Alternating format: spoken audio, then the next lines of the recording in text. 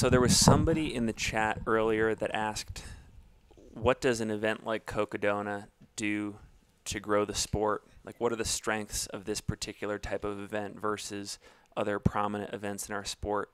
And I think part of the answer is what you're looking at on this live stream, which is what Brett and I were just talking about. Just the the festive nature. The athletes aren't too deep in the pain cave yet. They're really Don't worry about me. Acting in terms of camaraderie and get out of the way. I don't know. There's just there's something more approachable about it, and I do think there's like a reality TV piece to it as well. Like as you see these journeys develop over a very long, extended stretch of time. Yeah, and like you just see like deep storylines forming over the course of the race, and it does happen over the course of enough days where w- you Someone drink a really get to see that unfold. Sorry, go ahead. Sorry. Oh no, that was that was the end of that was the end of that. Someone drank a Bud Light. Thirty-seven miles in. Yeah, maybe. What? No judgment here. Yeah, I just I love the whole like pulled pork sandwich thing at the aid station. Me too. I just think it's so awesome. don't tell Kid Rock. I know, gosh.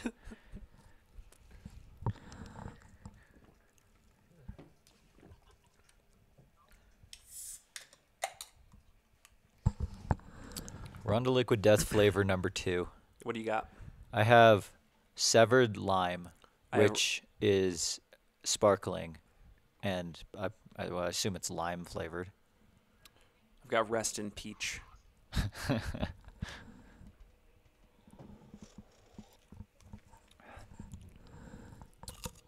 That's got quite a bit more lime flavor to it than uh, your standard like lime Lacroix.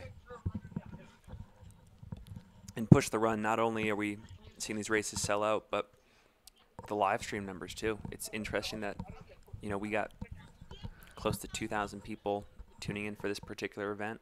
It's awesome. Yeah, we get to be a fan. We get to be fans of the sport, and now there's enough of us where it's maybe slightly less weird, and it's cool. It's in fact cool to be a fan of 250 mile races. You heard it here first. But it's probably the best Angela says a part Modelo and chips and cold salsa and guac sounds pretty good. Ooh, man. Pretty soon we'll see one of these aid stations sponsored by Modelo. that would be pretty sweet.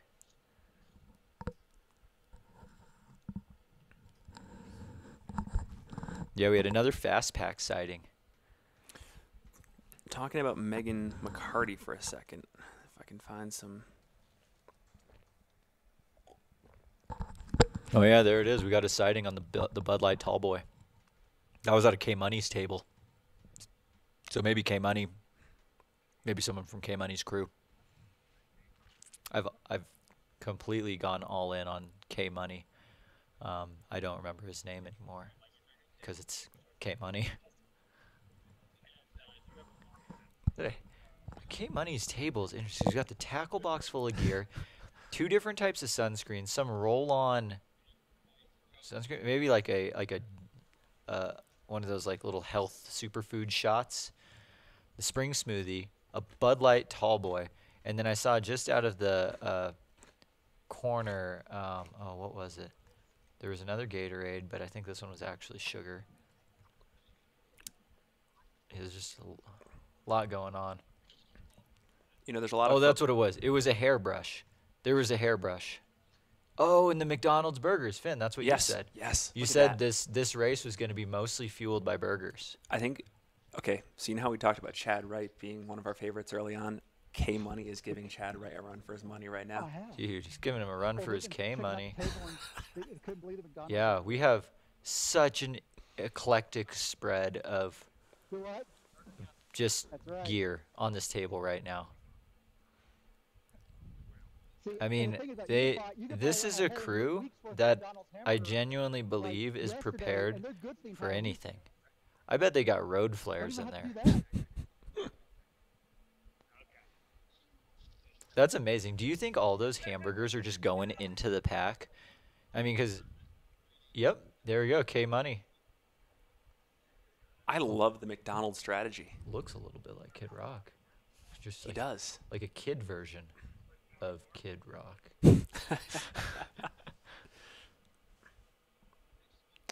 Yeah, Ric I mean- Flair says those burgers are good for 250 miles or 250 years, whichever comes first.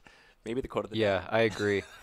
uh, when I was in high school, my my science teacher had a Big Mac that was just sitting on the top of one of his cabinets that he bought his first year of teaching, and just let it sit there. And he had been a teacher for like 20 years by the time I came through, and it looked almost identical to day one. It was creepy. Maybe that's how you preserve preserve your insides. Eat McDonald's. Oh, there's so much action. So much action going on. We got someone jet boil. What are we jet boiling? What are we jet? Hot dogs.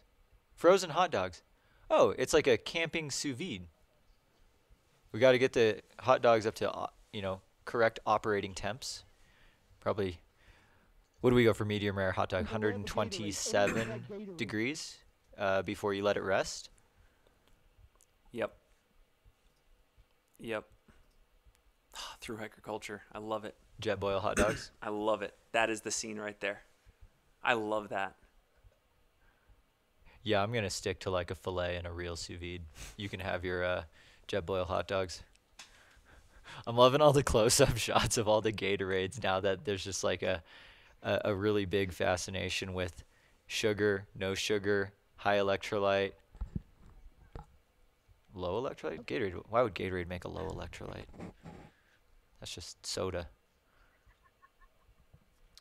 Holden Don has come through. I believe he's about two miles, one mile past the aid station at this point. I guess we also missed Michael McKnight coming through in that crowd, but Michael McKnight is through too. Yes, I was just wondering about where Mike McKnight was, and uh, yeah, definitely.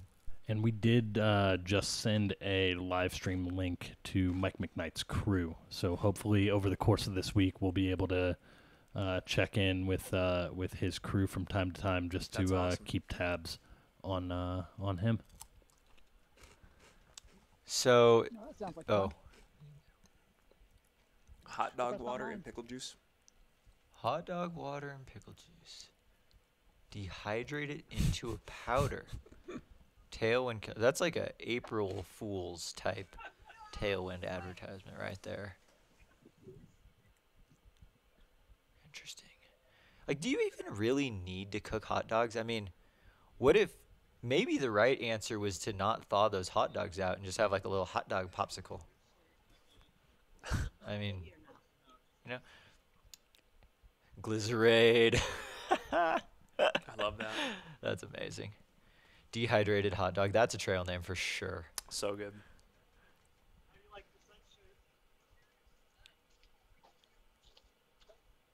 Oh, that fellow right there in the aid station. Yeah, that was a violent hiccup. So we had Megan McCarty in earlier. Mm-hmm. She's a physical therapist now living in Santa Fe, New Mexico. Shout out to the New Mexico trail running scene, but she is a former Arizonan and loves the state, and that's part of her reason to be back here. Has run the Ouray 100 miler. Is marrying her fiance, who is her crew captain, just two weeks after the race. That's cool. I'm doing the same thing for Run Rabbit if I can finish that race in uh, mid September. So one thing I'm curious about, I mean, we know Kilian Korth's tracker has been sometimes sluggish to update, but as of the most recent refresh, it shows Michael Versteeg overtaking Kilian, um, which would be one of the first lead changes in a while. Um, you know, that's going purely off of the trackers. I'm very curious what their status will be in the next aid station that we have eyes on, but uh, just something to speculate about. And then on the on the women's race, uh, Sarah Ostaszewski is solidly in first at the moment. Brett, there's a question in the chat here. What do you think the average weight of the packs that these runners are carrying is like coming out of this aid station?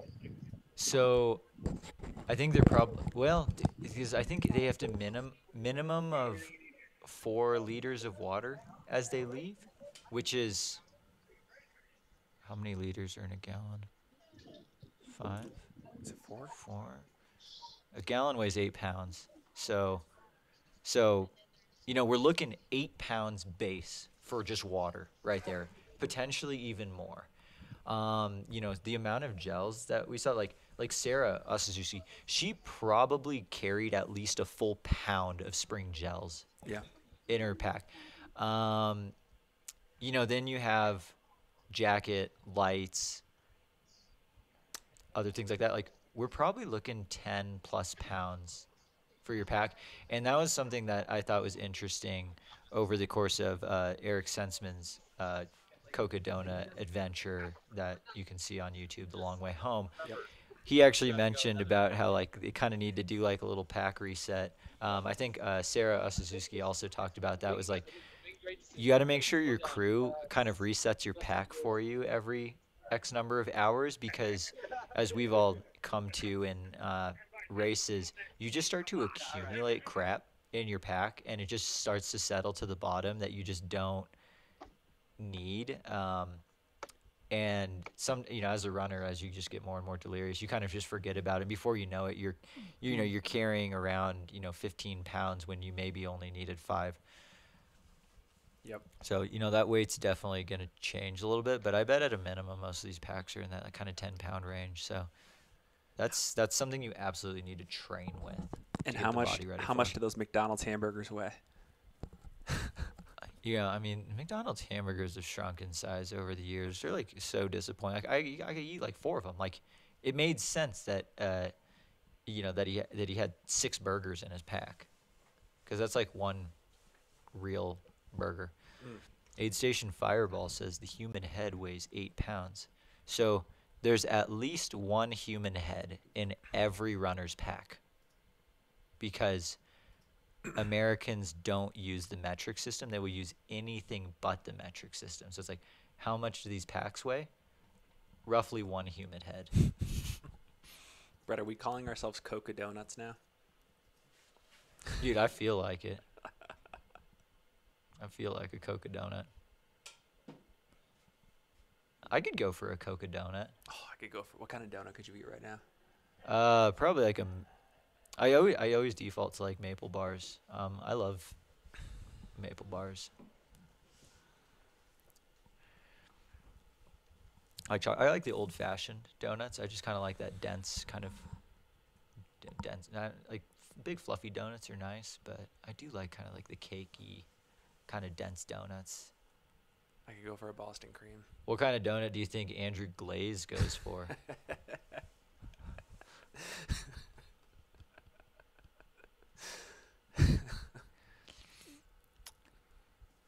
yeah, I didn't. Yeah, I really I didn't think that there would be this much action coming in and out of these aid stations. So, you know, apologies if we're not able to identify every runner that comes through uh, in real time but their trackers are all doing pretty pretty good. Bacon maple bars. Oh, bacon maple bars. I mean, I live in Oregon, so you know, I've had my had my fair share of Voodoo Donuts uh, up in Eugene. Uh, that's I think that's where I had my first ever bacon maple bar. One of my favorite donuts from Voodoo Donuts is uh, it's called the Grape Ape, and it actually has like a purple frosting, and then they dunk it in like grape tang powder, and it's actually incredible. Ah, Oh, plus one to the curry donuts actually as well. Um, not quite what everyone would be thinking when we say curry donut, but those are incredible.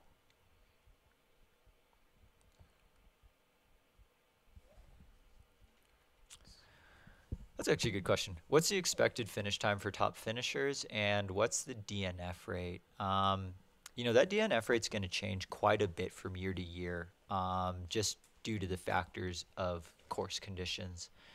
Uh, but Oh wait, um, and then the course has changed a little bit every year. So like last year, Joe McConaughey won it in 59 hours. Um, in 2021, Michael Versteeg won it in 72 hours, and that was because they were two pretty different courses.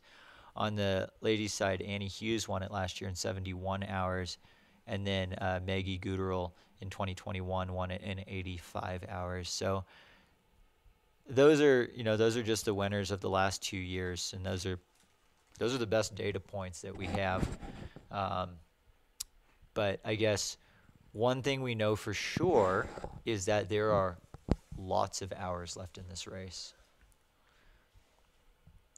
Um, I think that's Chad Wright right there. I think you might be right. I think this might be Chad Wright sighting. Chad Wright, uh, Chad Wright looks a little tired. I'm being blunt about it. Yep. I, I realize now that that was actually a hat. I thought it was one of those like airplane neck donut things. But uh, just a bucket hat.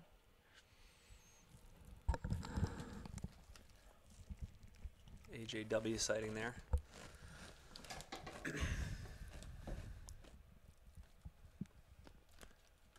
Producer Matt, do you know if we have any shots just outside the aid station, like in the five miles post aid? To, no.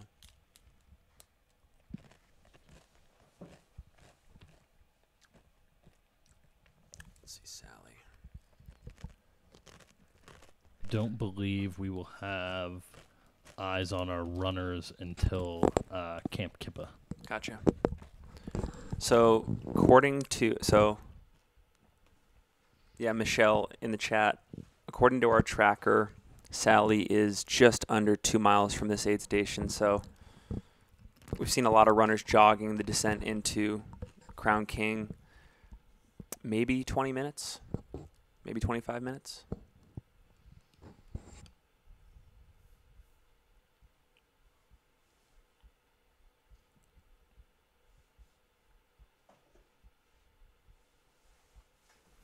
Oh yeah, and like how are the athletes going to be sleeping when it's time to sleep? Are they just going to pull off to the side of the trail and do a dirt nap? Are they going to cowboy camp? Are they going to wait to aid? Maybe that also changes depending on like their their napping experience, napping background. Like, I've never even taken a dirt nap, Finn. How many have you taken? I've taken a lot. Yeah. More, more than I. Well, no more shame. More taken lot. dirt naps than real naps. I was going to say more than I care to admit, but I, I've taken my fair share of dirt naps. They're not bad, especially if you really need to nap. You'll nap anywhere. Yeah, exactly. So like, I'm sure that a dirt nap would organically happen, you know, no problem uh, in this race. This runner that just came in here looks like uh, he just had some. He didn't have that much gear on him. Just a pack, Just a pack. just a pack and some buns.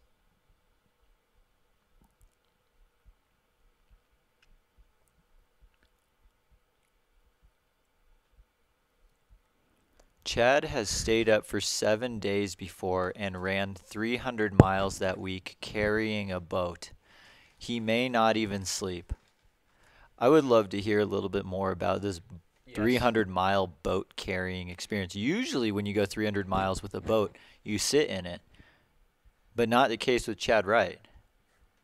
He's the most interesting man in the world. Boats ride him.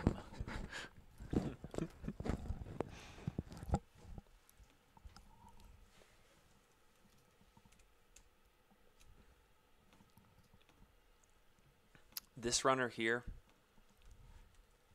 looks up. we just lost the camera, but there was a runner sitting there in, in the shades that just looked again unreal fresh, like Kilian did. Some of these runners just don't. Either they switched shirts. The person in the white sun shirt there, just Mm. not an ounce of sweat or salt on them. Apparently, it's amazing. Chad Wright is not tired. Tired is Chad Wright. No, that's that's that's, that's like worse. Laying down is part of a strategy, as it should be. Like I think, you know, strategic sits make sense to me. Um, which was like pretty opposite. Like Sarah Ostaszewski, the first lady that came through, she did not sit down at all. She was full standing through the aid station. And you know, I think you can't you can't fear the chair in a race like this. Like you you're gonna sit down at least a little bit.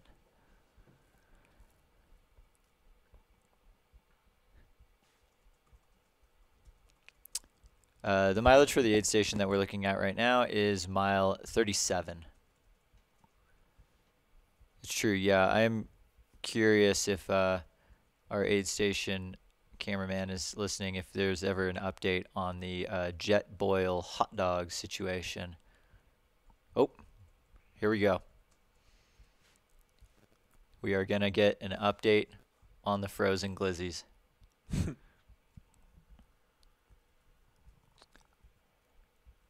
wow, they were way back there in the corner. Oh, look at that. Beautifully boiled hot dogs ready to be consumed. It looks like they will be consumed with ketchup. That's pretty classic. Maybe a little bit of beef jerky sprinkled on it. Oh yeah. That's incredible. Thank you so much to our our uh, aid station camera to be able to maneuver around with such ease. So one, there was a question in the chat. How much vert do you climb in these first 37 miles to Crown King? I think you're gonna get somewhere around 10,000 feet of climbing. It's it's a Yeah, because you net uphill by quite a bit. you net you net uphill by quite a bit.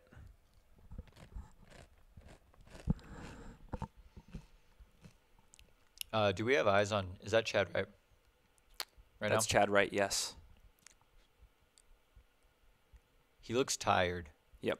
but I also don't have any experience like seeing him race in the past, so I, I can't judge off any prior body language other than just what I'm seeing right now.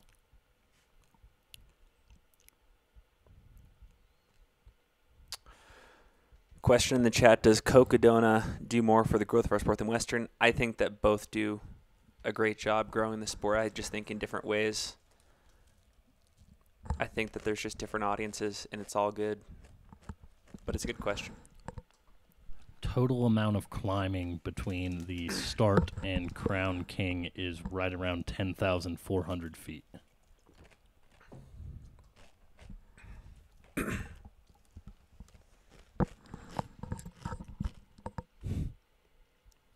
Everyone can hear me eating Doritos.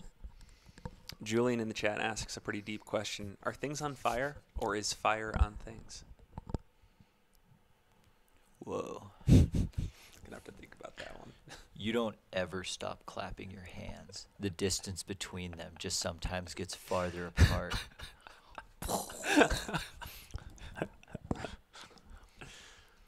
Chad, Chad, we got a smile out of Chad right? That's great.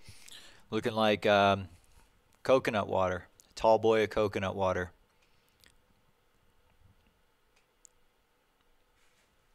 And one sock.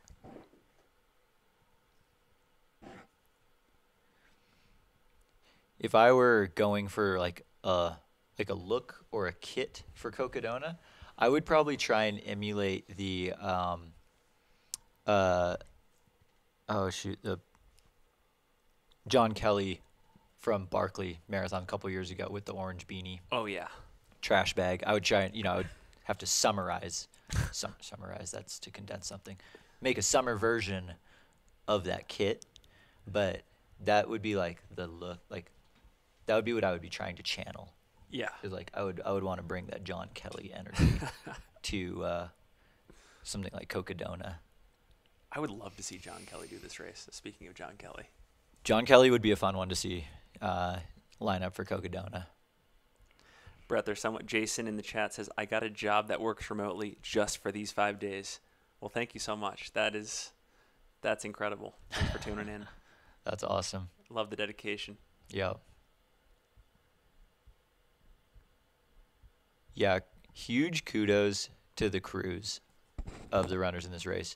Crewing this race is such a massive job.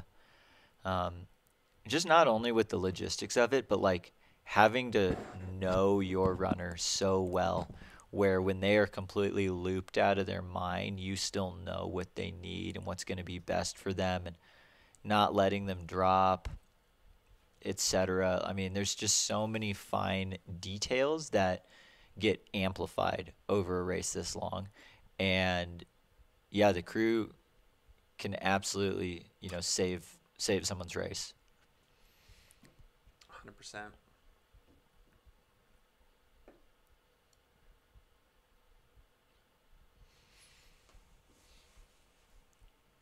It's funny. I actually this um kind of the aid station vibes right now remind me of kind of the like middle of like UTMB at Courmayeur in that high school. I don't know if it's a high school gym, but in that big gymnasium where everyone gets to access their drop bags and they like take it out. They're seated at the picnic benches, going through everything, like taking a good eat, um, taking their time before heading back out there, because it really is like it's a big commitment to head back out on this course. Um, you know, and that's a choice that everyone makes every time they leave the aid stations. They're like, okay, here we go. We're heading back out. That's awesome. Was that that was a Cocodona tattoo?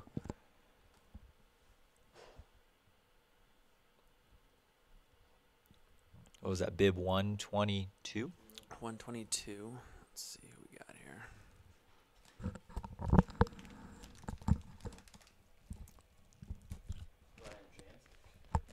Do you spell?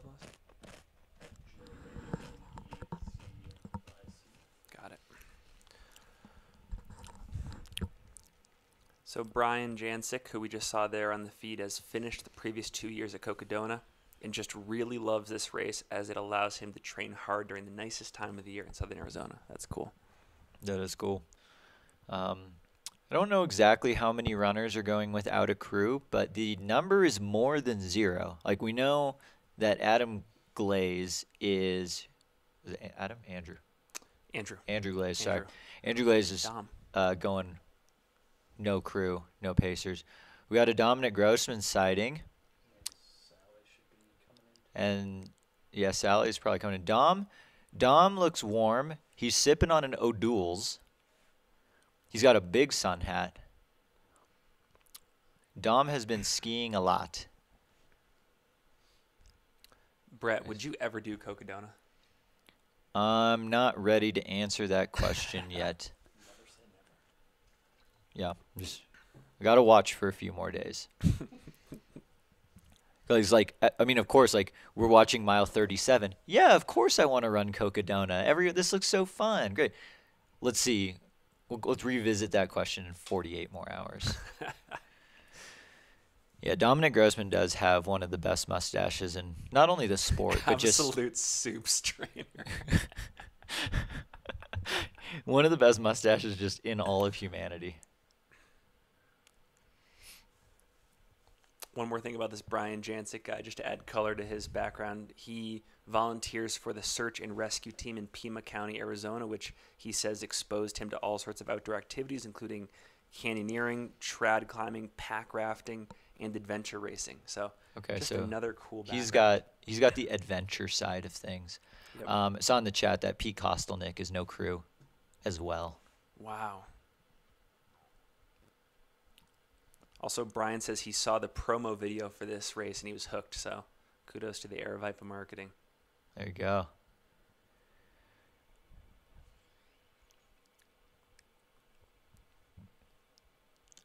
Got the hot dogs. Oh, the Jet Boil hot dogs are finally being served up. There they are. I can't wait to see the look on her face. She's like, "Oh my gosh, these are the best hot dogs I've ever had." They're cooked in a jet boil. And the views are pretty. The climb was not, and their arms not terrible.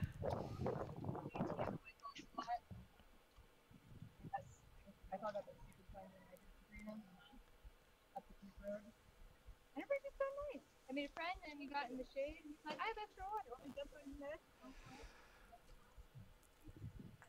Um, That's a good question. Do you need a four-wheel drive vehicle to access the aid stations, or can you do it with any regular car? Um, I believe some aid stations uh, maybe require four-wheel drive high clearance, but Mhm. most of the crewable aid stations would not necessarily require that. Right. There we go. Should be seeing Sally here any second, unless she's already there. I think we're still waiting. Bib65 just entered the A season. There's Sally. Oh, Sally look at the joy. Sally has made it into the mile 37 aid station. Seems very happy, in good spirits. Are you like? Yes, I am. Hi, guys! Hello, Saying everyone. hey to the live stream. So good to see you. Big live stream. Thanks for tuning in. Let's finish the most epic climb. It was so beautiful. Matt uh, Falconer in the chat says, "Will there be I any I would be course dead interviews right like you had the first year?" And the way people Any talk about on-course the climb was like, you're gonna die. Yeah, I mean, I think we're gonna try our best to talk to as many of the runners as we can throughout the course of the week, keeping in mind that uh, you know we also want to want like them to have their space to you know kind of do their thing as well, right? But we do hope to try and uh, get as many kind of aid station insights as we can and as many kind of crew insights as we can throughout the course of the week. I think we talked about it earlier, but one of the best YouTube channels to follow in our sport is Sally McRae's personal vlog. The production value is amazing. She takes you all through the behind the scenes of her nutrition, her training, her I don't know if I can hear you or mindset not, for all I'm this. Really well done. I think her husband helps with the channel as well. You just saw him in the picture there. It's excellent. So go check it out if you want a little bit more color on her prep for this race because she's really taken a an academic approach to breaking it all down and, and making it work for her. Sally's going, went straight to the watermelon. Good tactic. Just saw Chad again, still kind of sitting there. I think he's taking a break. Yeah, a bit of a long uh, gaze going. Um, yeah, Sally appears to be, you know, spirits high, everything's together. Do you know that brand of hat she's wearing, Brett? I couldn't tell you just immediately by looking at it. I mean, there's a handful of brands that make some big sun hats like that. I mean, I'm so happy. I'll go ahead and plug. Sunday Afternoons, local Southern Oregon company. Actually, they're based out of uh, the Phoenix, Oregon. My favorite ones. There was another one, if we're going down the rabbit hole, that I loved. Yeah, Uh, Sally is a Nike sponsored athlete, so it, it could very well just be a Nike Nike hat. Yeah. Um, maybe maybe it's a custom one. The swoosh the swoosh will make anything for you if you ask them enough times.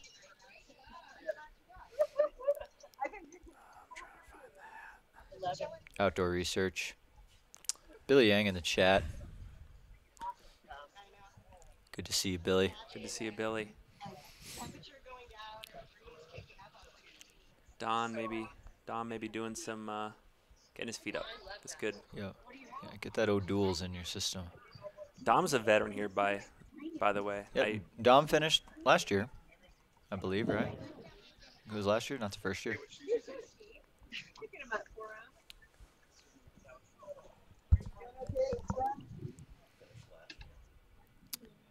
So, I mean, Dom's probably just doing a very calculated leg elevating. Um, looks like uh, Sally's got an entire box of shoes, but the ones that are queued up next look like the Nike Wild Horse 7. it's a good looking shoe. Yeah. Yeah, the uh, Nike's putting out really great products these days. I I've really been enjoying the revamp to the Nike Trail lineup. I mean, I mean, I'm not I'm not a fan of the Nike Wild Horse Seven. I love the Nike Wild Horse The eight, Eight. yep. The Eight was fantastic. The Seven, I just couldn't. Yeah, Seven just had the tongue bruised the top of my foot. Um, but you know that's that's more of a personal problem. Brett, I think Billy brings up a really interesting comment here. I think one of the paradigm shifts we've noticed in this type of racing is just how much more lax the aid station experience is for these runners. Even at the front of the race, like 20 to even 30 minutes isn't out of the question. They're really like going through all of the motions, getting their feet up if they can. It's even it's so different even from a 100 mile. Absolutely, and you have to. I really think you need to use this time to like truly make sure your core temperature's down. You've checked all the boxes in regards to getting in any fuel, hydration that you need at the time, repacking the pack and getting everything that you're going to need to go and like double, triple, quadruple checking everything. It's, yeah, it's just all it's just that much more important because once you leave uh, once you leave this aid station, like it's you know quite a few more hours before the next one. A lot of the people in the chat, and I think I agree, we want to see Billy make a film on the 200 mile scene at some point. Oh yeah, I'm sure. we would all we would all love that. Uh, yeah, Nike's Nike's got some really fun shoes just around the corner. Uh, and to all those Nike has terrible grip haters, your mind is about to be blown. Do you want to give them a tutorial on the React foam as well? Nah, we don't need to go into. The, we don't have enough time, Finn, to go into the details of Nike React Foam. This is only a 250 miler after all.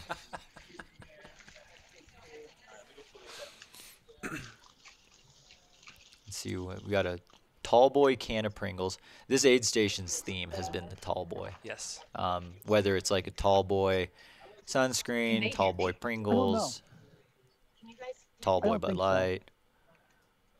You might hear me because I'm wearing these. Sally is electing to stand here. We've seen more runners as they've come in embrace the chair, which I know you're instructed not to do in a smaller ultra, but she's retaining that strategy from the other race scene. Yeah, there's definitely an amount of like, you know, I don't know if it's like fear, or hesitation, or just like sometimes the muscles lock up in weird ways when you sit down and just change up the movement pattern a ton. Um, looks like Sally's got like a pretty wide variety. I saw some Huma gels. I saw, see some goo. Um, Dry bananas. I think. saw some beef jerky.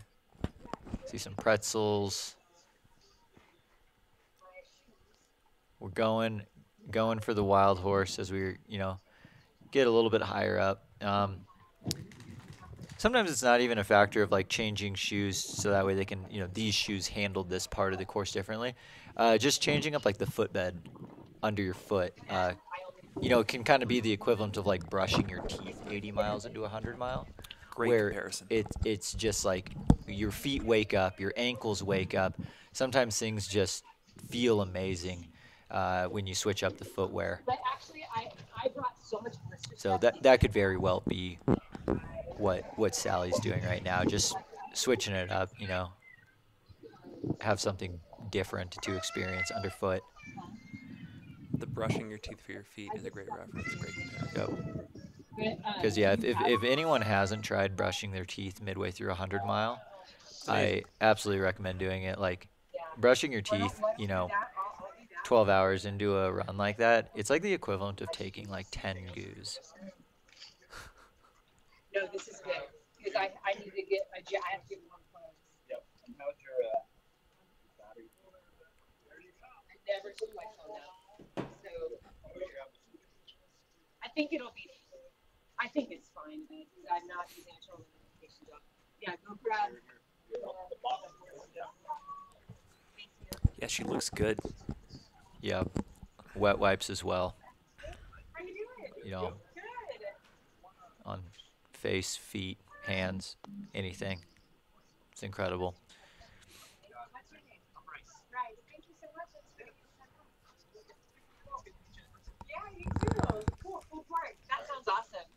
I'll try and get that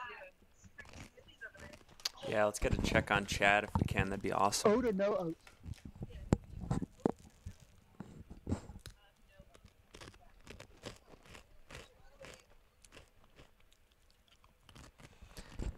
oat? Ric Flair, By the way, Ric Flair, thank you for taking an interest in the trail running scene. That's a big name right there. Um, I, we were just talking about this. I think it's totally normal, and I think it's totally warranted too. I think this is part of the the current present day strategy of 200 mile racing.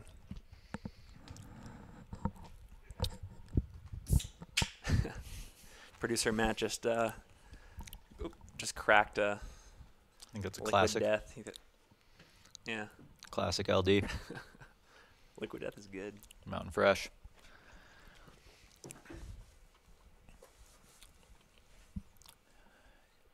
Do you love the giant plastic bins? Um, you know, it is a nice way to keep things organized. Probably going for some clothing changes.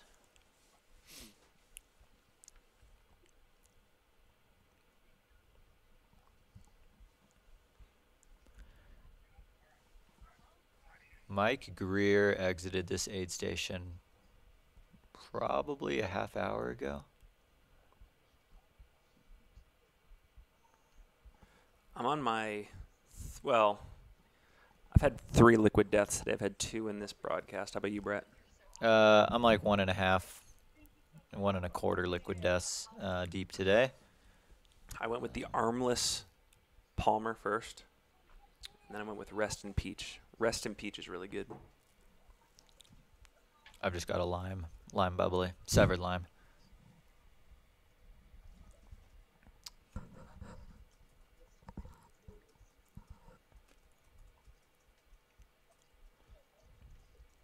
Should we talk a little bit about what Oh. these runners have ahead of them Yeah, after but the Sade? before we do, shouts to Ben's wife, uh, Melissa. Sounds like she's coming back from a foot inner injury, is almost back to training. Well, wishing you a speedy recovery and best of luck on the next build up. Yes. Yeah, what kind of co- what's the course profile looking like out of this aid station? So you are going to have your lo- your longest descent of the day so far. You will have another steep climb after the 53 aid. It's going to be a pretty steep 10 mile climb. Yeah.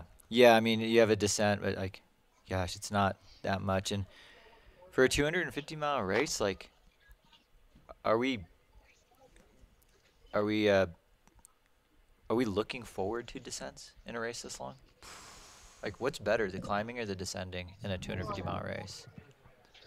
I think climbing. I mean, my gut tells me you don't want to put yourself in situations where you're incentivized to run for all the wrong reasons because it just feels good in the moment. Hold back. Yeah. Uh, yeah, the downhills, like those, I, those, I fear those a little bit more. I mean, if you're looking at the course map from mile 63 to mile 100, that is one giant 37 mile descent. Yeah, see like that, and then there's almost there's no descending until the very end, uh, more or less. Like you're pretty much up or flat after the After mile 100? 135, Yeah. you're basically climbing the rest of the race. yeah that's so brutal. And then like the descent at the very end, like that's not fun at all because you're descending from mile 240 to 250 off of Elden, which is yeah that's brutal. We thought about going up it this morning, but then didn't because we were like it's pretty steep. Angela asks what the gap between Sally and the first place female is. We saw Sarah through here maybe an hour and change ago. At least. Um, let me see if I can pull aid station splits. Yeah, I mean, I, I'll, I'll try to my path. I have to say, one of the things about these 200 mile live streams, great day for the gear industry. So many organic shots on every single piece of nutrition and apparel that you could imagine. Yeah, right there. Yeah, so per the live tracker, Sarah came through the Crown King aid station at 134. 134. So it's today, about two so hours. Eight eight hours, 34 minutes elapsed time. So yeah, she's nearly two hours ahead as of right now. Yep. I lose track of time. This is just time is flying by.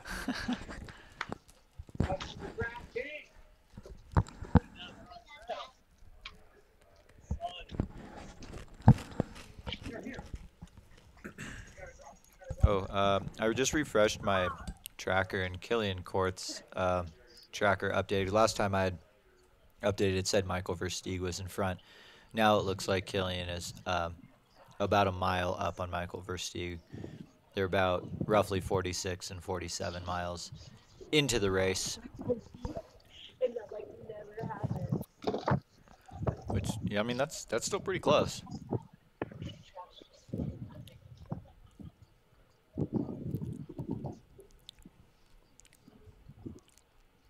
Looks like Sally's tending to some foot issues. Um, yeah, if possible, we would love to uh, pop back over to the Chad Wright crew and see if uh, Chad is making any uh, making any headway towards getting out of the aid station. If you get a chance and if you're looking to listen to a good podcast episode, Chad was on the Everyday Ultra podcast with Joe Corcione about a week or two ago, just talking about his prep for this race. And I think these were the these were the moments he was deliberately seeking out and excited to work through. And we saw that sort of thousand mile stare a couple minutes back, and Yep, absolutely. the Dark McKnight will move up tonight. I predict. It's a good nickname. The Dark Knight. I do like that.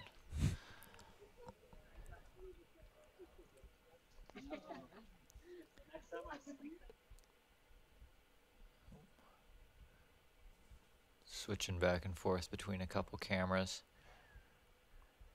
Trying to get trying to get some images out to everyone.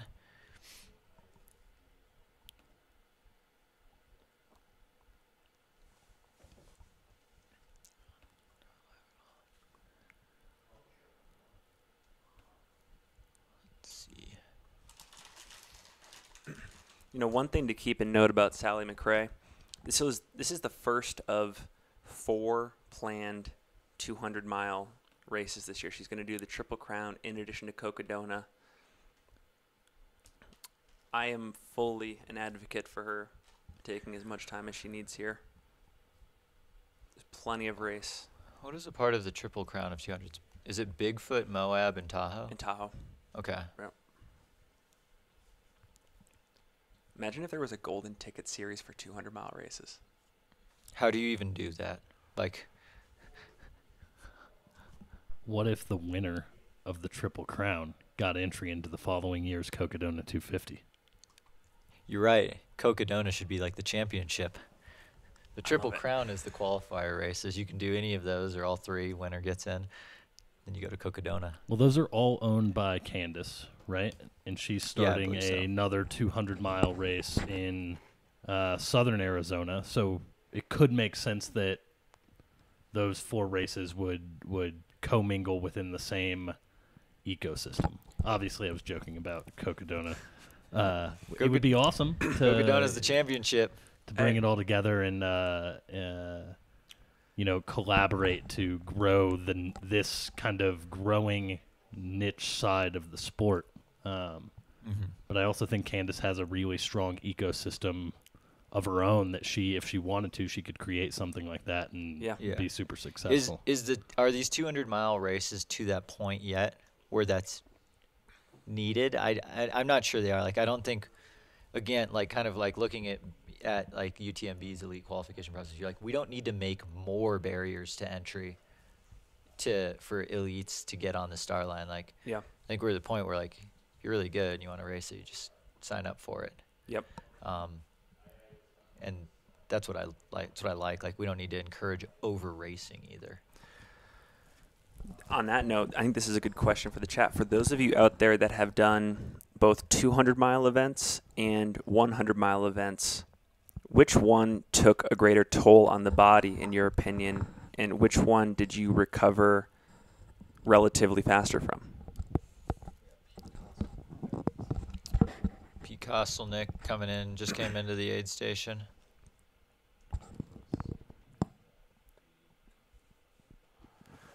Patrick Morris in this in the chat says, "Fun fact: the Triple Crown will be different this year because two of the races are within a two and a half week time span.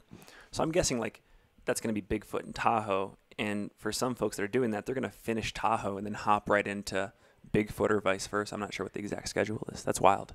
That's so difficult to just have to manage. I mean, uh, being alive after the end of the first one and then starting the second one. Gosh, yeah. Aid Station Fireball. Actually, if you could link to that Divide 200, if there is a website for it, that'd be cool.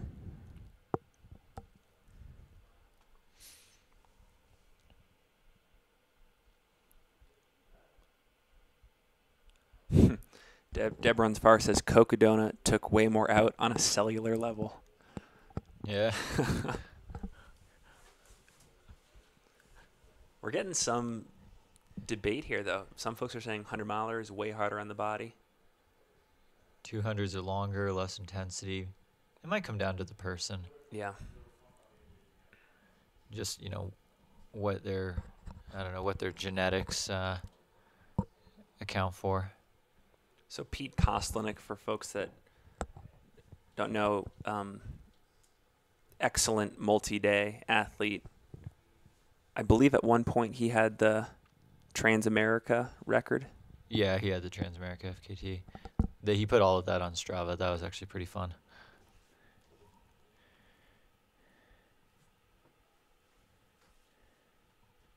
And while we just have a quick little moment here, let's go ahead and have a word from one of our uh, one of our good sponsors of this race, Satisfy Running. Since launching in 2015, Satisfy Running has become renowned for its unique take on developing technical equipment that reduce distractions to help runners unlock the high. We're excited to announce Satisfy as a sponsor of the Cocodona 250 as they curate a first of its kind premium aid station recovery experience for runners as they make th- their way through mile 100 at the Satisfy Fain Ranch aid station, where runners will also hopefully get a nice cold can of Flota.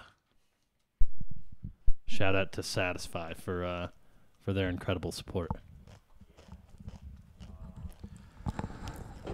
And Flota will be coming to market at $25 a can, apparently. So stay tuned. Pre-order now. It's a premium product.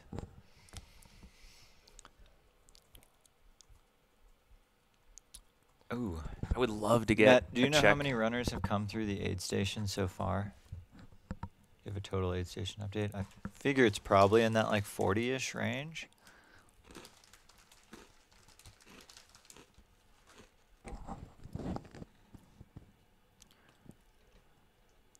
The Cocodona 250 is uh, the course. The cutoff is 125 hours. Just fact checking myself on that. Cocodona 250, the overall cutoff for the race is 125 hours. So the runners have 125 hours to complete this course. I feel like that 125 course is generous too. That's a generous cutoff time, which is cool. 75. Yeah. Based on my quick count, it looks like there have been 48 runners 48. through the aid station. Okay. Okay.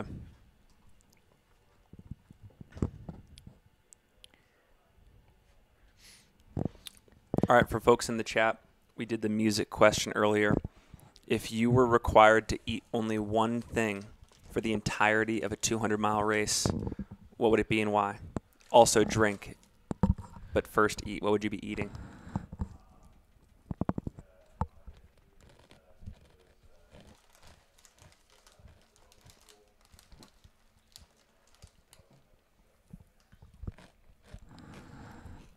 I would have such a hard time fueling for a race like this with only one one type of food. Like the flavor fatigue would just get so oh, so it'd be so brutal.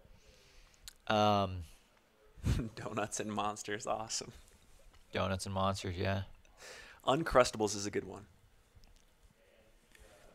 Can I just like roll up the liquid and food into one and just go ketones?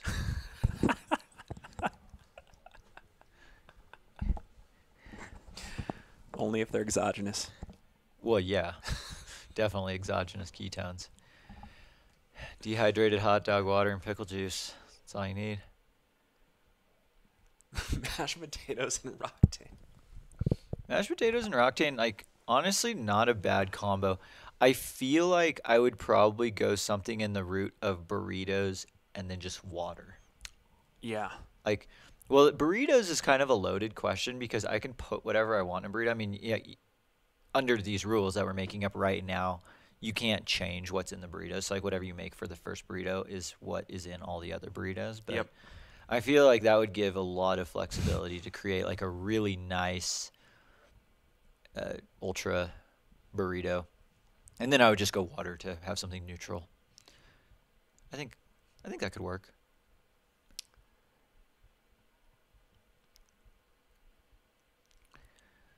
Yeah, what we're watching right now is our kind of our Crown King Saloon aid station, our static cam. Um, I don't know if our mobile cam is up and running at the yeah. moment.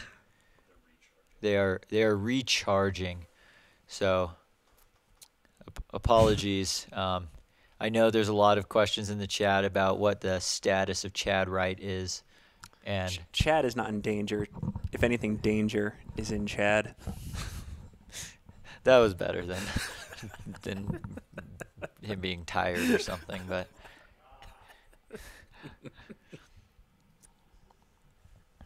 Coke and grilled cheese. See now, drinking only Coke for 250 miles and like not having any water, that seems hard for me because if we're going into the science of it, you know, Coke isn't isotonic.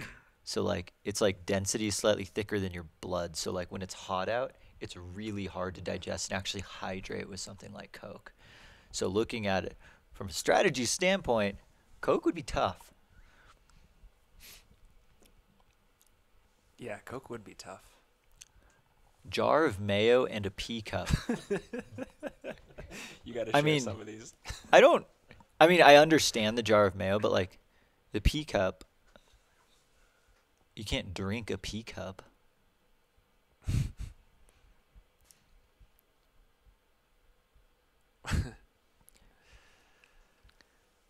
Should we ask the audience whether what they think of the naming of the race, Cocodona 250 versus the Dona 400? Well, this is America, and we don't do metric. you, gotta, you gotta give them context, though. Where did this all emanate from? um, well, I was just wondering. I was looking at Cocodona 250. I was like, oh, how many kilometers is 250 miles? And it's like 401. And then I was like, oh, 400. Like that's kind of a that's an even bigger number. Like, just go for the biggest number. And then it was like Cocodona 400. Oh, the Dona 400. it just sounds like a like it's on the NASCAR circuit. It's on the Sprint Cup circuit for sure. Like, you in on a Dona 400?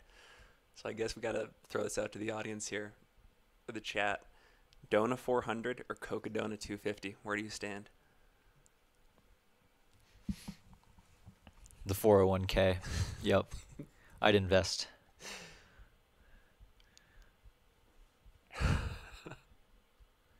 yeah. Dona 400 sounds exactly like a NASCAR race. like, Shake and bake at the Dona 400. Yeah. Who's gonna shake and bake? That would actually be really interesting if this was um so like one of the categories at um oh what's the the team race in Colorado, the stage race called? Trans Oh, Rockies. Trans Rockies, yeah. Trans Rockies, like done what? that. Yeah, what if this was Trans Rocky style, where you had to run this race with a partner the entire time? Like, that would be such a fascinating dynamic with who you pick, because like you guys like literally have to do the entire race together. I love that. Um, that would be very interesting, your team, because if you are not tearing each other's heads off by the end of the race, you are best friends for life. That is a great idea. I'm here for it. I'm here for the the Dona 400 team race, shake and bake. Yeah, there's so many, and also we could even imagine like a a cross country team style thing where you don't have to stick together, but like you're racing not just for yourself, but for you know a team, a team race team. within a team race within Cocodona. You could just randomize everyone and put them across like five different teams. Like anyone who's on the entrance list, you're like, Oh, oh, yeah. the sorting hat has put you in team Hufflepuff. Like Yes. race for them. Good luck. Hope you guys win. Because that doesn't like change anything about the race other than just adding like a fun team dynamic. Yep. Yep. I wonder if David Goggins has ever expressed interest in the Dona 400. Oh my god, he would be such a terrifying running partner for the Dona 400.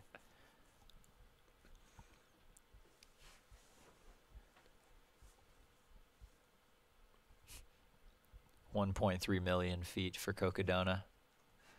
The Dona one point three mil.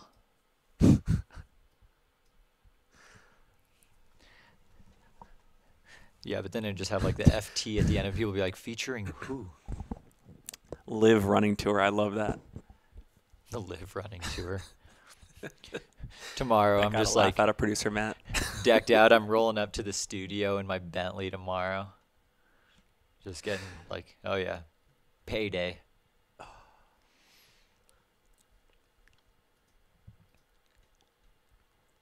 Um, so I listened to a podcast with uh, Joe Corcione that he hosted with uh, Mike McKnight, and Mike McKnight was pretty adamant on saying that he was not a zero carb athlete. He's a low carb athlete, and he actually went into pretty um, like pretty deep detail on how he strategically uses carbohydrates for fueling and it's not so much I don't eat carbs I'm a keto athlete.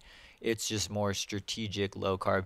He um, a way he described it was like he doesn't want his body to become totally dependent on only carb fueling um, just like in the same way how people can overdo the amount of caffeine they consume in a day. Whereas like you know if you don't consume that much caffeine and then you consume a bunch of caffeine you notice that more than Mm. as if you're consuming a lot of caffeine all the time um, that's kind of his take to how he approaches fueling with carbohydrates over the course of his training and a race so he's definitely still eating carbs but he's just utilizing it in a slightly different way than you know people on most like regular high carb diets Mm. so to answer your question, I don't know if it was serious or not. Uh, Michael McKnight has definitely eaten at least one carb out there today. Yeah, that's a good. That was a good summary of his uh, his discussion with Joe.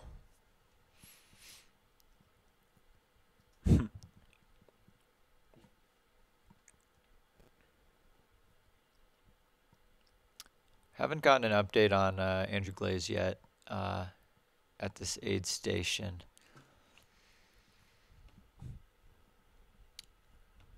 Gonna update the trackers, see if Troy, that's a great question.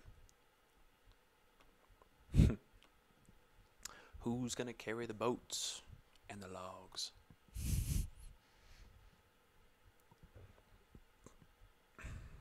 Yeah, we talked about earlier in the show, but Andrew Glaze ran 100 miles on Friday into Saturday at the Canyons race out in Auburn, California.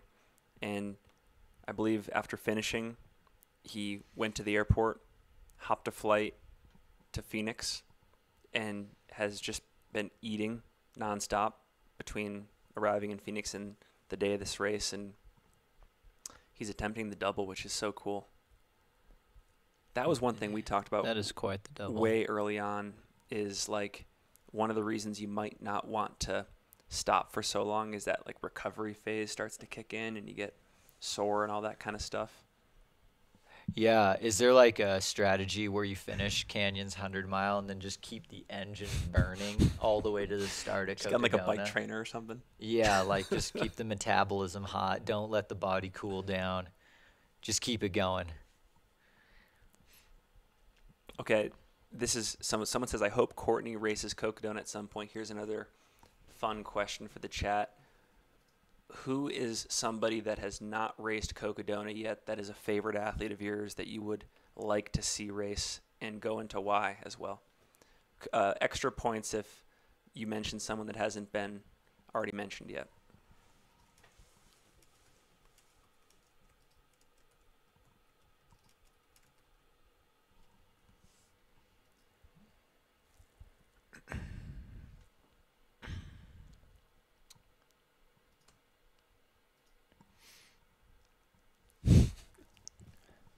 Alicia Jenkins, super fan. Rooting for number 27.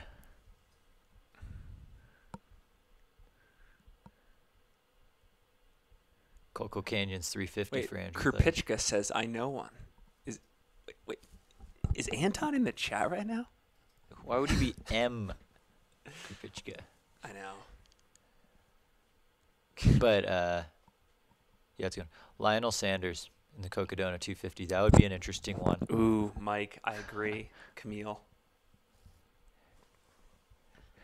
Shit in the woods. Would love to see Camille Herron run the Cocodona 250. Yeah, me too.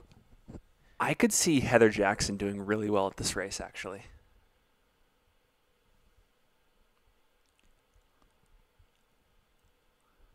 no, I'm not Anton. yeah. Thank you for the clarification. Yeah, there's a there's actually a lot of people who would be very fascinating. I, I think John Kelly was one of my like one of my, my original picks. That would be uh, very interesting to see race this. Ricky Bobby. Ricky Bobby. Ricky Bibby.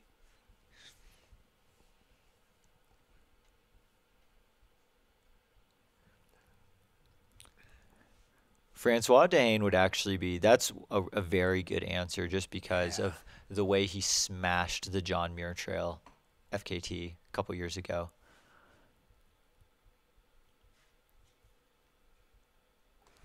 You know, one thing, Brett, we've talked about, which I think could be interesting to get into here, is how when you think about a lot of these long trail FKTs and 200 plus mile events, we've typically seen the the quote unquote higher profile athletes that come to this race. They're at sort of like the ta- they tend to be at like the tail end of their competitive careers. It's their quote unquote swan song. Do you think that that's going to remain the case, or are we going to see more people like the Joe McConaughy's of the world, like the Andy Hugheses of the world, invest in this distance right smack in the middle of their prime? Oh, absolutely. We're seeing it in hundreds in a way we didn't see it a handful of years ago where Yep. you know, you couldn't move up to the 100 until you were like 35, but now we have people in their 20s absolutely crushing it. As uh, it just as it grows, the sport grows, um, this event grows and gets more competitive, you will see more people hopping in and doing it as soon as they want to. You know, I think that's really what it is. Um, you know, it's, I mean, sure, it's a massive distance, it's a massive undertaking, but you know, to an extent, just waiting like 20 years doesn't necessarily make you more prepared for it. Sometimes just trying it can make you the most prepared. Got a couple votes for uh, David Laney. I Would would, be good. yeah, I would, I would be up for uh, watching uh, David Laney do the Cocodona 250. But yeah, to go off what you said, that's what D- I think Dave Horton told Scott Jurek very early in his career. I think Scott had at the time in his late 20s expressed interest in the Appalachian Trail, in the PCT, in this long distance stuff. And Dave Horton's like, wait till your 40s, wait until you're at the tail end of your career, make it your swan song. And I totally agree. I, I love that these athletes are breaking that narrative. And they're like, this is what inspires me. This is what I want to compete in. And I'm going to try it out. Yeah. You just have to be smart about it. That's really so much of what it is. Like understand the rest aspect. And you know how much rest it takes Yep. after after one of these events. Um, you know, that's something you see a lot of people in their younger years run into is just they don't give themselves the proper amount of time to rest. Yep. Ooh, Zach Bitter. Can you repost that, Matt? The oldest person running the Cocodona 250? That question. It's a great question. Uh, yeah, the Zach Bitter comment got me thinking. Uh, yeah, Zach Miller in the Coco 250 would be would be pretty interesting as well. How would Zach Miller train for a race like Cocodona? I think he'd break Strava. The little the little blue weekly bars would pop out of his computer screen. I mean, would we see similar training to what like Michael Greer was doing in the build-up? You know, like three or four yes days where it's like at least a third of the distance is covered. Yes, except Zach would be hammering.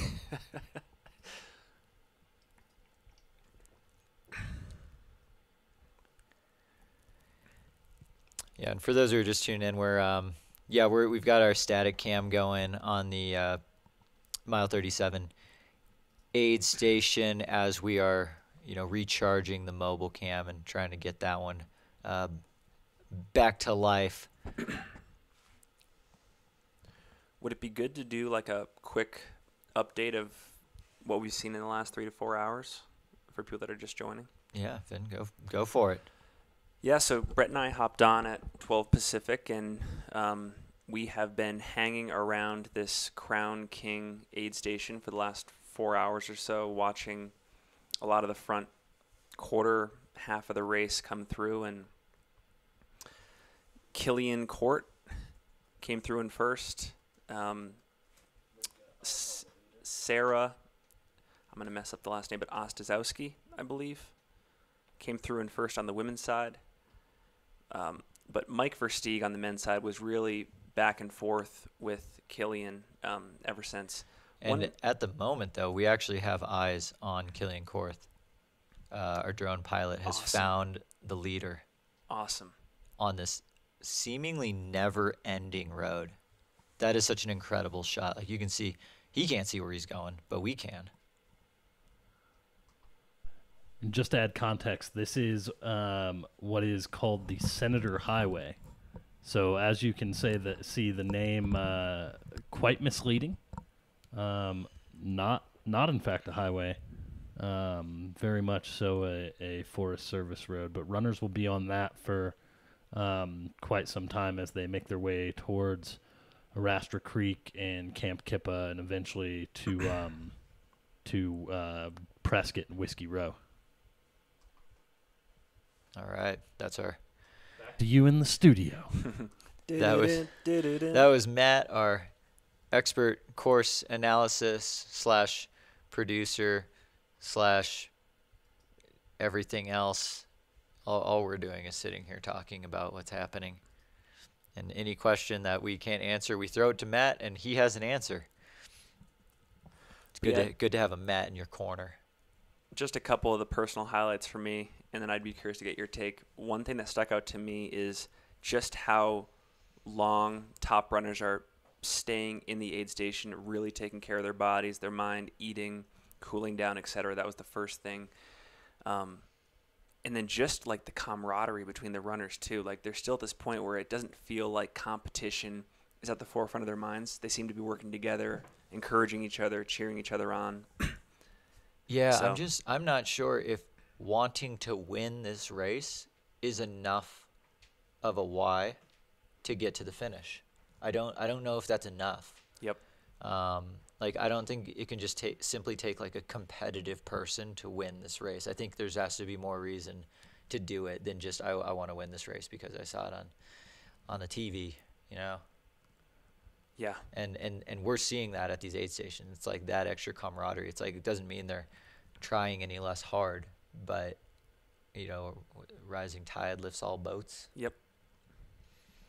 And then just look at the movement strategy here too. This is Kilian, and he's alternating between hiking and jogging, and really leaning on the hiking portion. And this is the person that is at the very front of the race, the tip of the spear.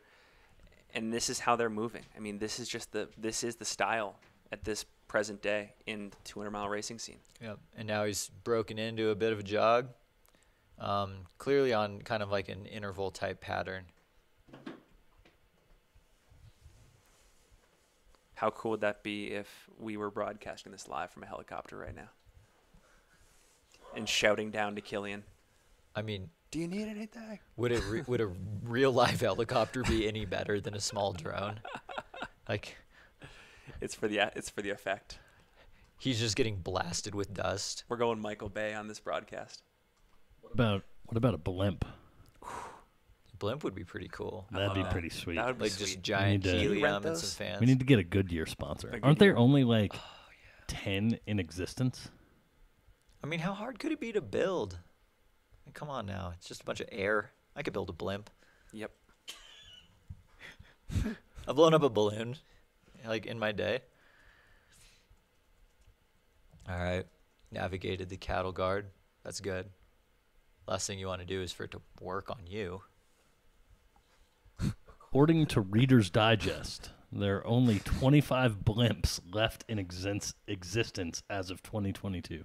Wow. Is is the blimp the blimp industry is not booming? You know, It there's is not, not like a booming. huge Maybe we need a hot air balloon. That's a booming industry here But in Arizona. How do you make hot air balloons like move directionally? Isn't that just like best? I don't know. best of luck we to need to get an expert on. I think. Do we have any hot air balloon experts in the chat? Can we follow someone with a hot air balloon, or does it need to be a blimp? Oh man, huge blimp that just says Dona 400 on it. man, oh, I can see it now. Forty-seven percent of this point-to-point race course is double track. See what you're seeing here is fairly representative of the race. Maybe we should start a petition, um, and we'll present it to Jamil that the next large Aravaipa purchase should in fact be a blimp, aka airship, aka Dona 400 blimp. Justification, shock, and awe. It would be so worth it.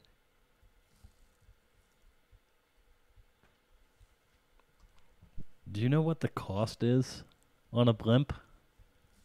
Well, I mean, I can only imagine. I've bought balloons full of helium at the dollar store before, and it's probably a million times bigger. So I'm gonna go with a million dollars.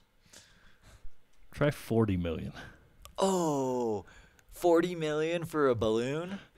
As But it- comparison, the cheapest Airbus, the A318, uh, an airplane, 75 million. So for only like 30 million more, you can have a full size airplane. But like, you can't capture good footage like this with an airplane. it's got to be a blimp. hmm. Okay, we might have to. It, it might not be a petition to send to Jamil. It might be a GoFundMe for blimps. Let's get Aravaipa a blimp.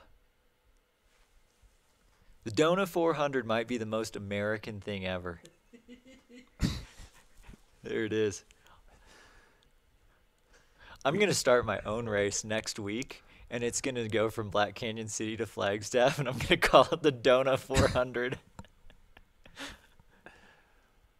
We got to get NASCAR-esque sponsors, so we're looking at like Fig Newton. We're looking at Wonder Bread, Wonder Bread.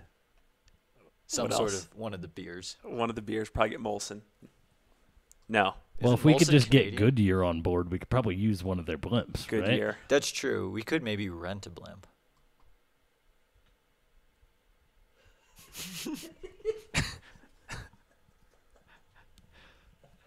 I'm I'm really glad that We have a call to action right now. Can you please donate to this live stream, if not for anything but the blimp?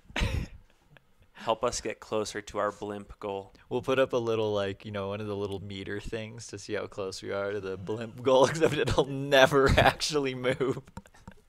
it's like we are we're seven dollars of forty million towards an Aravaipa blimp.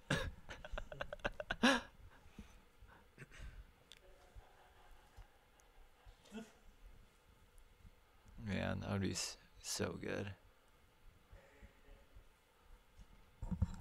Yeah. Oh, Chris has already pitched the blimp. Dona, Uh. Dona 400 by Marlboro Red. Ooh, yeah, that's a good sponsor. Yeah, what are some like classic sponsors? Like Camel. Camel. You know, I'll say this: if if we changed the name of the race to the Dona 400, we would have to get a Dupont sponsorship, and Oh yeah. we would have to have some sort of uh, retro Rainbow Warrior uh, Jeff Gordon knockoff T-shirts at a bare minimum. Hundred percent. Well, you start talking to these brands and they're just convinced that you're already a NASCAR race. No explanation necessary. They just sponsor you just by default based on the name. Yeah, we got a new event in Arizona called the Dona 400. You know, You gotta say it with like a little more southern twang to it, you know. Like I'm sure I'll have it down by the end of the week. we got a new race here in Arizona, the Dona 400. Kicks off on May the first.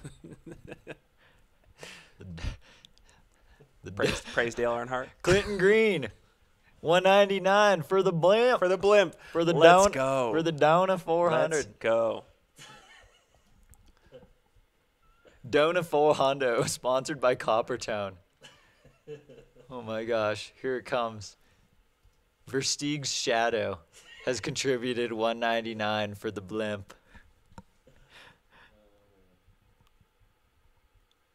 Oh my gosh. Kaylin has contributed $15 for the blimp. All right. I'm putting out a call to action on Twitter.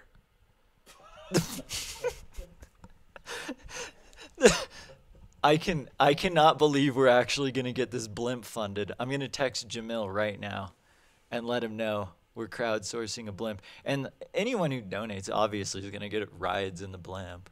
Well, I mean, well, I mean, the real question is: Is Finn gonna go to prison for fraud? that's the real. That's the hard hitting question here.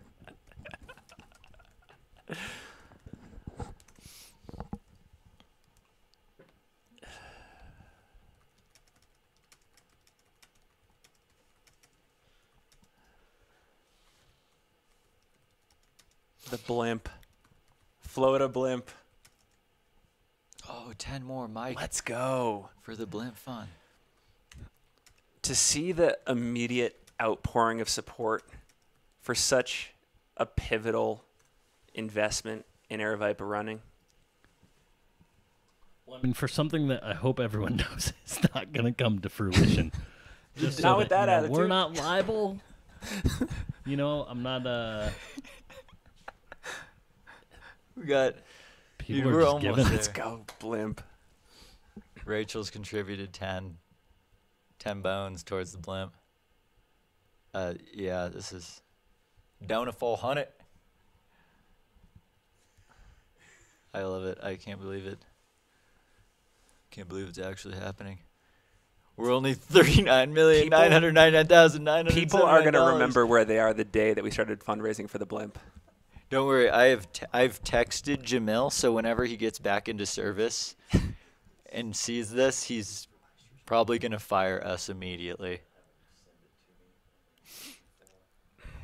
You have to stand up for what you believe in.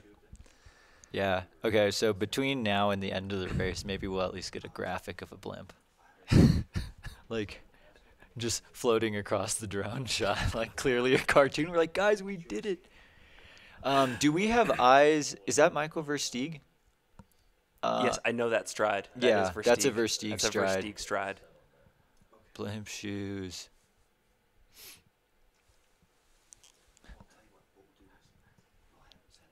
Yeah, disclaimer. The the blimp is for entertainment purposes only. We will not make any money. Never underestimate the optimism and the vision of this chat. There's some dreamers out there, and I, we appreciate you Yeah. guys. Look at that. Ten bucks for Ah. the blimp again. for the blimp fund. Um, well, this actually kind of does go back to one of my uh, one of my prior ideas where I thought the live chat over the course of the race could help fund the uh, prize purse um, in terms like a like real time prize purse. Matt's got immediately something to say. Can we just say that you didn't come up with this idea? huh? Sound Running already did that. Well, no, year. but be, they would do it. You could do it before the race. You could buy your ticket and then contribute to the prize. But I'm saying you could do it in real time. Like if one of your favorite runners all of a sudden moves into the lead, you could like, oh, I want to support that runner. Like I want to support Kilian, uh, and I'm gonna now start pushing money into the prize purse. So then, like over the course of the race, you could be like, Michael Versteeg, it's at eight hundred dollars for the win.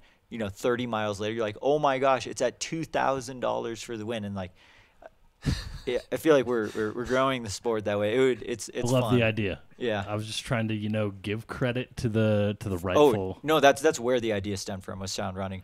But I was thinking like like Javelina or Black Canyon would be a fun time to uh, to pilot it, just because we could talk about it during the thing and we could have like a little like prize purse ticker going for like the top three I love in it. each one. I think it would be really fun.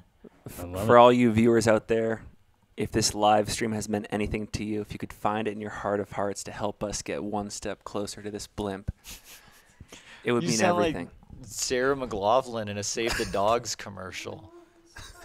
Yeah. Thank you, Rebecca. Rebecca believes in a brighter future of media coverage in this sport. Yeah, that's actually a great question because now that we've like pretty much gone fully in on the blimp, we're like, so would the prize money be dropped from the blimp fund? Because Clinton. you know, it's like, whoa, okay, we got nine ninety nine for the prize person, then ten more for the blimp. So, Matt, I think the Cocodona prize purse is up to nine dollars and ninety nine cents actually right now. Fortunately, with a with a with a ending in ninety nine, we could split that into you know thirds pretty pretty well. Um, but yeah, it's a question like, would you rather fund the prize purse or rather fund the blimp? Um, you know, that's that's the biggest question.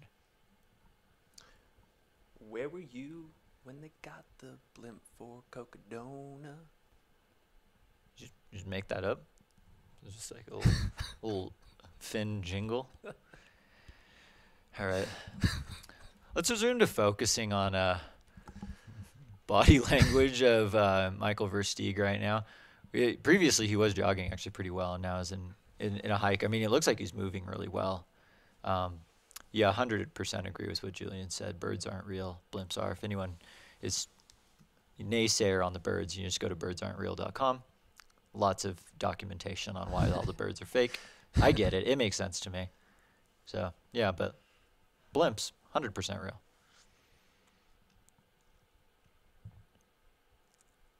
Yeah, Jamil, Jamil Coury is going to be signing the deed on a blimp pretty soon. Pretty soon. Um, I don't know if we have an official count on drops yet. I mean, there's a few from the um, from the race tracker, but I don't know if those are official, and I would hate to like clarify someone a DNF when in fact their tracker had m- missed something. So I'm not. Maybe maybe like uh. Maybe when we hop on tomorrow, we'll be able to do like a a drop Yeah. how many drops, the names, you know, again, going back to the Hunger Games, the cannons, Yes. um, you know, for, for each day as we head into day two.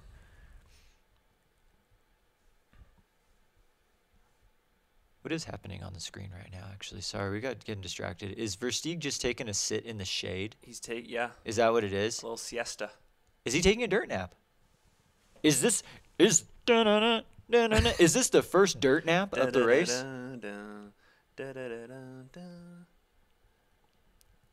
Is there a minimum donation to get a ride in the blimp? I think if you donate anything, you're pretty much guaranteed a ride in the blimp.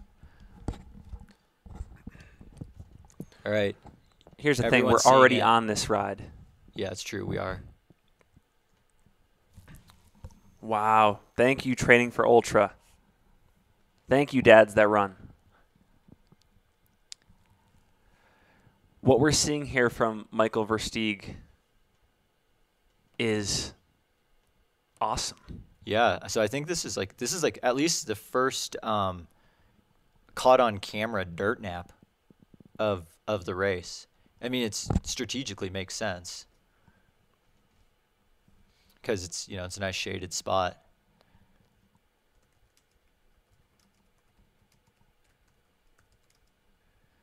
Getting my Dona 400 blimp costume for the Jackass run. Oh, that's so good. Yeah. How many blimps are we going to see at Javelina this year? Finn, are you going to run Javelina as a blimp?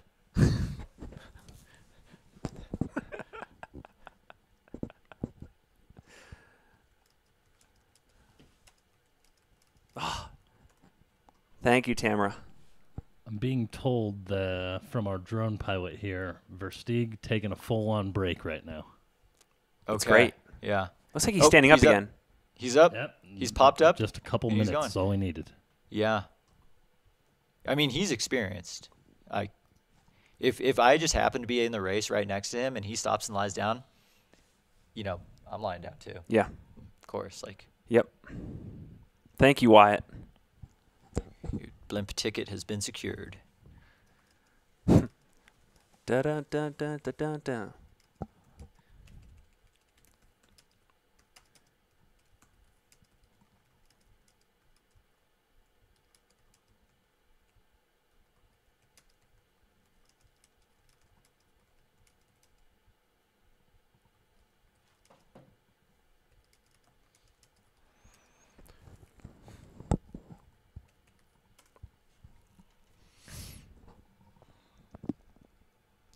Well, I think you could rem- work remotely from a blimp. I mean, I assume we would have room for a Starlink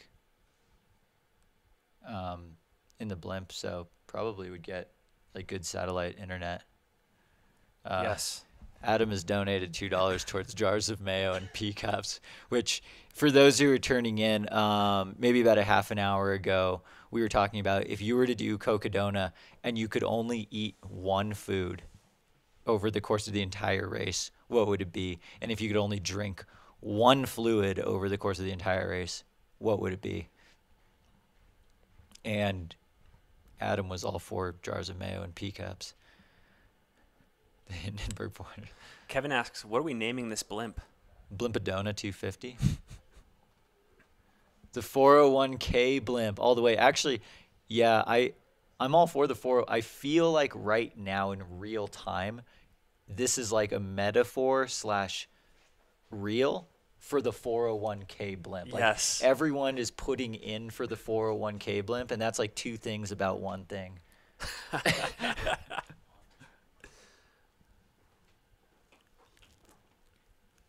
we have a update from Chris. Yeah, so fun fact actually, uh, the Goodyear blimp has flown directly over across the years at uh, multiple times, like Really? right over the top. Wow.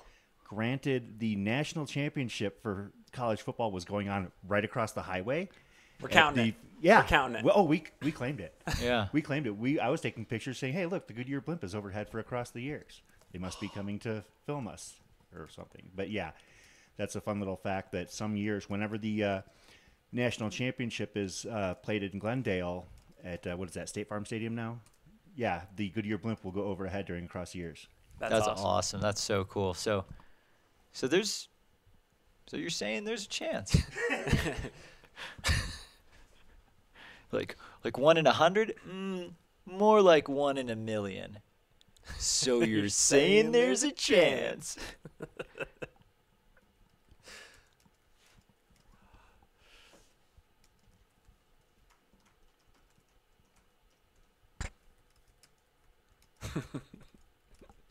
Another great Dumb and Dumber quote. According to the map, we've only gone four inches.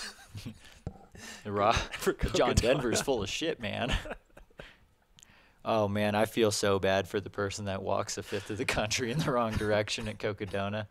Fortunately, in the runner guide, it does say that everyone has to have the GPX file uploaded on a device that they will have on them the entire time. There are um, the runner guide to this race is incredible, and any race directors out there wondering like what they should do for their runner guide should just you know probably use a similar format to this Cocodona 250 uh, runner guide because it answers pretty much every question that one might have about about this race and what they might come across, the details, the aid stations, the cutoffs. It's amazing. Um, what we were talking about earlier was the uh, the menu. So um, as these uh, leaders are making their way to the Arastra Creek aid station, the special on the menu there was uh, turkey and cheese roll-ups, hummus and avocado roll-ups, potato soup, and spring rolls. The previous aid station had pulled pork and black bean burgers, Ooh, potato nice. salad, pasta salad, potato soup, and then spring energy smoothies. Yeah. So good. Like yeah, there's yeah, looking at these aid stations, there's some yeah, there's some amazing food that's getting cooked. I mean, how fun would it be for all the aid stations to essentially just get in a competition with one another to have the best food at the aid stations? Like oh, that'd be good. that would like it's just an, another donation from Thank you. training for ultra. This is massive. Why are you Uh, heading to the blimp? Flying somewhere? Well, when I saw your air ticket and your luggage, I put two and two together. Oh my gosh. yeah, we have food truck aid stations. That would be incredible at some point. Um, we were saying if uh, this whole race just became like an Iron Chef competition between all the aid stations, and then it just became a 250 mile food tour. How amazing would that be? It'd be so good. Did you read off the uh, mile 100 aid station food list, the Satisfy one?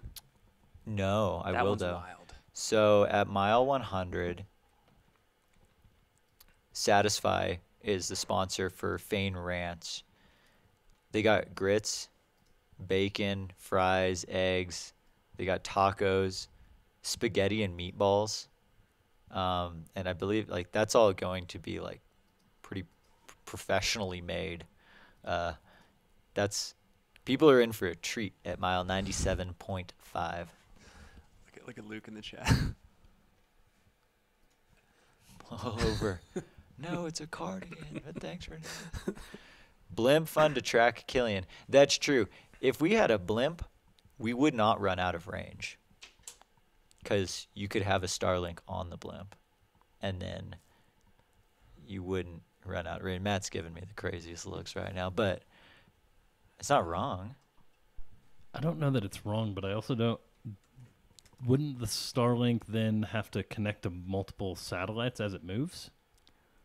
Well, I mean, the blimp's not going that fast. Yeah. So like, and it- there's like it's open above. I mean, it, I so, guess like, if you can have. Wi-Fi on domestic airlines, you can have Wi-Fi or like satellite connectivity on a blimp. Yeah, right? absolutely, You know? hundred percent.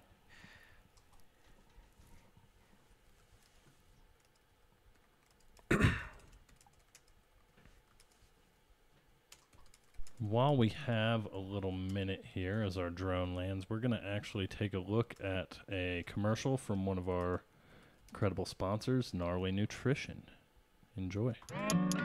We created Gnarly Fuel 2.0 for endurance athletes or people that spend long days out in the hills. It has both sucrose and dextrose, easy to digest carbohydrates in it. 25 grams or 100 calories per 12 ounces. Has a full range of electrolytes, 250 milligrams of sodium, and then also chloride, potassium, magnesium, calcium. One of the things that kind of distinguishes us from other fuel products is that we have HMB, the metabolite of the branched chain amino acid leucine, which helps you recover while you're running. So it's an all-in-one fuel, electrolytes to replenish, and HMB to recover.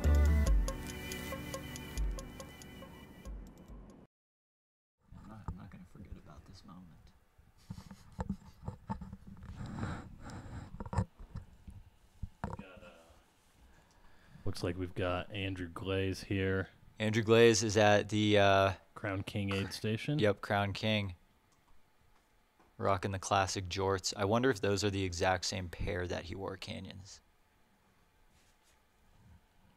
I hope you had time to wash them.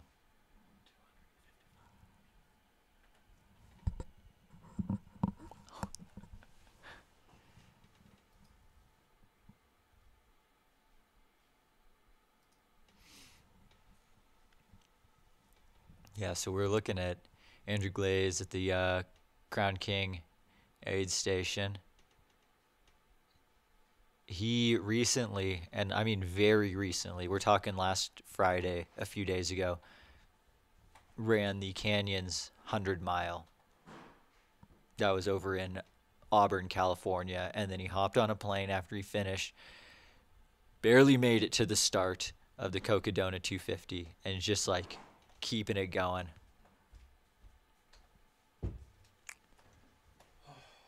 Washed washed the shorts in the hotel sink. You know, sometimes the best washing basins ever have been hotel sinks. So, I'm sure they're clean.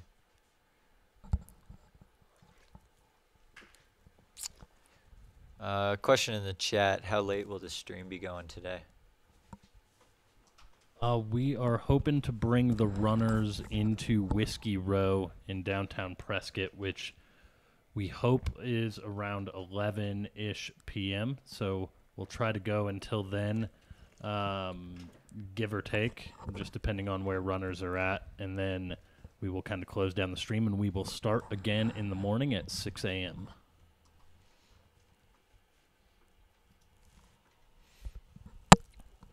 Yep, and then we'll be here. Finn and I will be here uh, noon to six every day this week. It's a pleasure as always. Oh, this is so fun. So fun. I mean, yeah, had had no expectations going in, and I just can't believe that Aravaipa is getting a blimp. oh, I just can't believe it. Can you imagine if like Jamil used the blimp to like drop everyone's drop bags at aid stations? Like it just goes over Crown King and just like and just rains down drop bags. Amazing. Amazing. This is like, and then just to go, you know, on top of all the coverage, um, I really, yeah, I mean, I really feel. I mean, I'm gonna pitch this to Jamil. I feel like the blimp could probably pay for itself in like six, seven decades. So would this be the Leadville Zeppelin? the Leadville Zeppelin. Oh my gosh, Chris with potentially the best name. I think as of right now it was the uh, the 401k because people were like donating and contributing to it. It was like a couple things about one thing, but the Leadville Zeppelin's pretty good.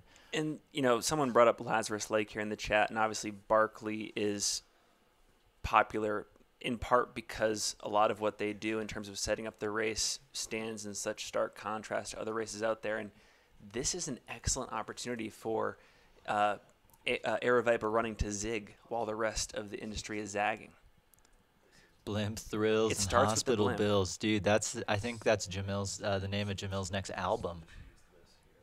I think he's working on Blimp Thrills and Hospital Bills, featuring Post Malone. Um, I know a lot of people were asking uh, for Chad Wright updates, and I just I, I, I'm gonna give out like his his tracker has him having left the aid station, and he's at I think about 39 miles now, um, as per the last tracker. He's a tough guy, and I think we were we, we expected this of him. He's he might have dark moments early on, but he talked about his staying power, his resolve, and how he in, he welcomes these experiences in these ultra running endeavors.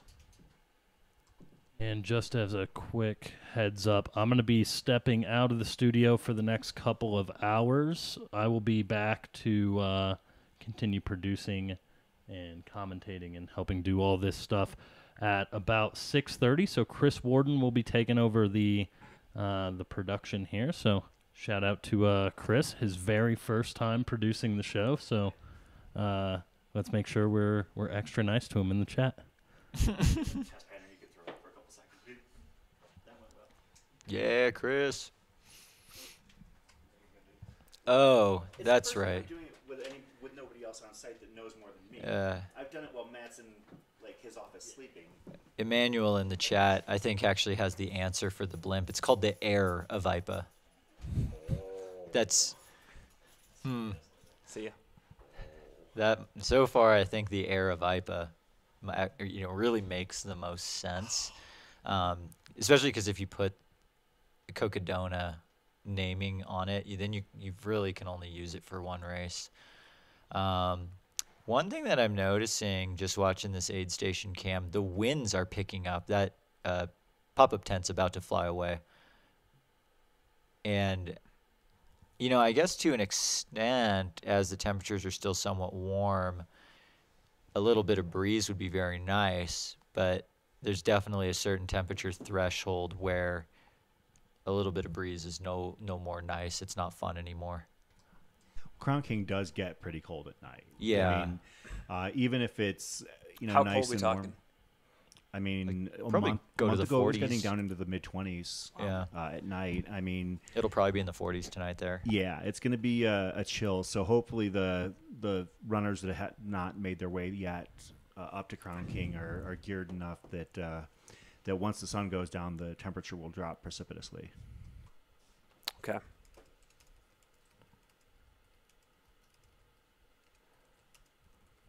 Yeah, Blimp Biscuit's amazing.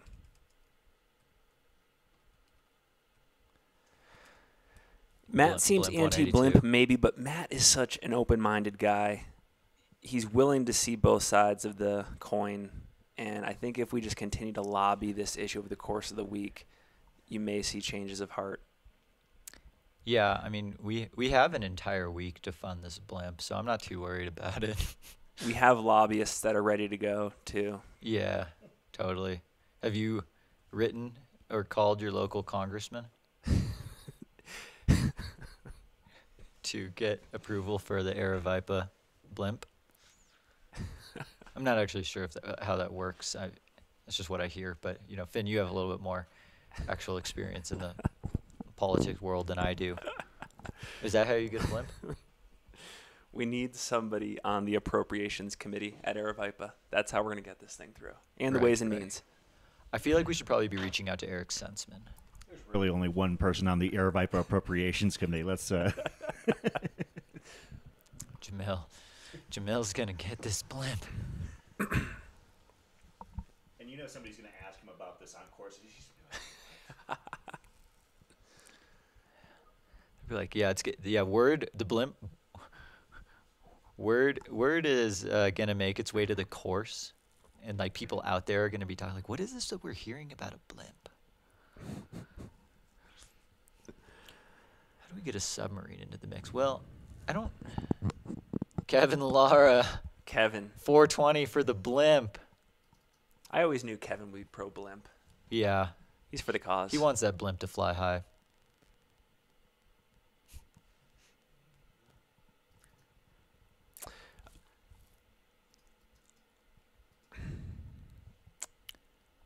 Does the leaderboard stay going after the live stream is down? That's it. Does right? Yeah. yeah.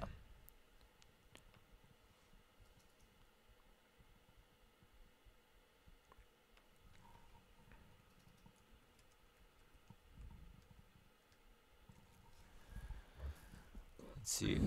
Who do we have eyes on right now?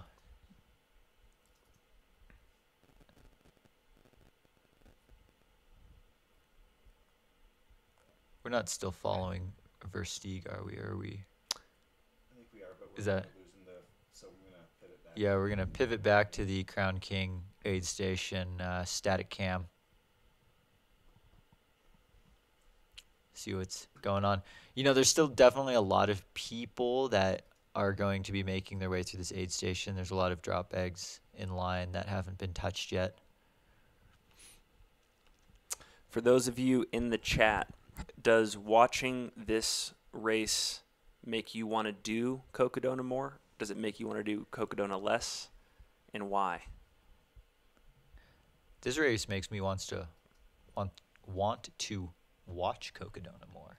Me too. Like watching this live stream, I want to be a fan of the sport more. Me too. um, like it has me thinking about like running it a little bit, but I have enjoyed. I mean, I I'm enjoying this community so much. I feel like there's like two different families right now. There's the family that's helping all the runners out on course, and then there's this other family that's helping the entirety of the sport. And I know that now that sounds like biased, like I'm favoring this family, but um, I am a little bit. I couldn't agree more. And Um, like we need both. We need both. There used to only always ever be the family out on the race course of all the volunteers, the runners, the crew. But now we have this whole other group of trail running fans that are going to help grow the sport. yep, And so much of it is happening because of because of this live stream. Like this is incredible. I know we've been talking a lot about Chad Wright. Are there any other runners in this race that you're like now truly bought into their storyline and their journey, and you're you know excited to check in on tomorrow? I I'm so curious. Like I want to know how Sarah Ostaszewski is doing because this is her third Cocodona, and is in the lead. Looked incredible through the Crown King aid station. Um, they've switched things up a. She had so much going on year one, simplified it more in year two. Yep. Why I, I just want to know how year three is different uh, for her and her crew and Pacers uh, from the previous years. So I'm just, uh, yeah, I'm definitely in, invested in Sarah Ostaszewski's uh, journey now after having listened to, you know, couple of her pre-race interviews. Uh, yeah, Chad Wright was definitely the other one, just because his approach to this race was uh, a little bit unorthodox. Uh, you know, he said he just always is in shape, but trained for this race for the last eight weeks Yeah, just eight weeks of like a hundred percent all in training block. Um, whereas a lot of people have been, you know, training for this race like more or less for years. yes. What is the right answer? We have no idea. We have no idea. couple that stick out for me K Money. I want to know how long he's going to be on the McDonald's hamburger nutrition strategy. I love Dawn Greenwald. I have always have a soft spot for these older athletes that are still crushing it. Dawn is 45 and she's really close behind um, Sarah Yeah. at the front of the race, and then Michael Greer. I think Michael Greer is a really cool athlete too. His his approach to training this race has been Yeah. fascinating. Just 24 years old. Well, Dawn did finish ahead of Sarah two Yeah. years ago. Oh, I yeah. mean, Mhm. she's and and she's kept it up. Uh, she's been a regular at uh, a lot of local ultras and placed very well. So. Uh, one of the things when we were doing the bib setups was that uh, I was I, I lobbied to make sure that she had the lowest number bib amongst all the women, even though I didn't pick her to win. I felt like that was kind of a, a testament to what she had accomplished here at this race. That's cool. Yeah, a couple people into like, tell us more about K Money, and we've called him K Money for so long now. I've actually I've forgotten his actual name, so I can't look him up. So I'm gonna crowdsource that because it doesn't say K Money on his ultra sign up. But um, he just came into the Crown King aid station, phenomenal energy. Uh, was downing a, a Bud Light, a tall boy, and um, his crew. His crew had so much stuff spread out across the picnic. They had an entire tackle box just full of different types of tapes and various, I don't know, like ointments and stuff. But there was a, a hairbrush. He had five McDonald's hamburgers that he just stuffed into his pack. And I think in his bio, he said for the race, he was planning to fuel most of the race off of McDonald's hamburgers. Yeah. So Kevin Metz. Kevin Metz. Kevin Metz. Metz. is K Money, and that's K. It's actually uh, to correct who who we had pinned the comment earlier. Uh, it's it's K M O N E Y, not K dollar sign. Right. Not K dollar sign K. M. No, it's not like Ty dollar sign. And he's had it since middle school. yeah, it's K Money, like K M O N E Y. I And- don't know where to capitalize the letters there, um, but uh, yeah, you have to spell out money for K Money.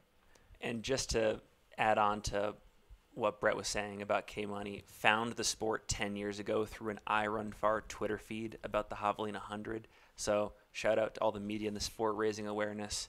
And he just, since that day, according to the message he put here in the questionnaire, he's just been manifesting the chance to get involved in the sport, to move out west. And he's here at Cocodona in celebration of all that, which I think is just so cool. And I mentioned this earlier. He's done a double, a Black Canyon double in 2022, which involves running the 100K on Saturday and the 60K on Sunday, which again just adds to the lore of all these runners that are doing these wild, impressive things in training and in racing. So different from your standard athlete in the sport. Um, and Brett, he he was a he was cast to be on Minute to Win It with Guy Fieri. Yeah, That's the best thing. That's That- yeah. I want to know so much more about that. Uh, because like, I mean, does anyone recall if Guy Fieri was the host of Minute to Win It, or was he like the guest with K Money on the show, Minute to Win It? Yeah. So more. Any questions? I mean, the theme of this uh, whole broadcast for me was I had a feeling that I would end this broadcast with more questions than answers. And so far, I've, I've added a few more questions. So this is interesting. I just pulled up K Money's questionnaire. He says, "Need more content?" Question mark. Talk to my amazing crew and pacers during the run. They're all incredible people. Happy to chat. So maybe Okay. later in the week we can. Yeah, we'll try our best to get a call in link for uh, K Money's crew then. I just let you know goodbye the, the Crown King. Oh, good. Yeah, I texted him. I texted Jamil, let him know that uh, we were crowdfunding a blimp for Aravaipa. Oh, was that Jamil? Yeah, that was Jamil right there. We have a Jamil sighting at Crown King. I wonder if he ran all the way up here from the start.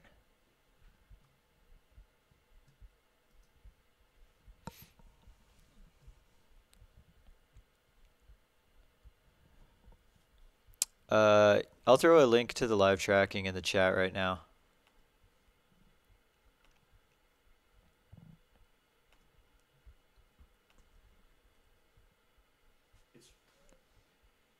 The link to the live tracking is actually right below the the video itself uh, in Oh, the you're right. description. So. Uh, if you're looking for uh, specific runners, um, and for those that are asking, you know, we do our best to cover as many people as possible. But uh, right now, uh, we've got literally one or two cameras on course, and uh, runners are spread out over what uh, about a 22 to 24 mile spread between the start to fit or the Yep. t- front to back. So, yeah, and that, that distance is only going to grow from here. So oh yeah, we'll be we'll be all over the place. Um, we'll be getting loopy in the next few days. Yeah, and we'll, and we'll do our best, and and uh, we we try and do our makeup for that the last day or so of the the race where it's dedicated to those who are still on the course. Yes, I thought you were talking about actual makeup, like for your face. Well, no amount of makeup is going to make me look good for the camera, so it's, By day six, oof, So Rebecca is asking for a Jeff Garmire update, and uh, we're going to give it to you. It, on the cocodona.com live page, you can just type in his name. He appears to be at mile 31.6. He is bib number five. So he is about six miles away, maybe six, five and a half miles away from That- this Crown King aid. that feels wrong. It does. Like that that, doesn't feel accurate. Like my gut. Um, But it, Ingrid is saying it looks like he is in Crown King, but no costume. interesting. Yeah, we'll have to. Uh, So the tracker is not totally reliable at this point. I did hear some rumblings earlier at some point that maybe there was an issue with Jeff Jeff's tracker initially. Um, there was a rumor that he had been issued the wrong one, um, but we shall see. Are people are people seeing Jeff in the Crown King aid station right now? Huh. Let's see here. Yep, the tracker does now say 37.1, so he is in Crown King. There we go. There's our Jeff update.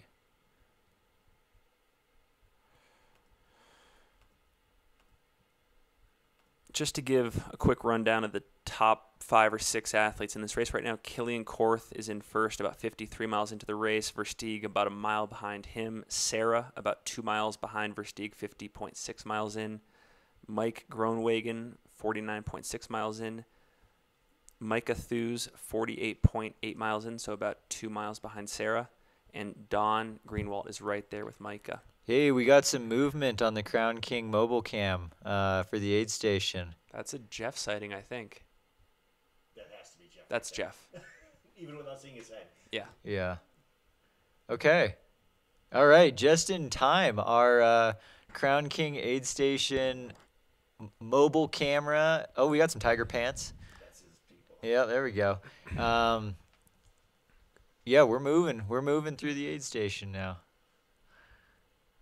This is fun. This is this has been one of my favorite parts of the day. Is uh, this mobile cam through the aid station, just seeing what every person is doing. Uh, a slightly different approach. Um, we were definitely starting to spot some trends. The biggest one that I don't know. I guess we just thought it was surprising. Maybe it was just our, us being naive. Was the amount of time that you know even those at the very front of the race were spending in the aid station, like really making sure that they got in all the proper food, the proper liquids, packing the pack with all the right gear, food, hydration.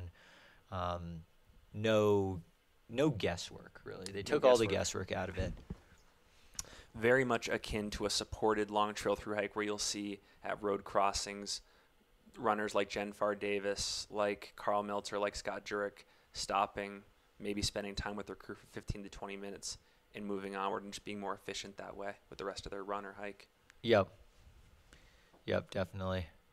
Um, yeah, I guess like you know one thing we are we're start we're start we're seeing a few more you know people getting their lights and stuff ready as as we start counting our, start counting down towards the first night of the Yes. race. Will be very interesting to see what what shakes down in the evening. I think there's a lot of a lot of chatter about the Dark McKnight making his moves. when when the sun goes down. Who I think we missed eyes on when he came through a while back. I still have not yet to see a camera on him yet. I have yeah, but it. he's he's past the aid station. He's past. he's, going. according to the tracker, he's 46 miles in. Yeah. Okay. So Kilian Korth is at mile 51 according to the tracker. Andrew Glaze, according to you know, no name is asking. I think Andrew Glaze must have just left the aid station because the tracker has him about a half mile past Crown King.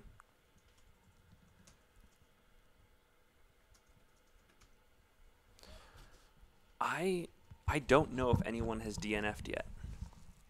I haven't been able to say officially. I mean, the live tracking shows a few DNFs if you scroll all the way to the bottom, but um, I don't have any way of like officially differentiating whether it's an official DNF or something wrong with the tracker. And I would hate to incorrectly publicly state someone dropped out uh, before they actually did.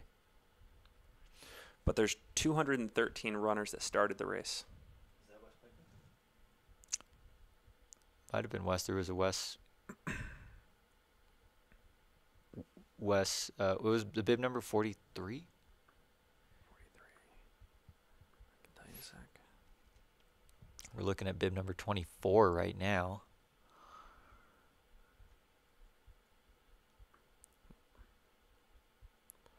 Bib 43 would have been Kevin Coughlin. What about forty-two? 42. It looks like a well, according to the tracker, 42 is a DNF, John Thompson. Uh, Okay, well then I've I've totally have no idea what bib number I was looking at. That's 24. That's uh,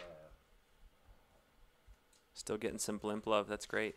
Dude, yes. 24 is Matt Moore from Tulsa, Oklahoma.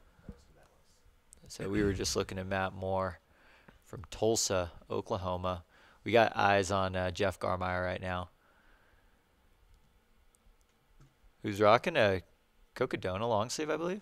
By the way, random, but I think I used to work with Ziomara. Ziomara, thank you so much for the donation. That's awesome. Thank you for getting the blimp off the ground. So exciting. I've never been in a blimp before. I didn't I didn't realize it was on my bucket list until today. So, So Jeff Garmire's in the aid station right now. Um, Jeff Garmire and I have a bet that I'll get his name tattooed on my lower back if he wins. Wow. Okay. But what if he doesn't win? Does he have to get your name tattooed on his lower back? Because that would be the ultimate show of confidence right there. So, that's awesome. Dylan Harris, by the way, made that film. Dylan Harris is the is the maker of that Eric Senseman film from last year that we're calling, we're putting on our Mount Rushmore of ultra running films. I've yeah, it's really moved up. Yeah. Um. Oh, that's it. Okay. What what's on your Mount Rushmore of ultra running films? Oh my gosh, like, this is a great. Well, first of all, let's let's ask this to the group. Like, yeah. So Brett had a great question. What is on your Mount Rushmore of best ultra running films of all time? So your top three to four. Yeah. Mine. Oh man. Yeah. It's like how many are on? Like, is there? You have to put four on your Mount Rushmore? Can it just be three? I mean, I don't know.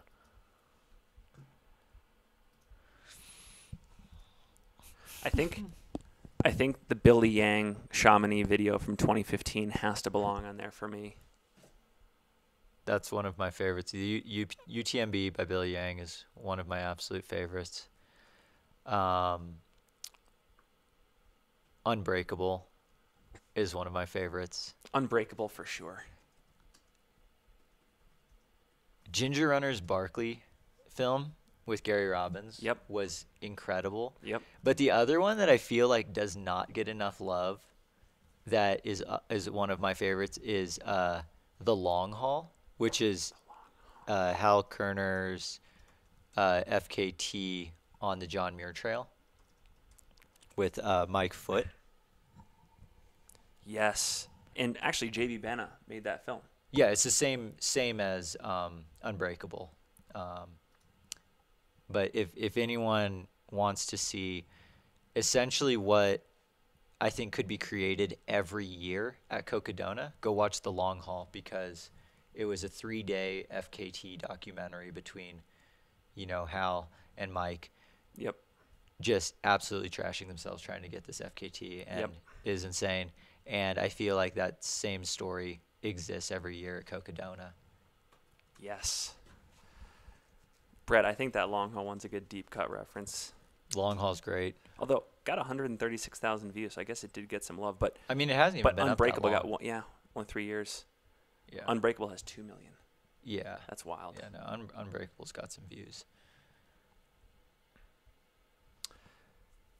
I will actually. I'll give a shout out to another one. It's not quite on my Mount Rushmore, but there is a film by Pilot Field called Racing Arizona, which documents Joe McConaughy's FKT supported FKT on the on the Arizona Trail. I believe last year or the year before, and the cinematography in it's really great. Pilot has done a lot of great stuff around uh, Joe's other FKTs like the PCT and a little bit on the AT as well. It's good. So, yeah.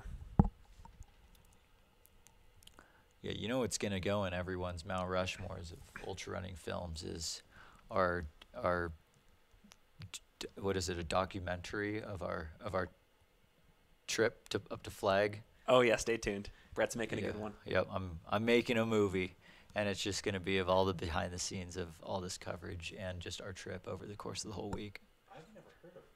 Oh, found on 49. Founding on 49 That's is so great good. One. We're gonna need a second Rushmore. Yeah, you're right. We gotta we gotta blast out a second Rushmore. The other one, like we're getting like really short, but just Jamil's footage that he got of Hayden Hawks and Zach Miller duking it out at the North Face 50 mile that one year. Yeah. That's one of my favorite running films, even though it's like five minutes long. Yep.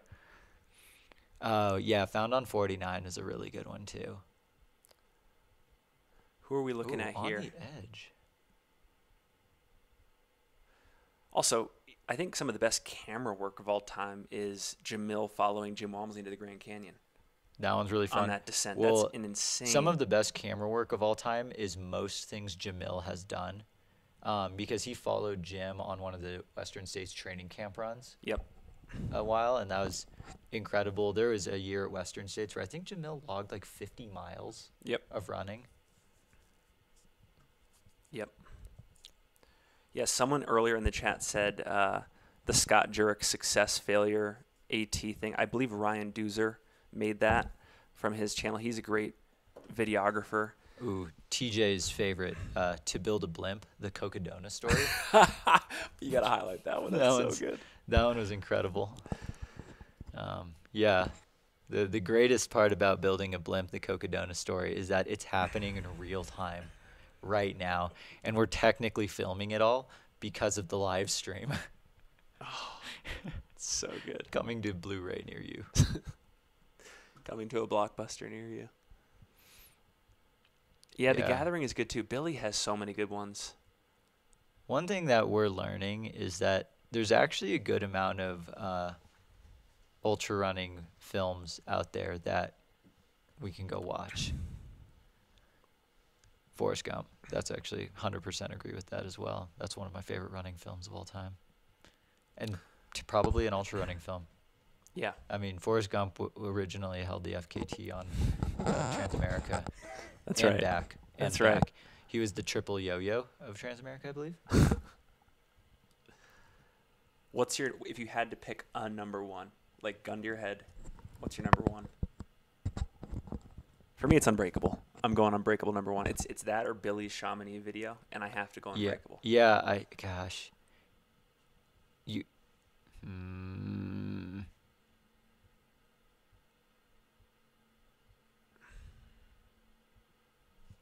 no, I'm, I'm thinking like way too hard about this now. um, UTM, the U, Billy's UTMB video is one of the first ones that got me like supremely jacked to try and run ultras and like train hard for them. Yep. So I guess a lot of it comes down to like where were you in your uh, running story when you saw some of these films? Like that answer is going to be different for Yeah. a lot of people. Yeah. Um, I mean, it helped that like David and I were living together for a while when he was training for UTMB that year. So that was kind of cool to That's see. awesome. One hand on like one hand this and then on the other hand that movie. You know a lot of the characters in the in these movies well. Did you feel like they got Hal Koerner pretty correct for in terms of character development in Unbreakable? Yes. Yeah, like it's one of those films where you finish it and you have more questions than answers. Yeah. Um, yeah, and that's that's how I would describe Hal. But I guess the whole reason why we started this conversation was that uh, the Cocodona film with Eric Senseman last year, So good. like, is incredible. And So good. every, I mean, I assume everyone in the chat here has already watched it, but if you haven't, you absolutely should, because it's inc- it's such a fun one. It Chris, what's your top three? Um, I I think that my top three are uh, well, Life in a Day is is amazing. Um, Found on Forty Nine is another one that I, you know, I, I think that there's a mystique to Western states that makes me, you know, so much a fan of that race. Uh, and uh, I actually enjoyed Inaugural Year, the first Cocodona film that we did, seeing and following, you know, Garmire, uh, Pete Mortimer, and uh, you know, uh, and Versteeg. I mean, Versteeg's uh, sound bites in that film are just absolutely hilarious. You know, I mean, he he throws a little bit of unnecessary shade and side swipes, and he also just is is so genuine. Yep. And uh, one of the quotes in that movie is that Jamil says is that he lives his life so authentically. So you know that uh, that really resonates with me. And I, I you know, seeing those uh, those runners, Maggie and everybody along the way in that film, really takes me back to covering that race. And uh, you know, with that being the first Cocodona, it was really uh, it hit me emotionally when we watched it because we watched it as a group at Aravaipa headquarters. Like all the staff like came into the common area and and we had a great time. So that those would probably be my three. But then again, you know, ask me again in six hours, and I might have two more that bump something else off the list. That's the great thing about being in this space is that, um, uh, you know, we get to see so much great quality material. Uh, heck, the the Billy Yang proposal video this year was Oh, that one destroyed me. Oh yeah, absolutely. I mean, gosh. it's ten minutes of just pure love, and you know you can't beat that. So there's a little bit of everything that uh, you know that these great filmmakers in this space provide us with. So I totally forgot about uh, Ricky Gates's Transamericana or Transamericana. That one was so good, uh, as well as his Every Single Street, San Francisco. Yeah. Um, that that movie that he made, his his project was incredible. I mean, I'm going to go ahead and say because Brett, you and I were talking earlier today about how some of our favorite content on YouTube is the most informal stuff. There have been a few Jamil Coury vlogs that I've gotten super inspired by, and that helped me go deeper down the rabbit hole of our sport as well. Yeah, we were talking about this uh, kind of last time we were here during the uh, Black Canyon live stream about how Jamil and Skylar were doing these kind of like funny video challenges Yeah. years before it like was actually cool and i feel like if mountain outhouse was going right now it would have a thousand times the viewers that it Oh, yeah. currently has because they were doing like the race finished up we're gonna go for a long run and um, you know we have all these abandoned drop bags The drop let's bag just, challenge. let's just open up a drop bag and you have to fuel with all of that stuff from the abandoned drop bag like the drop bag challenge that's incredible like They- that's one of the funniest things you can't even mention that around Skylar without him starting to get queasy. I know, yeah. That and then when um, Skylar did the like unicorn frappuccino, uh, lo- like long run or whatever, we went to like four different Starbucks and had to down a unicorn frap at each one. Like, yeah, those things so funny. Yeah, Alyssa has a good point. I, really see an opportunity to get more female visibility in the ultra film space. I agree. I think there's so many amazing stories to be told still. And what was the Western States film that came out? Life in a day. Life in a Day with Devin and Casey and Anna Mae. Flynn. Yeah, Yeah. that one was really really good. I think that was at to date that was Billy's longest uh, movie that he made, and it was incredible. Yep. Let's. Who do we have here for? Uh, that's a beautiful overhead drone shot right now. Wow. That's really cool. Stunning. That's Nat Geo level good. Yeah, they're definitely uh, changing. Like they're they're up in the green part now. Uh, someone in the chat said that they lived just a few miles out of um, oh, what was the, the Kamp Kipa, and it was pretty windy up there. They said, which you know that that breeze is going to be nice for the for the temps. Um, but you know that oftentimes that leads to like sometimes getting kind of cold, a little bit chilly uh, once the sun goes down. So uh, a lot of that'll, you know, I think a, a, a huge amount of strategy in the in the night is properly layering up, so that way you don't have to expend a ton of energy to stay warm. Yep.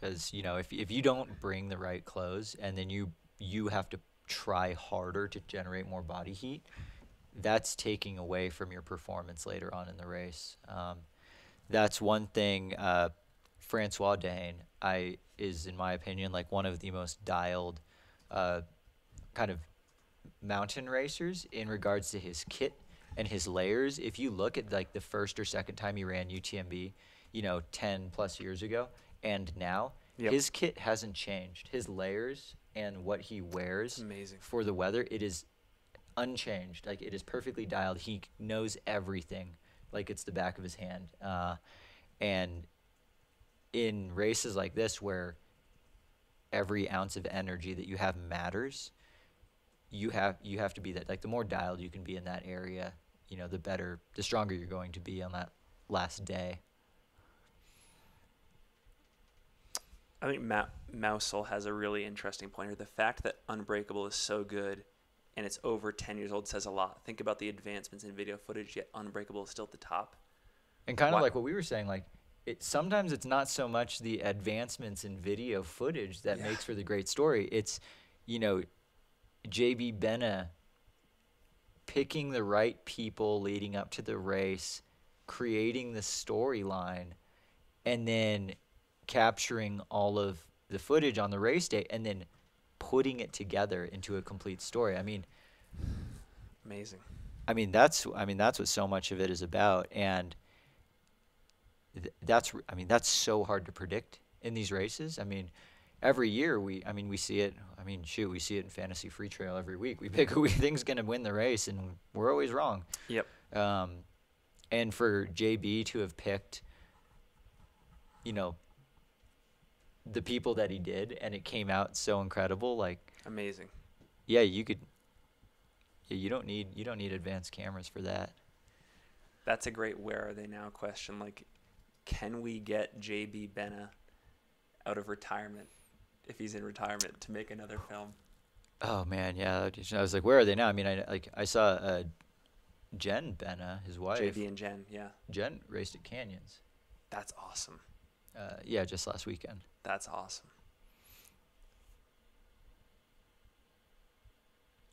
This is a Yeah, TJ. That's a good question from TJ. There absolutely has. I mean, Sage Canaday the year he ran Western States. Yep. He had a terrible day. Yep. Um, you know, there was a big film crew around Tim Tollefson last year at Western States. going into Western. Yeah, he had a pretty terrible day. Yeah. Uh, there was, I don't know if anything's ever come of it, but there was a huge film crew around Zach Miller one of the years he ran UTMB and did not have a good day. So it definitely happens, and that's tough. That's just a tough thing to wrestle with in the sport. Uh, they uh, did a film on the 2022 Black Canyon 100K Fine Line. Yes. and I believe that one of the the main female stars of that film had an absolutely terrible day. Um, I wish I could remember who it was. I don't. I think it was a, a foreign athlete. I wish I could remember though. Um, Gotcha. but uh, but that's one and and sometimes those are the more interesting stories it's not i mean we always want to see and celebrate triumph but sometimes the stories where things go sideways Yeah, Life in a Day is a good example of that. absolutely where people learn you know Mhm. that's uh that's one of those things i think it might have been lottie brinks actually that was the focus of Oh, okay. uh, fine line but i don't i'm not 100% sure Yeah, so we're just looking at some amazing drone footage of this What was this one called? This was the Highway, Senator Highway. Senator Highway. Beautiful. Yeah, it's phenomenal. Looks like a Jurassic Park scene. Like when it's when it's still positive early on in the movie. I can totally see myself. Uh, I can see myself riding this road on a bicycle. Oh yeah. That would be sick.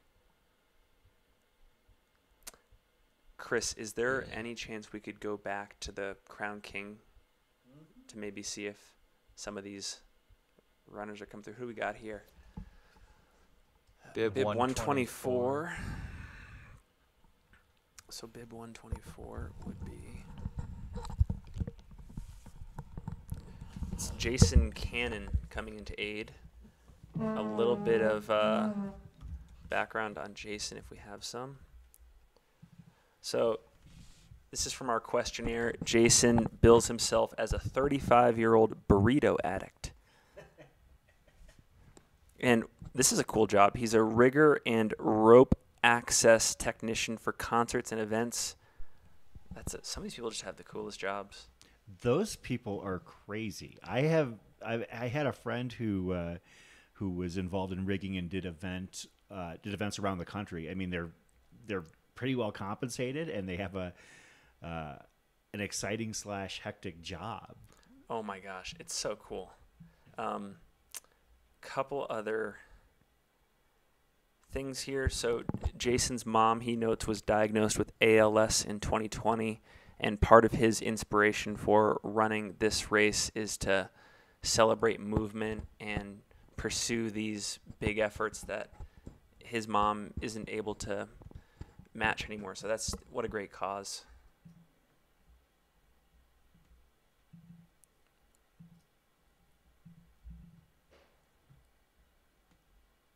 And he loves pizza. So if you see him eating pizza at aid stations, you know why.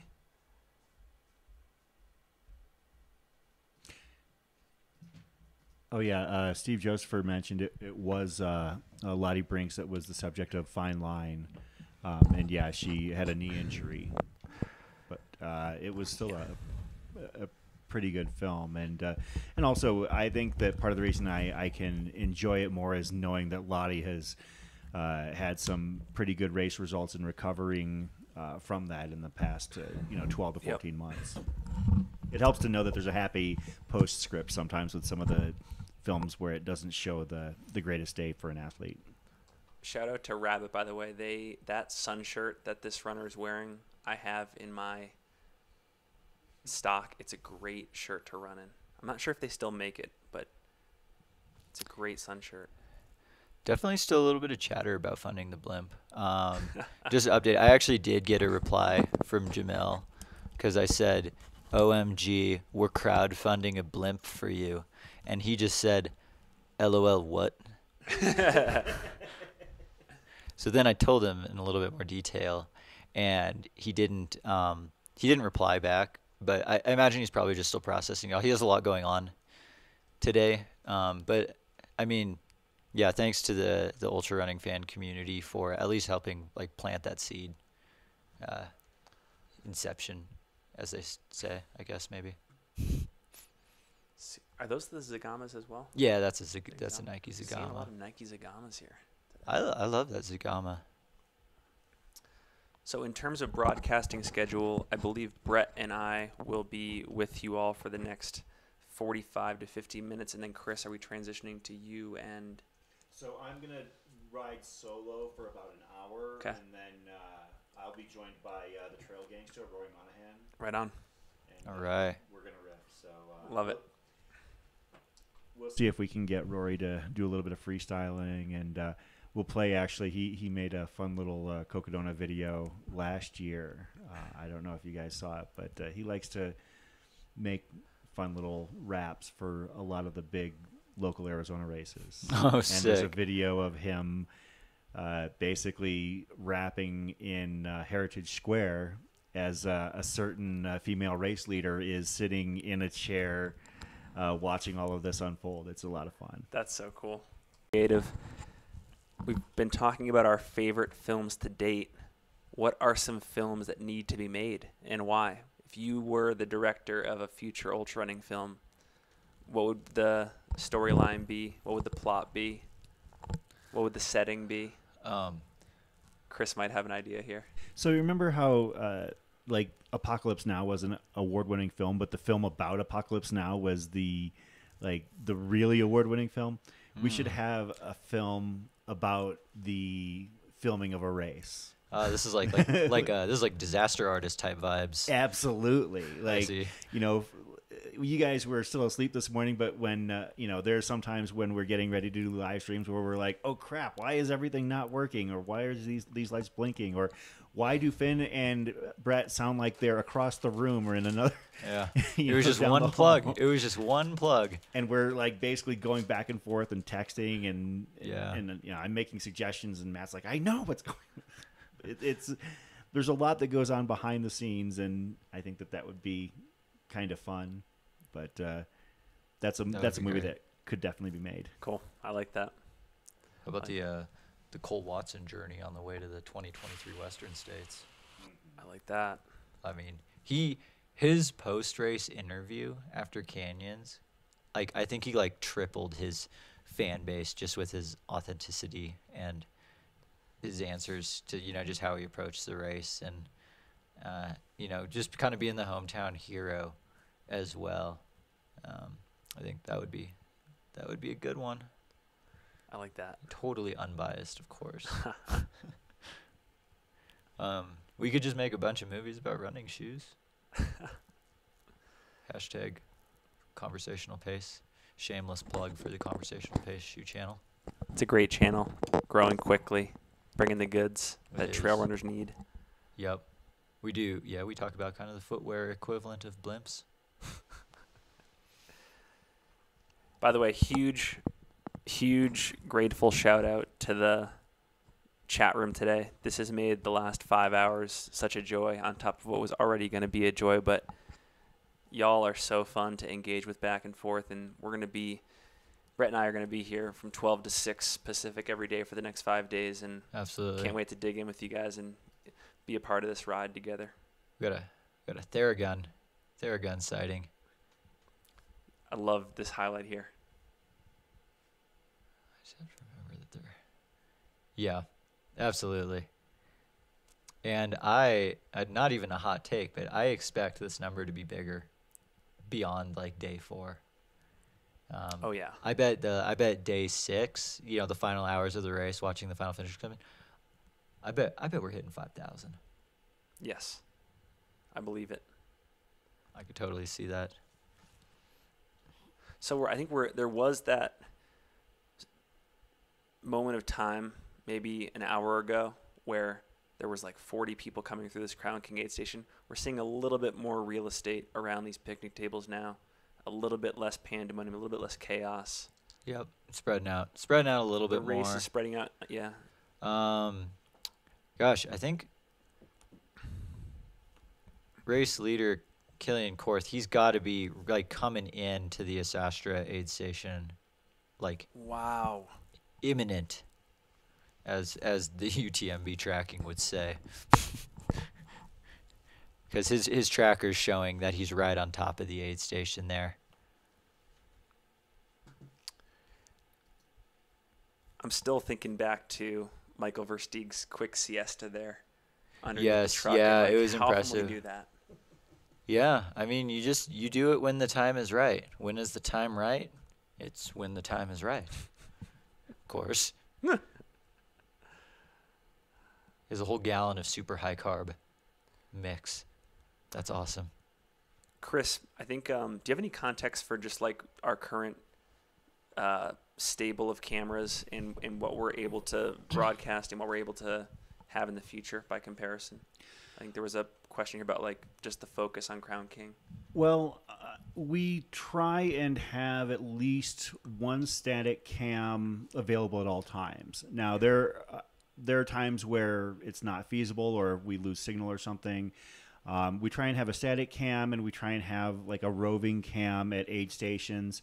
Uh, later on in the race, when people get more and more separated, like for instance at Sedona in particular in the last couple years, we would actually have uh, a, a guy, Rob was his name, Um, and I know he'll be out there filming this year, but he would actually catch runners coming into the aid station from about I don't know, maybe a couple hundred meters out, and then follow them back out if they were there for a short time. But he would basically just try and follow the stories that were happening at the aid stations.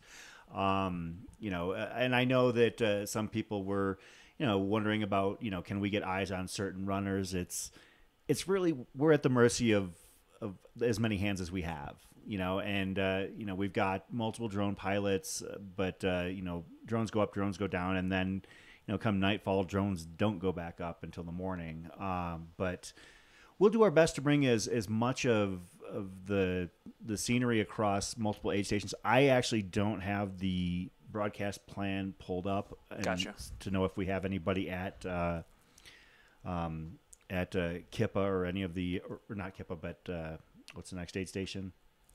Um, Arastra. Arastra. Yeah, I don't think we have anybody at Arastra, but I will take a look and check the plan. Yeah, I think you're right. Um, here's an update. I just refreshed the trackers, and uh, Kilian Korth and Michael Versteeg are actually both past uh, the Arastra aid station. And I think Sarah's there now. Yep, Sarah is there now, or you know, approaching it any minute now. Um, it looks like Kilian Korth has extended his lead on Michael Versteeg. It's now up to about a mile and a half. And for reference, back at the Crown King aid station, they left that aid station maybe two minutes apart from each other. So we will actually have. Uh, we're we're expecting to have um, at least a static cam for sure at Kamp Kipa. Okay. Um, I don't know further than that. Actually, the first year it was a great shot because we were actually about to sign off, and then uh, into our camera view strolls Jamil. Oh, so we got a message to him to call us, and uh, so we did a quick little video interview with him.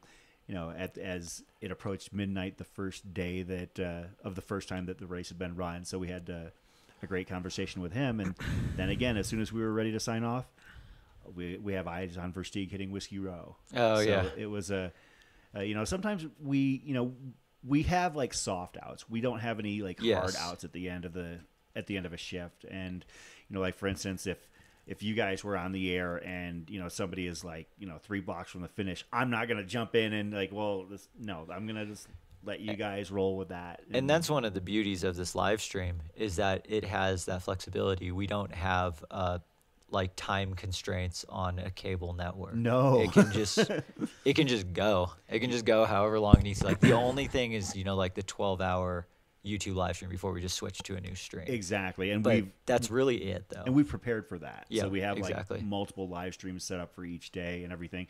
We don't even have to get our. I mean, we do have sponsors uh, and agreements and everything, but if we happen to run long in a segment and not get a commercial in or an ad read, you know, they, they're going to understand because we're only going to push that back if we've got a reason and that reason is going to keep eyes on the show. So- Absolutely, yeah. Fun, uh, a couple of fun facts here. So, race leader Kilian Korth is currently averaging four and a half mile per hour pace, 56 miles, and 12 hours and change into the race. That would put him on a trajectory for a 55 and a half hour finish. So, having that baseline there, about halfway into the first day of this race. So th- that would be like, I mean, yeah, we're, I mean, extrapolating a lot of data, but that would, I mean, 55 hour finish would not only be just an all, all courses course record, but it would be, you know, a course record over the, I guess, quote unquote, original course that this one is most closely related to by like almost 20 hours. Like we're looking like 17 hours. Has Versteeg taken the inaugural nap for this year yet? I'm counting it. Yes, I'm counting that. Yeah, we had a drone footage of him in the shade of someone's like camper van, uh, on the road at maybe mile 45 ish. Yep. And he took a lie down and he was there for a couple minutes. No one knows if he fell asleep or not. You know, for a fact, we assume he did. So, I think Michael Versteeg took the first trail nap of of of the donor 400 of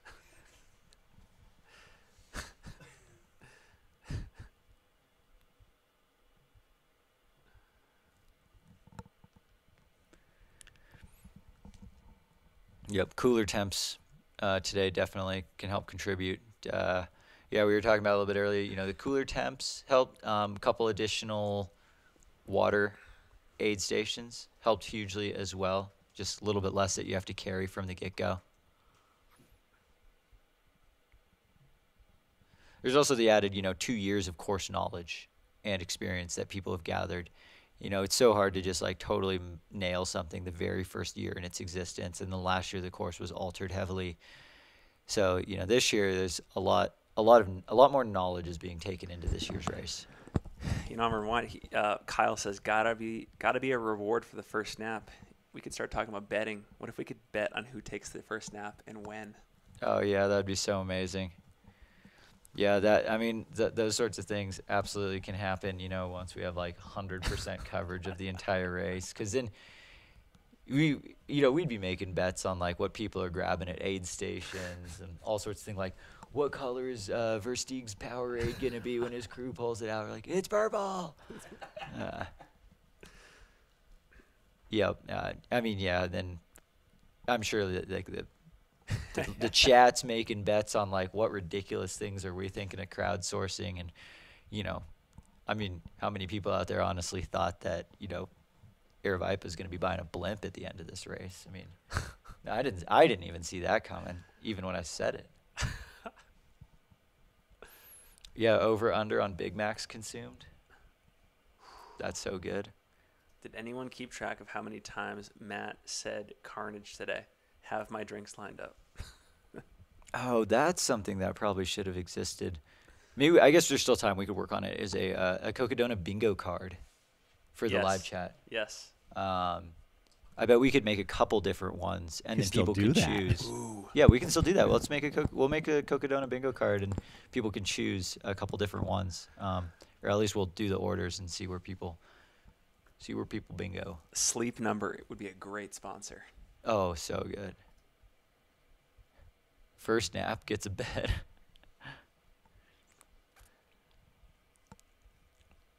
we are Leah, we are at at, Crown the uh, ground Crown King aid station right now. It's just our static cam. Our mobile cam is uh, being recharged at the moment. Oh, we've actually got we've got some mobile cam. The refresh rate is not great on it. Oh yeah, we were just it was a little bit choppy. Oh yeah. One thing uh, that was different about this race this year was uh, Ken Rubley being out on course with the frozen grape tree, Oh yes, at the at the beginning in the amazing get up. A- and his his salesmanship was just off the charts. Yeah, I mean, how many people did he send out with like a cup of frozen grapes that probably had no intention of taking any grapes? Yeah, and and he that's just the way he is. I mean, if, if you haven't met Ken Rubley, uh, he's been a valued member of the trail running community here in Arizona for many years, and uh, and he decided to offer his services to Jamil and to Aravaipa and Stephen Adderholt to basically man a water station out in the middle of nowhere. That's incredible. We have a Rubik's cube getting solved right now on the aid station cam. Um, I think I saw. I think it was Jason. I think his name was Jason. Gotta acknowledge the It's Leah. done. We gotta acknowledge the Leah comment here. Leah, unfortunately, it's already began. In fact, this is a great call to action. I am missing a charger for my Apple iPhone. So if anyone out there is in the Flagstaff area and uh, wants to hook me up with a iPhone charger, I wish you would have said something last night because I literally have some, an Amazon bringing me a C cord charger tomorrow. I would have just thrown it in the order. Um, where's Jamil? Last Thank you, Jamil Travis. Last Thank you. Jamil spotting. Last Jamil spotting that we had, he was at the uh, at the Crown King aid station, but we do not know where he is currently.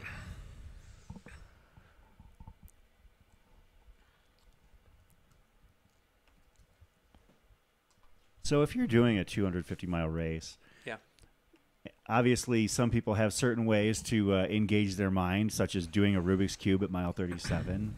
Um, is there anything that you would do, uh, either of you, to to kind of get your mind in the right space uh, for the next 211, 212 miles? I mean, I when I did the Appalachian Trail back in 2014, the cell phone coverage was so bad on the trail, and I didn't bring like any like iPhone device or anything like that, and so there was limited ways to entertain. Your mind goes to pretty wild places if you're not like talking with people on trail. And I don't know, it's kind of fun. Two words exogenous ketones. My mind will be sharp as a tack the entire time. 60% of the time, I take ketones every time. If there's one thing that I want the world to uh, to think about critically today, it's investing in this blimp and getting on the ketones train.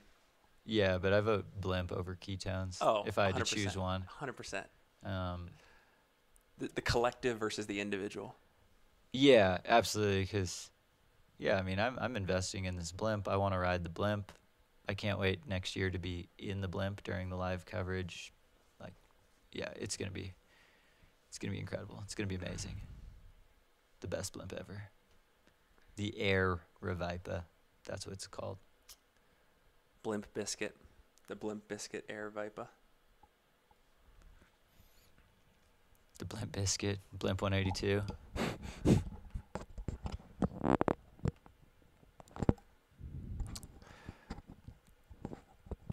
I think Sleep Number could sponsor the blimp. Sleep number, huh? That would, yeah, that'd be great. I just figured, I mean, if Airvipa just buys the blimp outright, like, then they don't have to worry about sponsors. They can put whatever they want on it. You could also do, uh, use the blimp to drop, like, care packages to people along the course. Again, going back to Hunger Games style. just like, oh, I got stung by this big ass wasp. Jamil just flies in with a blimp. Is like, oh, here's some little medicine to make you feel better. Like, dude, I'm so thankful. Oh my gosh. Uh, yes, the amount of the amount of directions we can take is probably a good thing I'm not the RD. That's runner 202. Let's see if we can find some. Yeah, let's learn a little bit about runner 202. Give me one second. That is Catherine Ginsburg. And what do we know about Catherine? Uh, Running Water asked, how much is the blimp? And we looked it up, and most, well, they don't really make that many blimps anymore. There's only 24 blimps in like existence at the moment. It turns out it's because they're pretty expensive. Um, so the blimp that we're trying to fund is costing roughly 40 million dollars. I actually went online to see how much it would cost to rent a blimp. Is that a thing? I started reading this website that had blimp rentals, and I'm like looking to see what their price quotes are. And then halfway through, all of a sudden, this pop up comes up and it says, Hey, just so you know, this was an April Fool's website. Oh, you got ago." got. And they got contacted by like the U.S. military asking them, like, do you have licensing for these airships that you're renting out? like, it was like this explanation. So, yeah, not only uh, do blimps cost a whole heck of a lot of money, they're impossible to rent either. Yeah, so that's why then that's why we are just crowdfunding it for Jamil. Uh, so that way Airvipa can have a blimp. I mean, yeah, it's as simple as that. It's been great. So, Catherine has some really good notes here in the questionnaire. She says her mental mantra for this race is don't think, just do. That's what I tell myself when I'm doing a lot of thinking and not enough doing to spur me to get my rear in gear as I leave the aid stations. That's awesome. That is a great mantra. You like yeah, the less thinking you can do at times, you know, the better. Like thinking takes energy. Um, she is coached by Michael McKnight, Oh, okay, a Michael McKnight athlete. and Cool. this is her first race over 100 miles. And she said she found out about Cocodona five miles into her first 100 miler and thought she just wanted to do it. Wow, already thinking about a 250 5 miles into a 100. Yeah. That's a bold move, Cotton.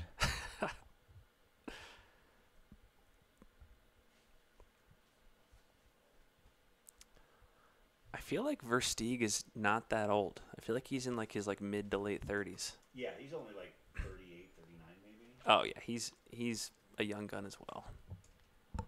In ultra terms. Yeah, he's 37. It's the beard. Yeah. Yeah, for sure. Yeah, and we were debating that too, uh, Jonathan in the chat's like, how about just a fleet of drones instead of a blimp? And they already have a fleet of drones, and we were thinking about like what can be bigger. Not many things bigger than a blimp. Julie Ford has a plan for us. It looks like.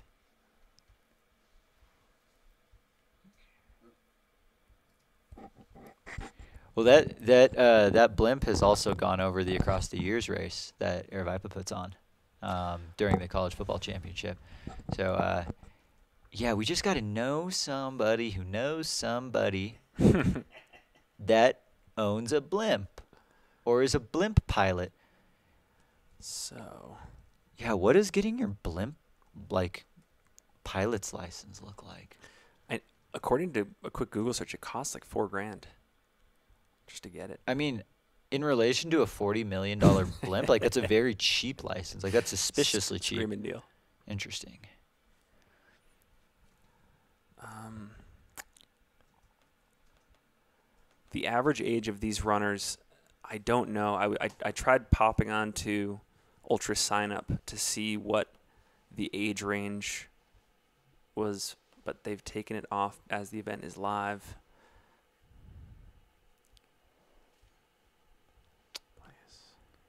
Couple people in the chat looking at a couple trackers and that one actually looks maybe pretty legit. It looks like bib 84 and 95 may have gone off course. Um, cuz they there's a junction that you have to turn left on uh, to get off of the South Towers Mountain Road and they might still be on it.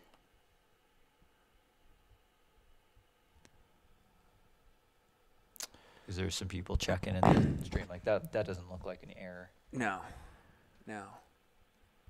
Going back to the age question, this is just quick review of 2022. There were five runners in 2022 that were 39 or older, most of them in their mid to late 40s, that were in the top 10, and two of the top 10 overall were female, which is super cool.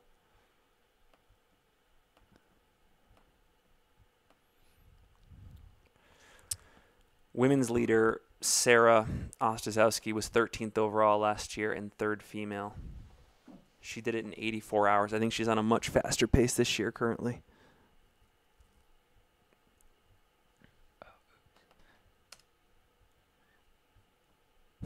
The Midwest Misfit says somebody Billy Yang knows has to know Kevin Bacon. Kevin Bacon knows someone who knows someone that has a blimp. Oh, for sure. assume that Billy Yang knows Kevin Bacon. I mean, he's he's uh, you know in those uh, tournaments and everything, so he's he's Hollywood famous now, right? Yes. Yeah. Where's Dollar Store Anton? Right? He'll- Where's maybe Dollar maybe Store like when, maybe he'll hop in Wednesday or Thursday.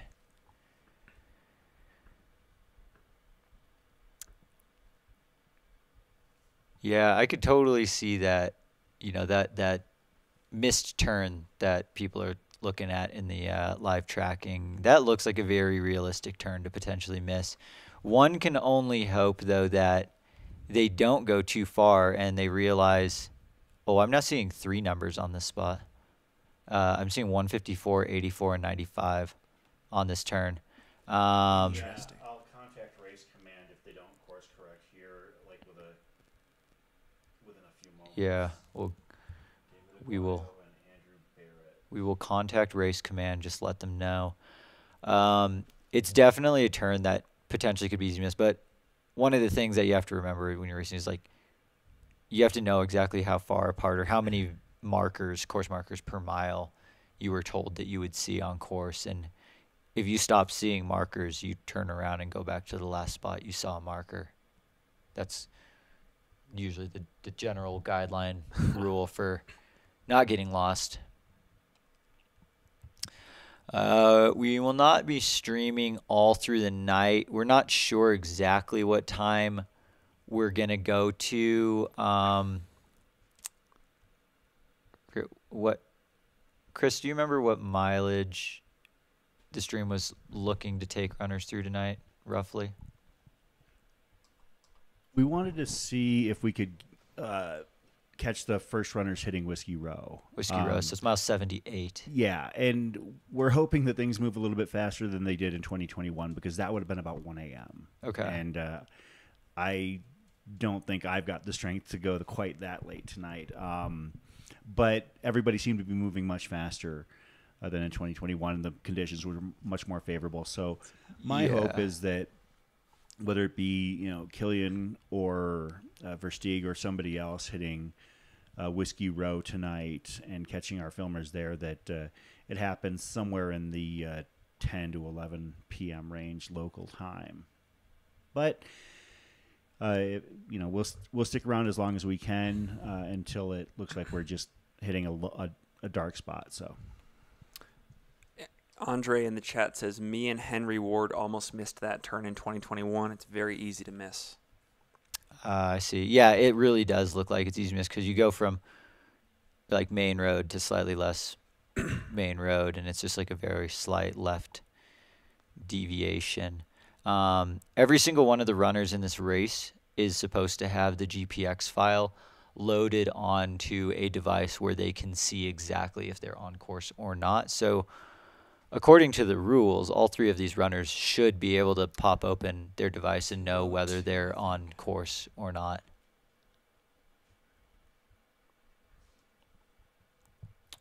This looks to be Catherine Ginsburg readying to exit the aid. Again, Catherine, coached by Michael McKnight, her first 200 was inspired five miles into running her first 100. That's incredible.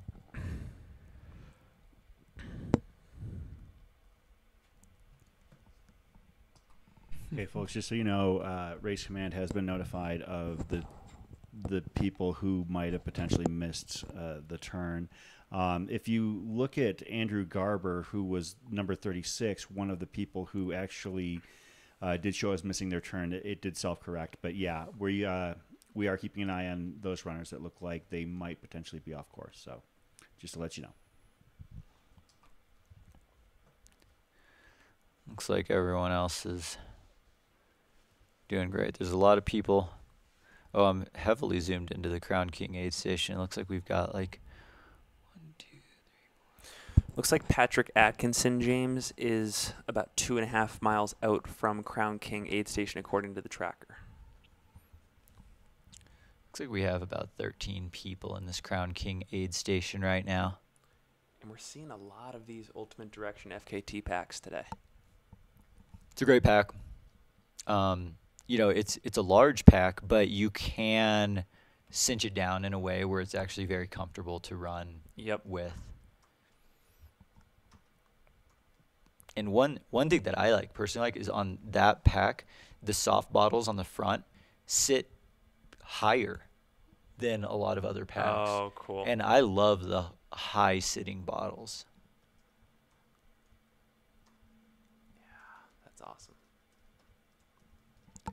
173 is on their way out. So we just saw Caitlin Johnson a moment ago on the uh, screen. Caitlin is 32 years old. She just ran the Javelina 100 last October. Brett, you're very familiar with that race. I mean, as are you. Yeah. I almost got dropped by you on your lap four. If only you had to run a lap five with me. Thank, thank God for Eric Gelfie. Yeah, Eric Gelfie saved the day.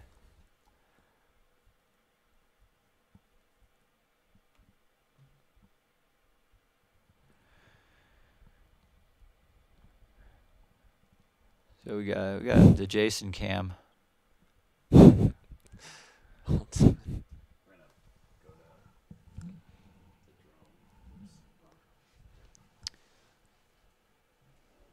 Chris, do you know what the location of this drone is about? I do not. Um, Like this could be a um it's definitely Senator Highway north of Crown King, but that's about all I know. yeah. My this drone could be around mile like in the 40s. DC, I love the Great White North reference. That's a deep cut.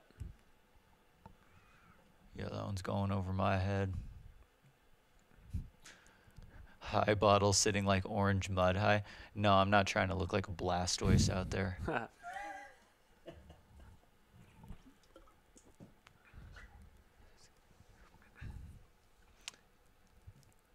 Glaze didn't miss it. He probably just went out to put a small fire or save somebody or something like that. I wonder how Chad Wright is doing. Yeah, let's update the people with a Chad. Chad Wright. Update. Chad Wright is plodding along just fine. He is 44.7 miles into the race, so he's about seven and a half miles north of the Crown King Aid. We saw him just, you know, looking a little phased in aid, and so I think this is just the testament to his toughness. All could be part of his plan too.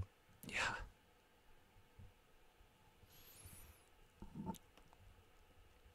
Terms of updates on the overall men's and women's leaders, we still have Kilian Korth uh, leading the race on the men's side.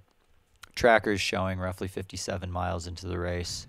So his next aid station would be Kamp Kipa at mile 62.9. On the ladies' side, uh, Sarah Ostaszewski is leading the ladies' race. She's roughly around mile 54. Um, having just left the Arastra Creek aid station, is now making their way towards Kamp Kipa as well.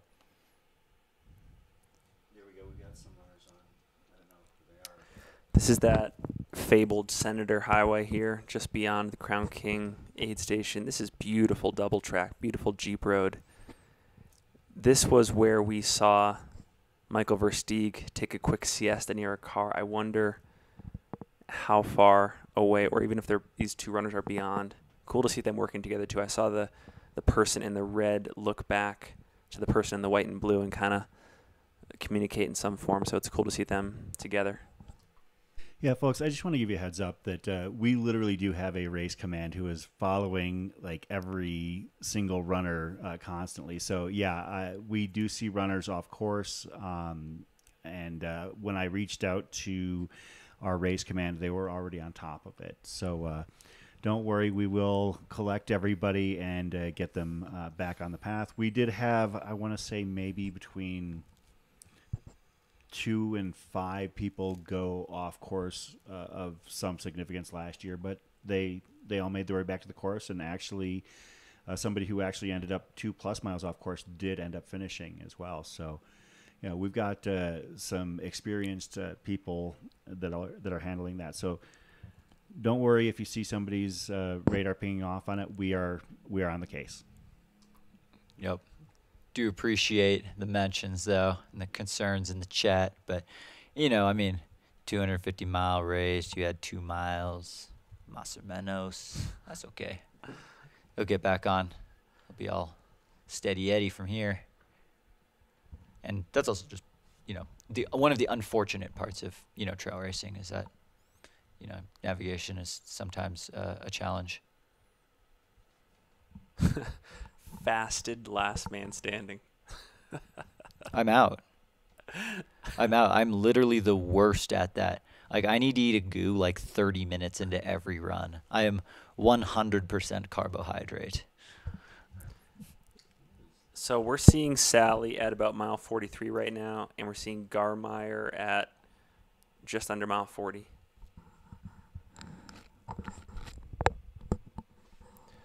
Brett, we got about 15 minutes left for our first day here. What do we want to talk about? I mean, the biggest thing is I've just been blown away with how many people have. I mean, the entire time we've been on, this number has not dipped below a thousand people watching the chat. The chat's been so active. It's been just so funny. Um, I mean, yeah, the things, the things we think of, and like we're not thinking of those without everyone in the chat as well. So it it's just yeah, it's been a blast. I can't wait to do this for the rest of the week. It's to be super fun. I think I'm with you. This day has made me want to watch 200 mile races even more. Mm-hmm. Yep. Yeah, I won't. I won't even be able to sleep tonight because I'll just be refreshing the tracker on my phone.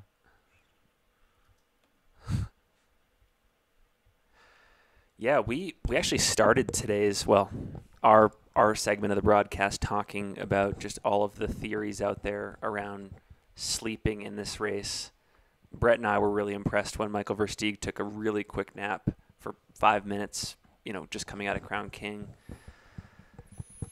you know, is- I- seemingly very early into the race. There is biologically right going to be that period at like three or four a.m. where they're really fighting their central nervous system to stay awake, and I wonder if that's where we're going to start seeing people do that en masse, or if some people are going to fight through and wait for the sunlight, get re-energized, and pick what they think is a more strategic time. I'll be curious. Yeah, and everyone's strategy is pretty different right now, and that's what makes this part of the race so fascinating. Is that I don't believe the sleep element has been totally figured out yet, and um, yeah, it'll be really exciting to see, you know, later on around day three, day four, what who, who's running well, and then asking them later, like, what was your sleep strategy? What were you doing? Um, it's just going to be really fascinating to learn more and you know, it's just going to take more years of the race to figure this out. Because, I mean, this whole sleep deprivation, like sleep strategy, this is really hard to like. This would be really hard to recreate in like a closed, you know, environment. Yes. Shy of just like doing it and then tweaking things for next time. Yep. What are we eating for dinner tonight? Where are we going? I don't Any know. recommendations, Flagstaff people? Where should Brett and I get our dinner tonight? I still have leftover breakfast burrito in the fridge, but that might just be like a, a nighttime snack. Dude, I'm ready to go eat a pizza colada every single day this week. This is Seriously. uh, Enzo, one of our uh, drone filmers, flying just outside of Crown King near Tower Mountain. Beautiful. amazing shots. Amazing that these shots exist on the internet. Just live stream, YouTube, Aravaipa, Cocodona 250, Dona Fohano. Sorry. Mother Road. Mother Oh, okay. They got good burgers and stuff, or Yeah, barbecue, it's all right. barbecue. As as good as uh oh, we could go to Blimpies, get some subs. Ooh, There's another good place, McDonald's. Salsa Brava as well. salsa bravo. Okay. The, we went. Where where we go this morning for breakfast? That was amazing. S- A, a Mexican It was Restaurant a Mexican that just had uh, it was just the where we stopped running meal is- of all time. they literally gave us catering platters. It was incredible. Yeah, Joe, we actually went to Pizza Colada last night, um, uh, supporting uh, basically the restaurant that supports the trail and ultra running community here in Flagstaff. And uh, I think you guys like that, right? You guys? It Oh, the amazing. pizza was incredible. Oh, the Good. bee's knees. Yeah, The bee's knees. we went to the downtown Dark Sky Brewing location. So We've got uh, we've got a recommendation from Mike McMonigal Ooh, a to, ramen. to go to place. single speed for coffee in the morning. Single speed is apparently the best. Yeah. There's so many great coffee shops in this town. Per, like per capita, it's got to have like the most coffee shops of a of a small city I've ever seen. My personal preference is Lucy's, but I mean not Lucy's, but Macy's. But you can't go wrong with Okay. darn near anything here. Sweet. Yeah, Flagstaff breakfast. We learned this morning that y- you would have to try really hard to get a bad breakfast in Flagstaff. Because we just picked one spot and we were just like, yep, we're going there. And it was incredible.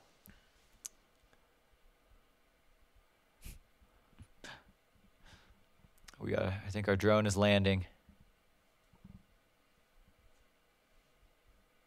It's a great shot.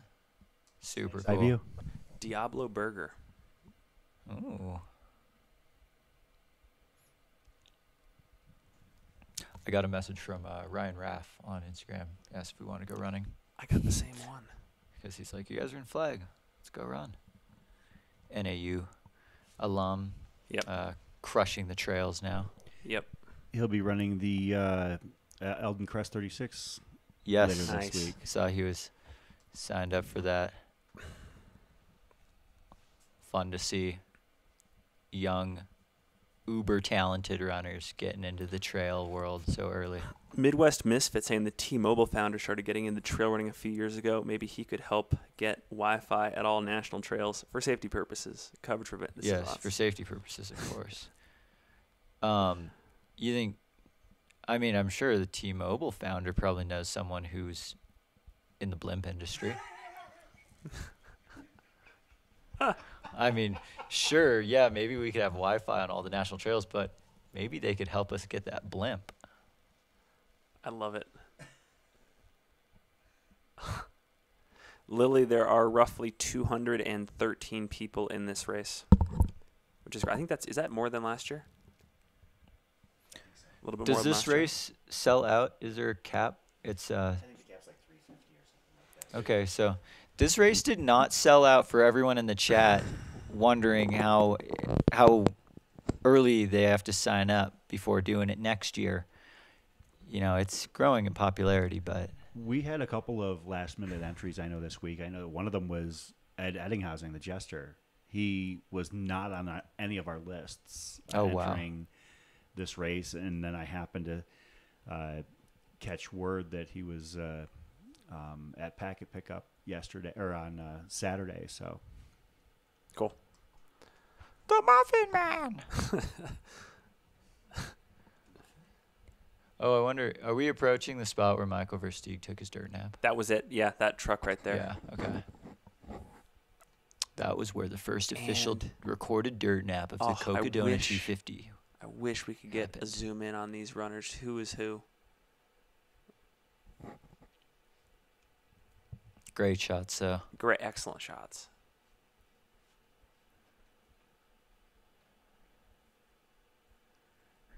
Running water, you should absolutely run next year, especially if it speaks to you. Yep.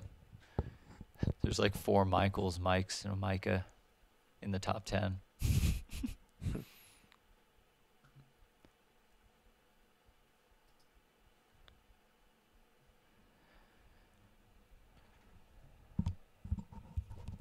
yeah, again, I mean, just shout out to our drone pilots and all the volunteers at the aid stations and those, you know, man in the cameras delivering us these amazing pictures that we get to talk about because I mean this live stream would not be that exciting if it was just a camera on our faces and we were talking according to what happened in the live tracker. I know. I mean like we need these pictures live to be able to talk about this race.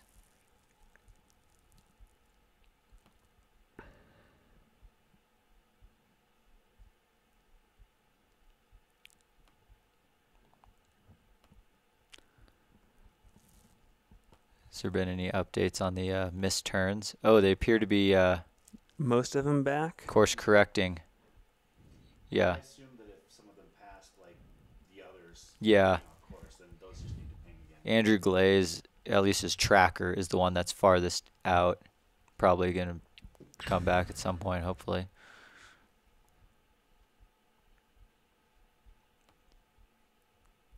Yeah, this is this isn't their first rodeo.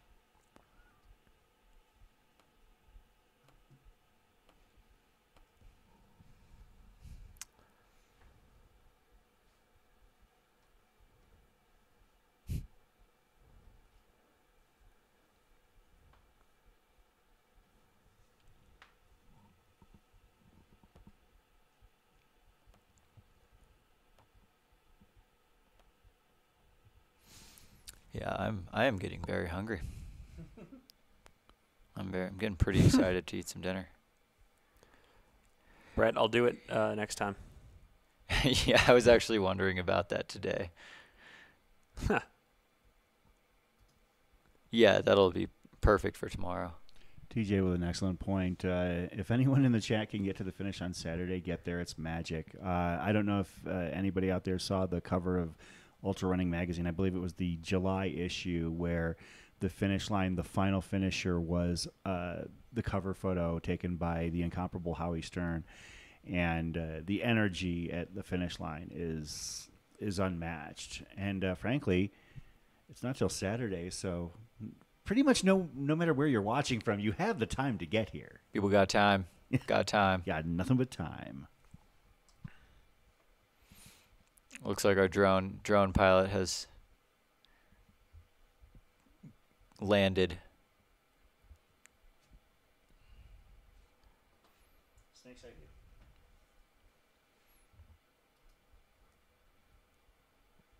That's our only shot right now. Huh. Some good some some midnights references in the chat. RBD, first of all, salute to you for being on a 24-hour shift. That is, that is uh, approaching the level of what I imagine is sleep deprivation at Cocodona. So You are ready. huge sleep. To- You are ready for this race. You are ready for Cocodona.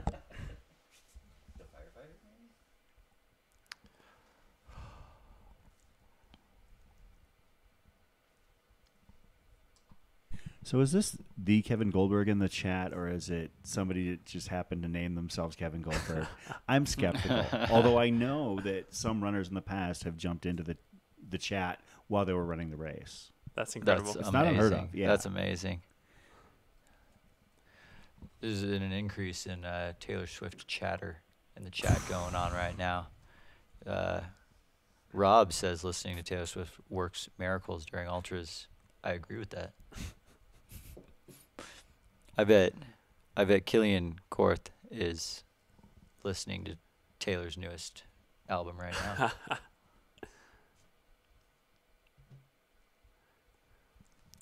Yeah, TJ, I think the best way to uh, to combat the uh, we can't pause the race, but what you can do is you can just turn your volume up really loud, so that way you can hear everything still. Big Goldberg energy. Kevin Goldberg has entered the chat.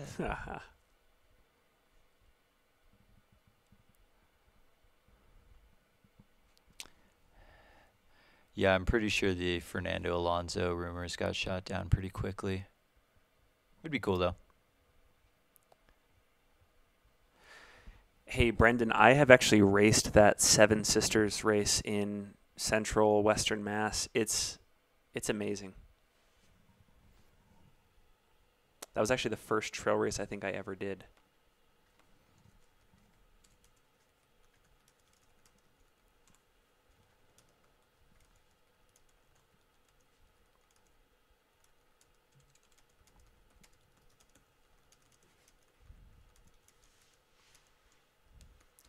I know, Kyle, that is such a great point. I'm hoping we get chances over the course of the next few days to get the mic on some of these athletes and engage. Once once things get down to the nitty gritty and we're following runners uh, as they're heading down Beaver Street to the finish line, we will actually occasionally uh, have the opportunity to have some conversations with some of these runners as their uh, as their journey to Flagstaff draws to a close. It's it's pretty cool to be able to interact with them and uh, Yeah. You know whether we're doing it directly or if Jamil happens to have a uh, an earpiece in and is is relaying things. It's it's a lot of fun.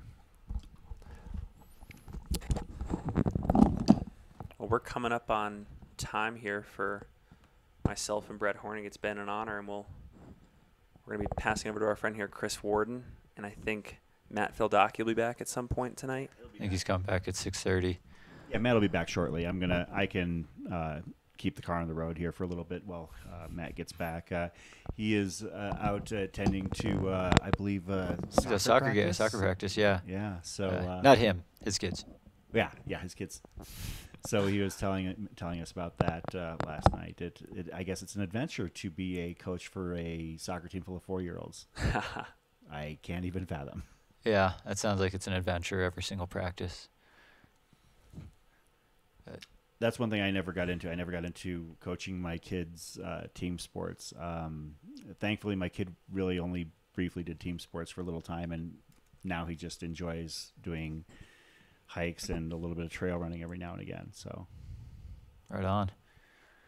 He what we're gonna do uh, in Silverton. We're gonna do uh, a through hike. He's he'll be 16 at that point, but uh, we're planning tentatively to start in Ouray and hike to Telluride, Oh, cool. and then uh, stay in Telluride overnight, and then hike from Telluride back to Silverton. So that's the plan. Anyway, That'll be awesome.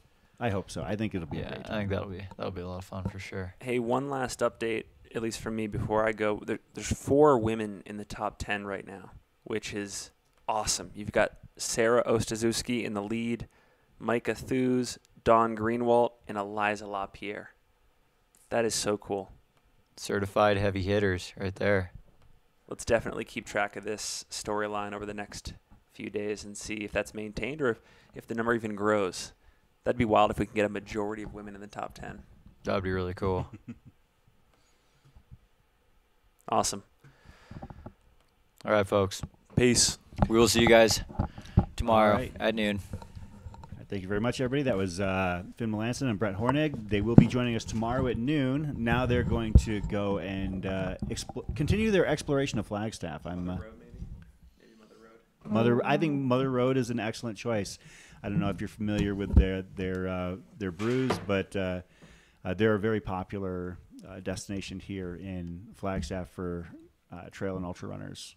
Otherwise, you, you really can't go wrong with a lot of the places down there. Like Diablo Burger, I've heard great things about. Never been myself, but uh, as I also mentioned, Salsa Brava, Beaver Street Brewery is right down there as well. I mean, it's you've got plenty of places to choose from, and uh, you guys will have a good time. Let me know how it goes.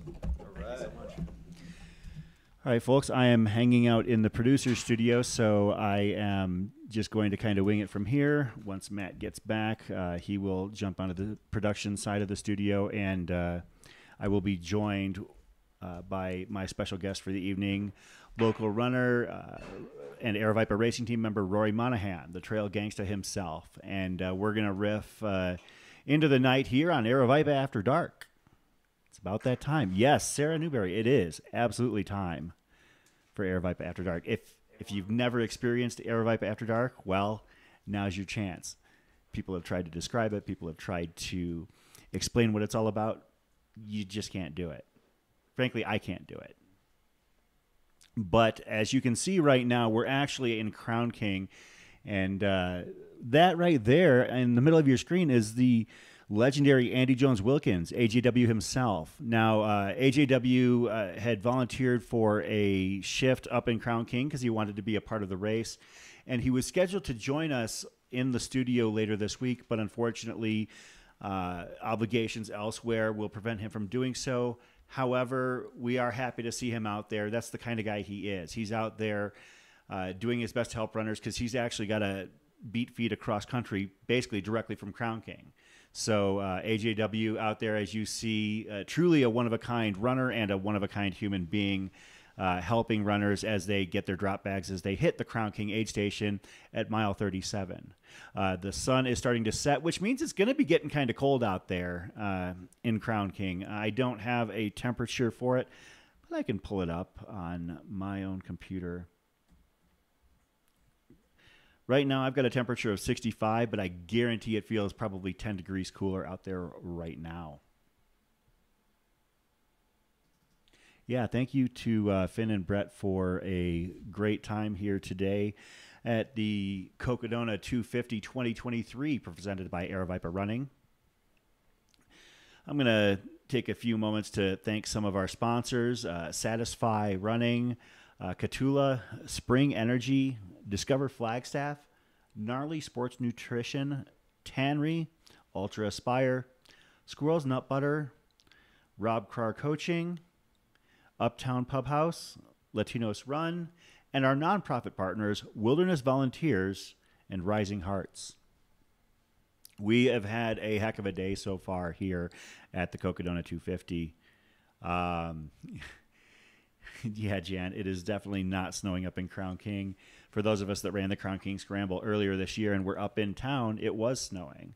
But uh, back to the race, um, we had a beautiful start uh, down in Black Canyon City. Hope uh, that everybody was able to tune in and check it out. Um, and uh, we've had a blast following these amazing athletes. And from what I can tell, pretty much everybody is still on course. I cannot confirm any of uh, the dropouts yet. I know that we've had a couple whose trackers are showing as dropouts, but I usually do my best to uh, hesitate to declare somebody uh, out of the race. Uh, let me uh, pull up my version of the leaderboard really quick and see if I can give you a heads up it looks like on the women's side, let me see if I can pull that up. On the women's side, Sarah Ostaszewski uh, has been leading pretty much from jump and uh, is still maintaining that. Uh, according to my tracker, she's at mile 55.2. Uh, Mika Tuz is at uh, 53.7 miles, and uh, 2021 runner up Dawn Greenwald is at 53.2 miles. And that rounds out your top three women. On the men's side, it appears that Kilian Korth is in first, Michael Versteeg in second, and Mike Groenewegen is in third. Michael McKnight is uh, giving pursuit uh, is in uh, as far as we can tell in fourth place right now. Uh, some other notable names uh, further down. It looks like uh, Eliza LaPierre is in fourth on the women's side. Kevin Goldberg is in sixth, I believe, on the men's side. So we'll be following these runners. And once again, this is a 250 mile race, and we are barely a fifth into it. So we're going to see uh, how things unfold. And uh, I'm going to pop around uh, to different coverages here. Uh, we have a drone.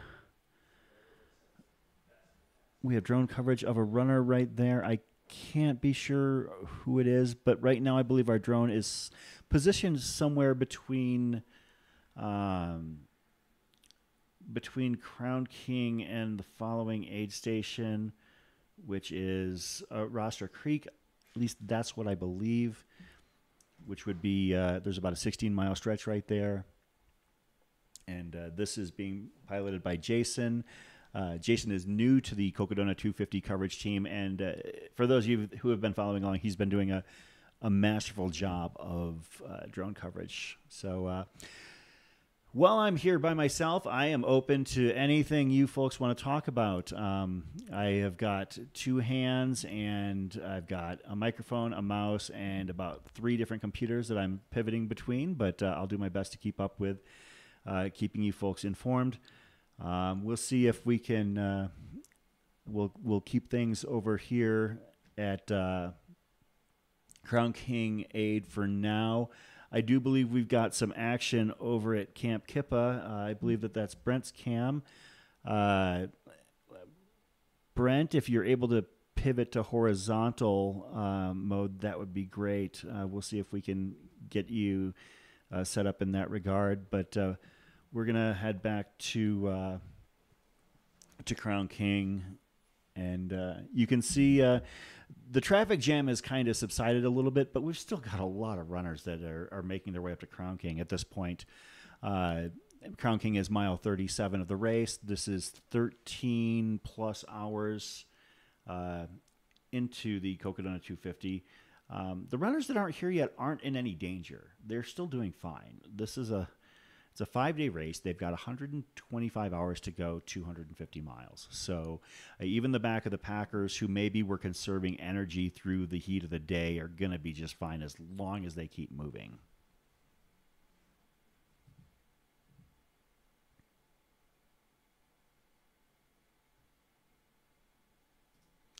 Yeah, Lacey, uh, the jester has been uh, out at Javelina many times and at Jackpot. He's actually out on the course right now. And uh, last I saw, he looked like it was he was doing fine. Uh, although he, he, never sells it if he's not, anyways. Uh, I've run with him uh, several times, but uh,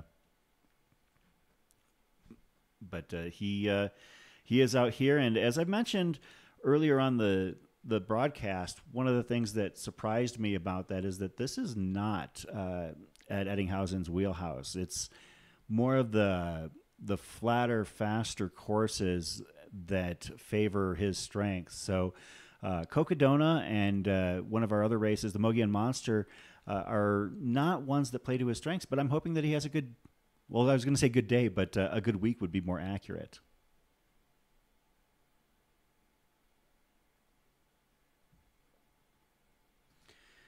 Kevin Lara, is a hot dog a sandwich? I believe that that is a uh, debate that I will let all of you uh, try and figure out.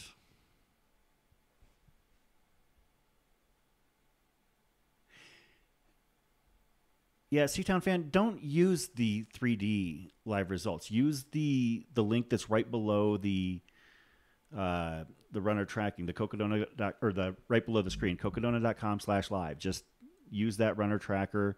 Uh, you can zoom in on it, and that seems to be the most accurate form of following the, the runners in the race at this point. So, just a heads up.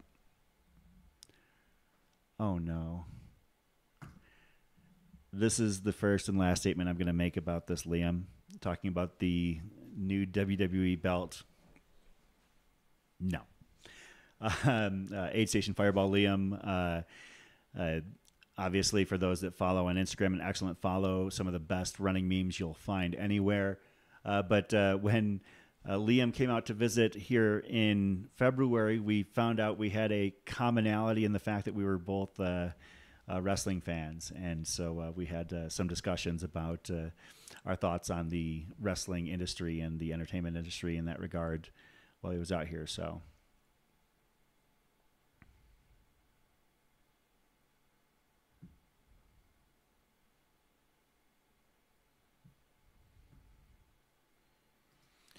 Sharon, don't feel guilty or strangely guilty watching this. Um, enjoy it. You know, appreciate. You know, do what we do. Appreciate the runners that are uh, that are out there. You know, getting it done, and and just know that you could be out there next year if you wanted. You have roughly a year to prepare. Welcome to the chat, Carson. Uh, completely new to running, and the thought of a 250 mile race is unbelievable. Yeah, um, people will seriously be running until Saturday. Um, the la- the final finishers will probably uh, finish between between 8 and 10 a.m. Uh, the cutoff for all races, all three distances, is indeed uh, 10 a.m. And uh, uh, two years ago, Andre Lee was the final finisher, and I believe Andre finished with about an hour and a half to spare. But last year, Stephen Park was our final finisher, and he finished with, I believe, four minutes to spare before the cutoff. And it was a very emotional, um, the kind of fill your cup moment that you can only get at the end of, of an extremely long race. I mean, I've been the DFL at a hundred miler before. Um, I've witnessed uh, multiple races and seeing people get in under the gun in that golden hour. It's very emotional. Uh, it's very inspiring, and uh, to see the finish of Cocodona on Saturday morning. If you can be here in Flagstaff, I encourage you to be here. If you can't be here, I encourage you to follow us online because we will do our best to give that moment the justice it deserves.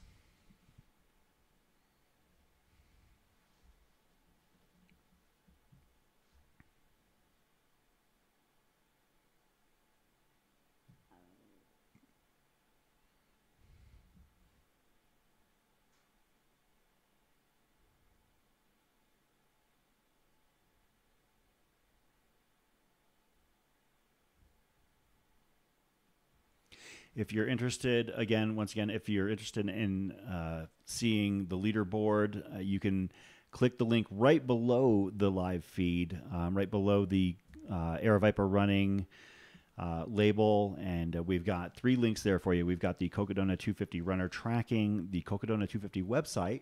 So you can check out information such as the runner's guide and uh, some uh, different uh, information, maps of the course and also the uh, 200 excuse me the cocodona 250 merch uh, is available as well. So uh, and uh, you know, I, thank you everybody everybody for tuning in. My name is chris warden. I am host of aravaipa after dark. It's basically uh, where we keep following the race after the sun goes down and uh, i wouldn't say anything goes but a lot goes of course, uh, we do have two other distances that will be taking place later this week. It is not just about the Cocodona 250. Uh, the Sedona Canyons 125 and the Elden Crest 36 are both going to be taking place as well later this week. And uh, I can give you some information on that, or on those as well. Uh, the Sedona Canyons race will start on May 3rd. So on Wednesday morning at 7 a.m., runners will be lining up just on the other side of Jerome, uh, Arizona. Um, Jerome is an excellent uh, day trip slash overnighter uh, here in central Arizona. And the runners will make their way along the Cocodona 250 course from Jerome all the way up to Heritage Square in downtown Flagstaff. Now on Friday we've got the Elden Crest 36th, which is which starts at Fort Tuthill Park, which is uh, the final major uh, crew accessible aid station for the Cocodona 250. But runners that are undertaking the Elden Crest 36 will start there on Friday morning at 7 a.m. And they will head through Walnut Canyon, up and over Mount Elden, down through Buffalo Park, and finally down Beaver Street on flat in Flagstaff, where they will make their way down to the iconic left-hand turn on Birch Street and walk down Birch Street or run down Birch Street if they're so inclined, and head down to Cocodona Alley, and then they will be right at the finish line. And a lot of one of the cool things about this race is that these 36 mile runners, these 125 mile runners, these 250 mile runners, a lot of them are going to be intermingling. Uh, I know actually I see one person, Aaron Berger, in the chat. Aaron is running the Sedona 125. Looking forward to seeing my friend run that. Uh, even if he is a uh, Wisconsin-based sports fan.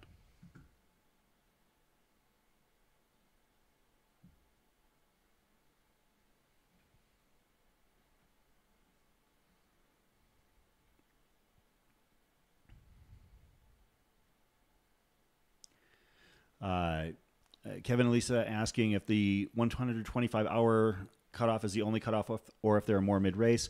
There are more. I don't have those in front of me at the moment. I'll see if I can pull those up.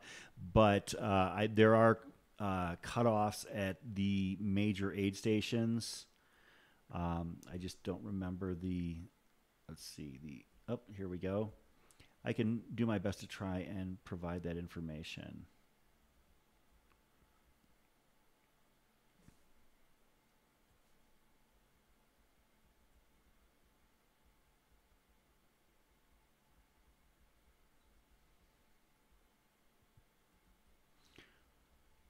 Okay, um, the cutoff. Okay, the first cutoff is actually here at the Crown King aid station.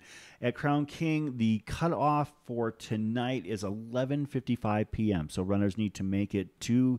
Actually, they need to leave the Crown King Saloon uh, by 11:55 p.m. tonight. That is the first cutoff on the course.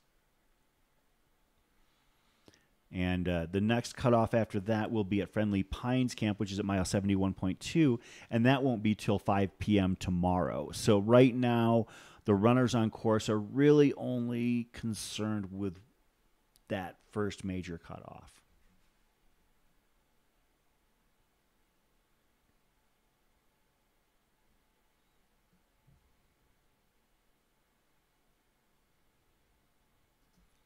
What headlamp would I recommend?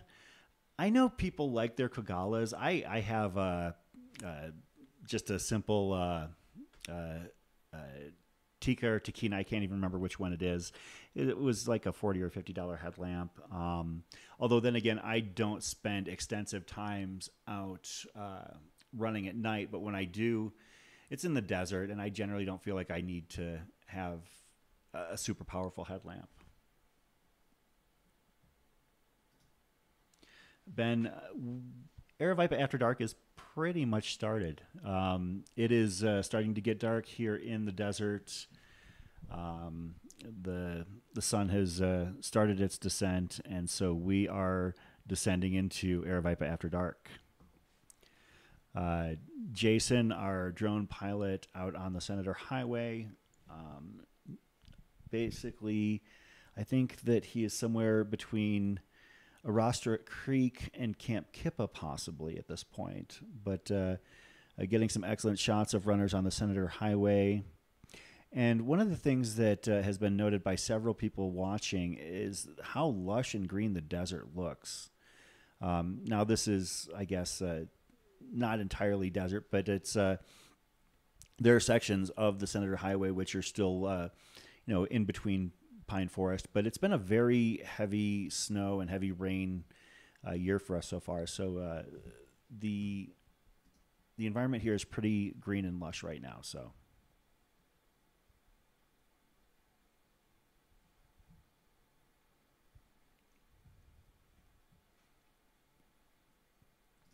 Yeah, Sharon, that's an excellent way to put it. The last call at the saloon tonight is 11:55 p.m.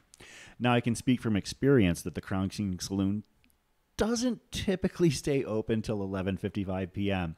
I've been heading up to Crown King for the last several years as a participant in the Crown King Scramble, and uh, we will every year without fail as a group, uh, the Aravaipa running community will close down the Crown King Saloon. We'll be there until they basically tell us that we've got to go.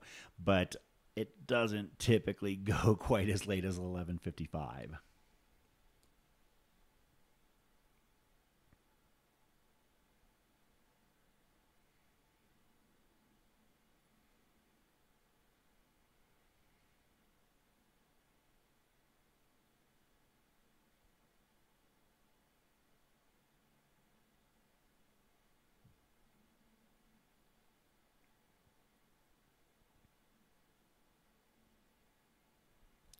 Some beautiful shots here. I wish uh, I wish my eyes were better at this point, but then again, it's it's hard to uh, to see some of these runners from a distance, even with 20/20 vision. Um, we're gonna pivot back to the Crown King static cam as well. You can see that uh, uh that's basically right where the runners enter the aid station, uh, and then their drop bag pickup is right there. Um, I see uh, in, in, the blue to the left of the screen is Andy Jones Wilkins uh, helping to uh, assist runners in collecting their drop bags so they don't have to try and find them themselves. So uh, he's up there volunteering, and uh, we're glad to have him out on the course. Uh, AJW, of course, moved back to the Valley couple, about a year and a half ago and has uh, been an invaluable member of the trail and ultra running community here in uh, Arizona.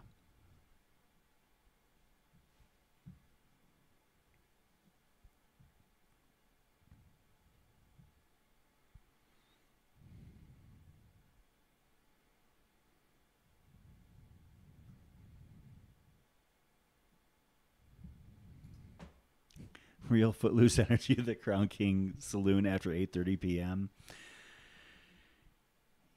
Yeah.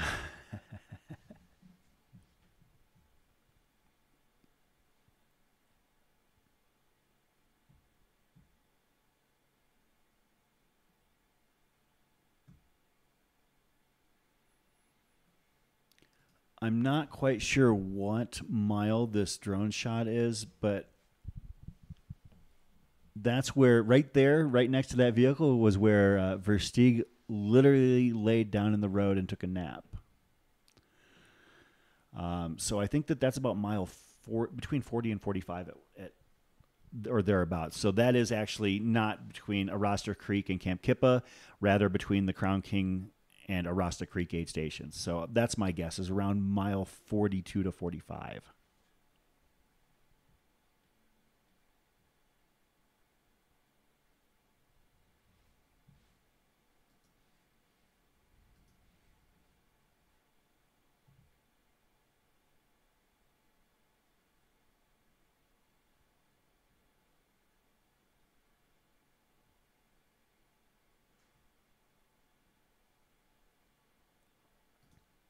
Yeah, uh, Seatown. Um, Michael Versteeg, when he won the race in 2021, did most of his napping during the day, during the heat of the day, um, while other runners perhaps would have followed a, a, somewhat more typical sleep cycle, or maybe started at uh, you know during the the morning of, as everybody else did and run into the night and then maybe take their sleep then. I know for a fact that Michael Versteeg uh, instead took his naps when the sun started to get pretty intense and then ran through the night for the most part. Uh, last year, last year's winner, Joe Stringbean McConaughy, was a little bit different in his approach. Uh, I was uh, in uh, contact with uh, some of his crew and coach. Uh, Connor Holt was advising him on last year's race and uh, he was kept to very strict regimented naps. It might be eight minutes here, 15 minutes there, but uh, Stringbean really uh, pushed the edges, I believe, when it came to his uh, sleep and nap schedule uh, during the Cocodona 250 last year.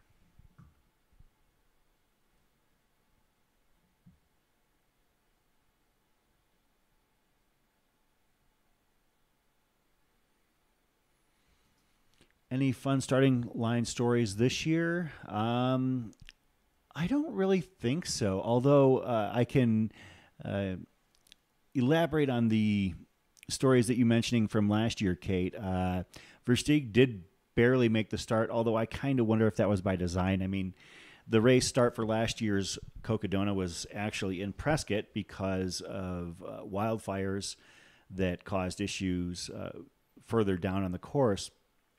And the gentleman who started in jeans and cowboy boots and a denim jacket was uh, Tony Tadieski, who is running the race this year. Uh, the he was coined uh, the denim cowboy. Uh, he's he's a friend of mine here in Arizona.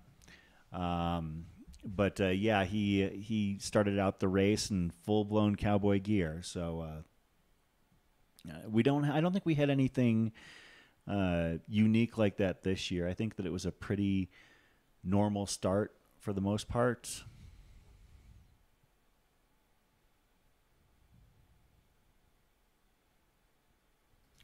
Yeah, Jason, I don't know how much sleep Stringbean got last year, but it wasn't very much at all. He was he was not down for very long.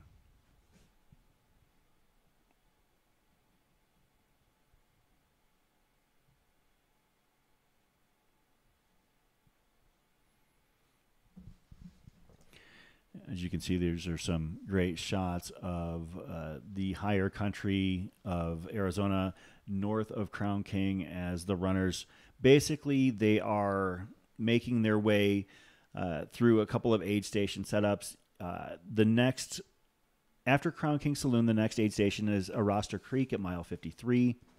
And then from there, the next several aid stations, the next three aid stations rather, Kamp Kipa, Friendly Pines, and Whiskey Row, all have sleep stations. And uh, Kamp Kipa is at mile 62.9. Friendly Pines is at mile 71, and Whiskey Row, the iconic Whiskey Row in downtown Prescott, is at mile 78. Now, the hope is that we see our lead runner or runners get to Whiskey Row by midnight, or actually, ideally by 11, so I can get to bed at a reasonable hour. Um, but we'll see what happens. We'll follow as long as we can and as long as makes sense. So, uh, hope uh, we hope to see some of these runners uh, push forward and actually get to Whiskey Row because it is cool to see them hit that aid station, um, you know, right in the middle of uh, you know, the historic downtown Prescott area. Gonna head back to Crown King, and this is the yard right next to the saloon where the aid station is set up for all of the runners. It's a drop bag and crew aid station. The first uh, opportunity for uh, the runners to have uh, access to drop bags and crews. And uh, in terms of that, it's actually the last opportunity for runners to get uh, crew access or a drop bag until Friendly Pines at mile 71. And that's something that was important to note earlier. I believe there were a couple of people that were noting that several of these lead pack runners, when they got there at, at 1 p.m. or so, were actually uh, grabbing headlamps. And they were grabbing headlamps because they knew that by the time they actually got to an aid station where they had a drop bag or they had crew, that they needed to. Uh, that, that they would have needed their headlamps probably hours prior um, because uh, you don't want to be stuck on the Cocodona course without a headlamp at night uh, you're going to uh, have a hard way or a hard time of making it uh, if that's the case.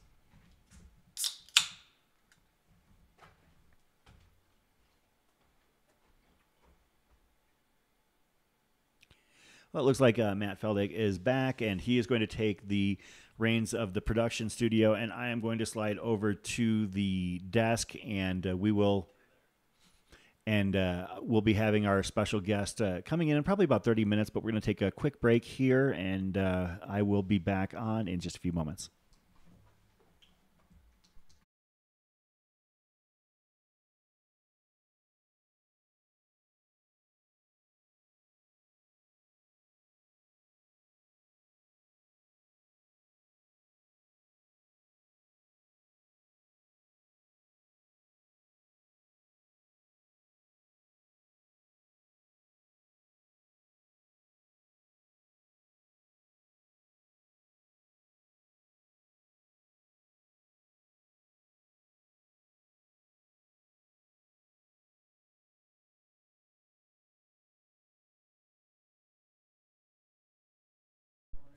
And uh, I'm back, ladies and gentlemen. I hope that everyone is as excited for me to be back as I am to be back. While we have just a little bit of a break in the action, I'm going to uh, let you guys watch a couple ads from our sponsors here as we uh, are looking at the Crown King aid station. We will take a look at the commercial provided to us from our partners at Spring. They are on site making spring smoothies for the runners, so huge shout out to our friends over at Spring. This is your machine. It is strong and fast, tough beyond measure, brave beyond belief. It will take you high in the mountains, deep into the woods, over rivers and deserts, and further within yourself than you have ever dared to go. But it is only as good as the fuel you put into it.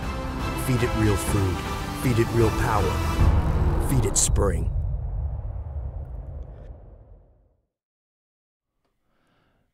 And a huge shout out to Spring Energy there for their support. We're gonna we're gonna take a look at a couple more commercials here as we just get things ironed out in the studio.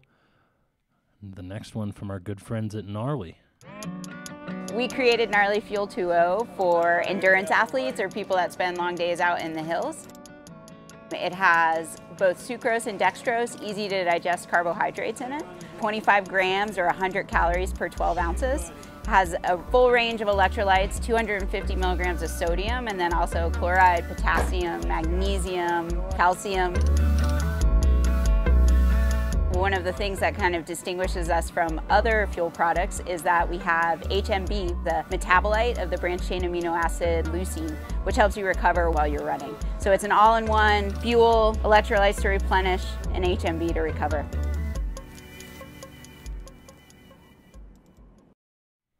And then, you know, if I'm making everyone in the chat endure these ad reads, I got to cap it off with everyone's favorite.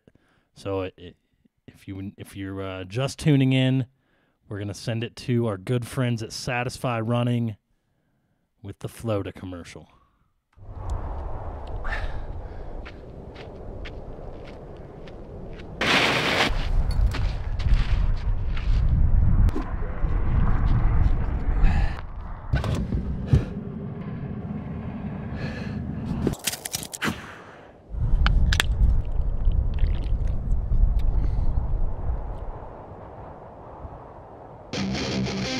Flota! Oh, the energy of soda.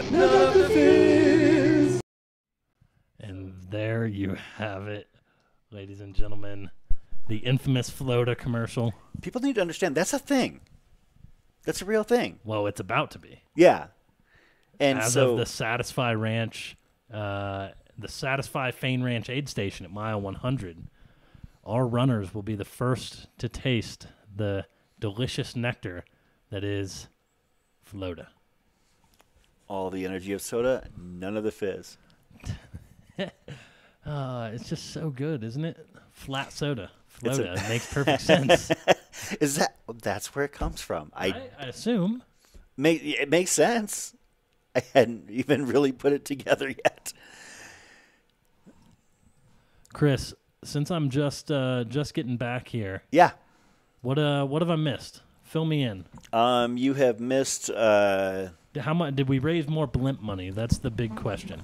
um, I did not pay any attention to uh, the amount of blimp, blimp money raised. Uh, I believe that Finn and Brett were definitely onto something at that point, but I don't. Did the I don't know how much more blimp money was raised. Uh, uh, you know, and, and I don't know if I like the odds of us getting to that forty million dollar mark, but uh, you know, we're grateful for all of the super chat no, uh, donations, but. Uh, but folks, everybody, thanks for joining us here on the Cocodona 250 live stream. Here we go. this is- After Dark reaching Super Bowl levels of commercial break. Well, they haven't seen the other fan favorite, which is the uh, Tanry or Tanry sunscreen commercial. Yeah, we haven't aired that one in a while. Yeah, we haven't aired that one in a while. We'll And add- that was a uh, crowd favorite. We'll have to wait for Rory to uh, to be here so that he can get a, a taste of the sunscreen, the infamous sunscreen commercial. Yeah, I believe that uh, Rory is uh, grabbing himself a bite to eat, and then when he is here, uh, he will be joining us here on Aravaipa After Dark. For those not familiar with Rory, uh, he is uh, known colloquially colloquially as the Trail Gangsta. He is a uh, um, an, an, a musical artiste and uh, a, a damn fast runner as well. So, uh, a member of the Aravaipa racing team, uh, teacher, uh, leader of men and children. And you know uh, what I was just thinking, Chris? What? You know the collab we need that no one knew they needed? what would that be? You need a Rory Moynihan, Rob Ricardo collab. Like a rap rock thing? Yeah, I mean Jay Z did it with uh, who was it? Limp Linkin Park. or Lin- Lincoln Park? That's Yeah. right. Yeah. Oh, I'm totally Like- down with that. I'm just saying. Uh, did you ever have you ever heard of the uh, the soundtrack from the movie Judgment Night? No. Okay, so it's a movie that came out in 1993 that nobody saw, but the but the soundtrack is absolutely killer. It's like Ice T and Slayer doing a collaboration, Pearl Jam and Cypress Hill doing a collaboration, um, uh, Sir Mix-a-Lot and Mudhoney doing a collaboration together, and it's just a very fun album. I could see Rob Ricardo and Rory Monahan doing something along those lines that. Uh, is uh, is absolutely fantastic. Of course, Rory also hosts his own uh, um, YouTube series, Runners Rate the Bars, Yep. and uh, he's, done an episode with Rob Ricardo.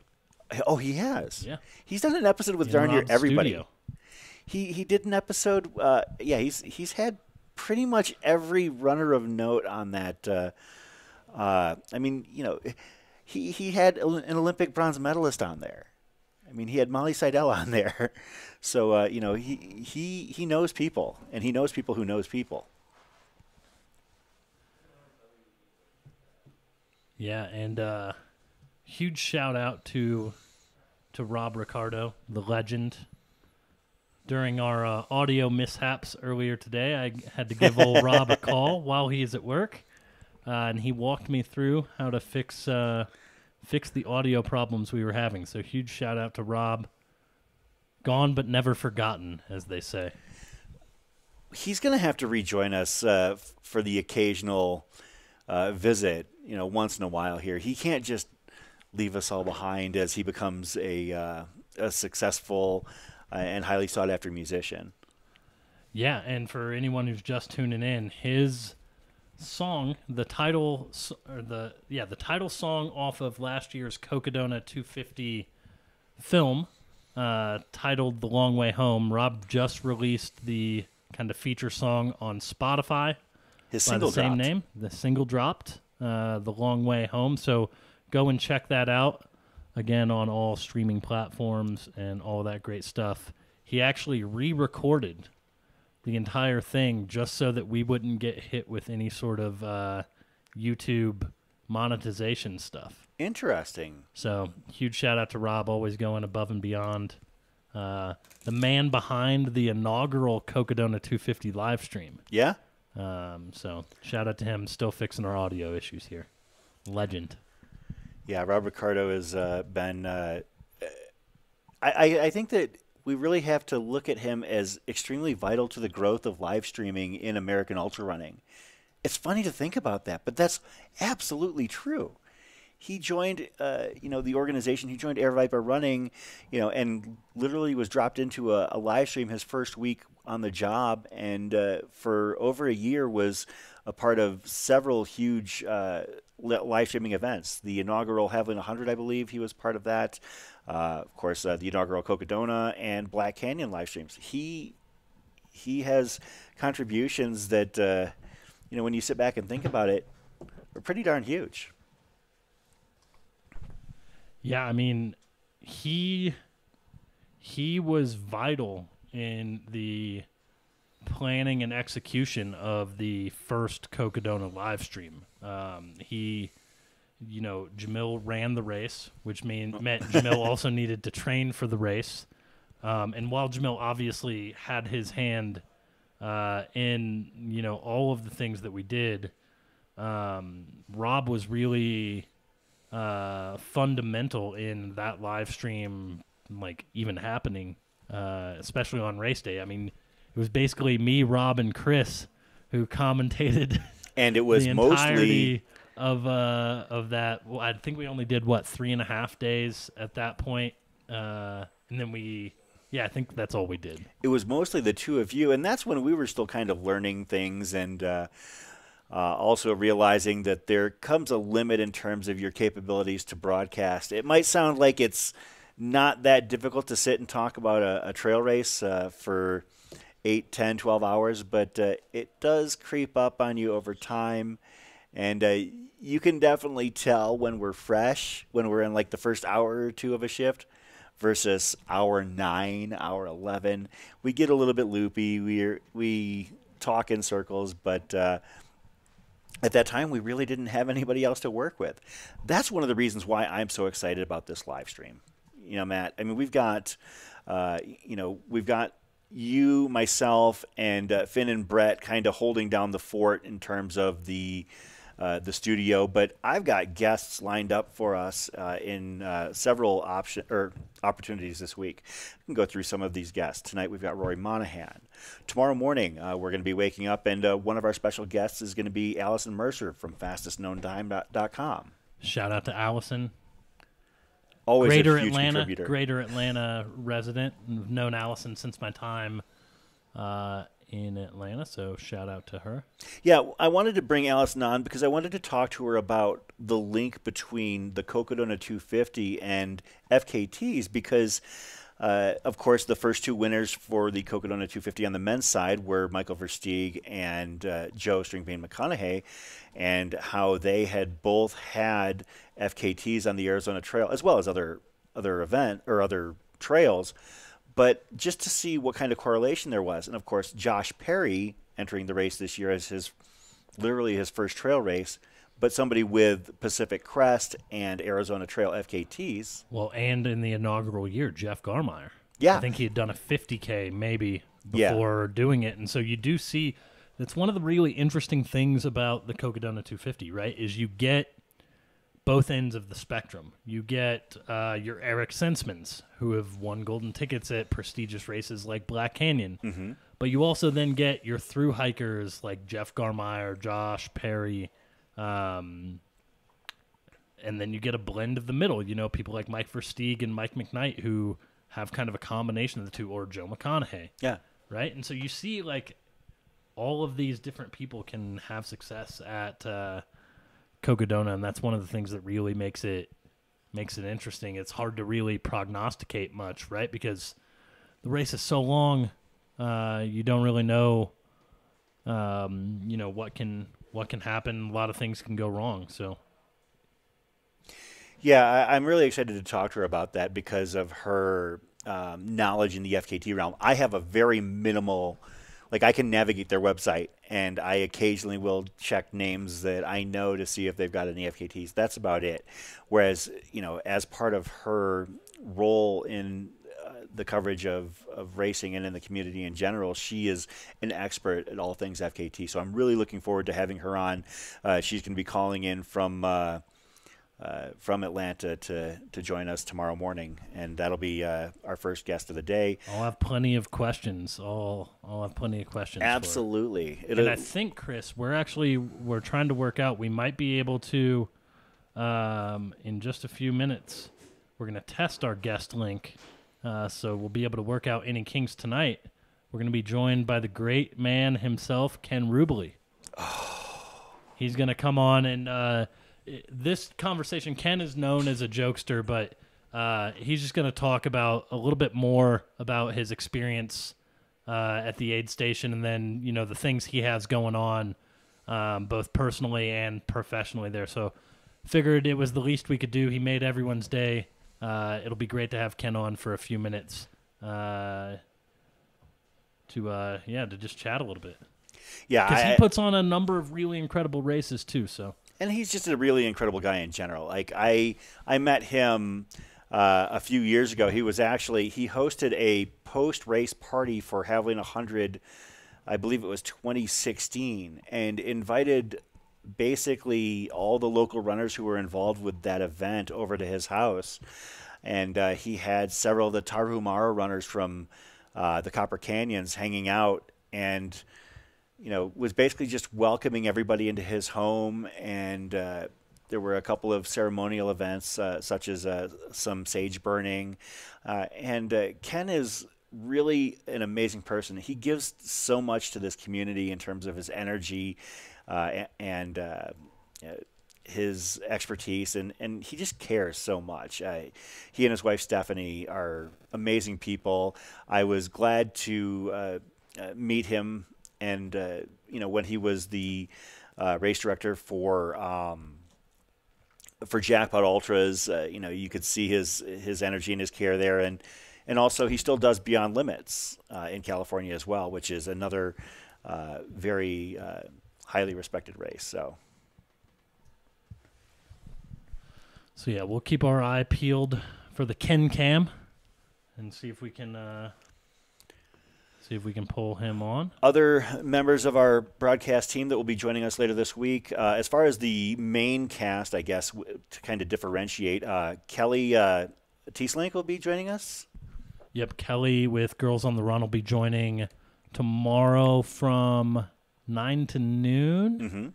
Mm-hmm. Um, so I'll be uh, getting to chat with Kelly. Um, you know, we had her on last year. Tomorrow during our first stream, we will have a direct donation link for Girls on the Run Northern Arizona. So anyone who wants to donate, you'll be able to donate directly to them in the chat. Um, you know, as someone who has two young daughters, like Girls on the Run is uh, something that's obviously super important to me. And so, um, yeah, super excited. Kelly's a super incredible runner as well and has a lot of experience out on the course. She, I think, crewed and paced Carrie Henderson last year and will be doing uh, some crewing or pacing duties uh, later on in the week as well. Awesome. So yeah, we. I mean, and so another uh, member of our broadcast team this week is going to be somebody who we haven't worked with before. I'm looking forward to uh, uh, working with uh, Pedro Gomez. Uh, is a local member of the Aravaipa Racing team, and uh, he's also an accomplished triathlete as well. He'll be joining us. Bryce Brooks will be spending some time in the production studio, so that means we'll be dragging him onto the actual live stream over the course of the week, without a doubt. Uh, rumor has it that we might have a spot for Jamil Coury himself, as well as Eric Senseman, uh, to join us here. And each of them, having run this race, they can share their experiences, their expertise, and thoughts on what's happening with the 2023 iteration of Cocodona. As far as special guests, uh, I've got uh, you know a couple lined up. As I mentioned, Rory Monahan is joining me tonight. Um, and then on uh, tomorrow night, I've got uh, a friend of mine as well, uh, Pete Mortimer, uh, second place finisher in the 2021 Cocodona 250, and uh, who is going to be up atop Elden later this week, uh, chilling and grilling for uh, the runners as they hit the high point of the course. And we are going to try to bring you footage from Kamp Kipa. Here we you're you're kind of just off the Senator Highway, but its service in this area is going to be really spotty. So we'll try to bring you uh, kind of any coverage from this area that we can. Otherwise, we're going to be hanging out at Crown King, and then we will have uh, camera feeds up and moving at um, at Whiskey Row uh, here in a little bit, as well as runner cams, including the fan favorite Shad Cam. Oh, the Shad Could cam. you actually? We've got a pretty solid pairing in Prescott. We've got the Shad Cam and we've got Spider Pena. Spider Pena is fantastic. He's done that shift. This is his third year. He does that shift every year. So shout out to Dan Pena. Uh, for always for, helping a, us for an Arizona Wildcat, Spider Pena is all right. Forks up. Um, uh, as far as other guests, uh, Karen Brown is going to be joining me on Wednesday night. Karen has run this race. She finished it last year. Uh, and she also is involved with the Healthy Kids Running Series here in Flagstaff, and we're going to talk about uh, how they're going to be participating in the celebration of uh, Cocodona 250 this year. You, let's just say that you might have a uh, bunch of healthy kids uh, lining the streets of uh, of Flagstaff uh, on Saturday morning as the final runners approach. I love it. We couldn't get the beer and cheer station done at the liquor store this year, so at least we'll have kids yelling. Well, You know, it's, it's a good thing we. It's a good thing we probably. It's probably a good thing we only got one of those because if we start mixing the uh, the beer and cheer with the uh, Healthy Kids Running Series, we might get into into a little bit of trouble. Uh, later on this week, I also expect to have a friend of mine, Lisa Kravitz, uh, in the studio with me. Lisa is a 2022 finisher of this race as well. And then on Friday night, uh, another person that'll be joining us is Colleen Lingley. Colleen is a local runner here in Flagstaff. Uh, basically, I guess you'd call her the captain of the Aravaipa racing team. Yeah, and yes, uh, Yeah. Man, uh, Captain like slash assistant- manager? assistant manager. Yeah, Okay. she she's not uh, like an active runner or Uh-huh. yeah, an active runner on the team, but she helps Bryce, who is the team manager, uh, coordinate a lot of uh, a lot of the stuff with the team, and she's kind of an integral leader uh, of the team just because she's she's been around on the team for a while. She's competed at a high level, both uh, collegiately at Arizona State and um, on the trails. So she's got a lot of experience. She's also a registered dietitian here at um, Flagstaff Medical Center in Northern Arizona Healthcare. Um, so she's got just so many great insights, um, both from personal experience and professional experience that can translate, especially to races like this. Yeah, we had her on a couple years ago during Javelina 100, and it was wonderful because you want to talk about somebody who not only knows how to run, but knows how to prepare on a different level than the rest of us because of her experience and expertise as a dietitian. She was able to uh, kind of walk and talk her way through uh, to us as an audience about how to best prepare for these these races when uh, nutrition is vital. When you're running you know ultras especially you know 100 milers and 250 milers. So colleen lingley is somebody i'm really looking forward to having here in studio uh, due to her uh, wealth of expertise and knowledge in this realm I know that actually during this this week she's going to be helping out, uh, I believe, crewing. I don't know if she's pacing, but uh, with a couple of our competitors, uh, Dawn Greenwald and uh, Desiree Clark. I know that she's been involved with their preparation for this race. So yeah, we've got uh, a lot of runners or a lot of uh, guests lined up, and uh, you know a, a team of people that we're going to be uh, hanging out with here during the week uh, for the Cocodona 250. So you know, stick around. We've got uh, five days worth of coverage. We're expecting, we've kind of eyeballing it because, as I mentioned earlier, we're not tied to any specific in or out time, but we expect to be on the air for give or take 90 hours this week. Yeah.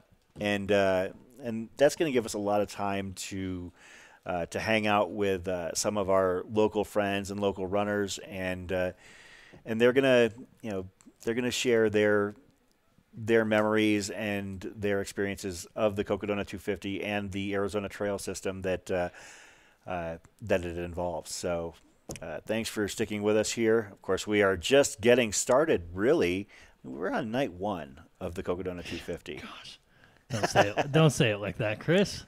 We've got this is Monday. We've got Tuesday, then Wednesday, Thursday, Friday, and Saturday. So uh, we're going to be hanging out here all week long.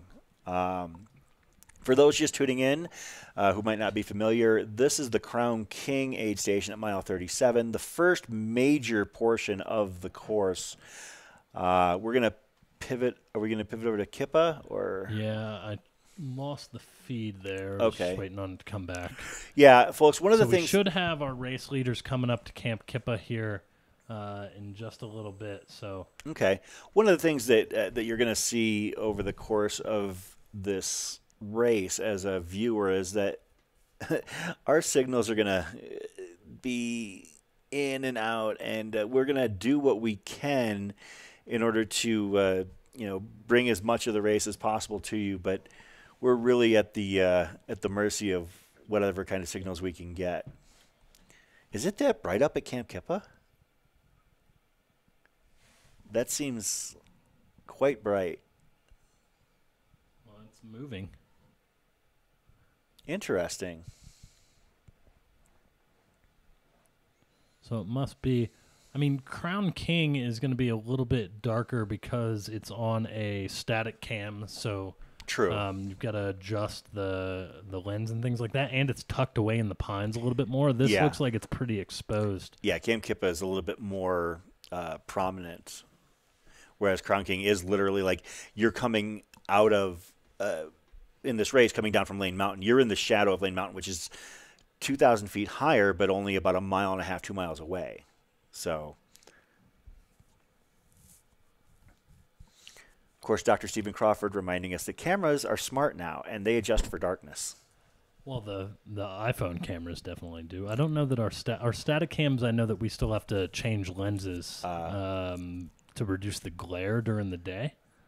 So Um, Kamp Kipa was where we had uh, the Mhm. first night that we were ready to sign off, and all of a sudden, as we were ready to sign off, Jamil Coury comes into our view. You know, having hit the 100K mark in the first iteration of the Cocodona 250, his creation along with Anthony Culpepper, and uh, we decided, oh, we're going to stick around for a little bit longer, and we talked Yeah. with Jamil. He did that twice, two nights in a row actually.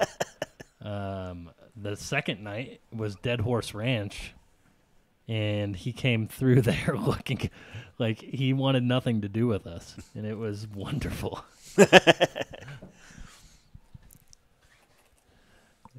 I'm gonna I'm gonna take a quick peek at the leaderboard here and uh, give you a heads up on what we know. Um, uh, right now, as far as I can tell, Kilian Korth is our men's leader. It looks like he is just shy of the 61 mile mark. Uh, 2021 winner Michael Versteeg is currently in second place at 59.8 miles, and Mike Grunwogen is in third place at mile 58. On the women's side, Sarah Ostaszewski, the 2021 fifth place finisher and 2022 third place finisher, is currently running in the lead at mile 58.8. Uh, Colorado resident Mika Thews is in second at mile 56.6, but that might not be. It might be neck and neck with Dawn Greenwald as they're both showing at the same uh, same distance completed at 56.6 miles. So they could literally be Well, right next to one another. Yeah, I wonder who pinged more recently. hey? Dawn pinged one minute ago, and uh, Mika pinged two minutes ago. So they're So, yeah, they're pretty close. yeah, I, I'm assuming they've got eyes on one another at this point. Uh, and uh, fourth place woman Eliza Lapierre uh, has been moving up and is really is only about a half mile back from them as well in fourth place. So obviously, it is still so so early. They're less than a quarter of the way done with this race. The oh, lead and runners are less than a quarter of the way done with this race. We do have. I'm going to take that off real quick. We do have Ken Rubeli ready to go, as you just saw momentarily on your screen there. All right. So we are going to. Yeah. I'm actually going to. I'll stay here and talk. So I'll pull you on here, Chris. Okay. Then let's pull Ken in here. And let me just check some audio here. And we lost that, so we'll go here. Um, yeah, Ken, you'll have to bear with me for one minute here.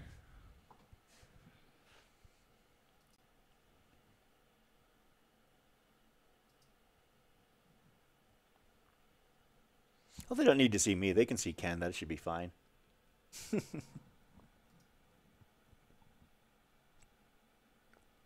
as long as they can hear me, that's okay.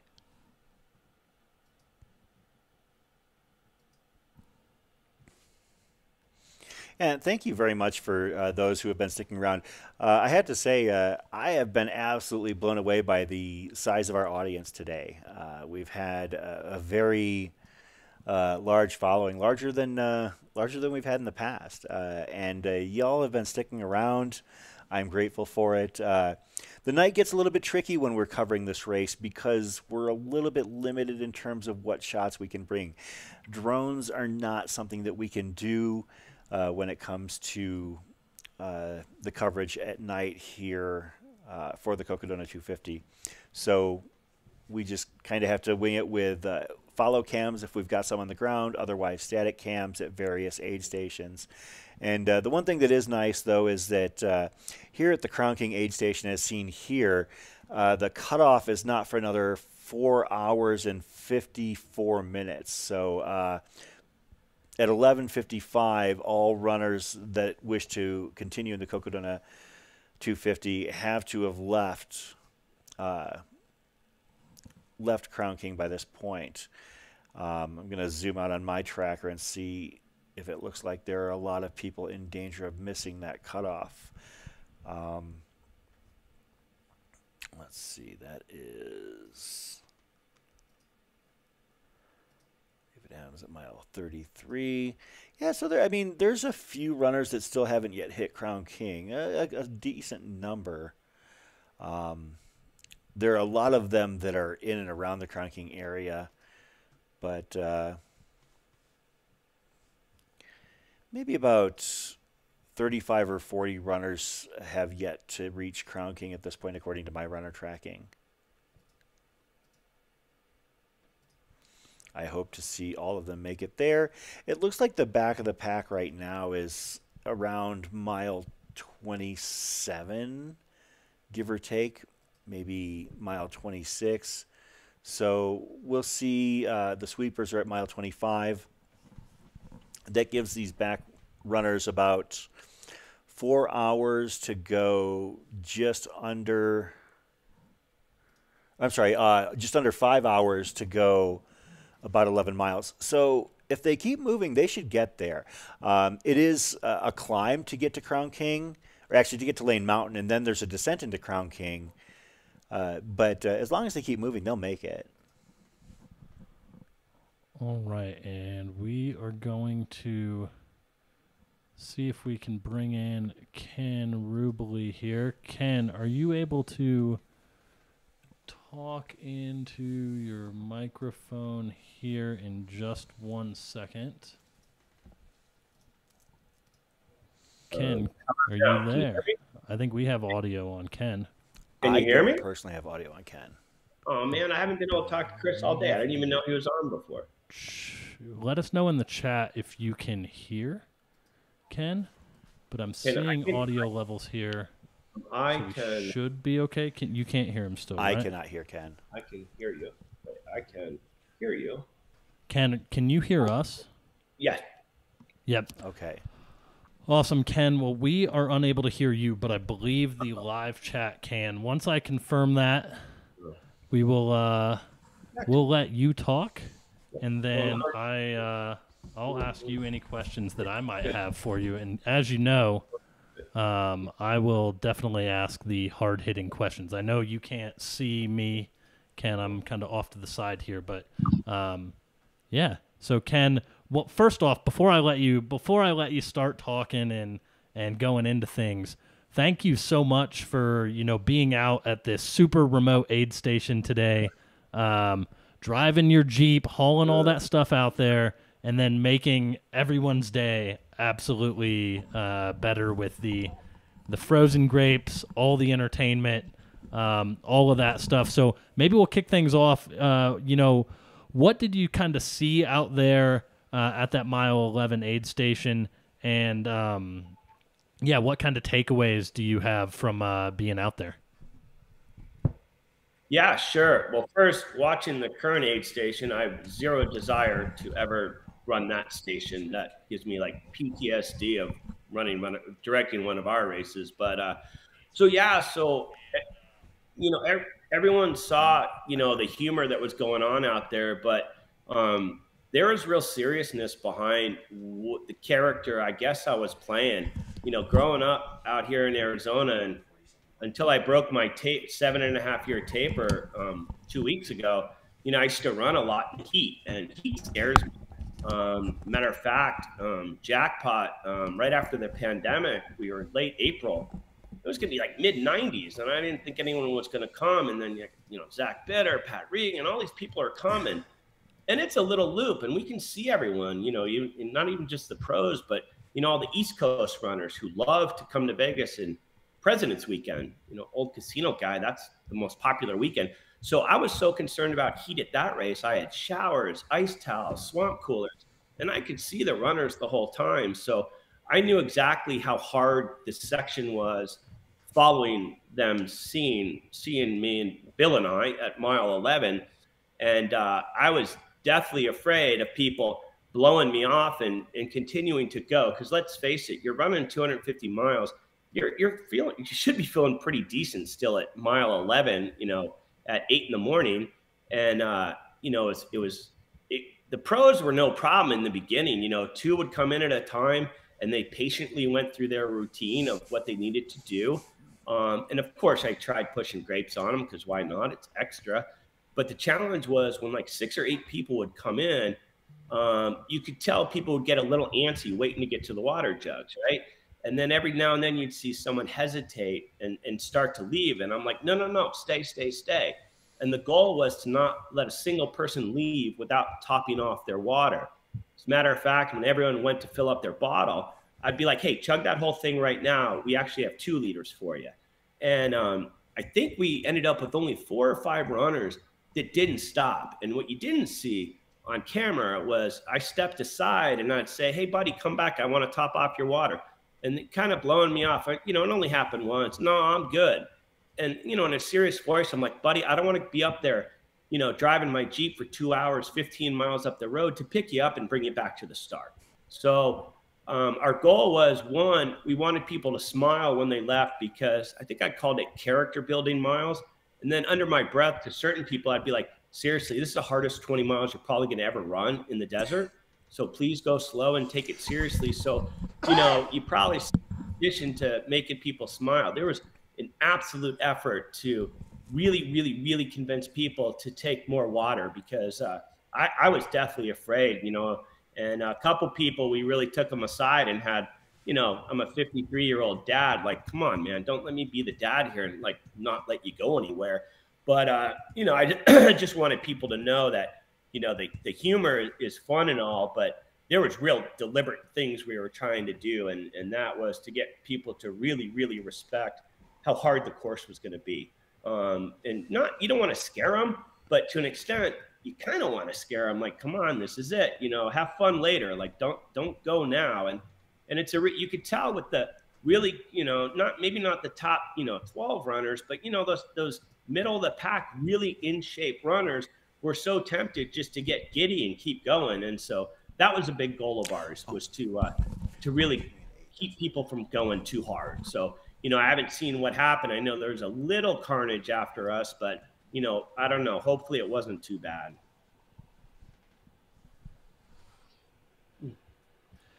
Yeah, awesome, Ken. Um, and l- like you said, just to reiterate, you know, you you were doing such an excellent job of uh, you know, being out there and keeping it fun and entertaining, but also, you know, making sure that, you know, like the the first role of anyone working an aid station is runner safety, right? And you want to keep people moving forward um, as happy and healthily as they can. And so, you know, we love that you were out there and that you were, you know, really able to um, to kind of blend the two things and you know, one thing that that I'll say, just having been, you know, around some of your races now from the outside looking in, is that's kind of the experience you get at a lot of Ken's races. Are you get a lot of fun and you get a lot of games, but you also, you know, get um, really great race experiences for for people of all levels. So, um, yeah, like I said, I I appreciate you, Ken, and if you have any more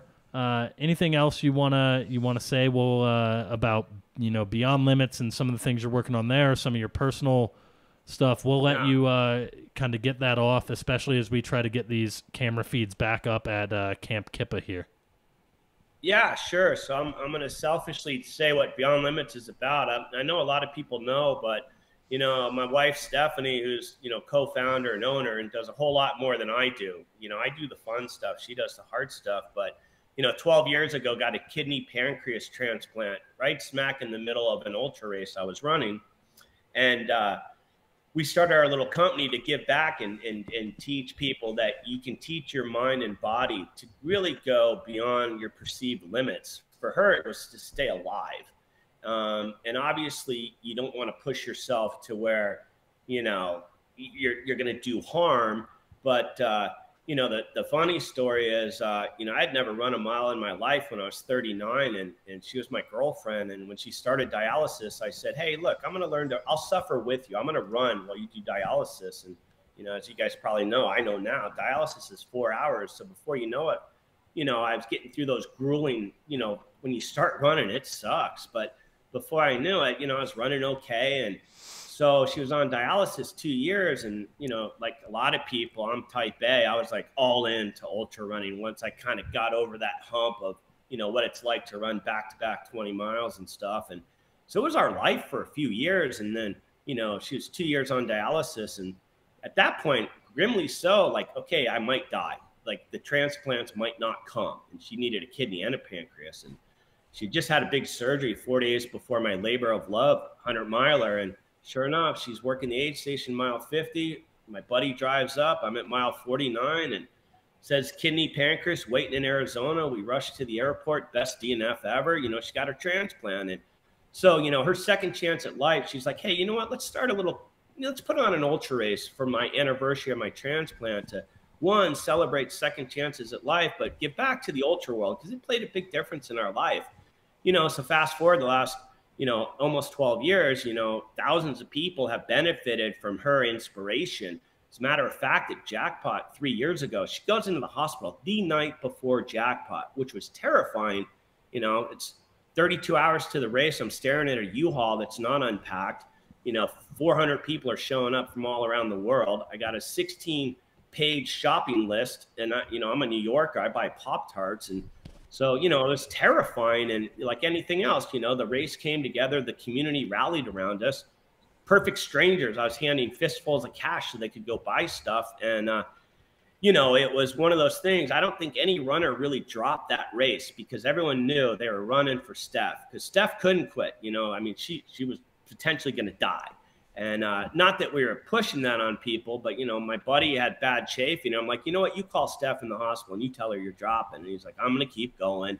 Um, and the cool part is the very last day of the race, she came out and we got her to the finish line. She insisted on sitting there and giving out a few buckles. And, uh, you know, that's, uh, you know, she's that kind of inspiring. And unfortunately, her kidney's failing now, um, which is not uncommon. It's been 12 years. Um, it should have failed almost a year ago. So we've been on kind of borrowed time. And, you know, selfishly, um, we're going to lean on the ultra community to kind of help find her, you know, a living donor. Um, she, she could not live long enough to wait for a deceased donor. And, you know, our thing is, gosh, look what she did with her second chance at life. What, what's she going to do on her third chance? So, um, you know, so it's that what we bring into the race. And she wanted to be there today and uh, you tried telling your wife no. It was really difficult, but you know, I bought a sat phone just in case, to, you know, going out there with her. And at the end of the day, we just didn't feel comfortable. But um, I only bring that up because um, the, the, you know, your body and mind can do so much more than you think as long as you put in the work, right? And uh, so we try to push people to do everything they can is if they put in the work, right? So by the way, my challenge today was how do I inspire people at mile 11? I'm trying to put out inspirational signs. I'm like, no one's really hurting at 11 miles. But, you know, we put out signs like, um, you know, running is a gift that some people can never do. Run for them, you know. So, um, you know, that's one of the, you know, selfish reasons, you know, why I wanted to be out there today was to, you know, um, keep us around the little ultra world. You know, we sold Jackpot to the Coury family, which we can't wait. And so that goes to, so I'm breaking, I broke my seven and a half year taper at our blue race, Beyond Limits Ultra, two weeks ago. I ran two miles. It was horrific. I was running, walking, running, walking. I waited until the third day so I could pass everybody. So I, I you know, I'd go past, you know, the gesture and tap my rear and go, get used to seeing this, buddy. And um, the reality is, um, you know, I haven't run because running for me is what I'm going to do when she's on dialysis, which is going to come. And um, it's kind of like my morphine for pain. Like I do it when I know life's going to get really hard. So I'm kind of getting a jump on it. So I am registered for the Jackpot 100 miler, the regular course, because I like running on the gravel. Um, and there's zero chance I'm going to embarrass myself at a, at a race that, you know, the two of us created. And the whole goal of that is because at our blue race, which is on the anniversary of our transplant, you know, I want to buckle and I want to buckle to the best of my ability. So selfishly, I wanted to let people know, you know, there's some seriousness behind us. We have a lot of fun, but when we're pushing people, um, you know, we're, we say in life, you know, don't think about the totality of how hard life is, how hard 250 mile is. Just get to the next aid station. And that's how she goes about life. You don't think about the totality of trying to stay alive and get a kidney. It's like let, the next aid station is getting our marketing campaign ready and stuff like that. So, you know, we try to tell people take what you learn from ultra running. And again, I can't imagine the totality of running 250 miles, um, although it's intriguing. Um, but uh, you know, just get to the next aid station in life. So that's you know, we want to encourage people to keep pushing what they're doing and keep it simple. Just get to the next aid station, and then before you know it, you're going to hit your goals. So thank you for letting me, you know, talk on behalf of my wife. She's probably going to kill me when she knows I did this, but uh, you know, I appreciate you letting me share her story, and uh, you know, and uh, how special it's going to be when she gets her transplant. And uh, you know, she she ran her first ultra 50k 90 days after her her kidney yeah. pancreas 12 years ago. So it'll be fun when she gets a transplant, and then her and I can run together. So thanks for letting me share that. Well, again, Ken, like I said, we, you know, we appreciate you being out there so much. Yeah. And uh, we appreciate everything you've done, uh, you know, for the community for such a long time. And we're not going to let you off the hook. You're going to have to come back next year. We might need you to come for like a Monday, and then we may need you to come back on like Friday later in the race. Uh, or something like that, so that we can, you know, really, uh, really get the runners going. So we'll have to see what we can do. You know, the only problem with that is the way I'm wired, assuming that I don't embarrass myself at jackpot in blue, I'm going to be kind of toned up coming into Cocodona. So um, it's a different Ken when the bib goes on. But uh, no, we, we can't wait to, to help again. And, uh, you know, our, our life's slowing down a little bit. Fortunate to be entrepreneurial investors, but I uh, can't wait to do a little more with Aravaipa. Um, I kind of enjoyed doing the uh, very easy aid station. I want nothing to do with the current aid station, uh, but it was a lot of fun, and we look forward to getting out to a lot more uh, of Aravaipa's races and uh, hanging out with you guys. And uh, hey, Chris, sorry I didn't talk to you today. I could, I didn't know you were there. I'm gonna have my headphones next time. So. I love it. Well, thank you so thank much, you, Ken. Ken. We appreciate your time. Always and, a pleasure. Uh, we'll stay in touch, buddy. All right, fellas. Thank you. Have fun the rest of the weekend. Get some sleep. Thanks. Ken is truly one of a kind.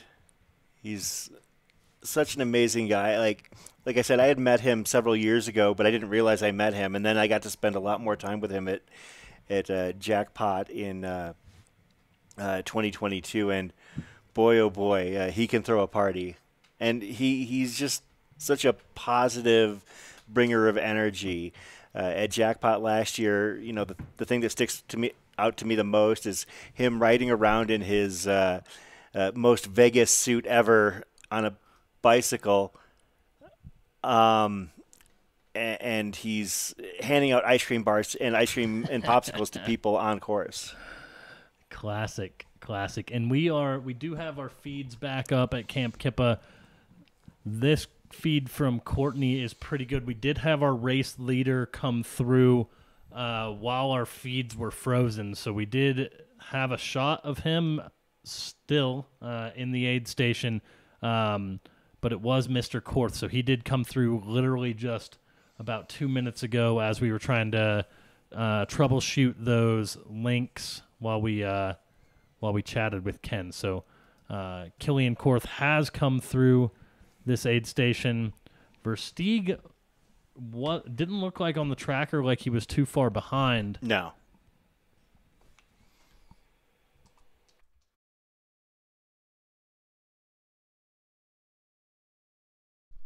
we would expect to see Michael Versteeg here fairly quickly. Um, yeah. And if Courtney can hear us, if she can hang out in this spot, her feet is really good here. So uh, this will give us again a good shot as runners come kind of down towards the Kamp Kipa is aid station here. Is that snow?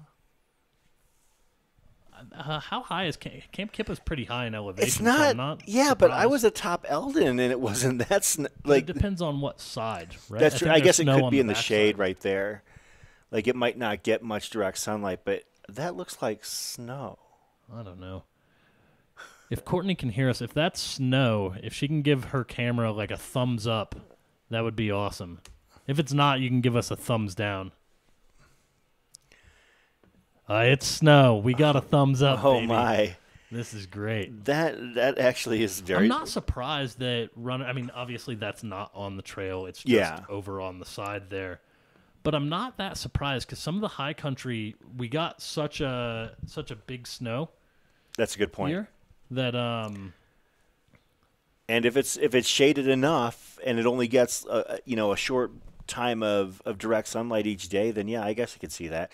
And uh, you know, I'm grateful that we're getting any sort of uh, images from Kamp Kipa because if you look at Kamp Kipa on a map, it is in the middle of nowhere. It is really, it's you know miles away from everything. Um, and uh, you know, at least Crown King has infrastructure. I mean, Kamp Kipa is just it's pretty out there. It's uh, it's pretty uh, um, pretty isolated. I guess technically, uh, according to the Postal Service, it's technically Prescott. It's about 14 miles south of uh, of Whiskey Row. Uh, if you're going in a straight line on the road, but of course our runners are not following straight lines on the road. They are following the trail system and uh, Forest Service roads as they uh, run the Cocodona 2023.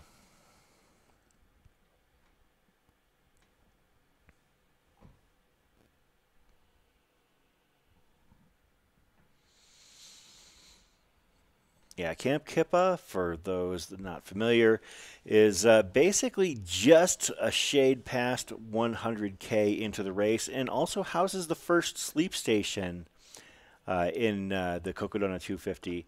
Uh, there are sleep stations at Kamp Kipa at mile 63, six- mile 62.9, uh, at Friendly Pines at mile 71, and at Whiskey Row at mile 78.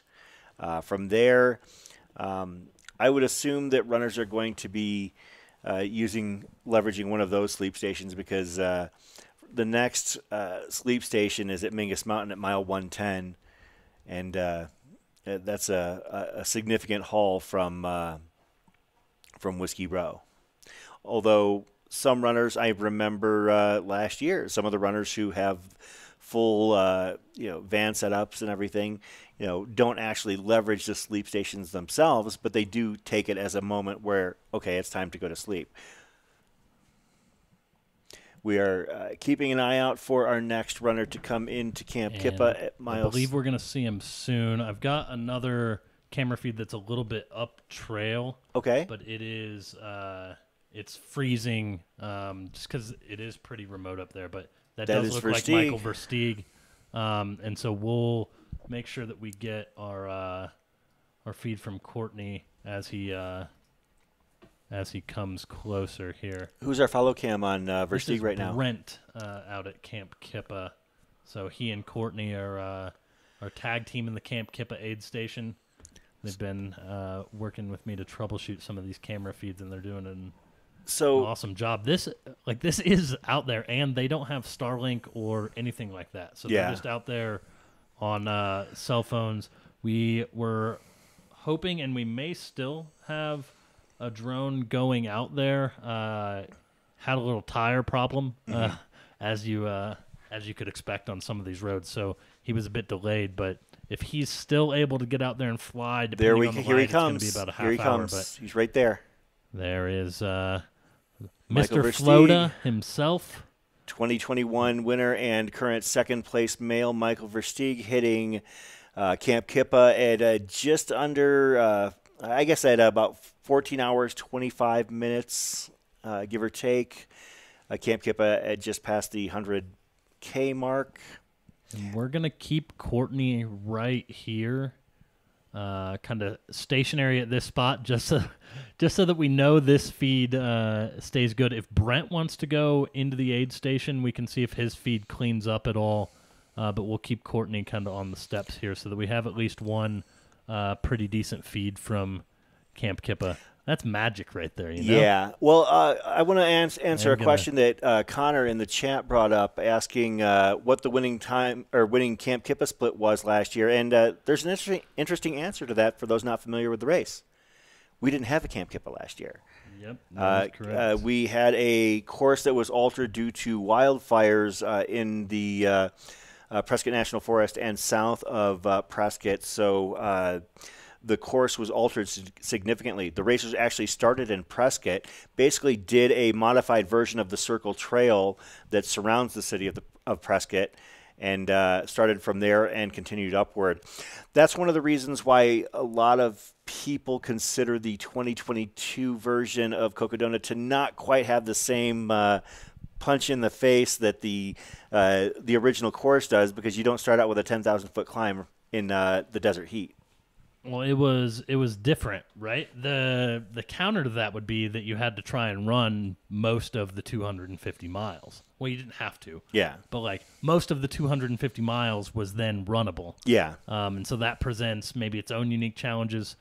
Um, I think we had what was it a noon, a 10 a.m. or a noon start? It was noon. Um, you know, so starting a little bit later, you didn't have the extreme heat, but I do think it. No, it was maybe- 10 a.m., you're right. I think it presented its own kind of unique set of unique set of challenges, but in many respects, this course this course is slower. I would say that. You know, more difficult in certain ways probably, but um, slower I think is a is a fair assessment. I wouldn't expect to see You can see our friend Andy Jones Wilkins holding court in the uh, center of the Crown King Saloon uh, yard. Uh, it's so great to have him up there as a resource for these runners, not only helping them with uh, uh, getting ready to, uh, you know, grab their drop bags and head out onto the course again, but you're talking about a guy with a wealth, wealth of experience. I don't care if AJW has never run a 200 himself. That man knows running. He does. Also, just of all the places AJW could have uh, could have volunteered, he vol- he's a big Crown King fan, isn't he? Yeah. Well, so he didn't act during the Crown King Scramble. He volunteered out on the course, but he never made his way up to Crown King Ah. because uh, I think they didn't realize that the road was basically washed out to any sort of motor vehicles, uh, and uh, only people who were heading up to Crown King on foot could make it there. Yeah. And But, uh, yeah. have Courtney's feed back up here, so we've got a shot. The, the aid station just inside there. This reminds me of the shot Is from uh, different than the inaugural year, yeah. right? Because the inaugural year, everything was more It was outside, sitting outside a and there was campfire. campfire, Yeah. right? So this reminds me a little bit of the uh, Fort Tuttle shot that we had of Dax Hawk when he went into the uh, the the the quiet room to go and grab a little bit of a nap, where we were kind of like waiting outside the door to see uh, when he would emerge and uh, what condition he was in. Of course, uh, Dax came out of the uh, uh, out of that uh, small room after getting a short rest and being the the ballroom dancer he has offered a little shimmy on on camera for us. I don't think we're going to get a little shimmy on camera from Versteeg as he emerges from this door. No, but I think no, probably not from this door. But if Versteeg has a big finish, I'm just hoping we can get, you know, a floata chug out of a beer bong at the finish line. That's all I want in my life out of Michael Versteeg. Uh, Flota is definitely making an impact uh, here at the Cocodona 2250 uh, here in 2023. Like that commercial is just excellent. Absolutely. It's do we an got? excellent commercial that, uh, as I said before, uh, you didn't have to know who Michael Versteeg was to enjoy that that spot, but the fact that you knew who he was made it even funnier. Here he comes, and camera feed is getting just a little choppy there. And again, Kamp Kipa is uh, Very it- remote. it's very it's very remote. So the fact that we're able to get anything out here again without uh, Starlink being being out there is is great. So And actually, it's, what's funny that you mentioned this, Cindy. Uh, since this year is more difficult than last year, they have a longer cutoff time this year. They actually get less. no, well, Right? that's because they had longer. They had the normal cutoffs last year on a typically quicker course. Yeah. you know. So I think they had. I think maybe in, I don't remember if it was 125 hours. I want to say that it might have been 120. They had 122 last year. I think. 122, right? Yeah. Yeah, because it was a noon finish. Uh, right? Wait, no, and this year, no, this actually they do get three more hours this year. Yes. Uh, Yeah, my yeah. number, the the whole on-air math thing is not a good idea, and I'm Yeah, an I think accountant. Last year they got less, but this year it's back to like what the normal was. Everything got kind of thrown out of whack last year because the um, start time was different. Right? Yeah. Because I think the finish cutoff was noon on Saturday versus 10 today, but it started five hours later, so that would make sense. So it's a three hour difference. Right? I think. I don't know. Let's see what this feed with Brent as Versteeg is hiking out again. It's going to be a little bit choppy and laggy here, but we do have Versteeg kind of hiking back out of the Cocodona 250 aid station, and it just goes, it just goes to really show you that you know Michael Versteeg has won a lot of really big races. He's won. He's finished high at a number of really big races. He's won the Cocodona 250, and even someone as talented as Michael Versteeg is, you know, hiking a little bit here. So Yeah. I think it just goes to show how important, uh, you know, having a good power hike is, and implementing that into your routine. This this terrain is rugged. Uh, it's slow moving. It's unrelenting, and you know you're going to see even some of the some of the best runners um, out there are going to have their rough patches and are going to be um, taking it easy. So I think that's just a really awesome showcase. You know, even last year there were times where we saw string bean hiking.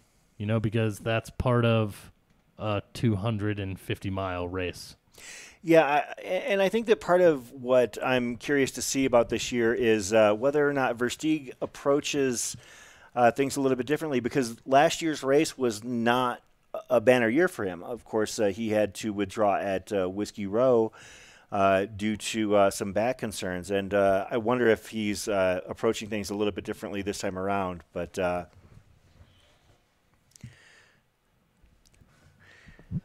hey, do you have the ability we've to pull up the iPad? This is one of my favorite shots of Michael Versteeg.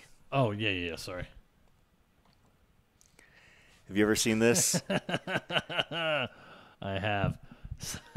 so this is. Can you can you just uh, give us? This is a Suns pregame show, yeah. right? Live. And Versteeg is standing in the background of uh, of the Suns pregame show, and uh, and just uh, being uh, You know what my favorite part being is, Michael though? Versteeg. My favorite part is him looking at some monitor, trying to figure out which way to tilt the finger. Look He's at him right here. He's trying Oh, to figure oh. out the right angle. but I love Uh, that. I thought that was fantastic for those that hadn't seen it. That It's was uh, great. that is Michael Versteeg in a nutshell right there. Uh, that was that was excellent.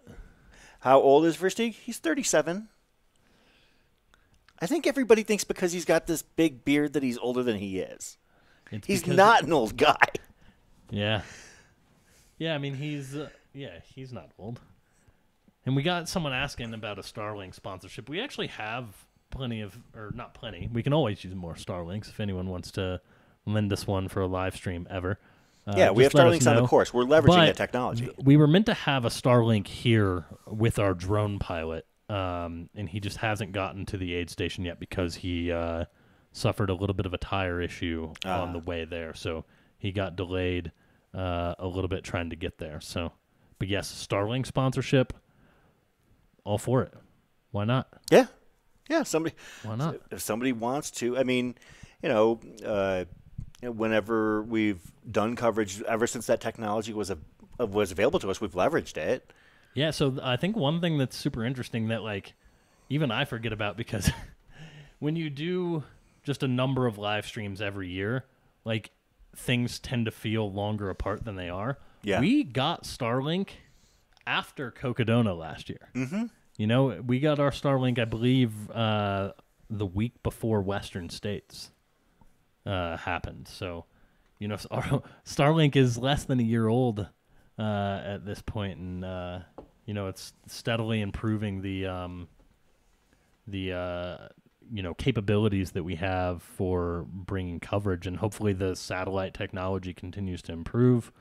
Hopefully, Starlink phone becomes a thing. Still, it sounds like that's getting close to the finish line as well. So, um, yeah, I mean, I think that that's one of the biggest limitations in U.S.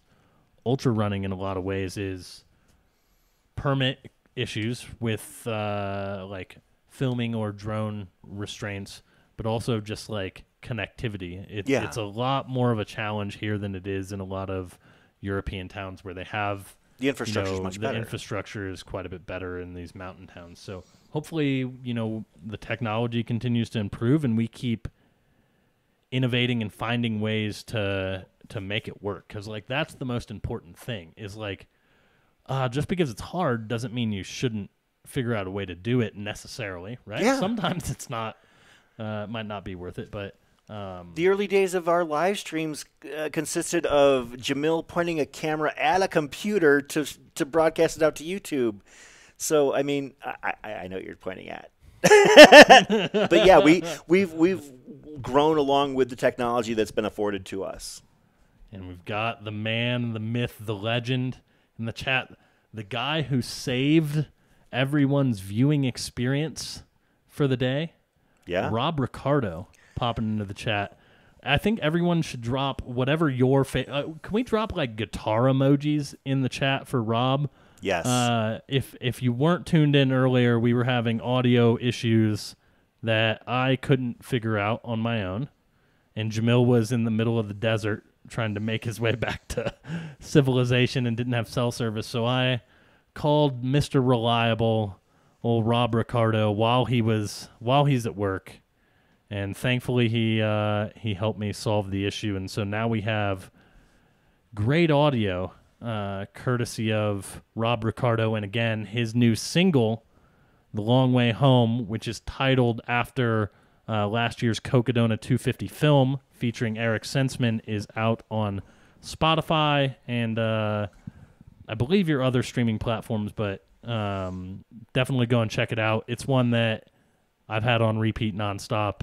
Uh, it's just like a it. It reminds me that song as I listen to it makes me think of like climbing Mount Elden and descending Elden Lookout Road in the dark, like by headlamp and under the canopy of stars. Absolutely, Like, and that's, that's the what- vibe I get. So shout out to Robbo. that's the beautiful thing about ha- uh, being fortunate enough to have Rob score multiple uh, films that have been produced uh, by uh, Aravaipa and filmmakers such as Dylan Harris is that uh, you get whenever you hear his songs if you've watched hi- the movies like you, you start to feel like for me that moment is the the shot of Mingus Mountain in the Cocodona inaugural year where you just hear Rob's you know voice and you know his guitar and uh, and you hear the bell ringing in the background and it's just such a, a wonderful uh, merging of music and uh, and visuals. So uh, yeah, if you've not heard uh, Rob Ricardo's stuff, you definitely need to check it out. Uh,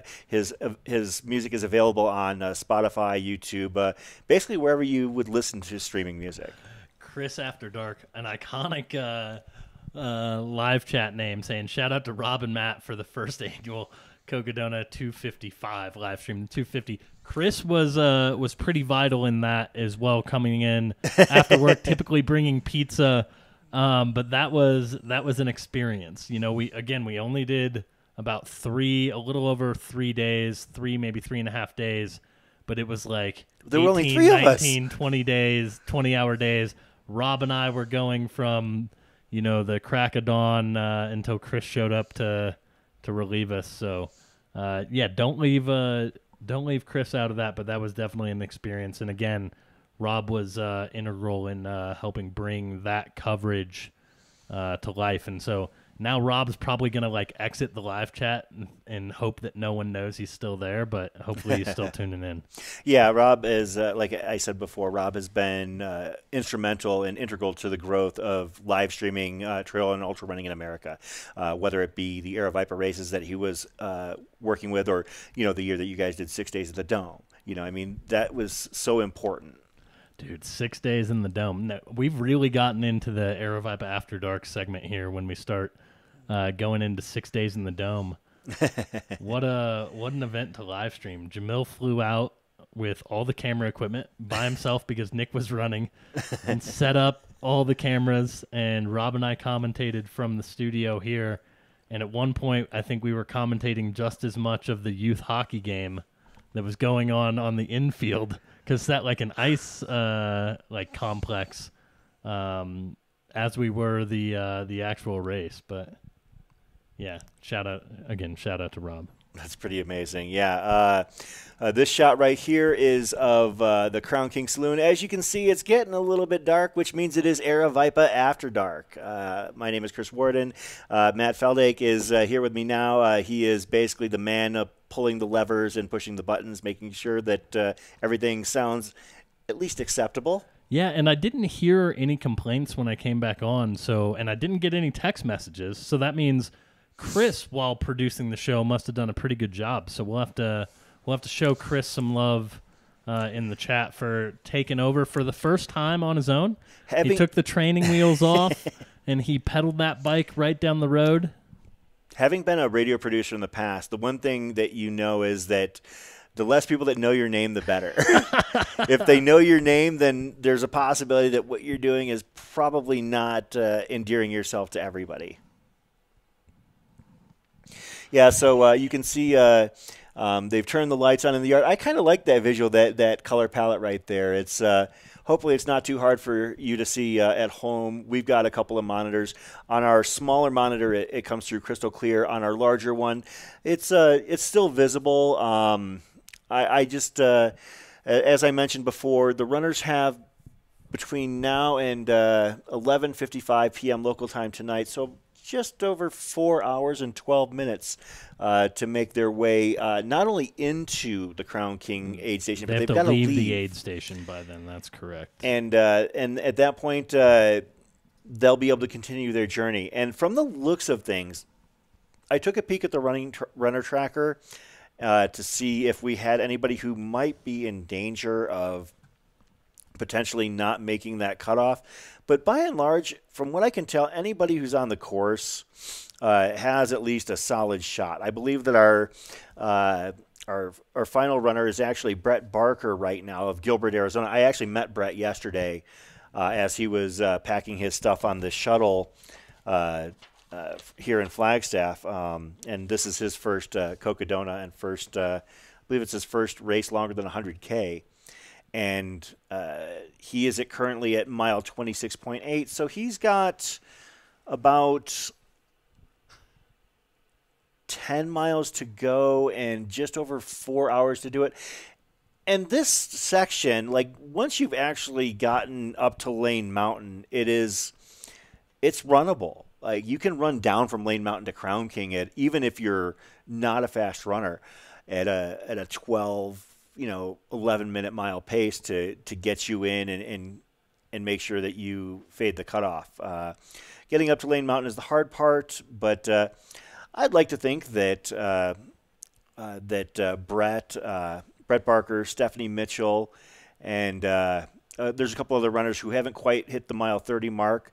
Shiona Career, Jamila Abdul, Rahim Muhajid. Natalie Bickers, Victoria Allen, and Jim Logan.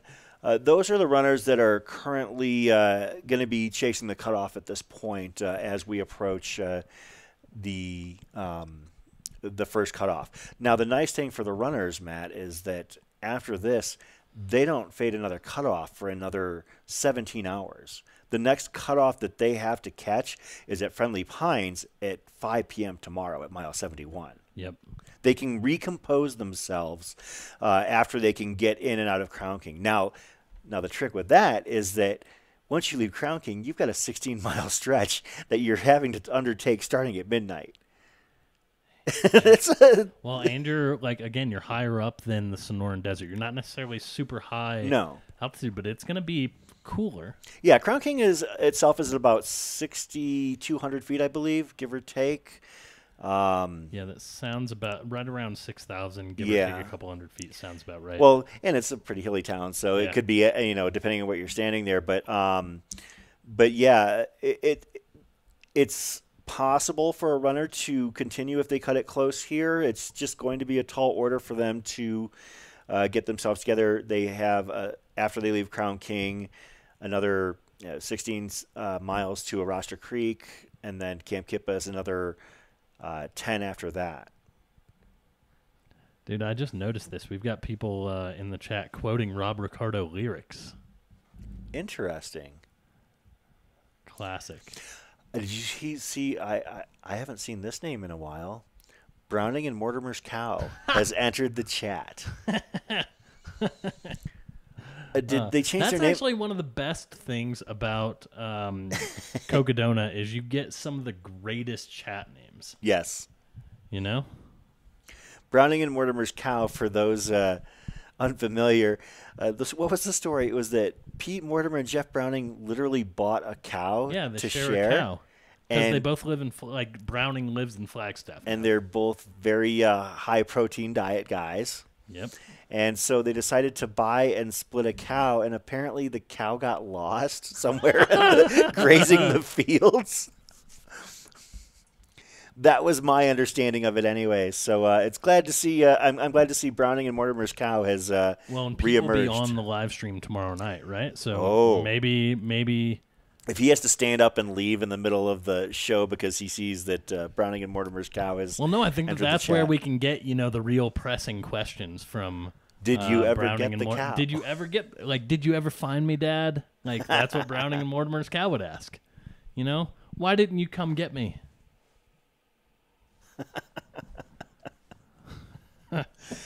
Oh, I love it. I love it.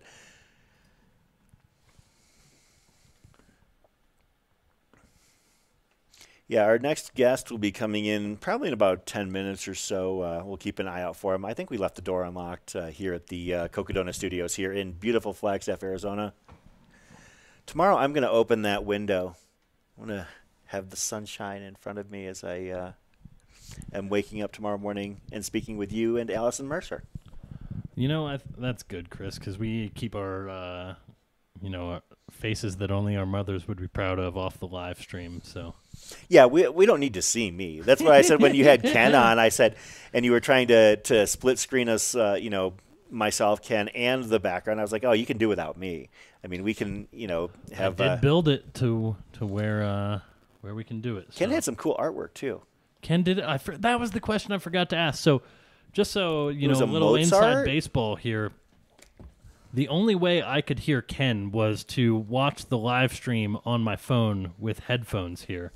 Uh, so I was kind of a little bit delayed uh, on hearing what Ken was saying. So, you know, I was flustered. I, I caved to the pressure. I should have asked him, you know, who the who the artwork was from. It was neat. It was neat. It was neat. Uh, he's in. The, he's been in the chat, so maybe if he's still in the chat, he can uh, he can let us know. Rory is Rory's in the Culver's drive-thru. So he's So gonna we'll come see here, Rory the- in about an hour and a half. It sounds like. um, uh, I saw uh, Kids Meals. I wonder if Kids Meals is who Trail Gangsters is going to see in the Culver's drive-through.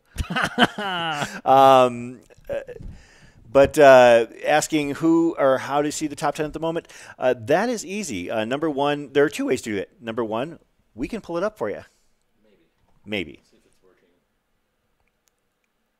We can potentially pull it up for you. All right, we're uh, we're having having some overlay uh, issues, but I can tell you how to find it. Right below the video of uh, of the Cocodona 250 live stream, uh, you can see the um, Cocodona runner tracking website and merch links down at the bottom, as well as uh, the Patreon for Steep Life Media.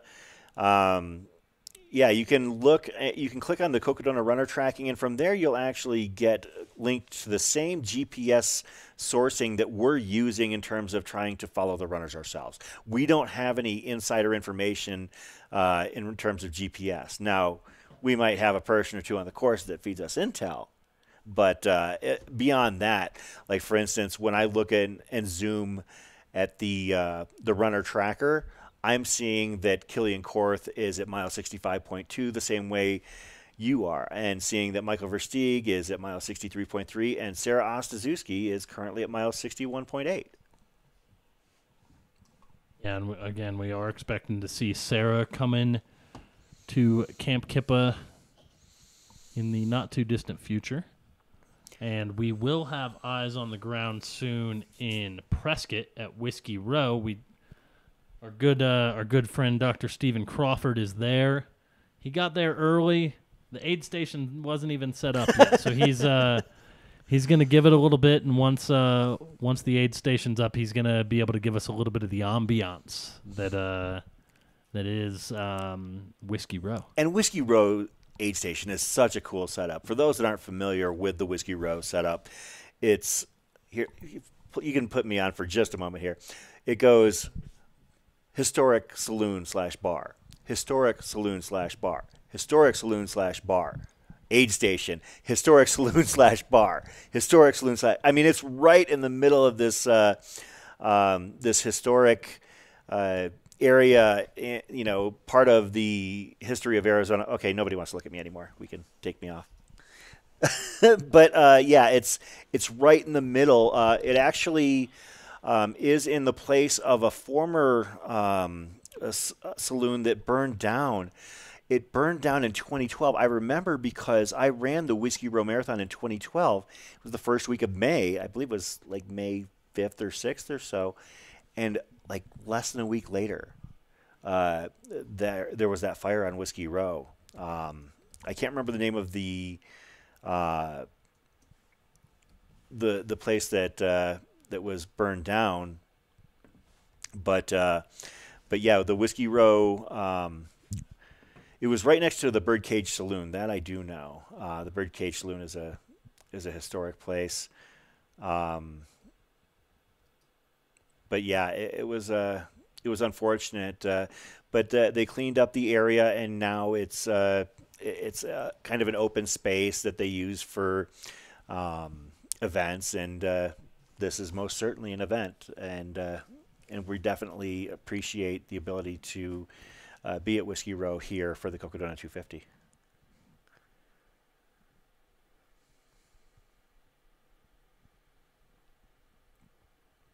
That's right, Branch. The original capital of Arizona was Prescott. Back when it was the Arizona Territory, I believe. Back when I was a kid. Yep. Yeah. It was the territorial capital, I believe. Yeah. Sipping whiskey and monitoring this live stream is hard to beat in the evening. Uh, we might have somebody who's sipping whiskey while being on the live stream here uh, uh, tomorrow night, uh, if uh, if he's so inclined. Last year, that was one of the fun things, hanging out with uh, Pete Mortimer. As he was just hanging out and reminiscing about his time on the Whiskey Row or the Cocodona course the prior year. And we are going to be able to take a look in at Whiskey Row here in just a second. Let's uh, keep my eye. I don't want. I obviously don't want to miss our women's leader Sarah Ostaszewski as For she sure. comes into Kamp Kipa. But let's go ahead. I'll keep my eye on that feed still. But let's go ahead, and this is kind of where that aid station is going to be Spider Pena. set up. Spider Pena will be uh, heading out uh, to follow runners in. Hey, Dr. Um, Stephen Crawford, can you get Spider Pena a new shirt? that that U of A Wildcat stuff has just got to go. And then uh, we'll have our first of many shad cams. Oh, Shad is great. Uh, Shad logged uh, eight, what he said, eighty-seven miles. I'm never going to remember. I think it was 83 Okay. I, oh, that's right. It was eighty-three, because I think we said 80. And he said and it was 83. Yeah, yeah. Shad was one of our follow filmers last year, and he logged eighty-three miles uh, during the waning days of the Cocodona 250 last year. He As- registered for like a, a six hour shift. and he stayed for like two days. Well, you got to figure at that point if you're following runners. And he did all of this, Chris, in like a one mile stretch of Yeah. road from the hospital here in Flagstaff to the finish line. that means he probably did 30 hours, give or take.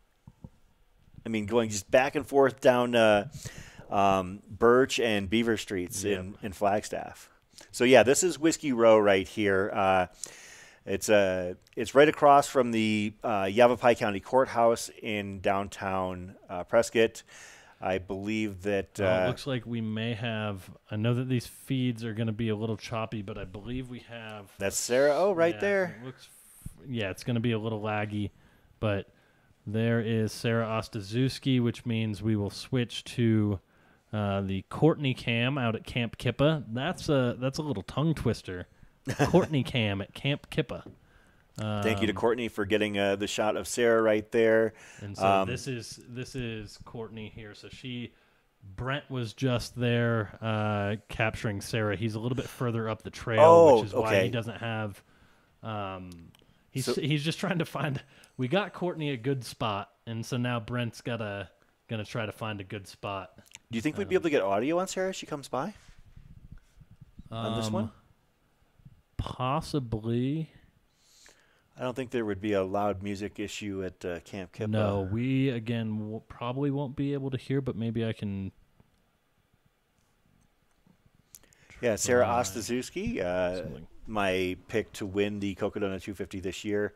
Um, in 2021, she finished in fifth. Last year, she finished third, and this year, I think she makes the jump. I heard something. I don't know. We don't. We don't need to. Oh, there's a light coming down the hill now from uh, uh, from Kamp Kipa. Yeah, you can Here see a headlamp in the upper center of the screen. No. Um, and that's that's going to be our. I hear something now.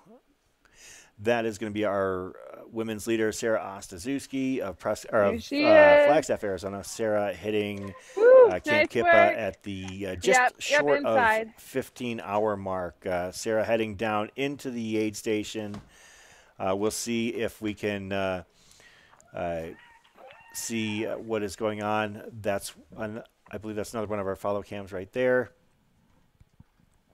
But uh, Sarah, currently the uh, leader of the Cocodona 250 race on the women's side. Yeah, And she's got a pretty sizable lead on uh, the second and third women um, at this point. Uh, about, I mean, two and a half, three miles. It's not, it's not something that's impossible to overcome, but uh, it is, uh, it is a notable lead at this point. Yeah, and we're gonna keep Courtney right here so that we can catch Sarah when she comes back out. As soon as she, as soon as any of our filmers go into that building, they're losing service. Oh, okay. Uh, straight away. So I'd rather, I'd rather stay here. I know that, you know, it just adds a little bit to the uh, to the intrigue, right? You yes. Got to keep everybody in suspense.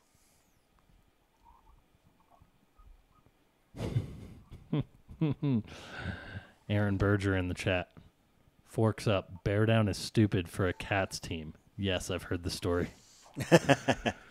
Yes, uh, Aaron uh, Berger's a, a fellow uh, Sun Devil, and uh, unfortunately, he grew up on the wrong side of the border in uh, in the Midwest, as he is from southern Wisconsin. Oh, poor guy. Yeah, so his uh, family and uh, I were actually business rivals when I were, used to work in radio back in Beloit, Wisconsin. At my first uh, time having a full time radio job, uh, his family uh, was involved with uh, uh, the local press in Janesville, which was like the the sister city to Beloit. It's like, did you ever watch Parks and Rec? Just look at how deep these stories run. Bro, I got five days to tell you all about the crazy stories that uh, have been involved. I mean, I, I my first pacer at a at a trail running ultra ever was my prom date's sister. Oh man. Yeah, I mean, I've got I got deep stories here. So, um, And but there was uh, a and question in the chat. How do you pronounce Sarah's last name? It is Ostaszewski. Yes. Ostaszewski. Rory will uh, will be in in a little bit after he he downs his Culvers that he he waited for so patiently, uh, so that he can he can he can uh, maybe he can tell us all the different words that can rhyme with Ostaszewski. I bet I'm you sure he they're in his mind. He's done a number of, uh, Yep. of raps uh, with Sarah Ostaszewski or the Ostaszewskis in uh, in the rhyme. So I'm sure I'm sure Rory is uh, very well versed on all the different words that can uh, They that can rhyme with Ostaszewski. Ostaszewski. I can definitely see that. And one of the we'll, we'll get to know Rory for those that aren't familiar. Uh, he's been a part of the Arizona running scene for years. Um, obviously, a very successful runner on the Aravaipa racing team. Holds uh, several uh, course records at Arizona events. Um, he is currently working on uh, trying to qualify for the Olympic trials in the marathon. Uh, extremely talented in that regard. And uh, when he's not running or he's not working, he's rapping. Yep. And uh, we'll uh, we'll have some fun with that. We'll uh, we'll share some of his stuff. Uh, I I have a couple of favorites of his tunes that uh, I can't wait to uh, to unleash on uh, on our viewers and listeners. Yeah, looks like there's some shade being thrown in the chat from uh, a fellow Aravaipa racing team member talking about Rory's uh, uh, fueling methods here tonight.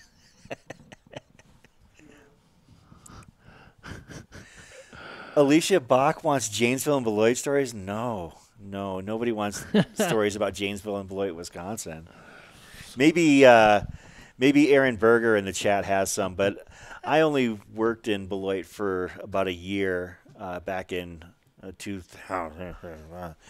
But uh, that's where I got my start, and uh, that was my first full time radio job. So.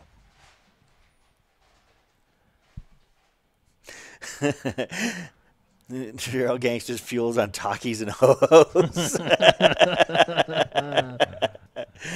oh, the poor guy just wants to eat his dinner in peace, Yeah. and and uh, wants to- and wants to eat his Culvers. and Pete's just stepping on him right there. I know.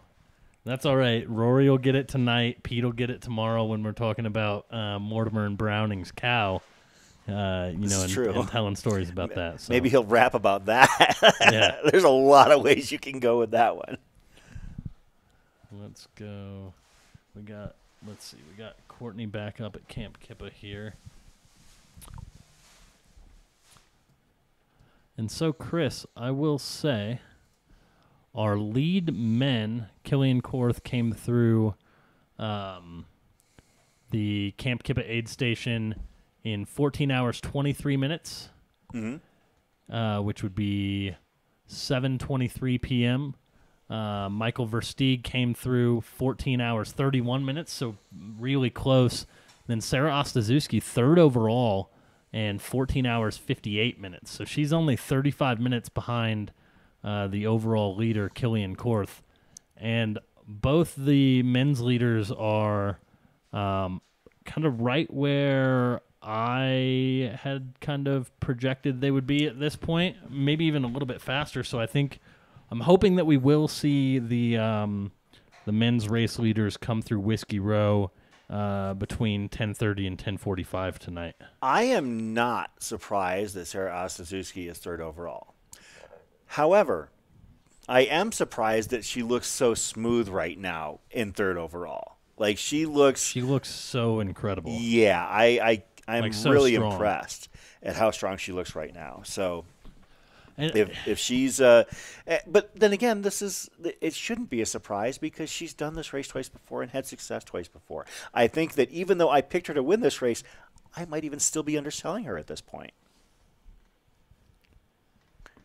Which is saying something. Yeah, I mean, she's just really like the last 18 to 24 months for Sarah has been probably the last 18 months has been spectacular, right? Like not that she wasn't performing well before that, but to absolutely dominate Mogollon Monster in the way that she did, to come and have such a strong run at Cocodona last year, to have done, you know, a variety of other races that she's had a lot of success at, um, and then to now be out here um, having this kind of run again. We're still really early in the race, but uh, her last 18 months is really shaping up to be uh, something special.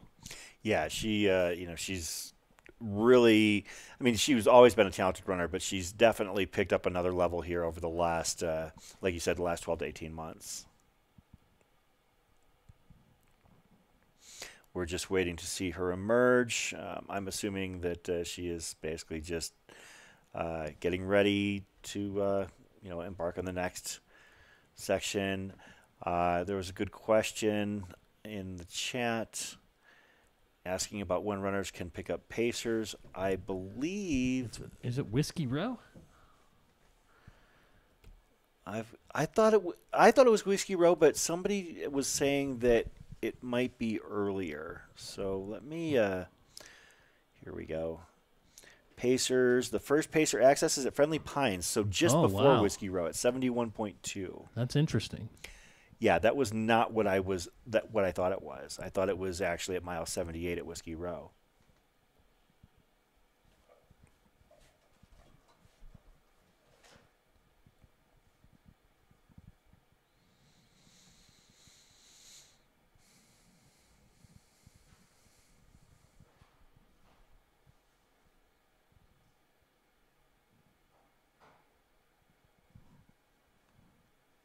Thanks to Courtney for being out there and uh, keeping a cam on uh, on Kamp Kipa because Kamp Kipa is a bit of a remote place to get to. So uh, we're grateful to have you out there.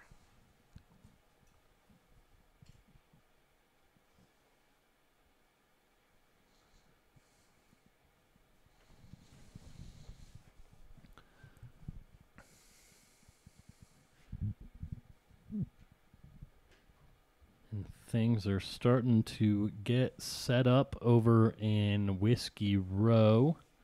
Again, we don't expect our lead runners to be there probably for another two and a half ish hours. I do think that they're going to come in uh, before that 11 o'clock hour, hopefully.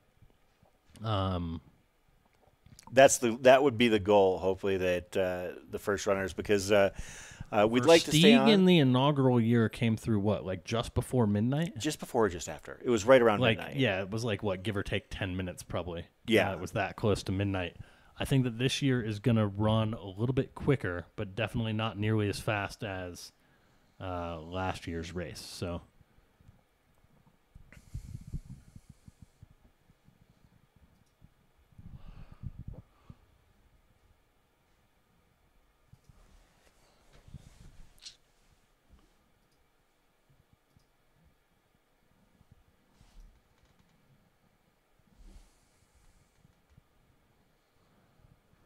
we are going to send it to kind of our static shot at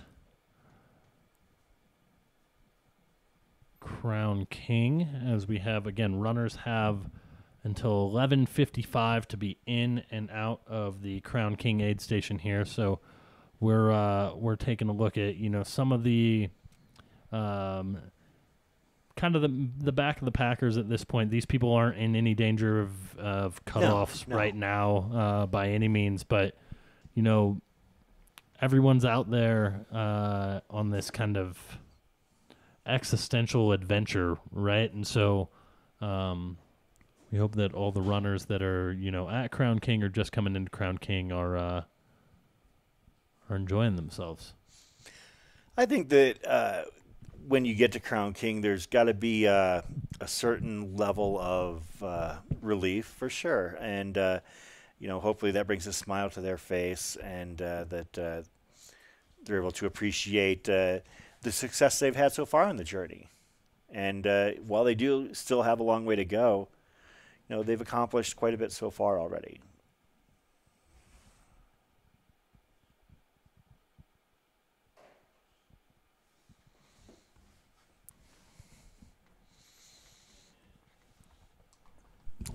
And we'll send it to Whiskey Row here. Just taking in the sights and sounds.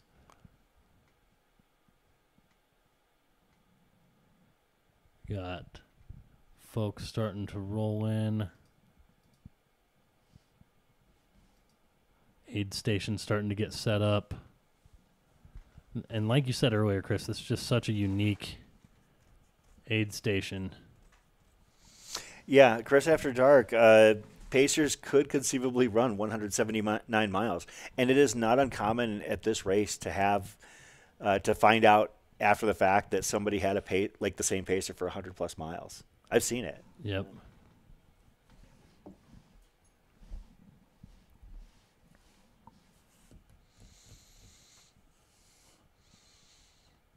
Oh, is this Arlen Glick is pacing Sarah? Somebody posted that in the chat.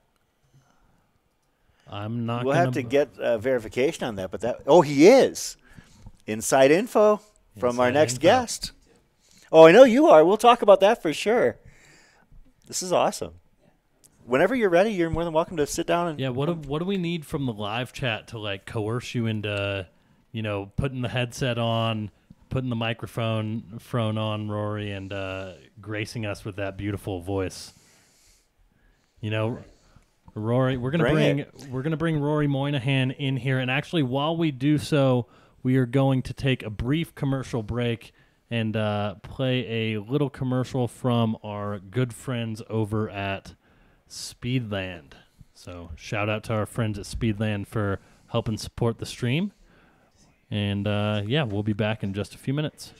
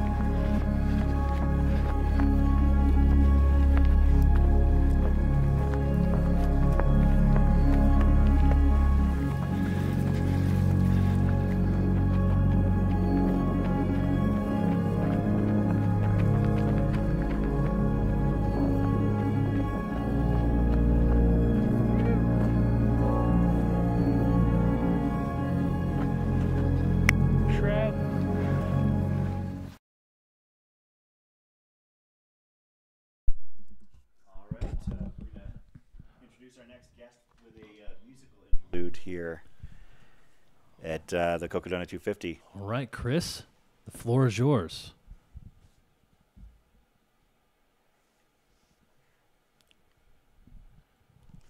So I don't think there's going to be any audio. Well, we, we got to have the audio on this. It's gonna. I know. I, I, know. I know. I know. Um, but uh, well, actually, I guess you can kind of see what he uh, what he's all about. Uh, Roy, come on in and have a seat. Oh, and then we just got a Shelby, Shelby Farrell sighting uh, in the video there. Shout so I to got no audio here. Well, you're uh, you, you we don't actually you won't The hear any audio in the internal, have so audio. it- you won't hear audio in your ears. there's no monitor on that. Put on the music video. Oh, Yeah, okay. so- Yep. Well, to uh, address your question about the rhyming, I asked my Krewskis for a few brewskis, then I got passed by the Ostaszewskis. That's a previously written bar. I, love, love that. it. That was your Heavily in a Hundred song from a couple right. of years ago, folks. Uh, we'll uh, pop it into the studio here for a moment. Uh, this is uh, Rory Monahan, uh, the trail gangster himself. Uh, Rory, uh, welcome to the Cocodona live stream. This is something that I've wanted to do for years. I mean, uh, I've always, uh, you know, we've been friends for a while, and Absolutely. and now that uh, we've actually had the chance to get you in studio, I'm really excited to uh, to have you in here and to to be a part of this. And uh, you're a member of the Aravaipa Racing Team, Thanks for having me. Yeah. Mhm. and you're working on uh, trying to uh, qualify for the Olympic trials in the Yeah. marathon. Um, and uh, what else do you have going on? Yeah, I, I know that goal doesn't particularly sound like a, trail gangster's goal, so I have some strengths on the road as that's my background. So that's something I've, I've been working on since I moved to Flagstaff. Um, I used to be a teacher, cross country coach in the Valley at Desert Edge High School in Goodyear.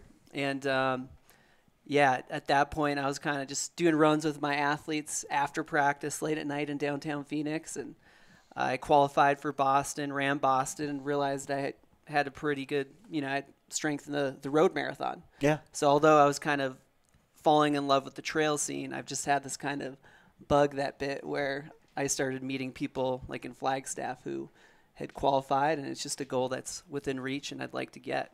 Um, what kind of brings us full circle is we're like blocks from my first residence in Flagstaff. Oh. Um, one thing I like about this city is like if you're coming here to run, sometimes you have to like take a bet on yourself. But I like I rented this bedroom. I won't say we're at, just a few streets away Mhm. from this nice um, runner, and I just kind of planted myself there, lived there for a few months.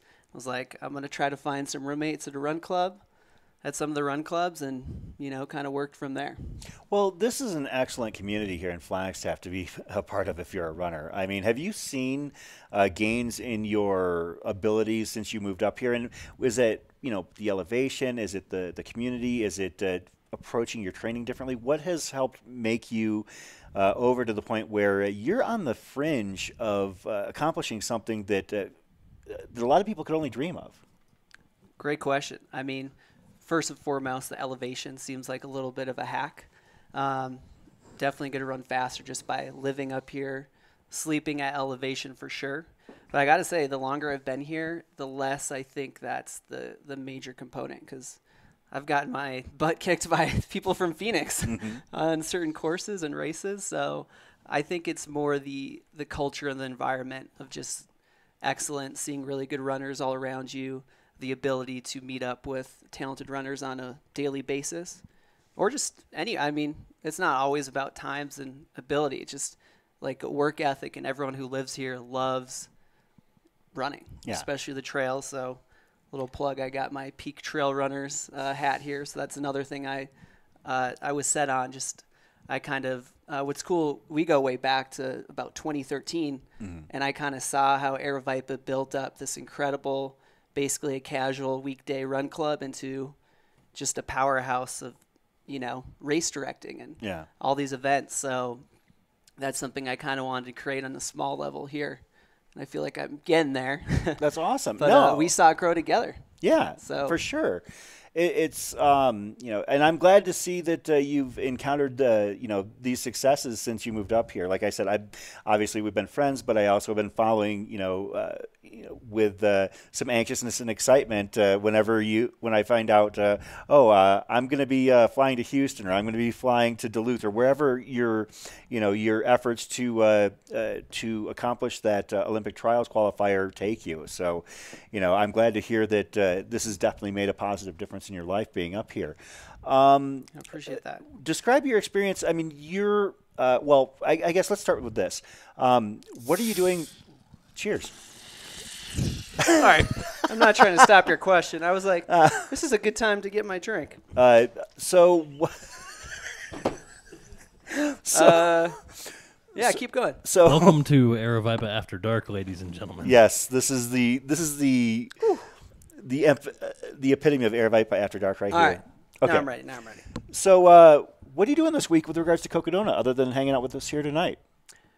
Uh, you know, man, I feel like I always got some kind of projects going on. I like I like flexibility with my schedule and training. I'm a Mhm. substitute teacher, so um, I got to do that. I'm actually dog sitting for some friends. I just joined the Rover app. I mean, I'm just kind of grinding on all levels with just side jobs to uh, enable hopefully trail gangsters to be the main hustle. Yeah. Um, but I, I'm pacing Sarah Ostaszewski for a later section of the race, and I plan to be filming out there and fill in wherever needed. Obviously, being part of the Aravaipa team and uh, knowing the course and watching it the past two years, I want to help out however I can.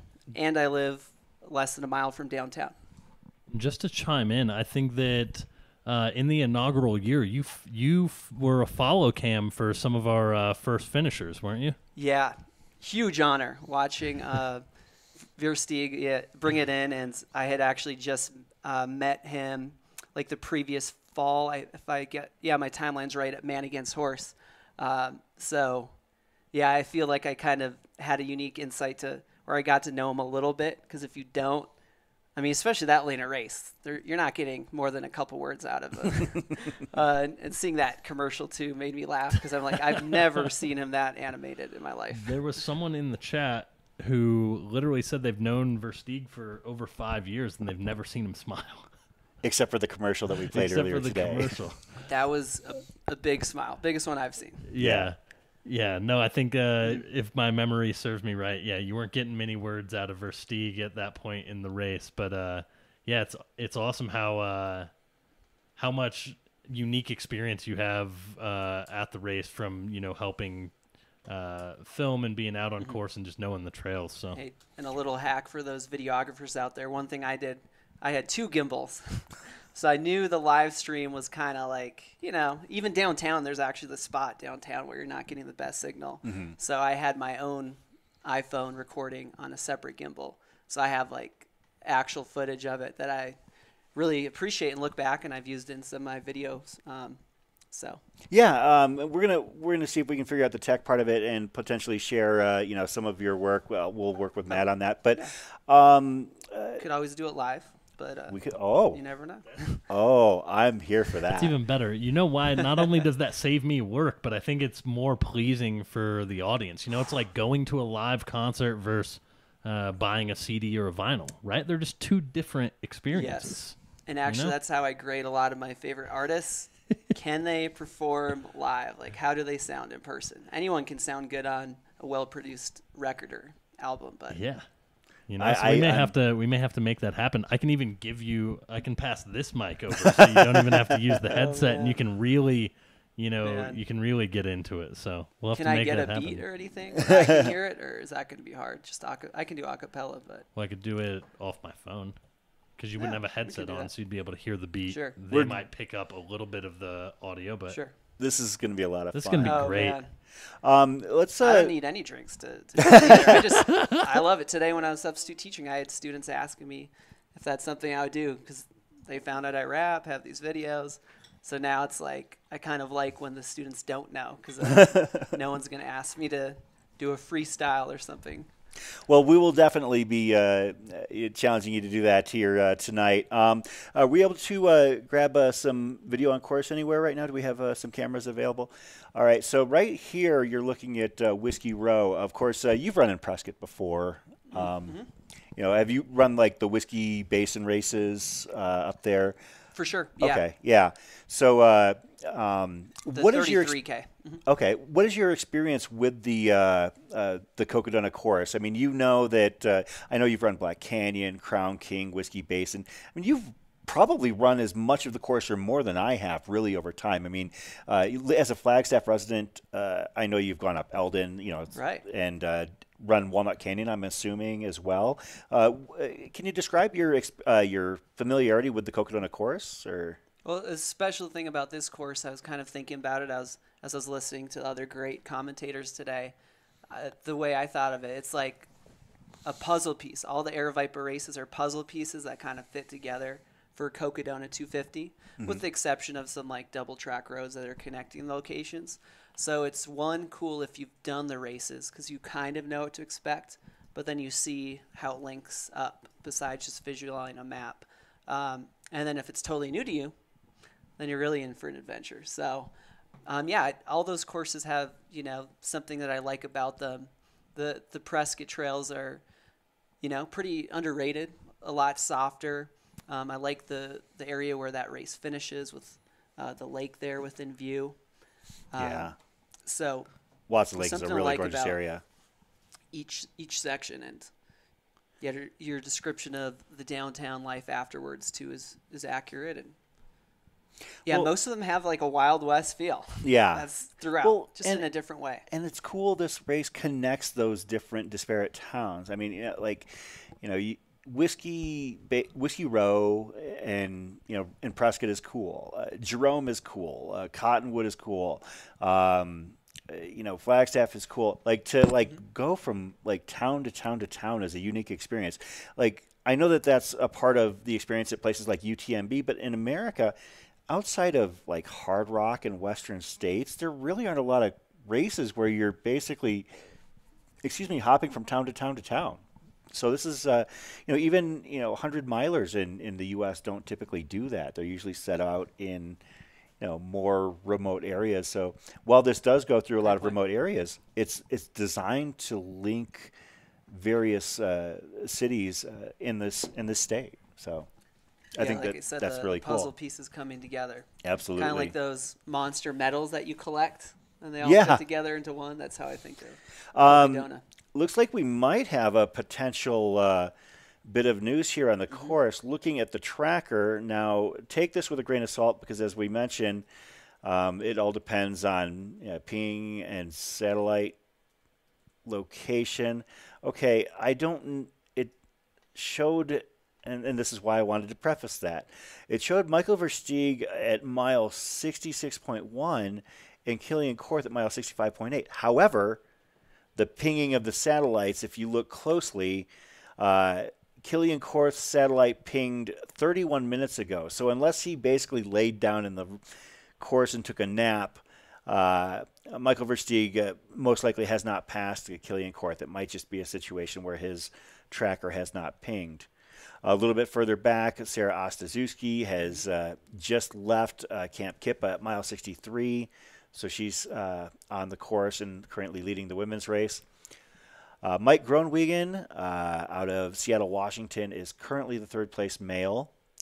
Uh, and the second place female right now, currently Micah Thews out of Colorado.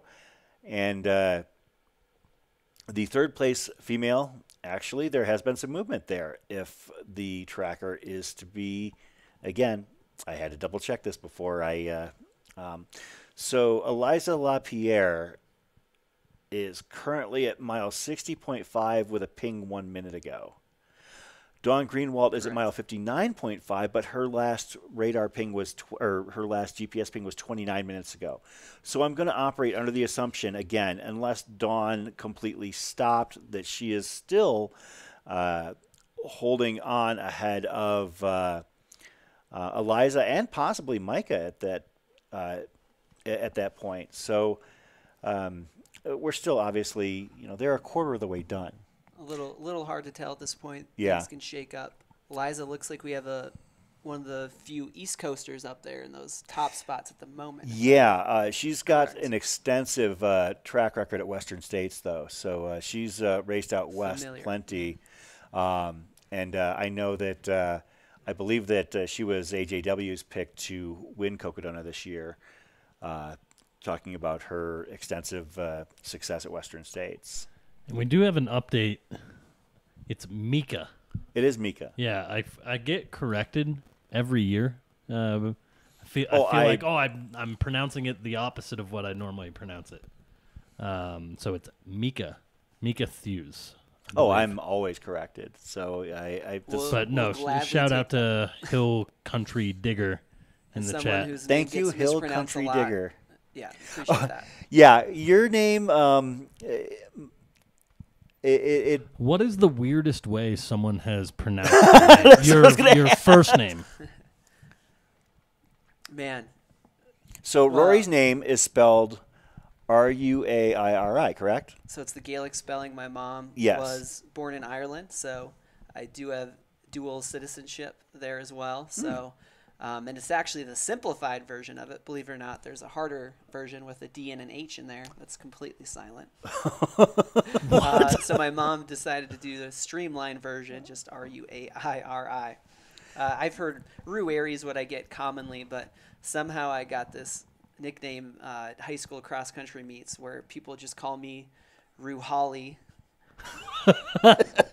and then Ruhali Mahogany. I kid you not. I, I don't know if it was exactly that, but the you know my high school teammates were just laughing hysterically. I think I you know was going up to get an award or something, and and then it just maybe it was some other version, but over the year it just became Rahali Mahogany. So that is That's supposedly pretty. the worst. That's pretty crazy. Yeah, that's. Uh, I That's- that's up would there. expected that.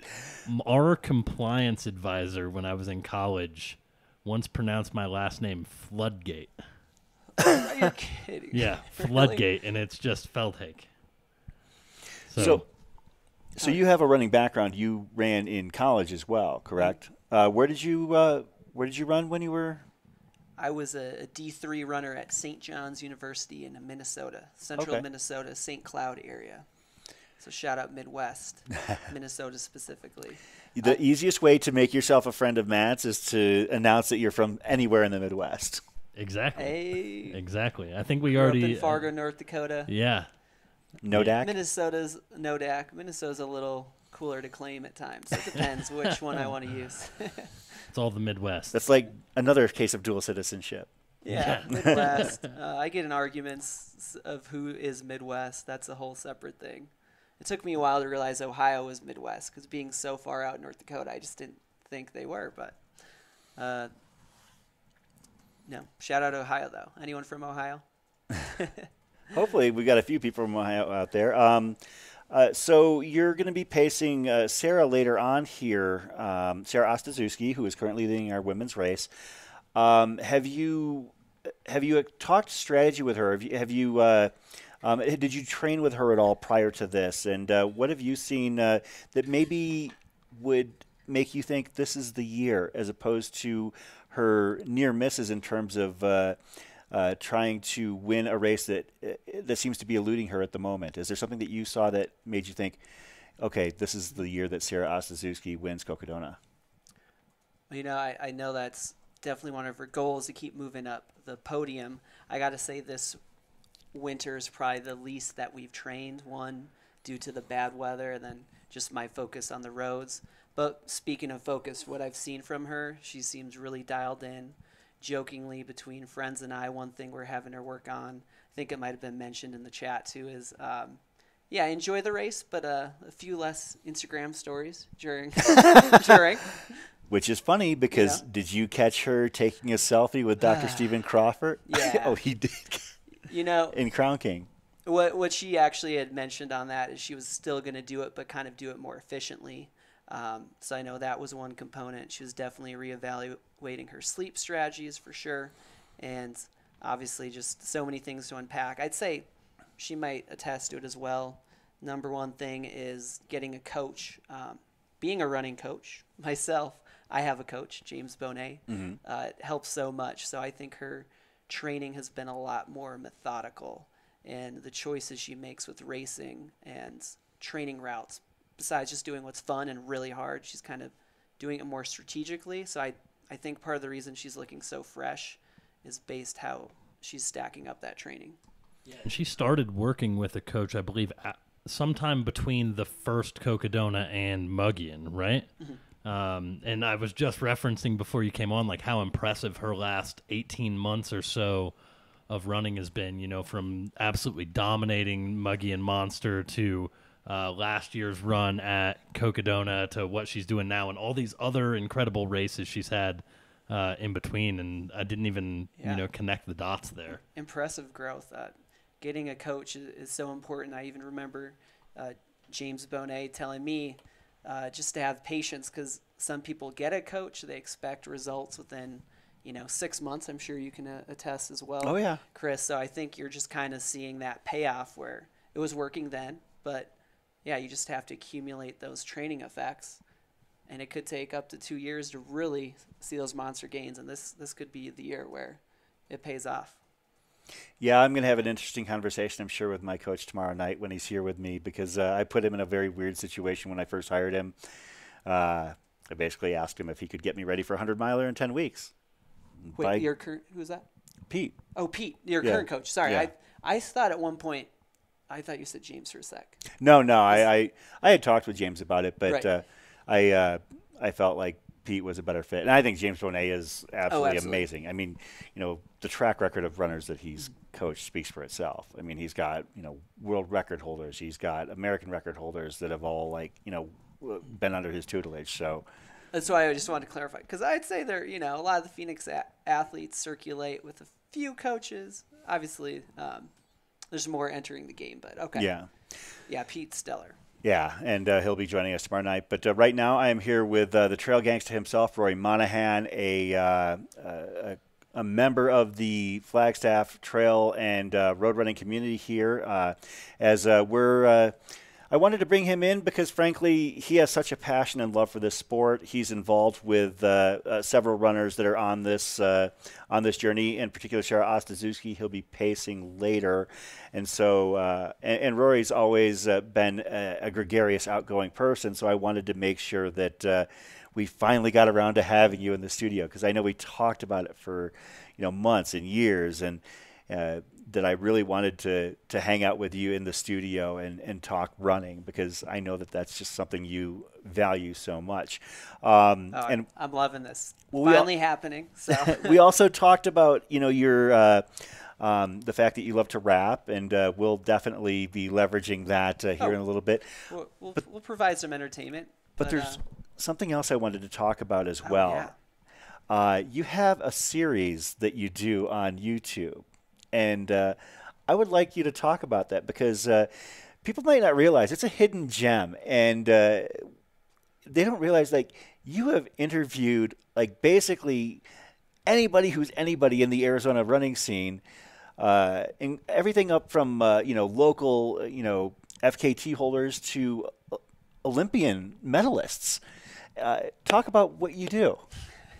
And then after you explain sure. what you do to everyone, can you tell us? Because I don't want to forget this question. Can you tell us who the your favorite interview was out of all the amazing people you've uh, you've wow. interviewed? Like, pick your favorite kid. You know? Okay, I feel like, yeah. I, I don't want to distract from any coverage here. I feel like I'm getting my own interview. Oh, but, um, Matt will let us know if we're gonna okay, okay. miss something. So, so for sure, I, am so used to being on the flip side. I yeah. was almost a journalism major in in college. Um, but yeah, anyway, uh, the the show you're referencing, which um, sometimes the output on YouTube is a little sporadic, just because honestly it's a one man show with Trail Gangsters. Tra- yeah. Uh, video editing takes so long, and I'm uh, really picky when I do interviews. I like them to be in person.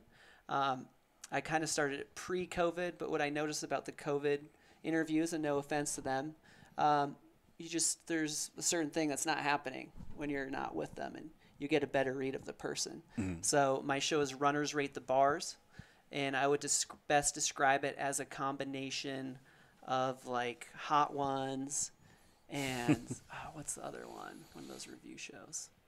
I guess Hot, Hot Ones is like a big template yeah. in that it's a deep dive interview. The focus isn't like we're not just going to talk about your training block leading up to Western States. I want to get to know the person in a funny way. Having like a prop or like a drink some other focus is going to bring out different conversations. So there's two two stages. We first part we rate bars as in beer or alcohol. Mm-hmm. If they they don't drink alcohol, um, I'll work with them on something else. Like I just did an interview where Stephen Haas, the coach of Dark Sky Distance, has never had a sip of alcohol. Wow. He's agent to some of the best athletes in the country, and uh, we had him rate sweet tea from some of the fast food Interesting. Spots. So I was having him rate like Chick Fil A and Canes and. I was gonna he, say if you didn't say Canes, I was gonna. oh, he nailed them too. A little spoiler alert, but when that comes out. So anyway, um, by just having that, you know, he's taking a sip of that, and it's reminding him some story from his childhood. So it kind of takes the conversation a new way. And then part two, it sounds like a lot of work, but it's worth it if you watch it. Uh, is rating the bars like music, rap yeah. lyrics. So. Oh. Um, doesn't have to be rap. Like I've modified it. I've had Jeff Browning on there and Pete Mortimer. Obviously, they're they're not just. A man, their taste in music is crazy. Similar overlaps with Sarah. I understand Sarah has a cool playlist out there. A lot of heavy metal and rock. So, oh. Um, yeah. So, in a nutshell, we use those two things to get a really good interview out of runners. Yeah. So, going back to favorite, and it was probably the earliest it's got to be Molly Seidel. That was what Best really one. blew my mind, and you know to to see you know because you knew Molly before she had you know uh, had medaled. Mm-hmm. Uh, like, what's that like to know that somebody that you know and that you were friends with, like, went to the Olympics and came away with a bronze medal? It's crazy. I mean, yeah. she brought the medal to Run Club, and you could hold it in your hands and like feel the weight.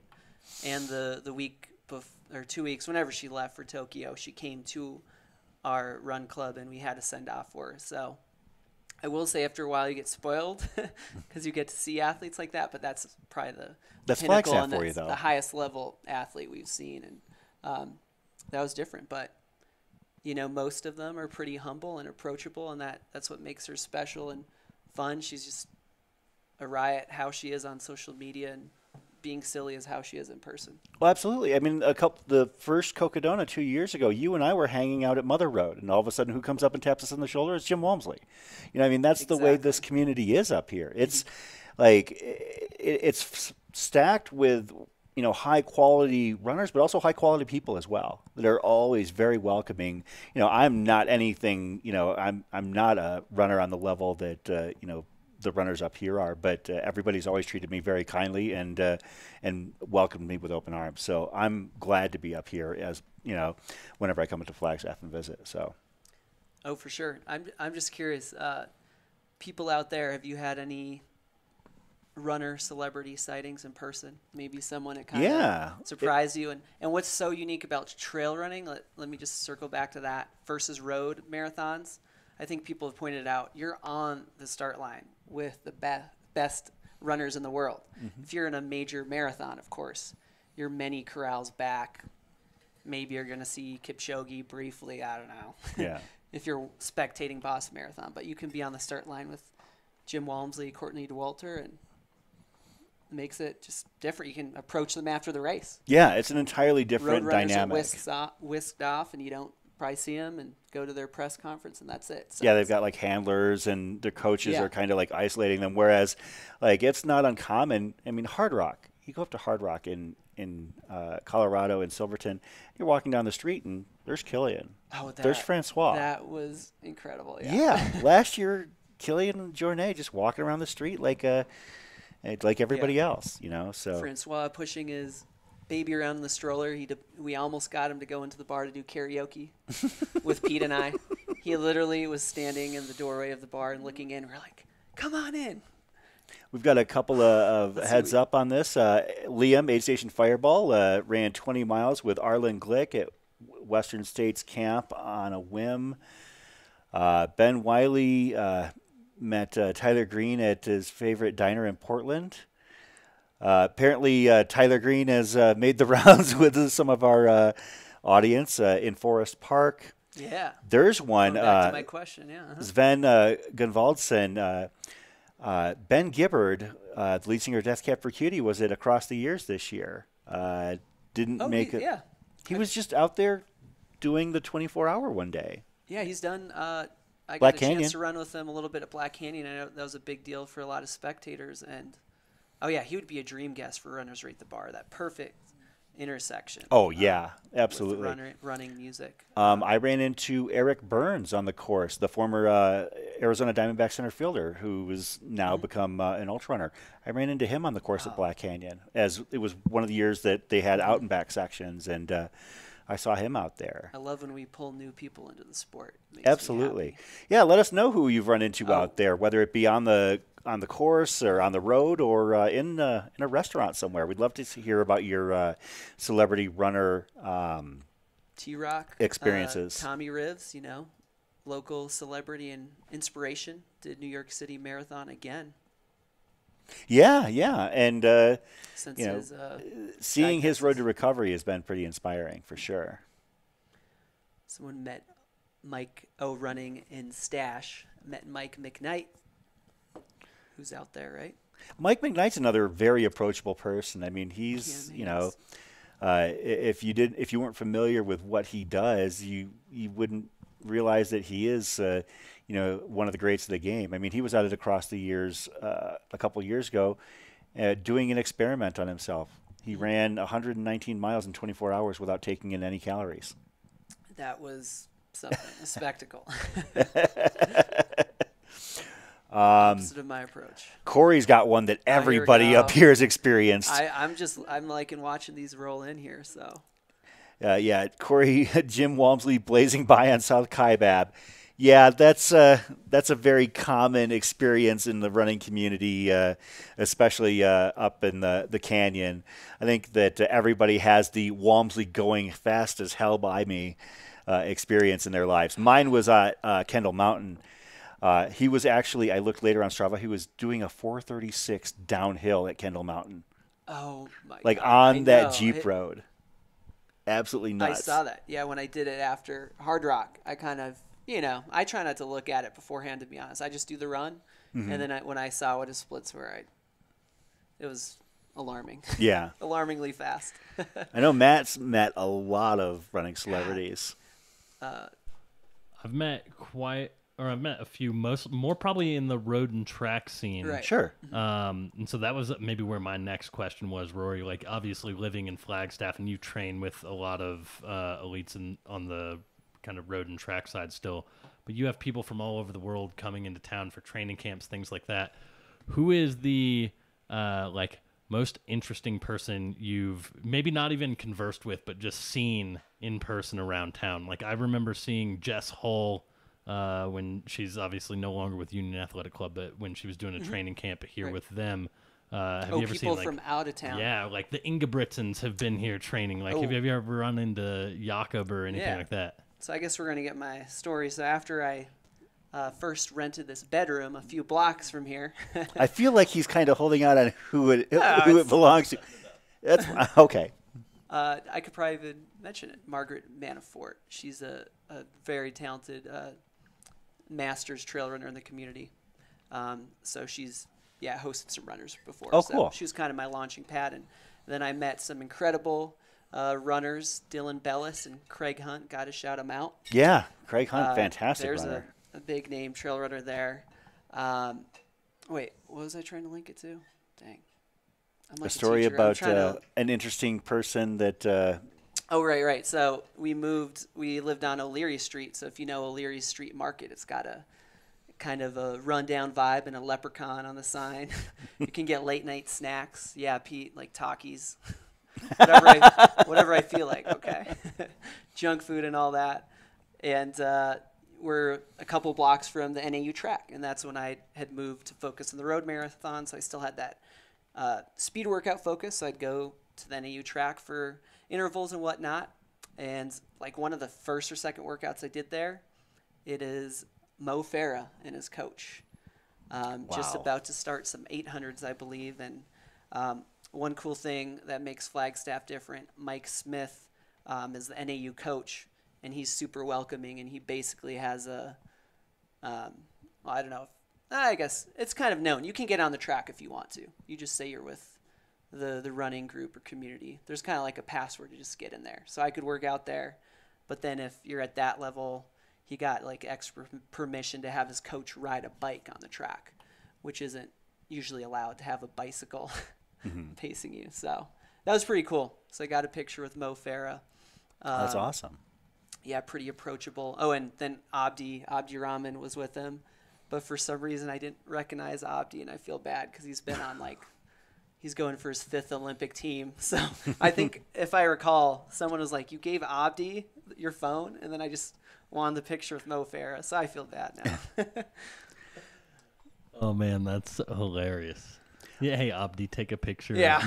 That's the problem here. It's like- so uh, when you're uh, um, when you take a look at this Cocodona roster, I don't know how extensively extensively you've looked at it. Uh, uh, who are some of the names that you're familiar with beyond uh, Sarah Ostaszewski, who of course you're going to be pacing, and uh, Michael Versteeg, who uh, you basically uh, ran alongside. I don't know if you have uh, uh, access to a roster, roster list in your. oh, uh, just locals and stuff. yeah, like well, just who in that um, in that uh, list have you had some experience with? For sure. Oh God, is how do you get, not get distracted by the comments rolling in here? Oh. it's like we have, we have so many threads, and I, as a teacher, I like to tie up the loose ends. I'm like, oh, I wanted to. Oh, then this is probably, point- so uh, driving probably- you oh, crazy. I can I can manage it too. You know? Sure. Um, but uh, well, I, I know I saw a comment on there that we were talking about a lot of the people at the very top. Um, Alexander Lamb. I think he's Lammy Lamb on Instagram. Oh, go Michael. That's Is he nice. taking a whiskey shot? Of course. Okay. uh, also, this is going to be ADD episode, uh, stream here. I got something else. I'm going to bring some props out for this, awaiting the arrival of someone at Whiskey Basin here. Um, Oh. So Alexander Lamb, I wanted to shout him out because he's a doctor in the area. He has a crazy schedule, of course. Works super hard. He does train with uh, Sarah and Melissa quite a bit. Um, Bib but number I one believe he's moving soon, and he's just had this mission before he moves on somewhere else. He, I know he's um, better friends with uh, them, so I, I'm not sure where he's going next. But I just know his last thing before moving was let me sign up for Cocodona 250 so I can see all the main trails in Arizona. Are you seeing him on there? Yeah, I know. Alexander is uh, having a pretty good race. He's uh, uh, he should be hitting uh, Kamp Kipa probably within the next two hours. So, So- uh, Yeah, and we saw him a Solid. few times early on. and He was actually running with uh, another Flagstaff local, Kerry Henderson, uh, who's Oh. back after uh, you know a finish last year, wanting to get the uh, that full course experience, wanting to get through that first uh, Mm-hmm. 35 miles. Um, Oh, she was on my So- short list that I would mention as well. Yeah. Uh, yeah, incredible runner there, crewed by uh, one of my good friends, Austin Corbett, co-founder of Peak Trail Runners. And yeah, she's kind of trying to crack the code by going for it again. and she um, works for the nonprofit Wilderness uh, Volunteers.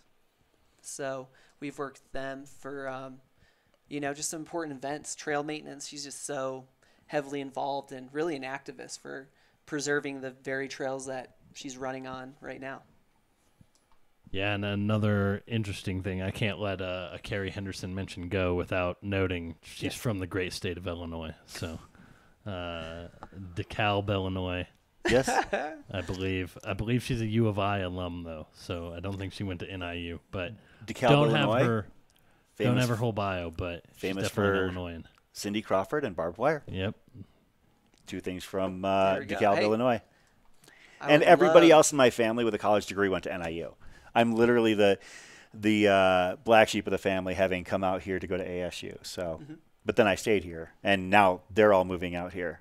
So, but uh, but yeah, um, you know, I'm really glad to have you out here. You know, and we're gonna you know be hanging out here tonight. Uh, uh, this is the Cocodona 250. I'm Chris Warden. This is uh, Roy Monahan, the trail gangsta himself.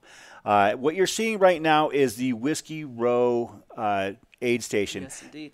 There is not a lot going on there right now, but they are getting ready for runners to start hitting Whiskey Row. We generally expected the runners to first hit anywhere between 10 p.m. and midnight. The closer to 10 p.m., personally, the better. Uh, we'd love to see uh, our, our top uh, runners hit uh, that aid station before we go off the air tonight.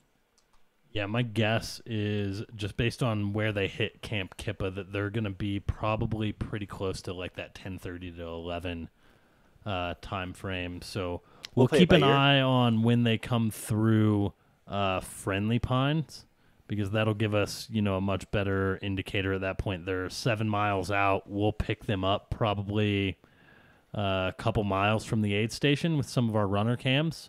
Um, so yeah, once they hit Friendly Pines, we should uh, should have maybe a, a little bit better of an idea uh, of where they're at. And it looks like the last update I'm seeing, Kilian Korth updated nine minutes ago at mile sixty nine point four. Uh, so about a mile and a half from Friendly Pines as of uh, about nine minutes ago. So um, yeah, and Versteeg is at mile sixty eight point six, and he just updated. So he's about two and a half miles out. Okay. Um, uh, what you're seeing now, uh, it looks like they've got a fire pit set up at Whiskey Row. Uh, I did see uh, the Prescott area trail runners uh, getting things set up. I saw Paula Olson in the uh, aid station there. Paula is a a runner and volunteer here in the the the Aravaipa trail running community.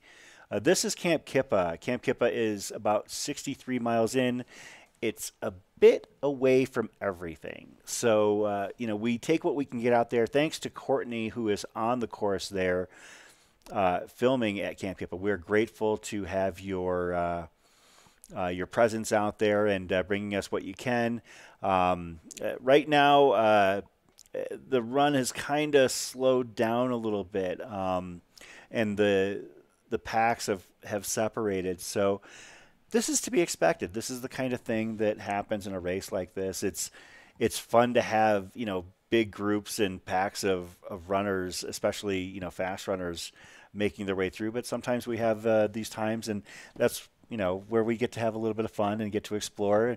One of the things that you did was After uh, dark, but- talk. Yeah, this is Air Aravaipa After Dark. This is what it's all about. But I will say, you know, they they might be uh, trying to decide if, you know, they keep moving at night, getting some sleep. We kind of wonder how how much of a toll the heat took on them. So I guess Hey- that's what we're about to discover here. what is the longest race that you've run to this point? Is it 100k, or have you done anything beyond that? You know, I've topped out at 100K, a Lake Sonoma 100K. It was kind of a weird off year where they took away the golden ticket status. So um, I think they've brought it back. But anyway, it turned out to be, I think, bonus five or six miles and Oh. 100 degree heat, similar to what the canyons 100K runners just dealt with, and Mhm. 100 milers. But uh, yeah. So, um, how would you? quite had to take a trail nap. Never. Okay, so, my uh, that's what I was gonna ask. Yeah, I need to get my street cred up with that. Never taken a trail nap. So it sounds like You our. guys? Oh yeah. Yeah. I'm I'm a back of the packer who's done, uh, you know, some some longer stuff. So absolutely, I've been, uh, I've I've slouched down, uh, you know, against a tree or two in my Yeah. day for sure. Uh, we're getting I'm word a former that road and track guy. If you think I'm taking a trail nap, you're out of your mind.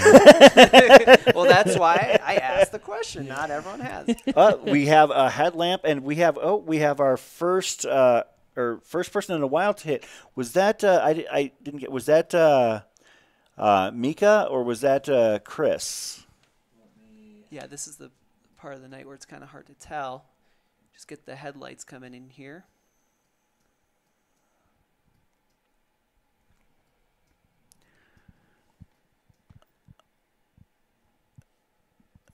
And is that that's a dog in the? That's the Chris right there. Yeah. Where? Did I miss that? There's a. I, Uh, off to the side. I don't think so this is the live saw- one, I saw and dog. this is the what they see on YouTube. So Oh y- y- you're gonna want to Okay. watch this one. Okay. Um, See, hey, I'm I'm learning on the he's spot. learning. here. His, he's finding his way around the studio.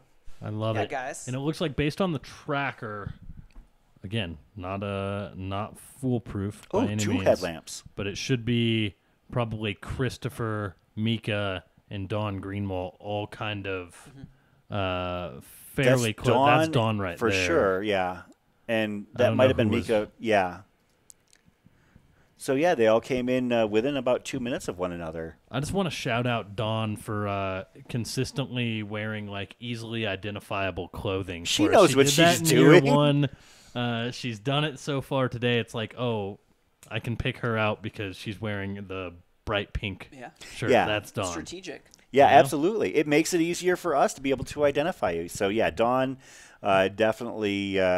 I, I think I actually joked with her about it once. It's like you know she's very easily recognizable when she's out there. Even when she wasn't racing last year at Cocodona, she Yeah. was running alongside uh, some of the final finishers. Beaver Street, uh, Yeah, for some of our absolutely. final finishers. And it took me a second. I was like, wait a minute, that's Dawn Greenwald right there. So yeah. So when even when she's not running this race, she is all in and being a part of it. So- So, Ad- bright colors, advantage for the spectators, disadvantage if you're trying to compete. What do you think? Because I know the uh, new Aravaipa team singlets or T-shirts are a bright yellow.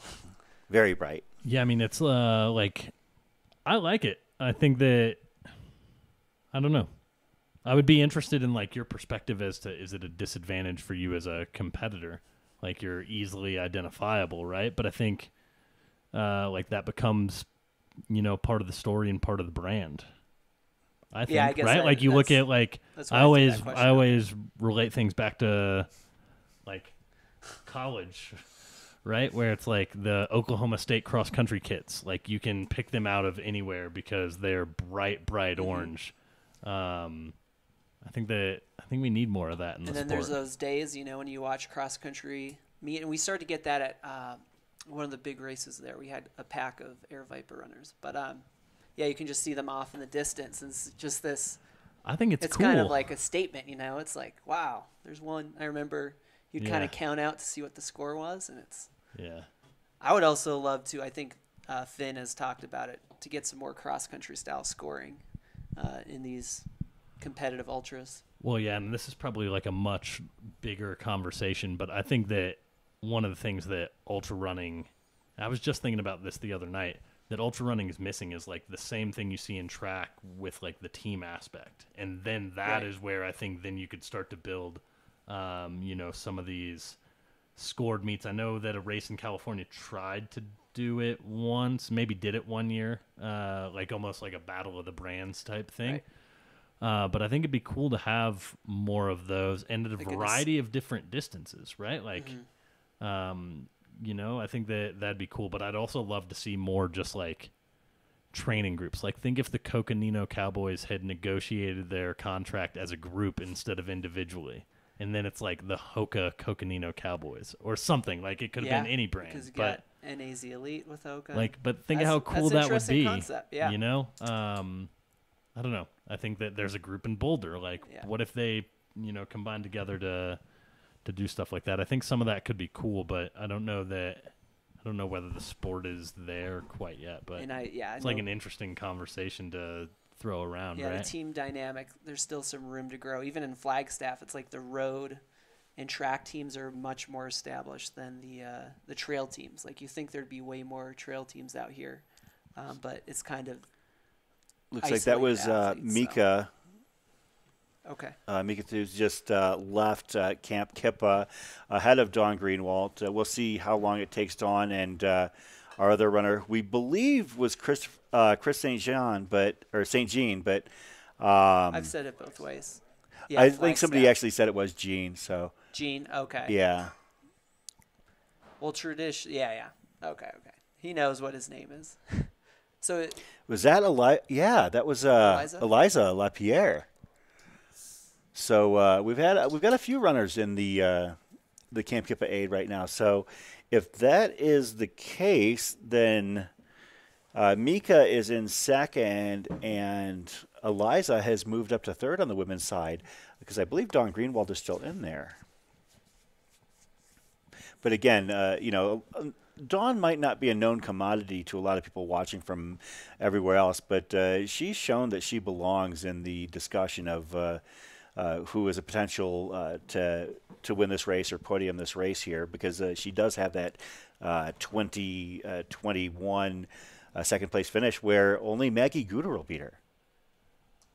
Yep. Yeah, and uh, it looks like maybe Eliza's uh, tracker just hasn't updated in a while, and that was maybe why we missed her. Yeah. Mika is is probably through the. It's hard to tell if they're th- out of the aid station or not um, until their trackers like update a few times. Um, There is but- a, a possibility it could slow people down a bit. Uh, it looks like Albert's noting that Andrew uh, Glazer and four other runners went off course about a mile. So bound to happen. Yeah, and we'll work to try and get you an update from Race Command on uh, maybe what exactly happened there as well. Interesting that uh, it looks like the top four women have separated themselves by a pretty significant margin um, because the next women after the top four that are here at Kamp Kipa uh, include a group of uh, Alicia Jenkins and Sally McRae. Um, and uh, they are about five miles back, which uh, seems like a, a surprisingly uh, large margin for this point in the race. But but who knows? Um, you know, I know that there are a lot of people that are rooting for Sally, and she's had success at everything uh, that she's done. But 200 miles plus is a different animal, and uh, we saw it even last year uh, with.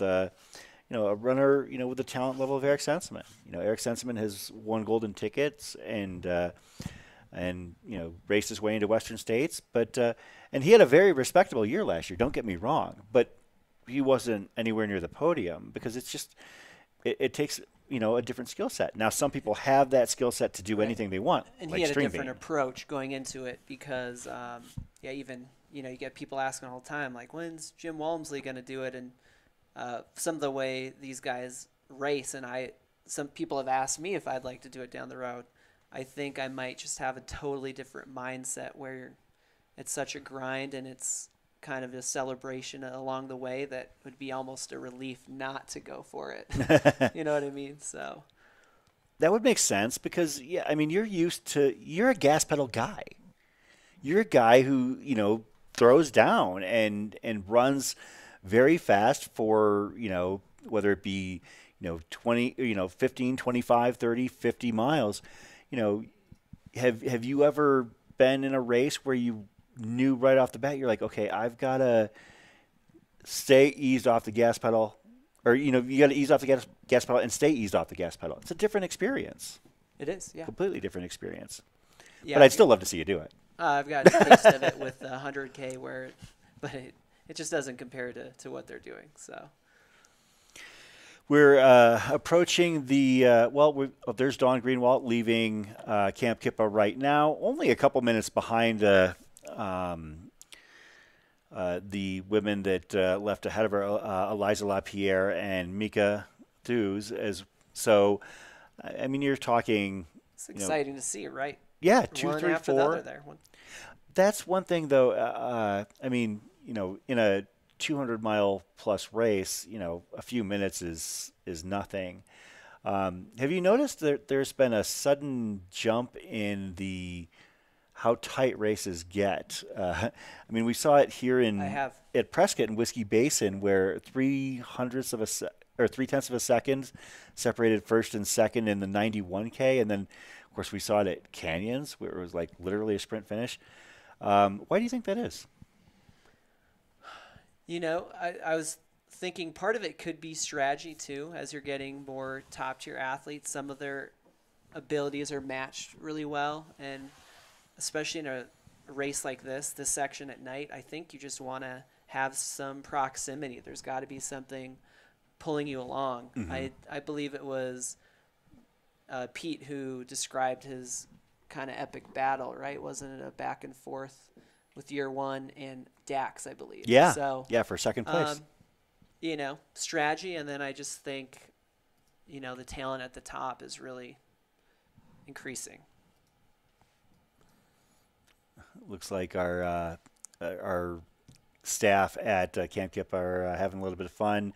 Uh, they're basically sitting right next to a fire, and uh, I'm glad that they've got that fire right there because they need to stay warm. Because uh, as you can see, uh, while uh, it might not be like frigidly cold, there's snow on the ground. Right. So it's cold enough that snow has remained in Kamp Kipa in the shaded areas, and that looks like a couple feet deep uh, worth of snow that are that's right next to the side of the building. So, uh, so it's definitely uh, chilly up there. So, hoping that uh, they're able to stay warm up there. Um, do we have? I'm going to take a quick peek at the tracker and see if we've got any expected runners hitting Kamp Kipa here Yeah, Rebecca sometime. was asking if Michael's off course. Versteeg or But- McKnight? Yeah, that would help to clarify. Um, Well, there's like four Michaels in the top ten. which As Michael? of right now, the only two uh, people who I've gotten confirmation that are off course are Bib 76, David Dehane, Dehane Okay. and Bib 143, Bruce Gungle. Okay. Um, those two are uh, currently off course, and you can basically, if you're looking on the live tracker, you can see that they took a right hand turn when they should have made a left, and it looks like David is almost back on course. He's working his way back on the trails there. and Versteeg just uh, pinged back on the course. It, he was his. Uh, And that is one thing to just keep in mind over the next, you know, few days if you're tuning in at home to the live tracker is you will have some GPS float on uh on these things. So, you know, sometimes runners may look a little bit off course like they uh, went off trail and are on the side of a mountain. It's probably just that their uh, GPS tracker has floated a little bit, but we will do our best if you point it out to us to try and get uh, you know, either confirmation or uh, one way or the other from uh, race command. So we appreciate it either way. I'm Gonna look back uh, further on the course. Looks like we've just got a handful of runners that have not hit Crown King yet. I'll see if I can get a a more definitive total in terms of runners that have not hit yet hit mile 37. Looks like um, two, three, four, five, six, seven, eight, nine, ten. Maybe about 12 or 13 runners. Um, the furthest back is Brett Barker at mile 29. So Brett has about eight miles to go and two hours and 45 minutes to do it. So not only does Brett have to get into Crown King, but he's got to get out of Crown King as well. Um, I spoke with Brett. I met with Brett yesterday uh, in the streets yeah. of Flagstaff. So uh, I'm hoping that quite a uh, few people, yeah. Yeah, it's been great. It's been absolutely great. This, you know, the the energy and you know when you see somebody hauling around a bunch of luggage, like kind of wandering town, you kind of know what they're there for. Welcome to Flagstaff. Like, oh, you're running Cocodona, mm-hmm. huh? Like you got duct tape on their luggage because it's got a bib number and Running stuff just hanging out. Like, Yep. Yeah. So uh, hopefully Brett Barker of uh, Gilbert, Arizona, is able to uh, make the cutoff as well as everybody else who's still on the course. I mean, we do have a, a handful of um, uh, DNFs. Actually, uh, the most notable name on the DNF list, I can't confirm it 100%, but uh, it looks like it might be uh, the Jester Ed Ettinghausen. Um, if uh, the tracker is accurate, it looks like he his day might have drawn to a close. Ah, Ed, Um, really? That's too Yeah. Well, and uh, he's very experienced in the heat. Oh, he's I run- mean, he loves running in the valley. Does Yeah, he's run more than he's run more two uh, milers than pretty much anybody. But as I had mentioned to other people, this is not his focus. Like this is Right. A rugged race. Like he'll go out and he'll run Javelina, and then he'll run four more hundred milers that same month, and he'll be competitive in some of them. Um, you know, he'll go out in a 24-hour race and knock out 125, 130 miles, but but a rougher, rugged race like Cocodona, where you start out with 10,000 feet of climb, you know, I know that uh, having uh, uh, talked to a couple of the people who have crewed him in the past, you know, he ran Mogollon Monster in the past, and, and he, he, he, it's not that he can't do got them. a It's little that sample there. It's a hard, yeah, gnarly. yeah, it's a hard race, and I'm not saying that he's not built for hard stuff. It's just that he's the kind of guy that's built to go 500 miles in six days, as opposed to, you know, a race like this, which is a much more uh, uh, technical thing. He's not normally a technical type runner. He's still an amazing t- athlete by any stretch of the imagination. That's also what makes it cool. You don't know until you put a runner out there. I see uh, Daniel's kind of speculating, like, hey, if well, Annie ha- Hughes has run previously, but if Annie was running again this year, I think Sarah might be giving her a run for her money, which is you know kind of interesting. Like, hey, where would people be at this part? But each year has been so different. That's true. Yeah, Amber, uh, the Jester is a repeat Badwater uh, runner, so he's used to the heat. Good the point. heat is not the issue with the Jester. No. That man has evaporative cooling and heat mitigation strategies like nobody I've ever seen. He's literally wearing a suit out in the desert and still, you know, running sub 2400 milers. He's he's that's never the issue with him. Yeah, and I did ask Race Command if the the tracker for DNFs specifically would be 100% accurate, and they said 99.9% accurate. Okay. So, um, obviously, there's always the one-off rare occurrence that like something weird happens. Uh, but my guess is if they're listed as a DNF in the tracker, that they've uh, chosen to uh, to end their day. So, Noted. thanks, Rory. Well, we've like I said, we've only got a handful of people who haven't, who are still on the course, who haven't hit Crown King yet, and uh, let's uh, let's hope that uh, they all make it. I see that the sweep has uh, uh, has caught up to the final couple runners. Um, uh, Brett Barker is bib number 187. Uh, Stephanie Mitchell, bib number 204. Uh, they're currently about at mile 29.5 to mile 30, and we're going to need to see them get to and get through mile 37 uh, basically uh, by midnight tonight. And uh, as we mentioned, this is Whiskey Row in downtown Prescott. We don't have any runner sightings yet, but as soon as we have them, uh, we will obviously uh, get eyes. I believe that uh, Spider Pena has left Whiskey Row and is making his way out there. Uh, Dan Pena is uh, a very talented runner, and My he's going to be able to keep yeah. up with whoever is in there. He kept up with Versteeg that first year. Um, He's ready. yeah, he's definitely ready. So, uh, And just to to preface how ready he is, he is currently in his car, There we go. awaiting the runners right This where is they the meet shot. the uh, Senator Highway. So, or where the Senator Highway starts to hit the road. So. He, He he's out us this- there. He's ready. Shad is going to go out for the second runner, I believe, as well. So we've got So- a couple guys. So Spider Pena leaves his camera phone on in his car every year. So this is the third year that he's been out here to do this this So uh, this is accident right now. this following gig. And no, he he sits there at this corner Anyway, basically just watching because he knows where the runners come out.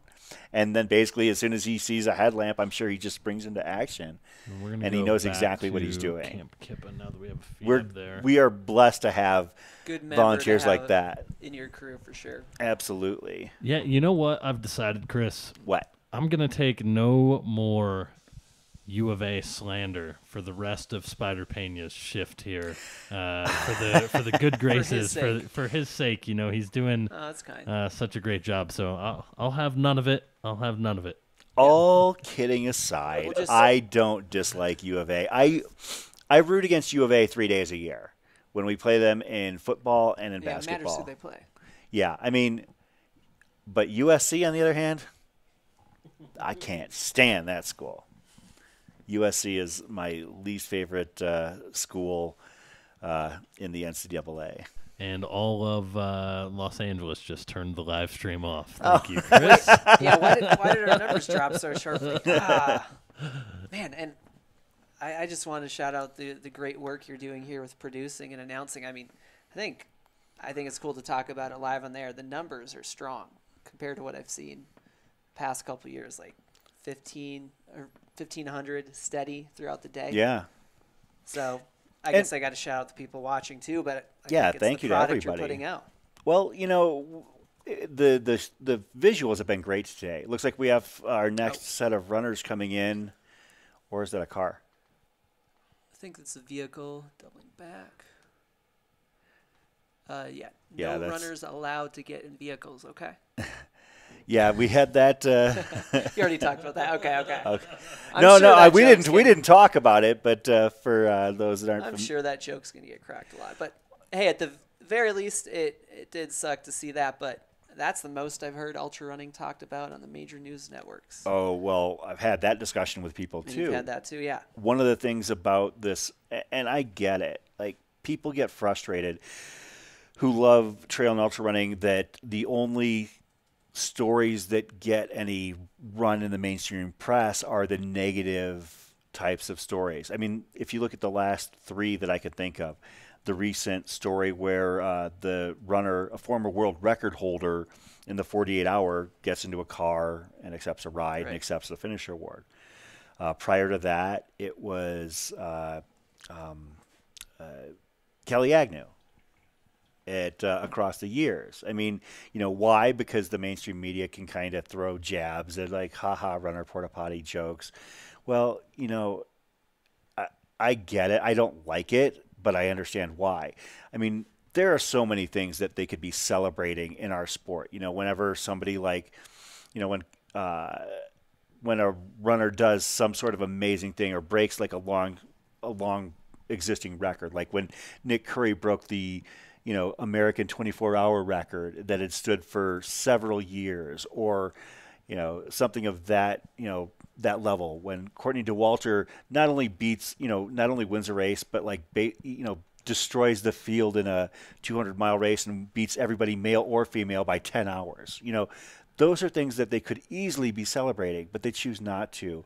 Why? Because we care about it as a running community, but everybody else is like, oh, well, cool.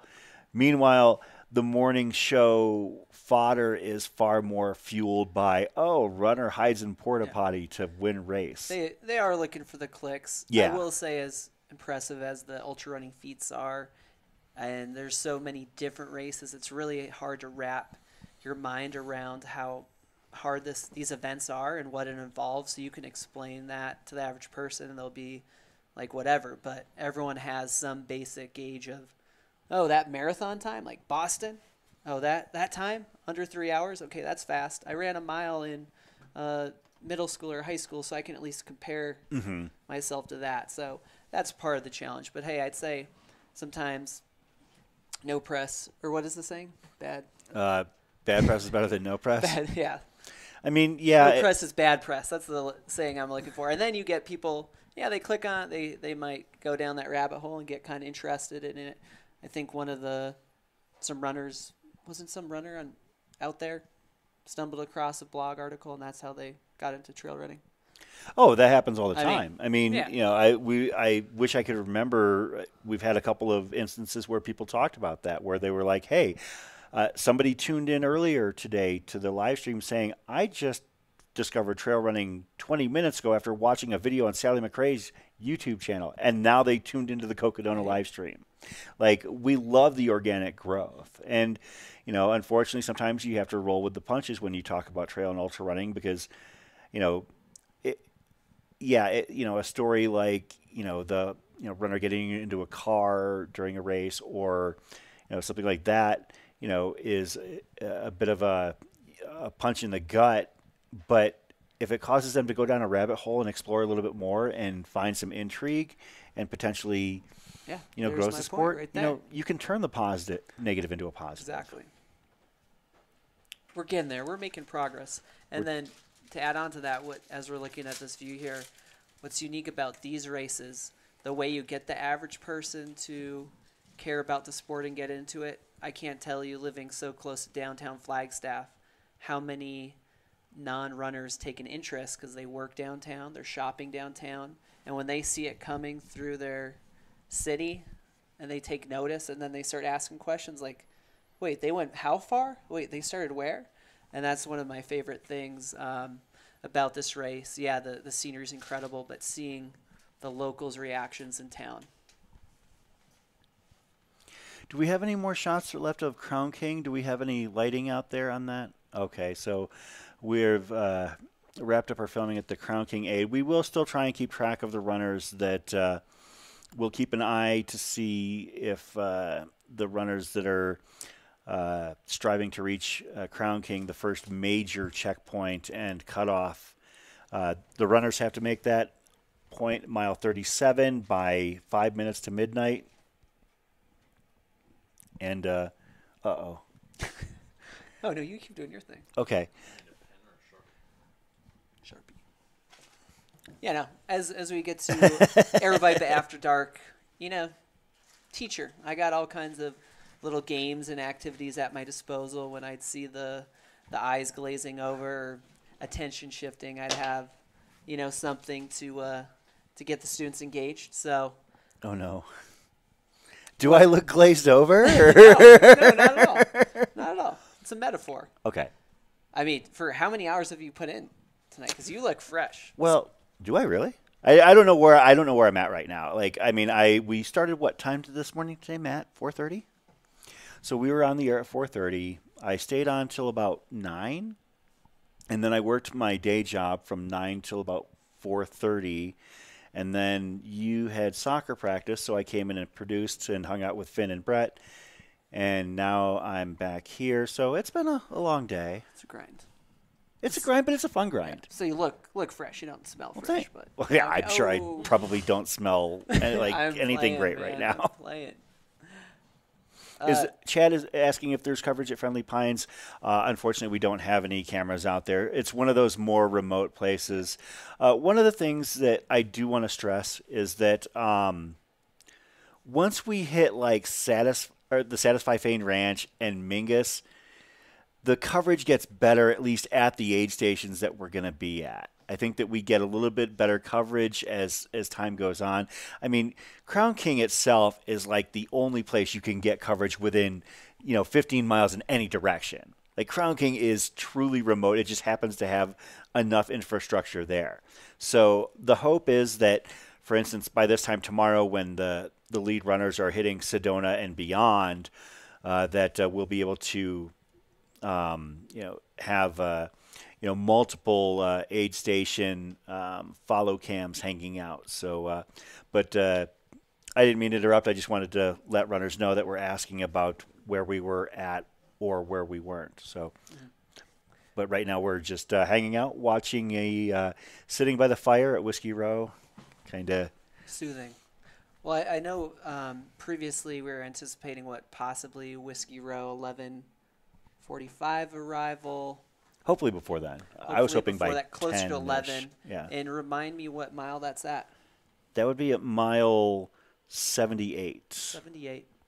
So yeah, I, I definitely think we'll we'll see our first come person come in there. Um, I thought we could kind of make it a little interesting though. Oh no. Got a couple. Where is this going to be visible? Whiskey shooters here. All right. Okay. In addition, I always have, like I said, my teacher props. I was thinking we could perhaps make some kind of prediction that we put here on who's coming in first, since we have, you know, the top two are, are pretty close. Things could change up. You never know. Sure. And we could maybe put a prediction so it's visible for our audience. And then, depending who gets it right or wrong, we uh, take a shot of whiskey. Okay. Thoughts on that? I, I'm I'm game. Originally, my idea was just, hey, let's celebrate that someone made it to Whiskey Row tonight, and I would take the Maker's Mark because that's what I want, and you get the Fireball. And and I would get the Liam. It's a the Liam, the Liam. He said earlier. Speaking of names getting mispronounced, Is it how- really? I can't believe someone got Liam wrong. Liam. Oh, I thought I, I no, I thought you said it was the no, I was li- messing with. Oh my goodness. No, but that's what he said in the the chat because we had a bunch of people say, "Oh, my name gets uh, said this way." So anyway, you're right. Aid Station Fireball, and I got Maker's Mark. This actually has a little nostalgic value to me, so I was going to take Do that. tell. Plus, um, Pete always has this on hand. Right? It's a Maker's. Oh no, he likes uh, Monkey Shoulder. Yeah. Either or. He's a whiskey He likes guy. whiskey. You're Monkey gonna- shoulders, Buffalo Trace. He loves it all. He's probably gonna laugh at the size of the whiskey. He's like, okay. And I think we may have just seen Michael McKnight go into Kamp Kipa. All right, Michael McKnight at Kamp Kipa, um, staying within shouting distance of the leader, uh, leaders on the men's side. Uh, he's not uh, hanging out up front, but uh, definitely uh, doing very well at this point. So he's, uh, I believe, the seventh male to hit Kamp Kipa. Yeah, we still have those top four females, four females in the top ten. Does that look right? One.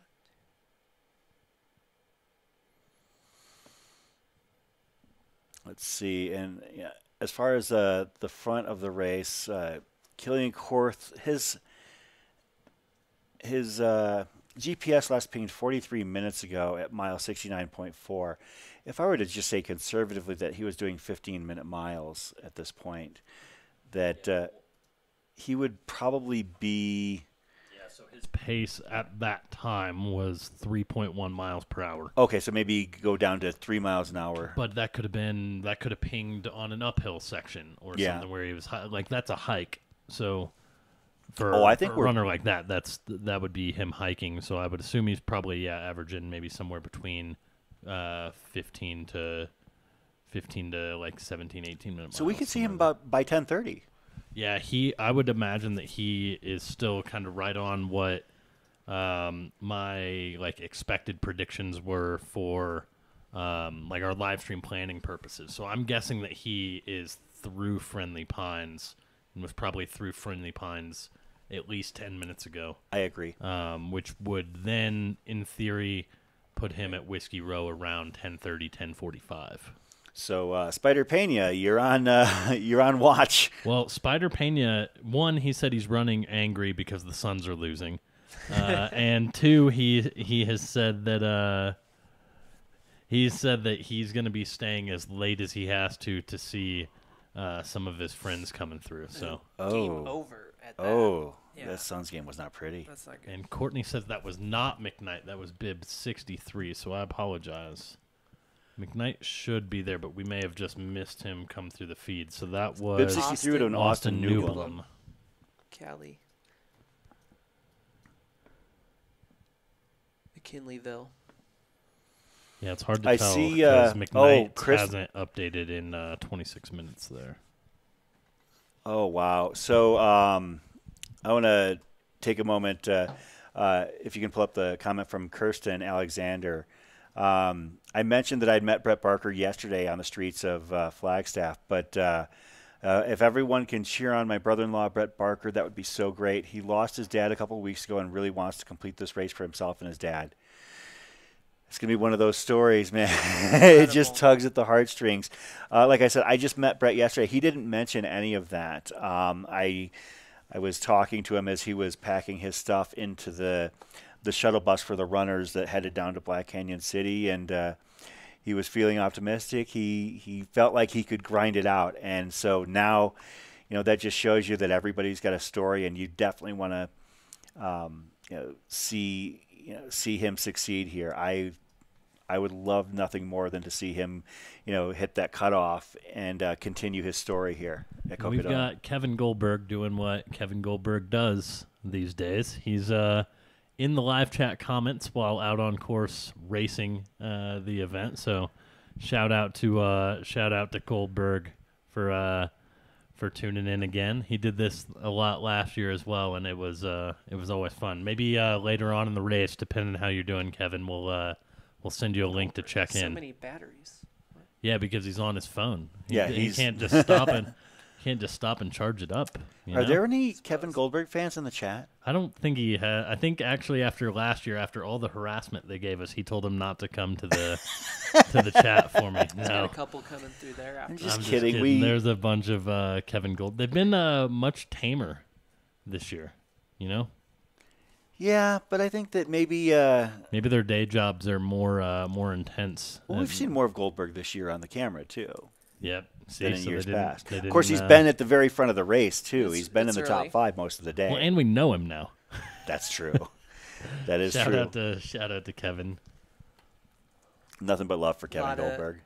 Glaze fans, Andrew Glaze. I did want to, yeah, go back to Brett Barker and just note, you know, obviously that's that's something I was kind of talking about with some friends. First of all, how do you even fall asleep before an event this big and the pressure, let alone all the life stress you're carrying with you, and then on top of that, grief is, you know, one of the hardest things to to power through. I will say, um, some of my best races though have come after lower points in my life or challenging points, and it's just a matter of how you channel that ener- energy. And I've I've found um, coaching some athletes through hard races, like attaching a personal meaning, like that's why some of those charity events, when you run for someone, mm-hmm. a larger purpose, obviously, are gonna be able to get more out of it. So, yeah, of course, our condolences to Brett, but I hope he can turn that grief into something magical with his finish. And I'm sure it's going to be emotional throughout, but I'd really love to follow up on that story when he finishes. Well said. I think that that's a fantastic way to put it, Rory. Thank you. So we were also talking about this. Uh, you had a a story or a Oh. something you wanted to do here. Yeah, switch gears. Well, can keep it light too. Uh, I mean, it's kind of like a lesson plan. Uh, shout out any teachers out there. I'm guessing they're already in bed because they got they got a their lesson plans al- already created. They got to get up super early. I used to live that lifestyle. Now I'm just a substitute teacher, so I I do it a little bit less, but. Um, the time I folk I spent a lot of time like especially that first year just coming up with ideas in the classroom that would be entertaining.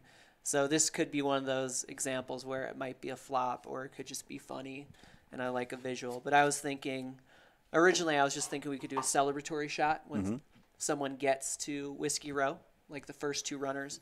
But I thought we could up the ante. I know you're into sports betting, aren't you? Are you on those apps?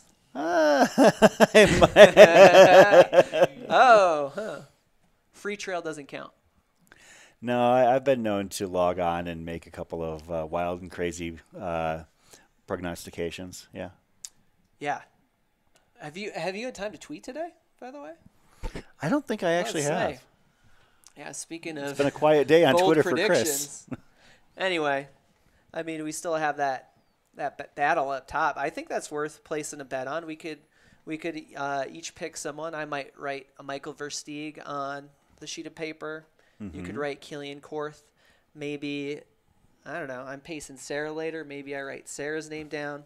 But the point is, um, maybe we can do it in a way where the audience sees it. Mhm. But then, can we look past it? Is this gonna work? I don't know. I'll. I'm game Let's for whatever. How do we do this? All right. How about this? Let's just each write our prediction. We're probably going to see it because we're going to be looking at ourselves here. We could But just put it face down. Oh. I mean, or we could like each hand it to Matt, like, and he could. Mm-hmm. Okay, okay. Let's see. I'm just going to write Whiskey Row prediction. First coming through. Okay. What are you thinking out there? Are we going to have much shuffling in the next few miles?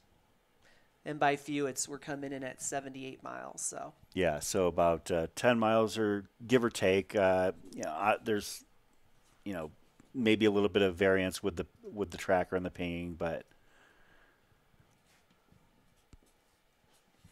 Whiskey Row prediction.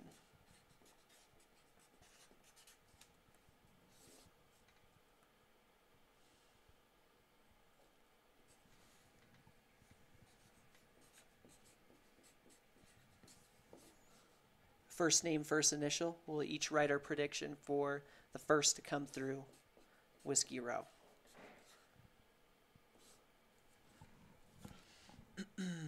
you want me to just tell you mine? Sure. I, I think that Kilian is going to come through first. That's a safe bet. Well, not safe. You're, he's in second there, so hmm.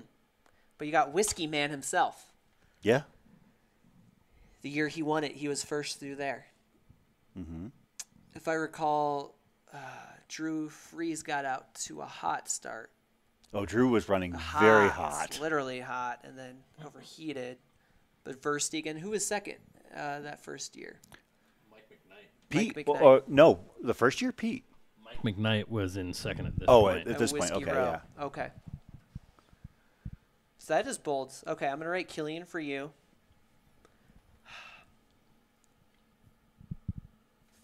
It's tough. Whiskey Man just seems logical to me. I I think he's just gonna power through. he knows those trails so well. He's gonna come in strong, get energy boost off that. He's fueled by his new drink, so. But I have a lot of faith in Sarah too. I mean, she's coming out the gate just strong.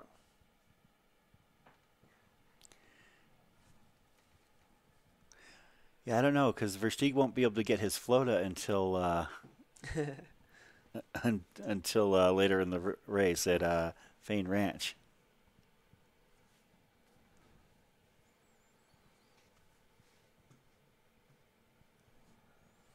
So yeah, I'm going with uh, Kilian. the current. Uh, Let's see how my handwriting is here. I'll try to make it nice and bold. No rush here. We're just we're chilling. how is your uh, handwriting as a student? And st- Awful. Well, that's one of the things that remains constant, right? Basically, what your handwriting is like when you're a kid is what it's like later on. well, my handwriting is like that of a child, so Oh, okay. it's So pretty bad. Yours is actually pretty good, so. I'm really good at like bubble letters, kind of graffiti style stuff. Uh, so I'll take it. We're going to be bouncing around, John. We're going to have the feed from Kipa coming in, and we're also going to keep things at Whiskey Row as well. We're going to be. Uh, those are the only two places that it seems like we might have uh, a solid signal at until uh, our follow filmer Spider Pena catches uh, whoever is the first one to town in Prescott.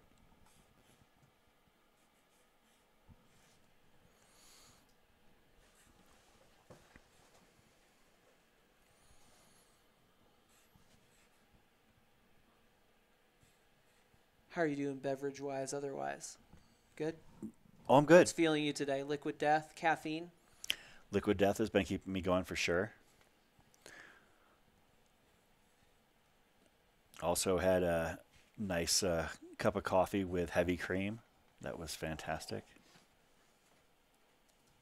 Dairy based, non dairy. Dairy based.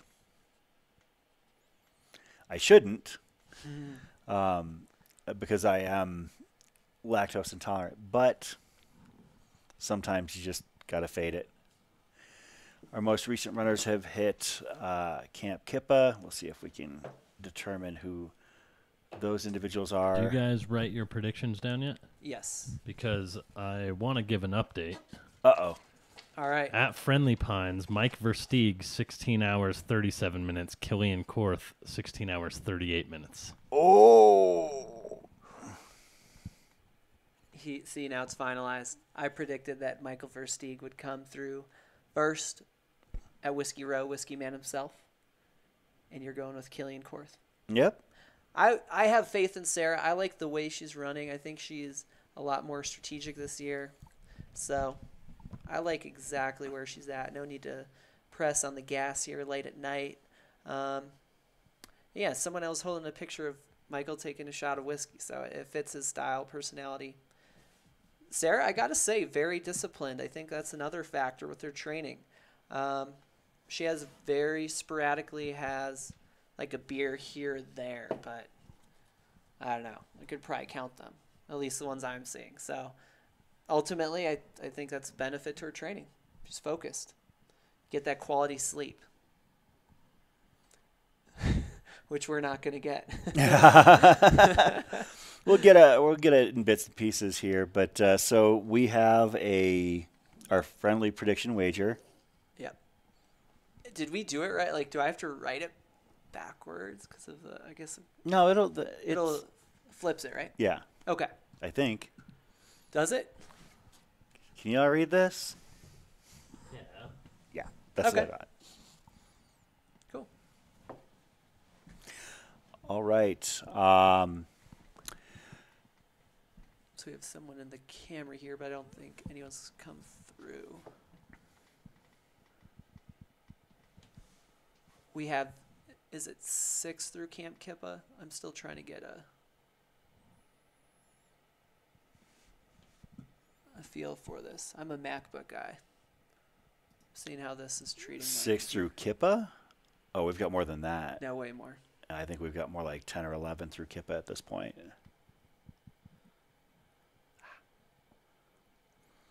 So Mike McKnight is right behind Dawn. So that was Mike McKnight there. We thought it might have been because uh, three people came in at the same time. It was Dawn, uh, Mika, and uh, a gentleman that uh, we thought was McKnight. Then uh, we weren't quite sure, but yeah. So it sounds like it was um, Michael McKnight that had come in with Dawn and Mika. And then we did we miss Christopher St. Jean coming through? Uh, he came in a little bit earlier. I don't know if I noted him. Maybe I was getting my setup ready. I'm not familiar with uh, uh, uh, Christopher at all. Um, I guess he's a local here. Is that Goldberg right there? Yes, it is.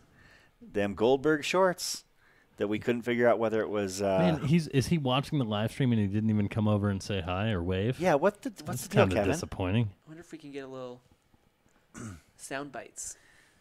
I mean, you know, we we hear all about it when we don't give Goldberg enough love, and then he just blows us off. Wow. We'll see more of him. We will see plenty of uh, Kevin Goldberg uh, throughout the race. Does he have a Duolingo uh, streak going? Is that what somebody Yeah. hey, I, I approve that more than like those Snapchat streaks. I think there's a little bit more That's a thing. depth, credibility. Yeah, as a a teacher and uh, I also lead some trips in the summer to foreign countries. That's right, I'm going yeah. to Croatia and France this summer. Oh, nice. Uh, one thing that I've had happen is I've been in Costa Rica and Fiji, and these part of the trip as we go somewhere remote. These kids are desperately uh, sending messages to their friends back home. Hey, log into my Snapchat and keep the streak going with my friend because some of them have like two year streaks and stuff. So I've done Duolingo, but I can't remember what kind of incentives they give you there to keep it going. But I think it's like learning a new language would be the incentive you'd think. well, yeah, it sounds easy, but what makes you actually want to click into that? They give you little points, you get a little badge. so, So, uh, are you feeling like uh, maybe sharing a little bit of your talent here? Uh, are we at that point? I don't know. Are you at that point? Is there something that inspires you that uh, you were thinking about wanting to, uh, I guess, uh, uh, to throw a rhyme out there about? I don't know. It's up to you. Uh, this is uh, this is your There's floor a lot right of now. potential. There's a lot going on. There's a lot going on in the chat. We've got, Yeah. uh, you know, this potential. amazing race. Uh, these uh, awesome athletes. Uh, you know, it's a, a really cool environment. You know, Cocodona. I mean, like I said, I wish we could figure out the tech and get your uh, your video on from last year's Cocodona. I because I just it, it cracks me up. like how hard. Okay, I'm gonna spin back to that for just a second. Right. Uh, you filmed that video with uh, uh, Sarah Ostaszewski last year. And Melissa. And Melissa. And how hard was it for them to keep a straight face? P- uh, you know, I will say they're used to it. They Because they're they were mean mugging there. Like they really Yeah. were. there was a lot of uh, outtakes where we were laughing. I'd say the hardest part was um, it was just the middle of the day downtown, and people are walking by like, "What are you doing? Why are you wearing short shorts?" Like standing on, you know, the wall there. You know. Yeah, there were some people walking moves, yeah, by. through a chair in the middle of the square where normally the finish line would be. So honestly, yeah, I, I, they were they were cracking smiles a bit, but I think I kind of anyone who hangs out with me a lot, if you're based here, at some point you're gonna get asked to film a video, and uh, before I potentially spit some bars, I would Guilty. like to note Chris is in one of the OG Trail Gangsters videos, Shh, don't tell anybody. way back. Uh, And imagine this: I play a basically a a running wannabe. Oh, man. Imagine that. Yeah, it, the hit is "That's So Trail," and it it originally launched. It it's responsible for the inception of Trail Gangsters. Made a video called "That's So Trail," and we got a backhanded compliment from Runner's World. They published uh, an article about it. They called me up. They interviewed me, and then the headline that came out was like, "Oh, they think it's funny and they're sharing it," and then it's like. This rap music video about trail running is so bad, it's good. like, man, okay, whatever. But it did give us a little boost, and it got shared, and it's the first thing that made me realize, like, hey, I should uh, continue doing this. And Yeah. Anyway, uh, with that video, it was more than a one-day shoot. Like, uh, Yeah, that was a big I- project. I planned it out, and I'd go to a group run, and it was the early days of Air Vipa. I'd be at one of the smaller races, and I'd, you know, ask someone, "Hey, can you do this? Can you look like you have a cramp?" I forget what I asked you to do. Something outrageous. I had to walk through uh, the old iRun store with you. Oh, right, right. And uh, basically Yes, act like I was trying on a sack of shoes and Oh, like I was. I was this big like wannabe runner that thought if I bought all the gear that it would make me a runner. Yeah. It's funny how things turn out, doesn't it? you know, honestly, that one's so far back from my memory. Now, of course, you got the fir- you got the opening verse, so you're right in there. yeah. And uh, I look I'm gonna have to watch that Yeah. again sometime. To me, it's kind of like any artist. Um, your early work, you can sort of cringe at it, but then, you know, I'm still proud of it too. So, So yeah, it, you know, I mean, you know, we're under no like, you- not like you have to come up with something in a couple minutes here, but if you want to think about it over, Yeah. you know, while we're hanging out here, and uh, you know, something comes to mind and you'd like to share, you know, we'll see if we can. Uh, well, here's the. I'll address it very briefly. I know we got a little lull as we await runners to Whiskey Row, and we we see if our predictions are correct. Um, I do dub my weekly video Freestyle Friday, and sometimes I get into not arguments, but just debates with people on social media who like rap, and um, a lot of people say, "Hey, do a freestyle." So that's the hardest art form, impromptu. So I I very rarely do that. Um, sometimes I'll do it live. I've done it on the Trail Gangstas channel and Instagram. So I don't know. I, I think I might save that for like the last last hour of the show. But I do have a set list always on hand, so I can definitely uh, lend you a verse or two. So how's that sound? yeah, yeah, absolutely. I, I'm I'm happy to hear you share whatever Yeah. you feel comfortable sharing. Vipa After Dark as Europe is waking up. We have some international people tuning in, so good morning. Yeah, good morning to those of Oh. you who are just waking up to us. Aaron's driving to Chamonix. Lucky. He gets morning miles in. Um, Oh, the Are you- squirrel's nut butter video at Big Pine. I remember that. oh, one. and then we got that. Oh, yeah. That- callbacks to calls back to your uh, early uh, your work, your early catalog. Yeah, yeah. I could. I don't know if we need some commercial breaks. I would like to show that one because visually I like that. That's another thing. Um, I, I'm happy to perform live, but they're often created with a visual in mind, so it's like a package deal. Yeah. But at the Aravaipa team retreat, um, it's become a tradition year two on the team. Uh, usually on one of the nights, uh, usually like the last night, we do our training runs, photo shoot. Evening, we hang out, you know, grill, have some drinks, and performed a little concert. Uh, so one of those was up on Instagram, short shorts. Oh, rap, nice. I'll have to check that out. Because I know you've performed elsewhere too. I know you performed at Born to Run. Mhm. You know, uh, that yeah that was that was tied in with that so trail so the early Mhm. days and yeah i love it. Um, it's something i was actually fairly shy in middle school. It wasn't until i kind of realized i had this just fun knack for writing and i became an english major and you know doing this that i kind of built confidence from it so Uh, folks who, who are just tuning in, uh, it sounds like we've got some people waking up uh, on the uh, the other side of the Atlantic. Uh, I'm Chris Warden. This is uh, Rory Monahan. We've got Matt Feldake behind the glass handling the production. Rory is local here in Flagstaff, Arizona, also known as the Trail Gangsta. And um, if you're interested in seeing some of his stuff, I guess uh, share uh, your social media so people can uh, uh, check your uh, stuff Yeah, out. Sure thing. It's at Trail Gangstas with an AZ. Emphasis on the AZ. Obviously, an ode to Arizona. Oh, yeah, we can put that in there. So, Yeah, I, I highly encourage you to check them out. Like, you know, and it's not just like, you know, like a rap video that you're making up all the time. You're also like creating memes. And, you know, I know that uh, you had talked, uh, I believe, uh, how you had um, uh, communicated with uh, Liam Aid Station Fireball about, uh, you know, your, your common interest in, you know, just having fun with a, an activity with a sport that you love. oh, for sure. It's been fun to watch it evolve and shout out Aid Station Fireball and any accounts that do funny content. I'd say trail runners overall, having that road and trail background, tend to have more fun and or tend to be more lighthearted than road runners, but still sometimes it's like people are taking it way too seriously. So yeah. I kind of like to be the counterculture and really, I don't know, just make light of stuff and people seem to respond. And I think humor's essential.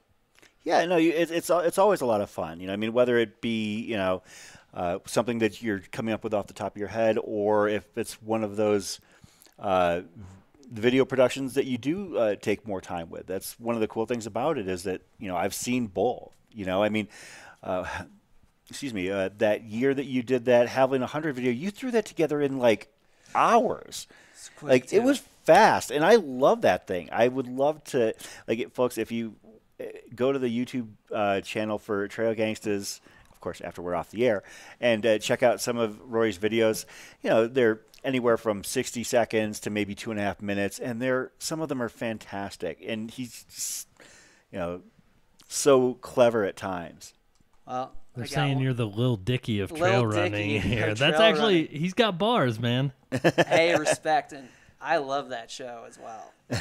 I am caught up. Uh, I don't watch a lot of shows, but I kind of like that one because it's ADD. I can jump into it quickly, and uh, it's funny. I respect uh, Lil Dicky. I'll, I'll take it. It used to be Eminem, you know. Mm. In uh, high school, when I I did a talent show one time, someone or people called me Eminem, so I was cool with that. But Uh, uh, but hey, before I got my beat queued up, I did want to point out because obviously you're used to being behind the microphone, but I'm and you've been in the one of the first Trail Gangstas videos. Are you at the end of top two? Is that true? So we had Anthony Saviola said, Chris, are you at the end of the Javelina 100 movie top two? I'd say that's the credits. maybe like doing something silly. I know there's some great scenes where you're wearing that. You got short shorts and uh, a tuck suit on top. I don't know. Just saying. Yeah, yeah, that's me. I'm not the only one who has to That's perform here. that's me. No. no, I'm kidding. Yeah, uh, I did not realize that that footage was going to be used for uh, a uh, an Aravaipa film, um, but uh, it was uh, it was fun at the time. So All right, without further ado, I won't drag it on. We'll do a set of bars here. Do you want the headset mic or the handheld mic here? Let's do the handheld, and then I can hear the beat, right? Yeah. Okay. So I'll mute those two headsets there. Okay. So we just have audio on this mic. I'm going to mute it for one second for y'all.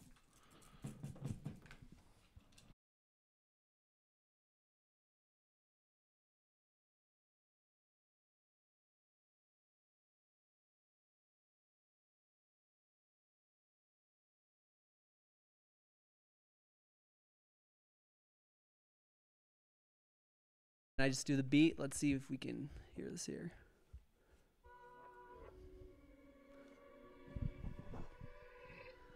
How's let's see if they can get the beat first.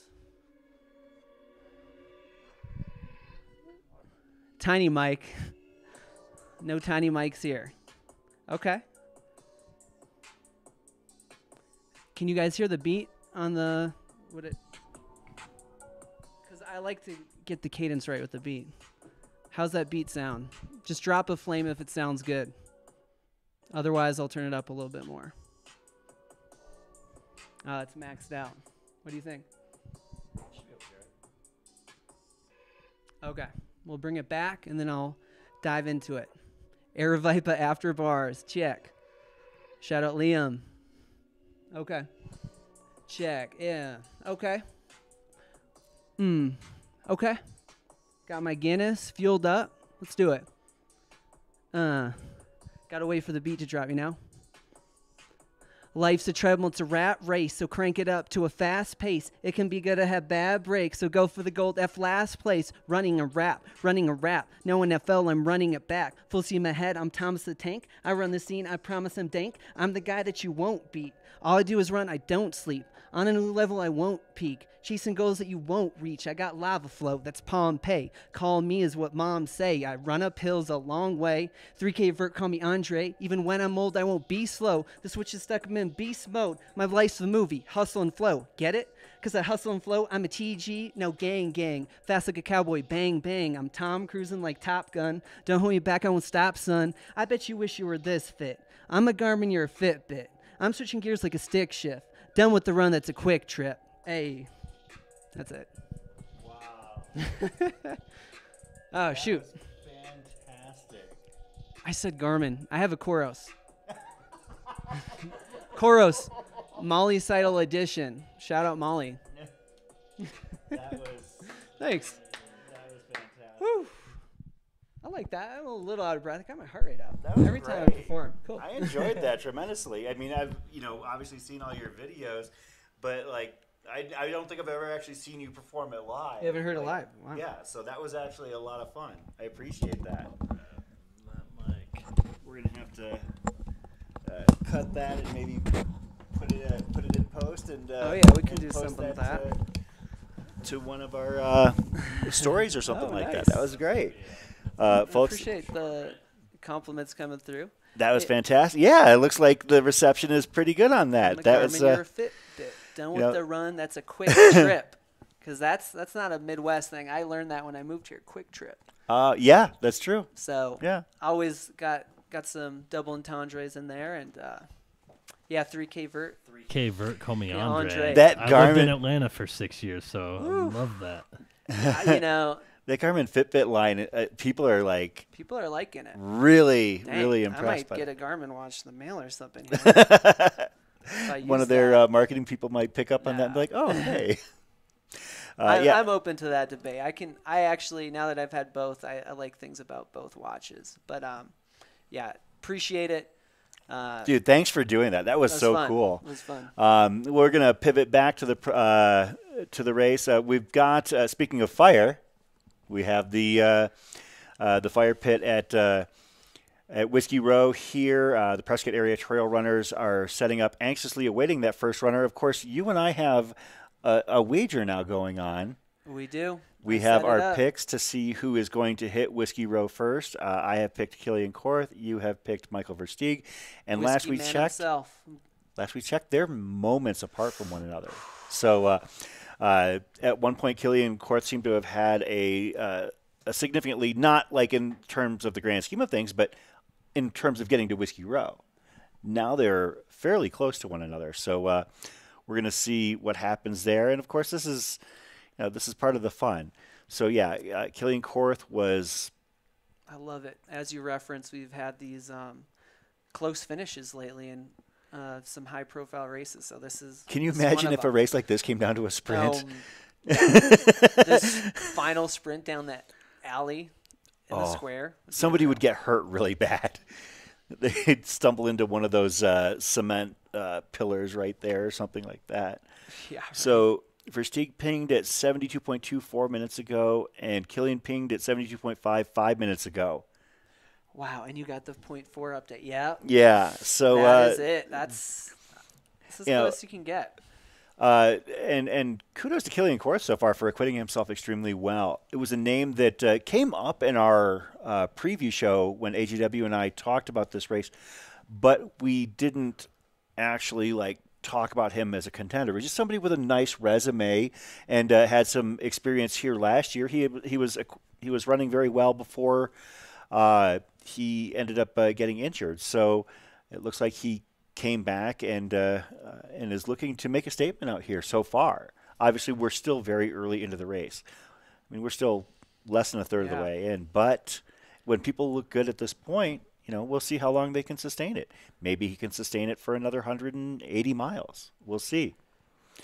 Um, Yeah, really ha- hard to call. I, I'm just trying to kind of focus in on the, this particular moment when they come to the next aid station. I think it's kind of interesting too. Like um, maybe other people want to speak to this.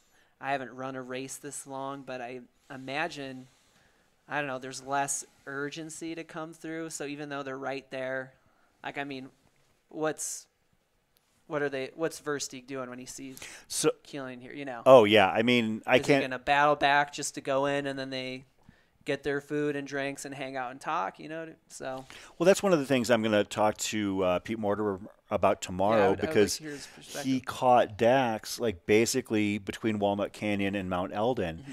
I mean, when you're talking about uh, you know closing in and catching you know somebody for second place, you know in the last 10 miles of a 250, it's like what goes through like you know what's that interaction like? I mean, it's you know, you're not moving fast enough that you can't be talking. You have to be able to carry your breath. And do you just kind of like put your head down and say, "Good job," or do you like, like "Oh, hey, what's going on?" You know, I mean, because you both know what's happening. Like you know, like you know, Dax, who still had a, a wonderful race. Dax knew what was happening. Pete knew what was happening. What was that interaction like when you're, you know, uh, you're both grinding and and Yeah. you know, is I'll- it friendly? Is it uh, adversarial? Is I'll it leave that joking? uh, story up to him because it's his story. But I know they exchanged some words, mostly encouraging. Oh, and I will good. say, I don't know if Dax had a pacer at that point. I believe our friend from Run Club, shout out Peak Trail Runners, uh, Ryan Zamirski was um, really helping him Yeah, out know there. Ryan. So, yeah, and he's kind of got that just killer instinct when racing. So, I think that would almost just give Pete an edge. You know, chasing someone down when they're like, "Hey, you know, Ryan had visuals on Dax." So, anyway, We- may- oh, go ahead. Maybe they'll just uh, coast into Whiskey Row casually and exchange some words. And I think at some level you're always eyeing up what the other person is doing when they're leaving. Um, So uh, those that are paying attention to what's going on at the back of the pack here, um, we our sweepers have uh, caught the back of the pack. That doesn't mean that they're getting swept off the course. What that means is that the sweepers are basically able to serve as de facto pacers at this point because they you know, you've got to stay in front of the sweepers. The sweepers know that they cannot get to Crown King any earlier than 11:55 p.m. So it's it's really uh, almost a you know a measure of uh, encouragement from those sweepers. So. I'm I'm looking to see if it might be somebody that we know That's because on the cusp, but if I'm able to leverage and like maybe make a phone call or a text or something like that, I'll see what I can do. But uh, that's the 37. So yeah. course sweep. Okay, so yeah, it doesn't have any last names on the the sweeper page on the volunteers, so I People don't. asking about the temp at Whiskey Row. I mean, you know, typical desert climate. It's a little bit hotter, a little closer in elevation to Flagstaff. It's kind of like a midpoint, like four to five thousand. So Let's take a look. We can uh, about forty degrees, I'm guessing tonight. But for a low, or Uh, I'm just kind of guessing, but what I'm saying is, even if it doesn't sound very cold, to say people from the Midwest, I know Wisconsin and uh, Minnesota, North Dakota just had a blizzard recently in the end of April. Yeah, that kind of contrast between the heat they're running in earlier and just expending energy, the sweat on your skin Mhm. can get chilly quickly. Well, uh, trying to, I mean, and you being from the Midwest, you can understand and appreciate this. The the temperature variance out here, you feel it a lot faster and a lot harder here. I mean, you know, when you go to the Midwest, cold is cold. When it's 10 below, you know it's 10 below. But I've had experiences out here, like for instance, that across the years, I remember we had a runner from back east who was complaining about how cold it was. They were like, I can't believe this town gets so bitterly cold. And it was like 40 degrees. Huh, But yeah. the air being thin out here is going to hit people differently. Was that a spider cam that we were possibly looking at, or no? Oh, is it a Spider shad cam, cam? yeah. Do you remember how crispy that shad cam was uh, coming into the finish line last year? Oh yeah. Because you just got a little taste of it. He's heading out to uh, probably just wait for runners. They're still a little bit away, um, but they're moving strong. So Oh, we got So Stephanie Mitchell and uh, Brett Barker are, are uh, currently um, our final runners uh, to be hitting. Um, actually, there'll be the the final uh, runners to uh, hit uh, Lane Mountain, which is the aid station before Crown King. They're about a 5K out from there. So, hey Matt, can you explain what the hold release is? A few people have asked, and I don't know if I'm gonna. Okay. So my understanding was that it was. Okay. We'll uh, we'll explain because we've had a few people ask what the hold release is. I think I have an Yeah, idea of it. I'd like to know. but I don't want to. I, I don't want to be, make a mistake when I'm describing it. Basically, I think it's it was something designed to alleviate traffic during uh, spots where uh, it can be a bit difficult to uh, handle large volumes of traffic, like Crown King. You can only handle so many cars in Crown King. You know that. You've been up there, so. yeah limited. fun. That may be true. I'm gonna get confirmation on that. But another uh, interesting story here for you, Chris. Apparently, some hungry javelinas took four packets of hamburger buns from the uh, Friendly Pines aid station. Oh yeah. Oh no. So A little stinkers. yeah, keep your keep your eyes out, uh, keep your eyes open out there. Javelinas are uh, are out and about, which is kind of surprising. There. This is from race. Yeah, there. Yeah, it's from Race Command. So if they're pulling my for the leg, number of for the number of people that would be there, but That is not the most unusual situation we've had with animals during a live stream, though. the big one Remember the uh, uh, up at uh, Kendall Mountain is there mountain lion. marmots. Marmots. Oh yeah, the the the year we live streamed Kendall Mountain, the day before we had like crispy footage from the summit or the high point of the course, which isn't the proper summit. Uh, and marmots ate our cables overnight. Oh, okay. And so we had like vaguely uh, super this, yeah. grainy Jeez. Yeah. uh, footage from up there. Like we could only get uh, like decent coverage from like one side of the of the uh, mountain. Nature.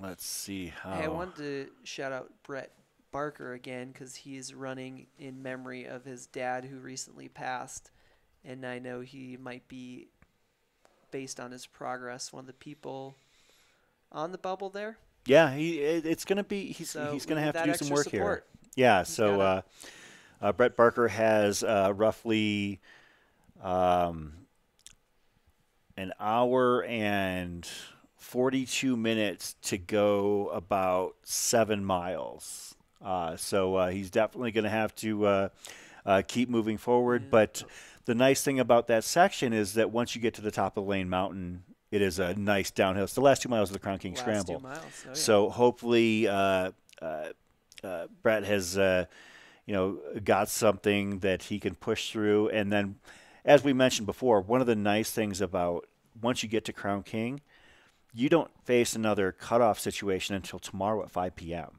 So you can recompose yourself, and uh, as long as you've gotten out of the Crown King aid station by 11:55 tonight, you've still got a shot to you know make this race go your way. Got out, or you rest up a little bit. Yeah. 'cause you made Yeah. it. So regarding sorry, regarding the hold release spot, it was actually for crews. Yeah. So they kept crews down at Bumblebee Ranch, and they weren't.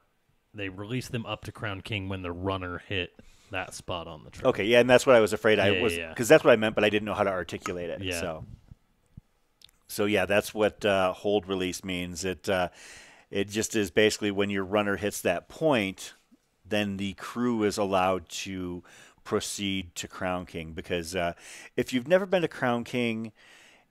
The, the population is about 150 people in terms of permanent residents, no paved roads, one gas pump, like you know it's it's it's a small town literally in the middle of nowhere and uh, it, it would be very taxing to have a lot of in and out traffic uh, over the course of several hours there.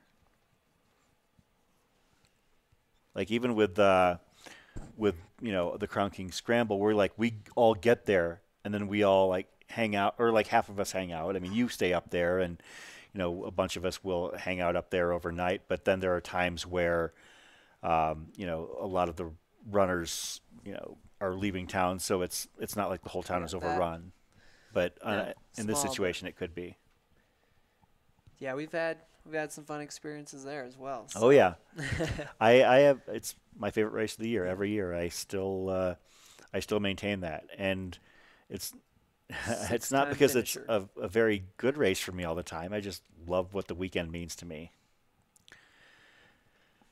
Well, another reason I'm glad we're, you know, united in broadcast, just because we have we referenced previously, we go back to trying to pin down. I guess twenty. I want to say it's 2014 for sure.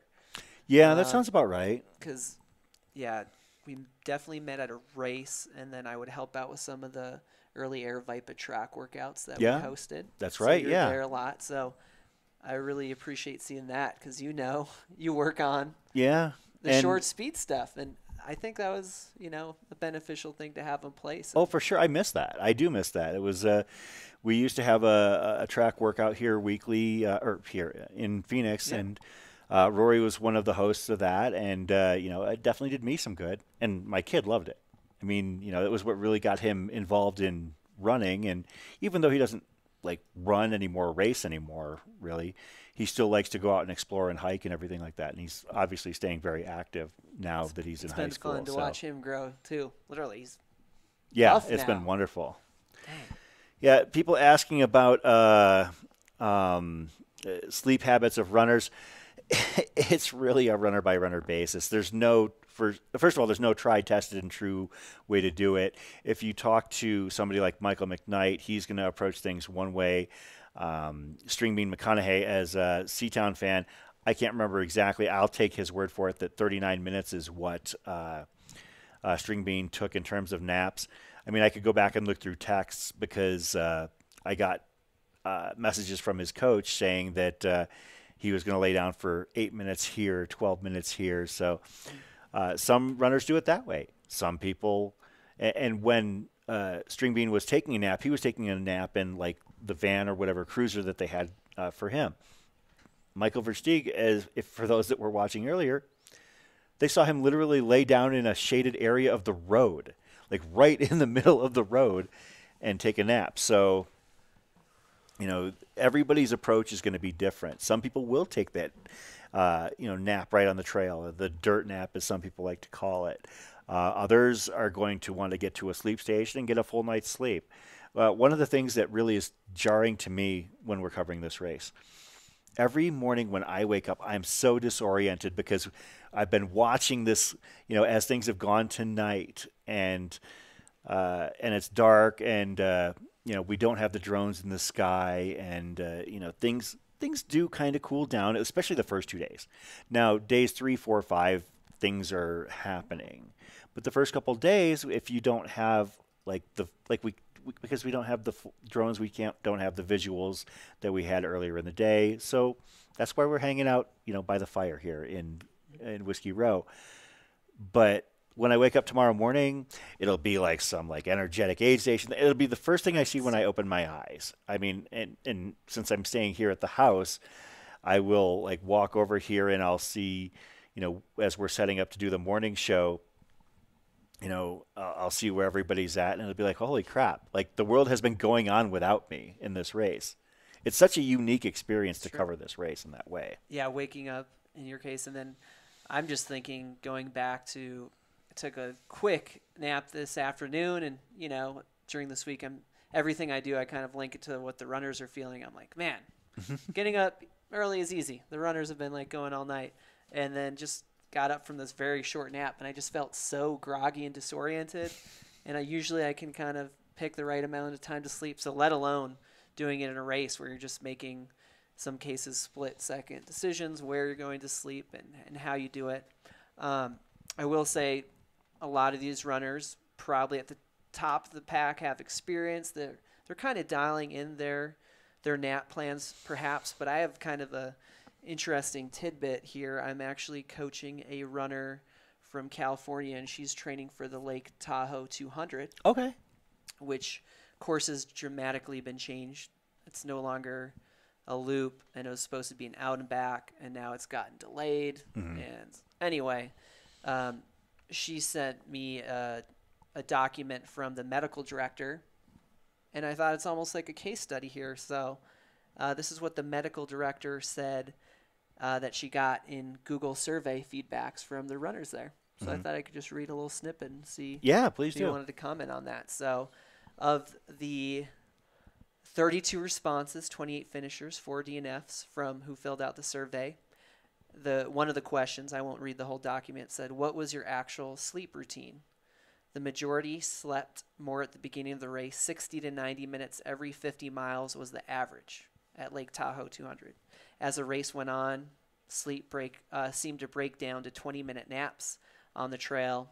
Sleepwalking ensued and was the cause of those frequent naps, which usually set in the sleepwalking, sleep running. I know runners out there have told me they, they did that sets in around 120 to 150 miles based on these surveys. So it's it's kind of cool to would be nice obviously to have an even larger pool of data. Yeah, yeah, it would be a, a really interesting study. I mean, that's uh, that's some uh, grad level work though, like somebody would put together for, uh, you know, for you know some research. But yeah, you know, we're the 200 mile is still a relatively new discipline when it comes to, you know, I mean, you know, when it comes to trail running. You know, we, we just keep going bigger and further and.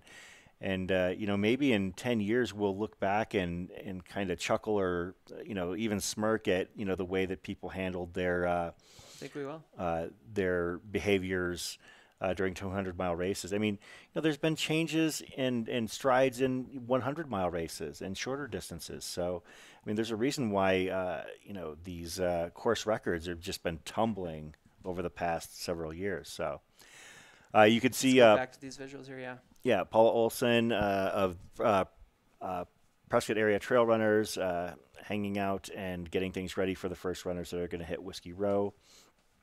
Uh, do we have a, a camera out at Kipa that is operational right now, Matt? Or we can see if we can uh, follow in.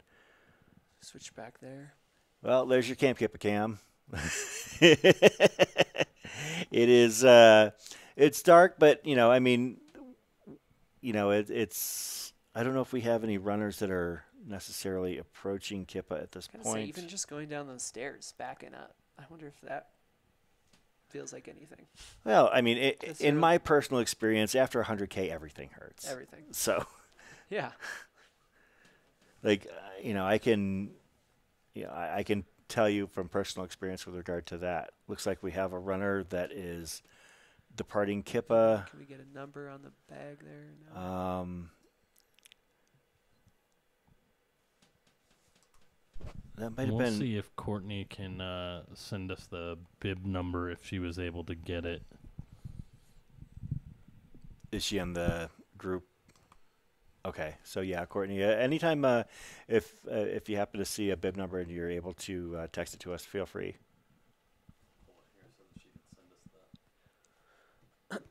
Uh, and we're back over to. Uh, there's a fireball party bucket. Uh huh. Hey, what do you know? Hey. We got some whiskey here. Um, as you can see, that station is uh, has got a lot of options for runners. They are individually wrapping the pizza slices for the great. runners to make sure that uh, uh, they're all ready and they can just grab and go. That If was they- bib 28 that just left Kamp Kipa. Bib 28 that just left Kamp Kipa would have been. Tanya Keys, Oh, it was Tanya Keys. Okay, so Tanya ran this race and finished Yep. last year. Yep. hardy, hardy runner. yeah. Uh, Probably excited to take on the uh, quote normal course here this year. Yeah, then. I, I got to interview her at the Elden Aid Station Oh. last year. On, I don't know if we might have time if there's a little lull, but it'd be cool to kind of show some of the clips. Um, interview. That's of right, because you did go up at, to Elden. or it looked like at mile 243. But she's just such a tough, gritty runner. She ran most of it unsupported last year. The moment uh, I was talking to her, she was talking about the many hallucination hallucinations she was having uh, from snowmen to robots. And I had previously met her also uh, at Man Against Horse. I've, I've met a lot. You know, the gritty runners tend to pick the tough races. So she raced there. Man Against Horse is a tough race too. Tough, rocky course, hot. I mean, it's it's good prep. You're covering some of the similar terrain. So That was my first uh, 50 miler. I, I thought it was one of I, your uh, ones. and it has aggressive cutoffs too. Like it, it's a 50 miler with a 12 hour cutoff, and you have a 2,000 plus foot climb at mile 31. Um, and uh, I finished with about nine minutes to spare that year, and I got lost at the top of Mingus Mountain. Close. So And I will say with that one, part of the problem is people go off course. There's a Oh, few yeah. parts that could could be marked better. I had had some issues with that, but um, uh, it's kind of cool just meeting these runners at certain races that are especially tough, and that's part of training. I think you gotta pick ones that you have the stress of that cutoff. Was that And, yeah. possibly Jimmy Strayhorn right there? Or, um, I couldn't see wonder. the number. Although I did see that Jimmy had dyed his hair purple or pink, I believe, in the race photos. Jimmy's a hell of a runner. He's run Desert Solstice and uh, has about a 16 hour 100 miler. Um, he's uh, out of uh, Camp Verde. Okay. So uh, Hey, he's a local guy. He and the Pete. middle ground of Yep. He and Pete Kostelnick trained a lot together getting ready for Cocodona. So Camp Verde, yeah, some underrated trails in that region for sure. And it's also a popular training spot for a lot of the the roadies, the track runners. Um, there's this rectangle loop that we run over and over, and it's a unique feature of Flagstaff. You can drop a couple thousand feet in under an hour. Oh, wow. Quality workouts in there without having to go all the way down to Phoenix. Then you just come back up. Yeah, I didn't even think about that. I mean, the Verde Valley is is, It's is perfect. perfect. in that regard. Mhm.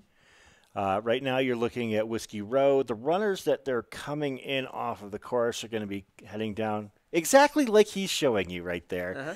Uh, that was a perfect modeling of how the runners are going to run down the street on Just Whiskey like Row. Um, it, it is a. it would be kind of fun. Be a logistical nightmare, but it'd be kind of fun if this happened to like be on a Friday or Saturday night in Prescott. I, on w- I want to see. I want to see the runners mix it up with these college students. see what happens there. Well, here in here in town, they can do that. Like, I don't know if there's a lot of college students in Prescott. Really, are there? I mean, there's I guess Prescott College and Not as many. Your Yavapai they College. have the aeronautical. Embry Riddle. That's Embry right. Riddle up there, but yeah, Yeah. They're studying. Nerds now.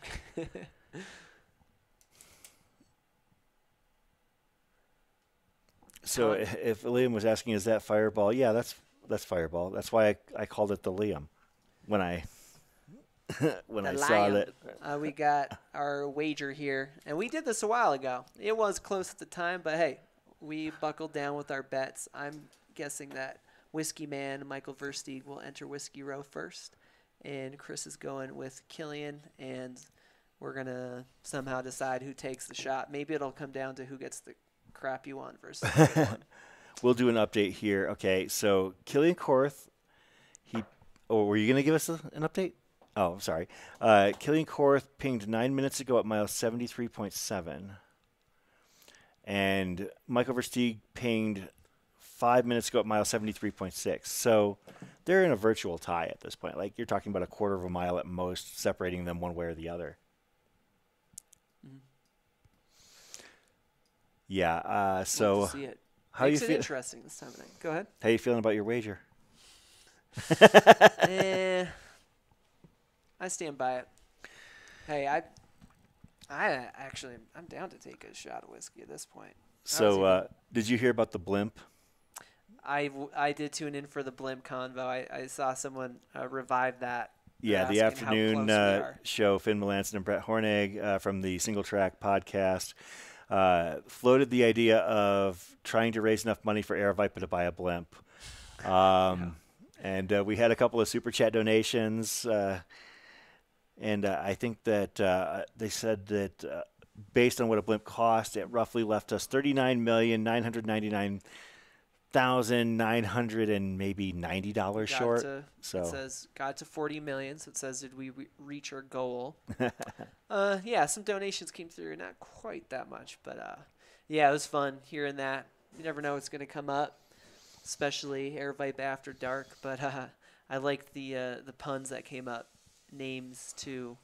There was the Air of Vipa, Mhm. solid, and then I think Eight Station Fireball had some good ones. Oh, I thought Leadville Zeppelin would have been Yeah.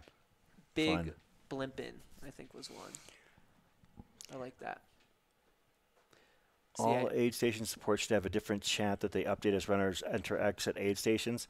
I mean, yeah, that would be nice for live stream purposes, but uh, it's a lot to try and get volunteers for uh, races to begin with, and uh, you you want to be careful in how much you ask them to do. If you overwhelm them, then they're not going to want to help in future events. No, I think you just got to keep, you know, we're still trying to make this better. So work Yeah. on what you can. And yeah, who knows? I, I'd love to see what this looks like 10 years from now. It'll probably just be mind blowing. Oh, I ten years from now, I I'm gonna be wearing like a headset, walking around Heritage Square, like basically calling the action, you know, and uh, you know, interviewing runners as they cross the finish line. I think that we're gonna be at that point. I mean, you know, aren't we gonna have like worldwide, uh, like Google Fi, like everywhere? At least that's what I understand. I don't know nothing about technology. Hey, but they also said we were, weren't we supposed to be wearing those Google Glass Oh, things by now? Remember how dumb those looked? And we are not wearing those. No, there is no Google Glass to be worn anymore, thankfully. remember? Like I remember seeing the previews. It's like you can look at your social media feed in your glasses. Yeah, because we don't need enough distractions, right? Yeah, Like- but now we're just we got neck problems from doing that. so yeah, this is the Whiskey Row aid station. As you can see, it's a pretty sizable uh, area. It's uh, it's the site of a former bar that uh, uh, burned down in 2012 uh, uh, in Whiskey Row. Um, they've turned the area into uh, an open space uh, where they have events such as uh, gatherings and uh, aid stations for 250 mile runs. I like the ambient lighting there. Good pick me up spot to roll into. In the background is the historic Yavapai County Courthouse as well, which is uh, uh, the former, uh, you know, as mentioned, as was mentioned earlier, the uh, original territorial capital of the state of Arizona.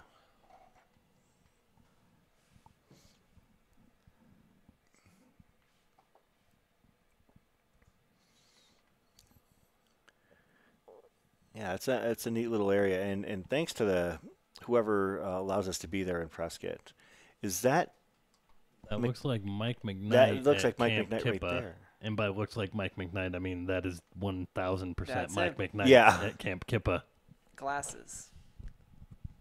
Yeah, because he was wearing that full white ensemble earlier. Yeah, so that's Mike McKnight right there. Somebody had said he'd come through earlier. No, that's him right there. So he must be spending some time there. He looks relaxed. Looks like he's just kind of chatting with people as he's heading in.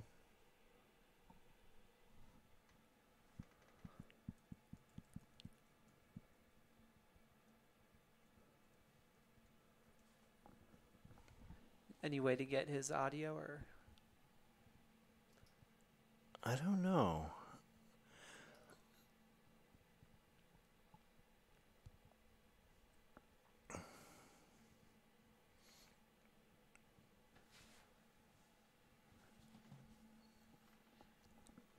Let's see if we can figure out. That might have been Jimmy Strayhorn who just walked in past him. Yeah, Jimmy is at Kamp Kipa, so that would have been. Uh, And just as saw him a another little update, Bib Okay. Eleven, I believe that's Josh Perry, um, left Kamp Kipa seven minutes ago. Okay. yeah, Josh Perry uh, was uh, my pick for the uh, Cocodona 250 originally during the uh, preview show. I based that on his Arizona FKT. D- Do not fear, he is not wandering around Potato no, Patch. That is not accurate.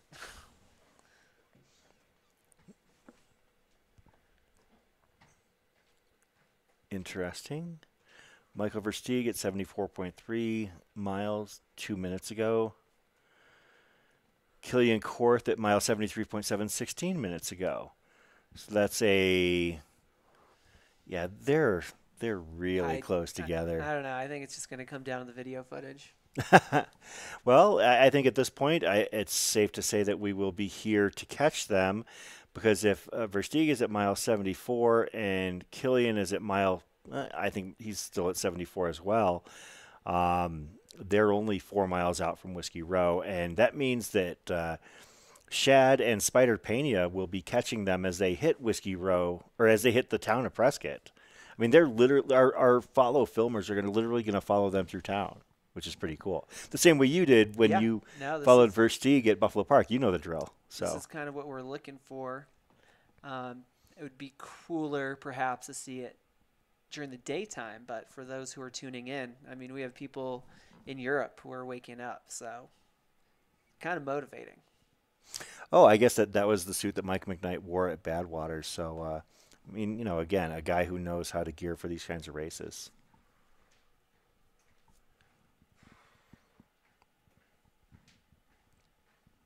Yeah, so I, again, what for those people waking up, I find it kind of cool. Whatever you think is tough about your training run this week, tune into this live stream. puts it in perspective. Hey, uh, we got time for a commercial? Let's do the floata. You guys want the floata? It's been a couple hours Floda. for those who have have How uh, many times have you played it? they're getting their money's worth. That's a short enough one where it And won't. courtesy of our good friends at Satisfy Running, who will be taking over the Satisfy Fain Ranch aid station at mile 100 tomorrow, I present to you Flota.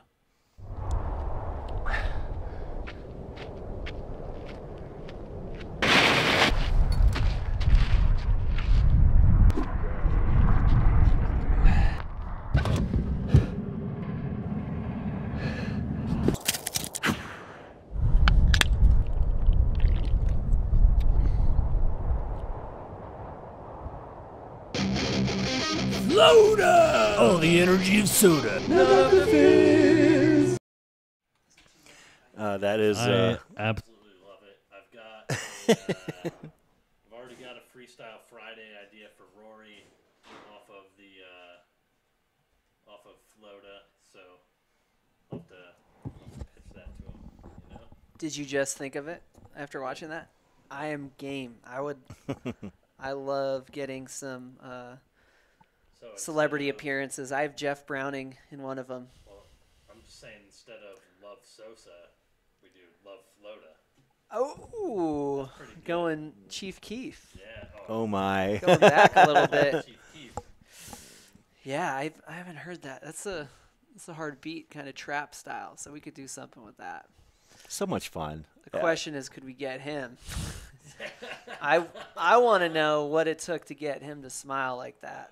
And I I don't know if we can elaborate. yeah, I don't know if it's uh, anything we can mention. It is after dark. but- yeah.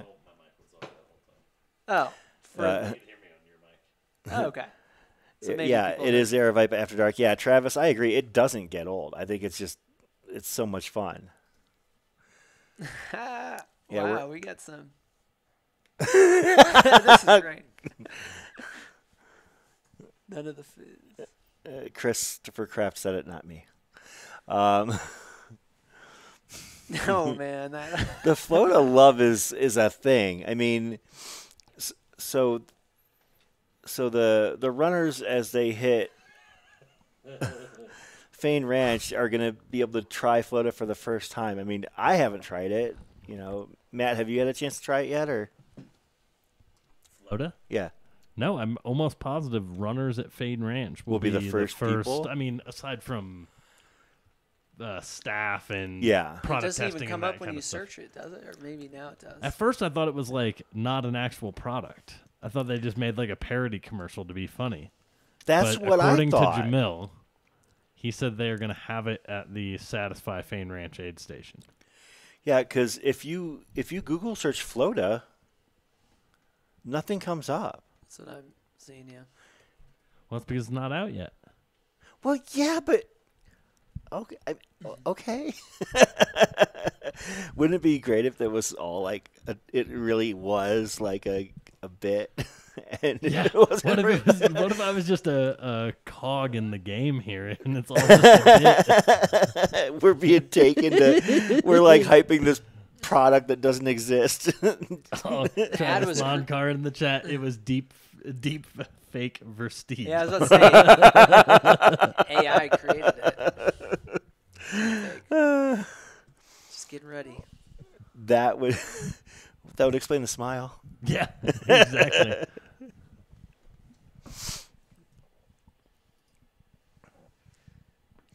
Well, if I mean, if the runners like it, you know, it it's definitely got the attention of the people who have uh, who have seen the the commercial, and I don't blame you because I think that that is hilarious. I I can't get over it. Create the hype. Yeah. And people get to try. I mean, I want to see who's going to do that first review. That could be a fun rate the bars episode with him. Yeah, there you go. the- Try the Flota Yeah, flavors. floats, Yeah. Uh, yeah, the whiskey row is uh, uh, quiet tonight. In fact, I don't know if I've ever seen it so quiet out there. chill. Now, granted, I don't typically go out drinking in Prescott on a Monday night, but I've been there enough nights to know that it's it's extremely quiet tonight. Well, even all the vehicles with crews and whatnot parked. Well, I think that yeah, I was going to actually say that as well. That it looks like all of the Yeah, that's where it's the from. vehicles are crew vehicles on Whiskey Row right now. Wouldn't be surprised if they're trying to Yeah, you can see the setups. shut eye, maybe get a nap before their runner comes in, and Audrey Kelly, we're going to find out later that Flota was a Mandela effect thing that we all remember but never actually existed. Like the Sinbad Genie movie, Uh-huh. stuff like that. oh, yeah. Yeah, those are all. I mean, if they've got their back end open and they're, you know, big old vans, then yeah, those are crew vehicles, definitely. Uh, just hanging out and waiting for their runners.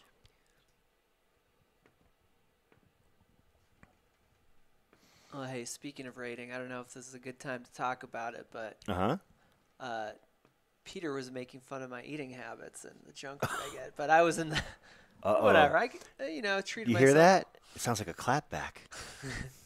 Oh, I, we give each other crap. anyway, I'm gonna eat my concrete mixer, but I was just curious um, if maybe you guys want to weigh in what you think the the best burger spots are in Flag. That's one of my favorite things to to discuss because we've actually taken quite the loss as oh we're looking at a little pup there. Maybe he wants some. Should I too?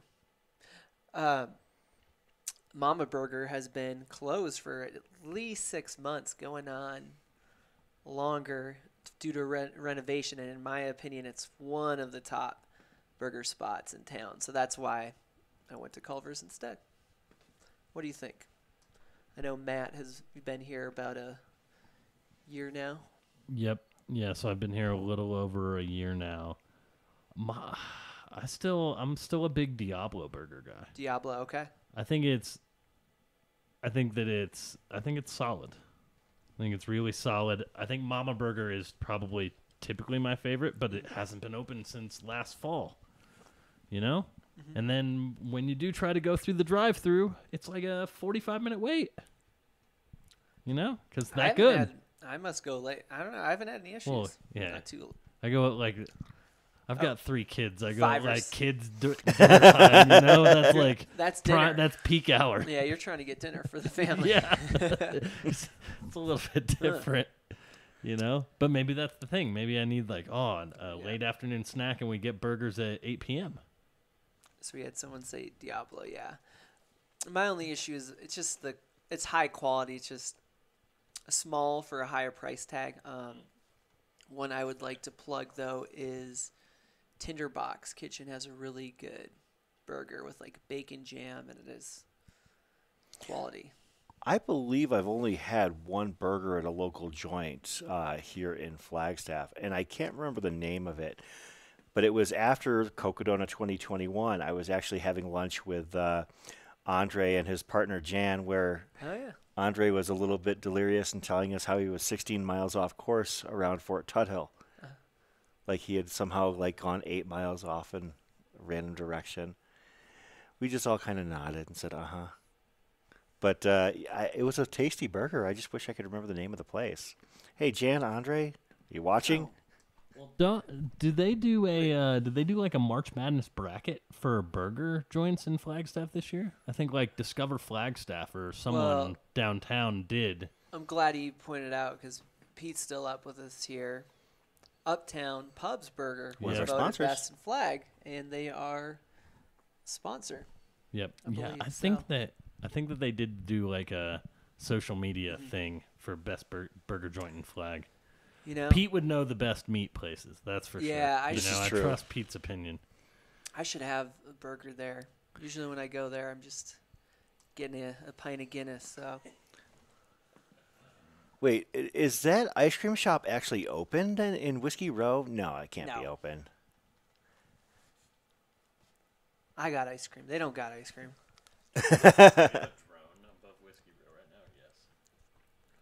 Mmm. Oh my. Yeah, Oh yeah. that's cool. That's the shot right there. Downtown uh, Prescott, Whiskey Row, overlooking the aid station right on Whiskey Row in downtown Prescott as part of the Cocodona 250. Yeah. Pete, where's the best uh, burgers? He said, my house. Welcome to my house. Tracker refreshed and Kilian ahead. Mile 75.4 pinged zero minutes ago. Mile 74.7 uh, Versteeg pinged six, pinged six minutes ago. I mean, this is going to be so close. This is great. Oh, look at that. Beautiful uh, uh, shot of uh, downtown Prescott. Aerial view, and we got to thank the towns that are receptive. I know there's certain areas we had Yeah. some issues. Um, Yeah, some places really don't like drones at night. Film, yeah. What? Yeah, no, I'm saying some places don't, but like it's cool that they're you know No, okay we're with good it. here. Yeah.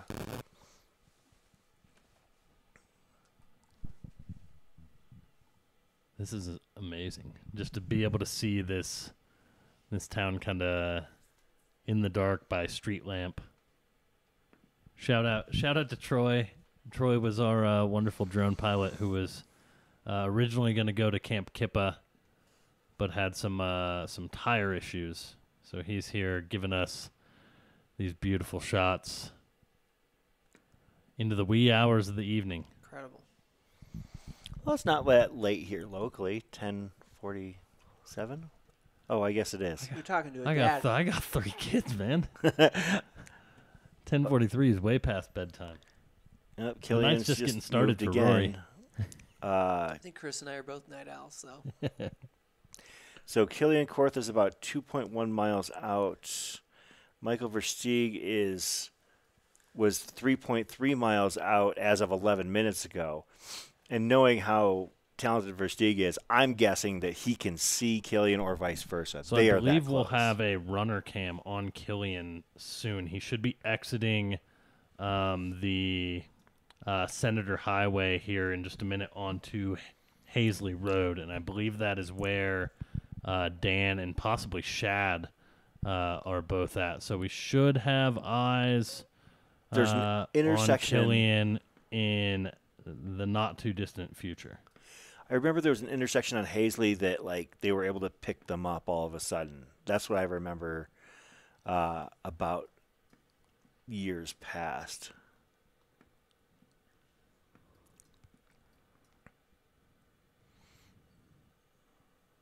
Yeah, it, it Could might be you a might little be bit right. further. No, I think that that is could be a little further down at this intersection. It could be Valley Ranch Circle and Hazley. You might be right. Either way, Yeah, we're gonna pick up uh, uh, runner runner visual here real soon, which is a, a real treat um, at this point in the race because, uh, as we mentioned, you know this is the only drone shot that we've had in several hours. Um, you know, once it gets dark, we're pretty limited in the areas we can fly, um, and uh, you know some of our aid station cams just don't have a lot going on. So soak it up. this is going to be uh, uh, you know, a lot of fun picking up uh, either Kilian Korth or Michael Versteeg. Um, we'll see who it is, or potentially Sarah Ostaszewski, who's really not that far back from them either. You know, yeah, this this is just incredible to look at, especially just knowing a lot of these people. Sarah in the mix. It does add a different- St. Jean, which I think you had asked me a question about him. We didn't really get to touch on on his story, but um, yeah, I know a bit about him and have shared many uh, training runs. So I Okay. think he is. Uh, yeah, I think he's equipped to to finish this thing out. He's a really gritty runner. Uh, like mid twenties to me seems like a baby, but um, he's got some speed for sure. He's from the East Coast originally, and speaking of, I kind of talked about a lot of people make bets with their running and they kind of move to a place Mhm. like Flagstaff, which is kind of what I did. Seems like that's what he did as well. So he um, was living in a van for I think the better part of a year when he first moved to Flagstaff and just parking at different trailheads, getting crazy training runs in. And um, he works remotely. He does like computer programming, I believe. And yeah, just hard worker grinds it out. He did the Speed Goat double last summer and has done some really tough races. So it'll be interesting to see if he can kind of stitch together this really multi long multi day effort. Yeah, I have to admit, I, I know nothing about him, so it'll be interesting. You know, and, and sometimes we'll why have we're here to help each other out. Yeah, So, we have people who uh, you know have this as their you know coming out party in terms of you know making a, a, a having a statement result at a race. You know, and this is a big one. You know, uh, you know in terms of uh, you know the the viewership and the uh, the attention that Cocodona gets. Uh, you know, and and being a part of the the Flagstaff scene up there or up here. Uh, you know, it's obvious that he's training with uh, some talented runners and he's surrounding himself with uh, uh, some elite level uh, competitors. So taking notes. Yeah, I'm kind of wonder if he shared any miles. Well, I believe Sarah's been ahead throughout. as early as it is, we're not going to, in all likelihood, uh, see uh, anybody running right down the middle of the street uh, like we did the uh, first year of Cocodona. I remember that. Oh, Dominic Grossman, I met him last year. I think it's um, I believe that Kilian has about a three minute lead on Versteeg if I had to guess it based on where they're at and where they're pinging responses are. You just pinged again, or just checked it out. It's going to be super close here as they enter town.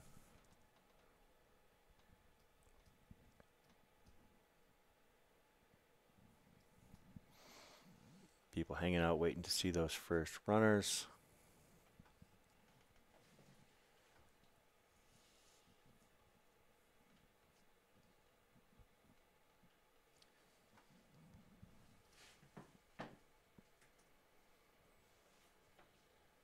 Did just get word that uh, Alex Lamb is at uh, Kamp Kipa, so just got report that he came through as well as Brian Janzik. Uh, he just came through Camp Dr. Kipa. Lamb, glad to hear it. We well. shouted him out earlier, so Brian Janzik uh, going for his third finish here. Yep, that is correct.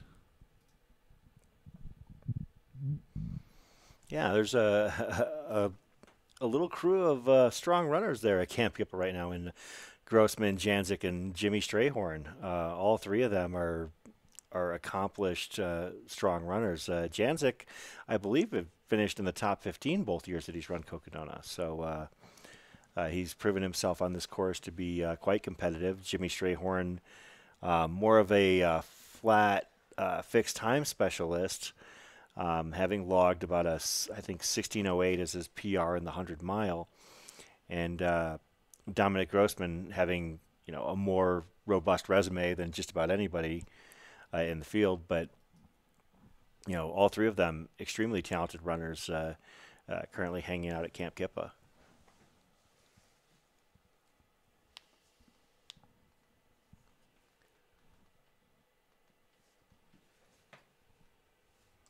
Did get word on McKnight. He either missed a turn or missed the aid station That's what I'm- uh, and had Oh. to Seeing double back two miles. So the aid station, you are coming down the um, down the course one way. You do an out and back to the aid station, and then you head uh, out on the course, going in the same direction you were heading.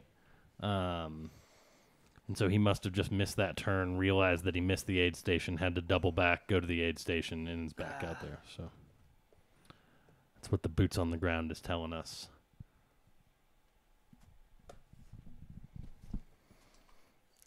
frustrating and part of what happens with these distances, though. Yeah, yeah. I mean, there's. Let's see if I can. And this time of night, you know.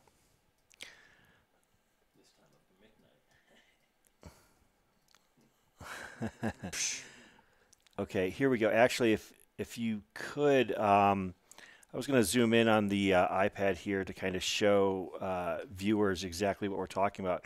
So the runners are actually moving from right to left here on the map, and as they head down here, as they're heading down, uh, I believe that's Poland Road, uh, they actually have to take a right to go into Kamp Kipa Yes. and then they had to have and as Matt mentioned, they have to head back down, back south to the road, and then continue west before they head north. And so uh, my understanding or my interpretation is that Versteeg did not make that right hand turn that he was supposed to make in order to make it there. So uh, that did cost him some time. Um, but uh, if anybody can uh, uh, troubleshoot uh, and and figure things out and how to make time, it is the man who is uh, probably more versed in this distance than anybody. And it looks like we've got eyes. And is that our Shad or our, our Pena cam? Pena cam and I was going to say that's most definitely not Michael Versteeg. So Kilian Korth uh, looks like uh, he's hitting Prescott's streets now.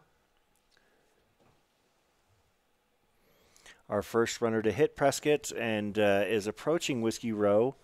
But as we mentioned, uh, I am of the belief that uh, Kilian and Michael Versteeg are very close to one another in terms of uh, uh, how far apart they are.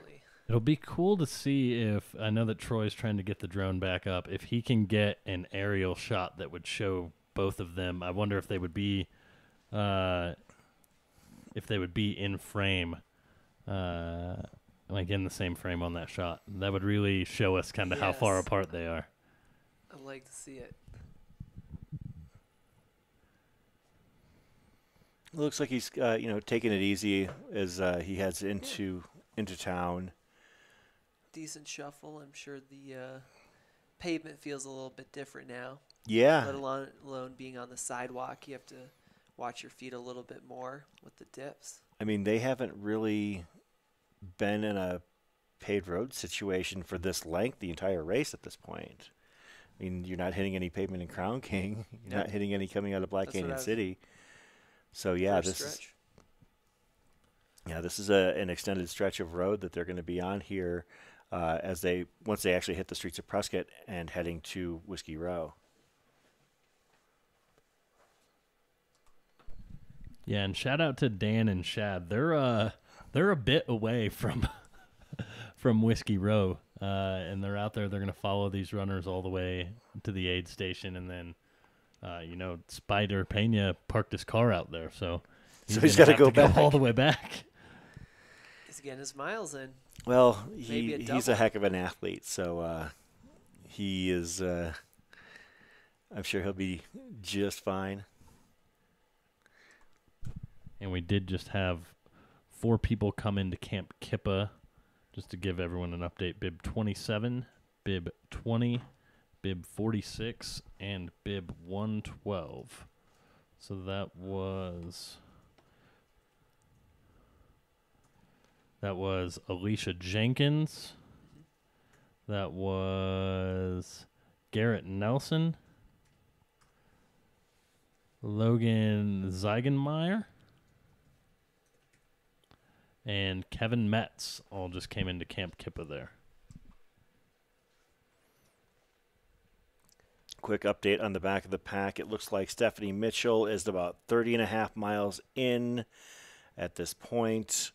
Uh, and Brett Barker is 31 and a half miles. Now, these runners uh, at the uh, at the back of the pack, they have uh, 59 minutes uh, to get to uh, the crown, get into and out of Crown King Aid. I want to make uh, that distinction part of it, yeah. as it is very important that uh, not only do they make it into Crown King Aid, but they have to depart as well. It's getting getting tight there. Yeah, Brett Tight Barker uh, is at 31.5. It pinged just this minute. We do have eyes Um, on Versteeg here too. Here we go. Oh wow. Exciting. Stephanie Mitchell, uh, her last ping was 58 minutes ago, so she might actually be further ahead because right now the uh, the ping, uh, the tracker shows her behind the sweepers, which is obviously not the case.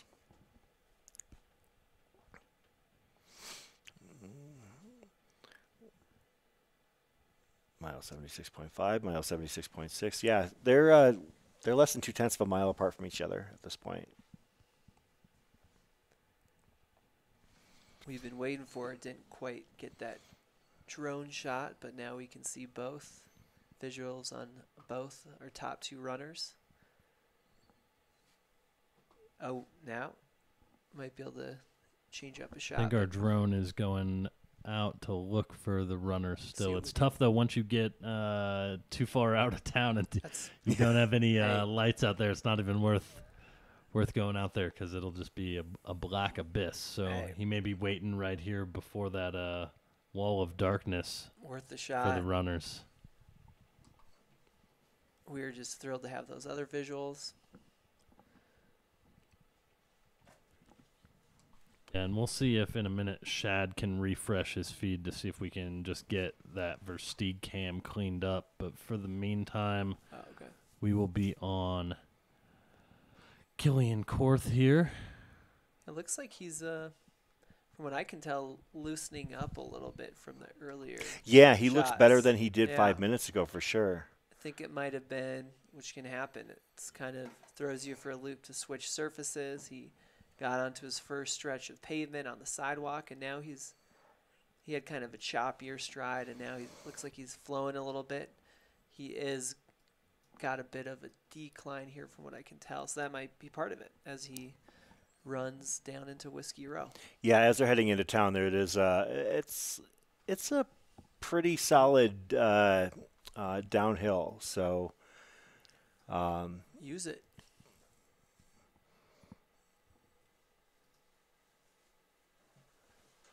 it's not quite as uh, pronounced of a downhill as the descent into Crown King, but it's still a pretty solid uh, downhill. If that's him, he looks he's looking better by every moment. yeah, that is a shot of our leader Kilian Korth. Yeah, he there. looks- Oh yeah, he's picking it up. And can s- Versteeg should only be probably around 400 meters behind him. He's not far back. Yeah.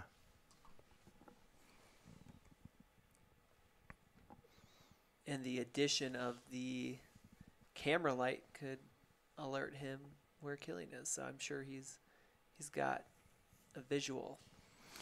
Yeah, I, I mean, I don't know. I don't think that it's. I, I wouldn't believe that it would make a difference in how Versteeg approaches uh, his uh, um, his entry into uh, Right, Prescott. Yeah, I mean, he's he's here to race for 250, not for uh, for 78. But what? uh, I thought they cared about our bet. well, you never know. You never know. Maybe uh, yeah. Maybe if uh, the camera told him, then uh, Versteeg would pick up the pace. No wise move doing what they need to.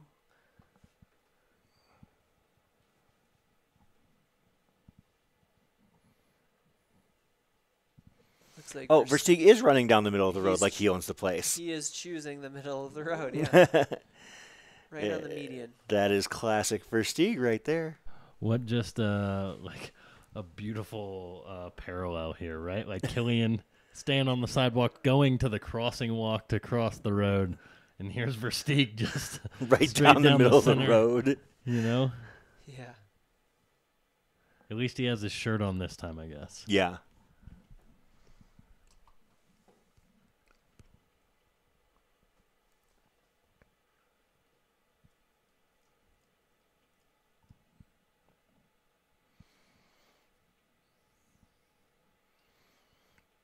Yeah, that's an excellent. That's that's Shad. That's with Versteeg. Then.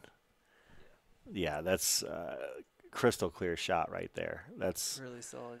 That's really, really good video right there. I'm so glad. So, uh, for those just tuning in, um, for those perhaps just waking up uh, uh, in Europe, this is the, uh, the the first two men to hit Prescott. The the second, I guess you would say, major, uh, well, the second crew uh, point for the Cocodona 250 here. Uh, it's mile 78, and uh, compared to 2021, Versteeg is going to be hitting Whiskey Row probably about a half hour to 45 minutes earlier than he did. Yep. So. I'll, I'll look at his split. And uh, so Kilian Korth is in the orange, and Michael Versteeg is in the black. Uh, Kilian is currently leading, but uh, we're under the impression that it's less than a quarter mile uh, between the two of them. And uh, as we've noted uh, uh, to to you out there, Kilian Korth is on the sidewalk and just did a double head check at the crosswalk. And Versteeg is literally running down the middle of the street in the middle of the night. So, And it looks like Kilian has perhaps a Kogalla waist light there where Versteeg has no light on right now, if you notice that. do you think it's because he just doesn't feel like he needs it, or do you think it's because he is in pursuit and Little doesn't want hunt. Well, like you said, I don't know if a little bit of gamesmanship? I I personally think he might want to roll into It is his Row, hometown. I mean, this is up where front. this is where Versteeg lives. Right there, you know. Yeah. Do it, and then he knows the streets, and he's relying on the street lights running down the middle of the road. So I think he's he knows what he's doing. I'm gonna pull your mic up a little bit closer to your mouth. Oh, just yeah. to make sure, so people can hear you better. Got it. Awesome. Yeah, uh, you know, and as we mentioned, and, and as you pointed out, is uh, when Kilian first hit uh, um, uh, the streets of Prescott, he looked a little bit awkward or janky, but uh, it's definitely corrected, and he looks more level and steady. And as you mentioned, it could have been simply because he was, you know, he'd been on dirt for 60 miles, and all of a sudden yeah. you you put him on uh, on concrete and uh, asphalt, and it's going to have a different feel to it. and just the excitement as he gets closer to town. More lights, more visuals, and pretty soon here he'll probably be hearing other folks. Our drone is back above Whiskey Row, and uh, we also have the cam that's actually going to be coming out of the Whiskey Row 8 as well. So uh, we're going to have, uh, you know, hopefully some uh, good footage of the two of them as they hit Whiskey Row, and then it becomes decision time as we pivot from Kilian Korth to Versteeg because, you know, at what at point? that. Oh, there they are. You There can they see- are. Excellent shot. Oh, go back to the previous one, please, Matt. You can see there, I like Kilian that. Korth is right in front of him by a few feet, 78 miles into the race. Versteeg is running him down. You can see him looking over. Yeah. too. I know. I, Absolutely. I'm telling you, there's a hometown pride. Look at this. I knew he would want to bring it in. This is Dude, fantastic. He's gonna, He he's can- gonna try and out sprint him here, Yeah. not he? He can rest. Oh. Oh, Oh, he dropped something. drama. He. dr- It looks like. Oh. hmm. Be careful there. No, no muling. Just help him pick. just uh, pick something up for him. Does Versteeg want to make it to the? wi- Yeah, Oh, he yeah, I wants to think- be the first got- person to Whiskey Look at him, he's picking it up. this is fantastic. This is incredible. Oh, and here he goes. The airplane Yup, arms in the the middle of the road. Let's go. Look at Michael Versteeg This as is- he's hitting his hometown. That a- Whiskey Row aid station. This is it. This They is are it. You neck- got them they're the neck same and neck. shot. This is fantastic. And Versteeg, it looks like he's overtaken Kilian Korth. Maybe. If he doesn't get And stopped by that car. but there's a that's a police car. he's, he's running down the middle of the street. Okay, so Oh, he- actually they took that right turn. We They're saw the on. Whiskey Row. Yeah, this is it. We it. saw the pass. Ooh. Michael Versteeg passes Kilian Korth as they turn onto Whiskey Row, the site of the uh, mile 78 aid station. Versteeg running down the middle of the street. And here, Continues. To, and here he comes. and Versteeg is the first person to hit Whiskey Row, uh, just ahead of Kilian Korth, who had been leading for the last 25 or so miles, at least to our understanding. And now Versteeg has uh, hit the aid station. Um, and uh, for all of our excitement, this is still day one. a little injection of drama. Here. Yeah. This is what we needed after. Uh, you know, chill. Yeah, this is great, and, Chill and they're first. they're set up with their respective crews, you know, up you know across uh, the area from one another. Um, I don't know what kind of if they whether they've got music playing there, if we might be able to get audio or what, but. Uh, Kilian Korth right there in the orange is standing, speaking to his crew and caretakers, whereas uh, Yeah, we'll uh, see. if- Versteeg is throwing on another layer. We'll see if Steven can unmute on his end, and then I can just control the mute toggle on Perfect. my end, depending on uh, any sort of audio here. I don't know if you caught that, uh, Stephen Crawford. Okay, cool. Good. Hey guys, I can hear you. I can't now.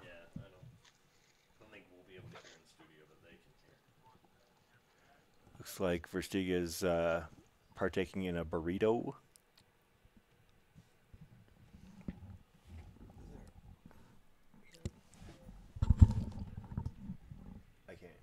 Yeah, S- Steven can hear us. We just want to tune in to the uh, kind of the sounds of the aid station here.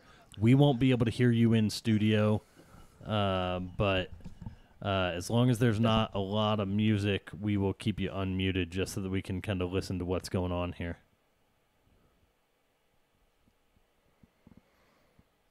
Can they hear us? They can hear us, yeah. Okay. If they've got us, if they've got the stream on. And they can hear him. We just got it.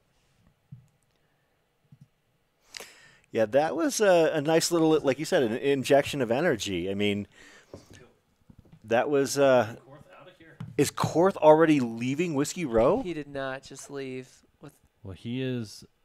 Yeah, he took the left out. Or does he need something else from a crew? Is it maybe his No. crew is red Vehicle. down here? No, he's. Yeah, he's heading down to uh, Montezuma. That would be quite the power move response. Yeah. Interest. I. That's almost too short of a stop there, in my opinion. Uh, but he is taking off. He, you know what? He just wants to get to the uh, Flo de Fain Ranch aid station by Satisfy.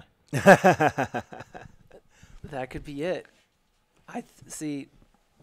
I was thinking perhaps uh, Versteeg expended some energy just for that little push, but he's kind of resting up, getting a burrito. I, I wonder if it was in response to that push he made, or if he, if he would have done that anyway. Yeah, maybe. I know that he took his time here in year one as well, in the inaugural year. Oh, yeah. Obviously, he had, uh, I believe he had a little bit more of a, a gap, obviously, because this was the closest we've ever seen coming into this aid station. Mhm. But, um, yeah, I believe he had uh, more of a gap, and he sat down and said he wanted to, he wanted to shoot hoops with Chris Paul and, and Devin Booker if he won. Iconic moment in Cocodona lore. We do have Steven back up here. There is uh, Michael Versteeg, 2021 winner, and currently in second place. Uh, he came into the aid station ahead of the new leader, uh, and once again leader, Kilian Korth. Kilian is uh, probably already a couple blocks down the street at this point, but uh, Versteeg knows what he's doing. I mean, you know, this is uh, his hometown. He's taking his time, and I think that when it comes to a race like this, it really doesn't. It's not going to pay uh, dividends to Rush if you are going to make mistakes while doing it. I'm not saying that Kilian did, but you know, while it was, as uh, Roy mentioned, an absolute power move, uh, you know, we'll uh, we'll see how uh, Versteeg uh, counter punches. Really, That's racing. Sometimes you make kind of impulsive decisions. Uh, I'm not saying it was necessarily impulsive, but if hi it wasn't for his presence there, and he might have acted differently. Yeah, I, I mean, you know, maybe uh, M- Michael is going to, you know, push himself a few minutes faster because this is definitely faster than he was in and out in 2021. This is roughly about a, uh, he was in there about six minutes, but Kilian was only in there two. So uh, that's uh, uh, pretty impressive. So, So at this point in the race, This is affecting his move here, so hard to say. Don't they say run your own race? But yeah.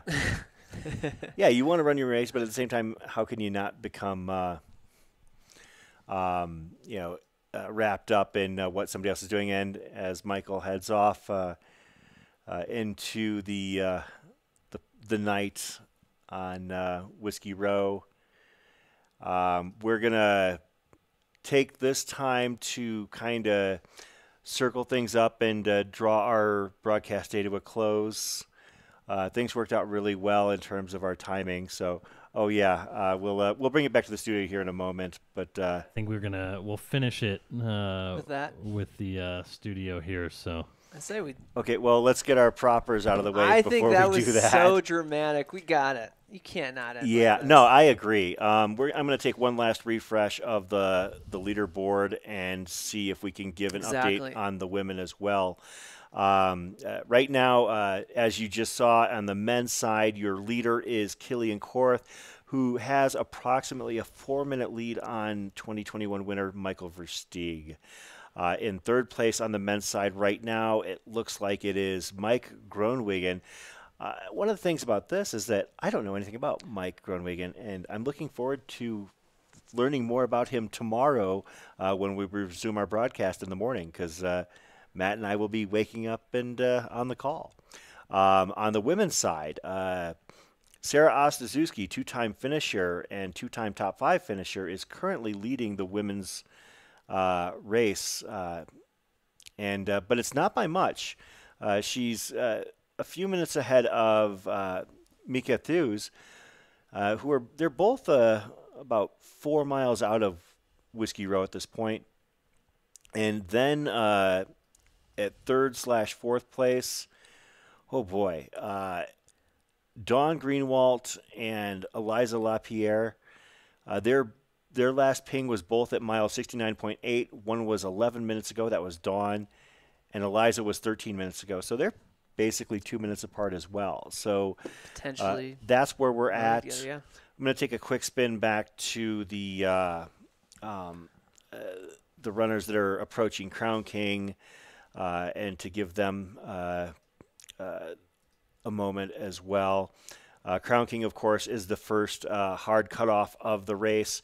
Uh, runners have to make it there by 11:55 local time, which gives them roughly 40 minutes uh, to get to mile 37.4. And uh, not only do they have to be in Crown King, but they have to be out of Crown King as well. And we do have a couple of runners where it is going to come down to the wire. Uh, unfortunately, as much as we would love to stay on and cover that, we just don't have the uh, the personnel to uh, uh, to do it. But we're going to do our best. Um, let's see on uh,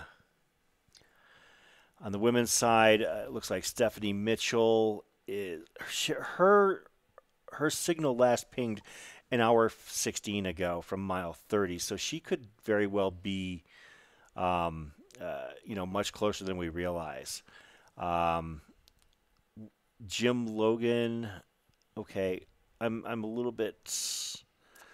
We're gonna Chris was in the mix there before Yeah. him, but oh, I get what you're saying. We'll have to take it with a grain of salt. I want to find out where uh, Brett Barker, uh, local favorite, is right now. Brett Barker is currently about third, about five and a half miles out of uh, uh, Crown King at this point, and uh, he still has yet to summit Lane Mountain. And um, you know, just speaking honestly, it's it, he's going to have to dig real deep. Um, you know, it's I'm not saying he can't, but it's he's still got a good mile of climb left. Uh, of a fairly r- rough climb before he starts to get into a descent down into Crown King. So uh, we're going to be crossing our fingers Yeah. for uh, Brett and uh, see how things go there. Um, Rory, Yes, this has been uh, an absolute blast. Um, and of course, Chris, uh, pleasure. we had a little bit of a wager here, and it came down to the wire. It couldn't have come any closer. I'm So glad we did this. Yeah, I, I am too. so because that far out, it seemed like eh. yeah. Uh, so uh, Rory had Michael Versteeg as the first uh, runner to hit Whiskey Row, and I had uh, Kilian Korth. And Michael Versteeg passed Kilian Korth with less than a tenth of a mile to go in order to get Yeah. into Whiskey Row first. Virtual he then gave finish. up that Yeah. lead, but but for the fleeting, I mean, what, twenty seconds, thirty seconds, we had a Could wager on the line. Scripted that. Had no idea. Yeah, I thought people might roll in casually. It would be kind of fun. They chat, but it seemed like they were having a little battle there. yeah. A little something to prove, and maybe it's lighthearted, but it affected their decision. But is here. anything with Michael Versteeg ever lighthearted? we'll see. I mean, that's going to be one of the fun things. You know, I'm actually going to be able to get a great night's sleep tonight because I know, you know, I know that we we busted our butts to You to cover this race. it. Yeah, we. and you know it's been fun. But a wager's a wager. How does the how do the stakes work here? So, yeah, I lined it up.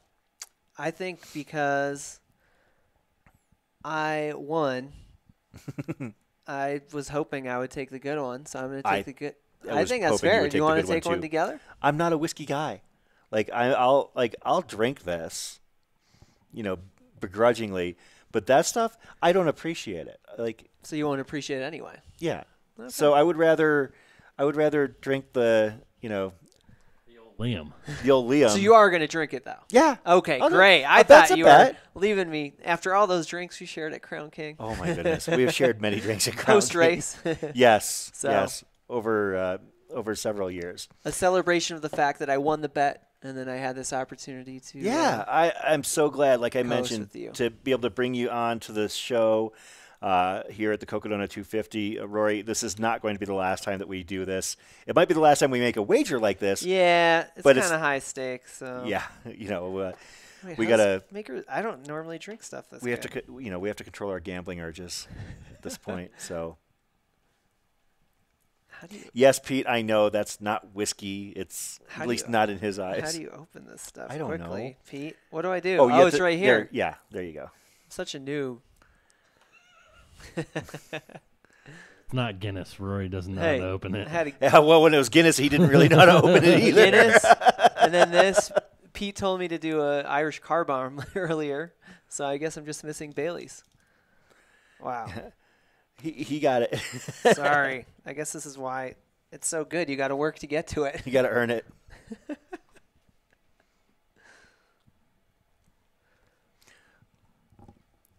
Oh my god. Live action. There's This nothing is like great, it. uh, great entertainment. Wax tie.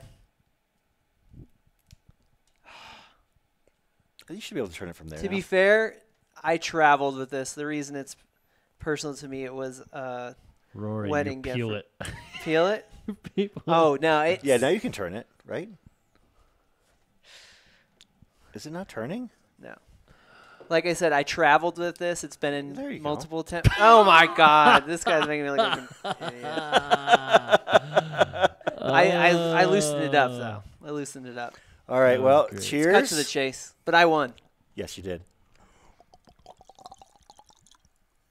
Hmm. Oh my! It's like a metaphor. First part of the race, good. Maker's mark. Second part of the race, Burns like hell. fireball. Well, uh, that brings a day, uh, a very entertaining day here at the Cocodona 250 2023 to a close. Uh, once again, uh, me. Monahan, thanks for joining me. I'm Chris Warden. Uh, we will be back on the air tomorrow at what, 6 a.m. we said, local time? 6 a.m. So that gives us about uh, six and a half hours to compose ourselves, Matt and I, as we'll be back on the air. Rory, always a pleasure. Thanks for having me on.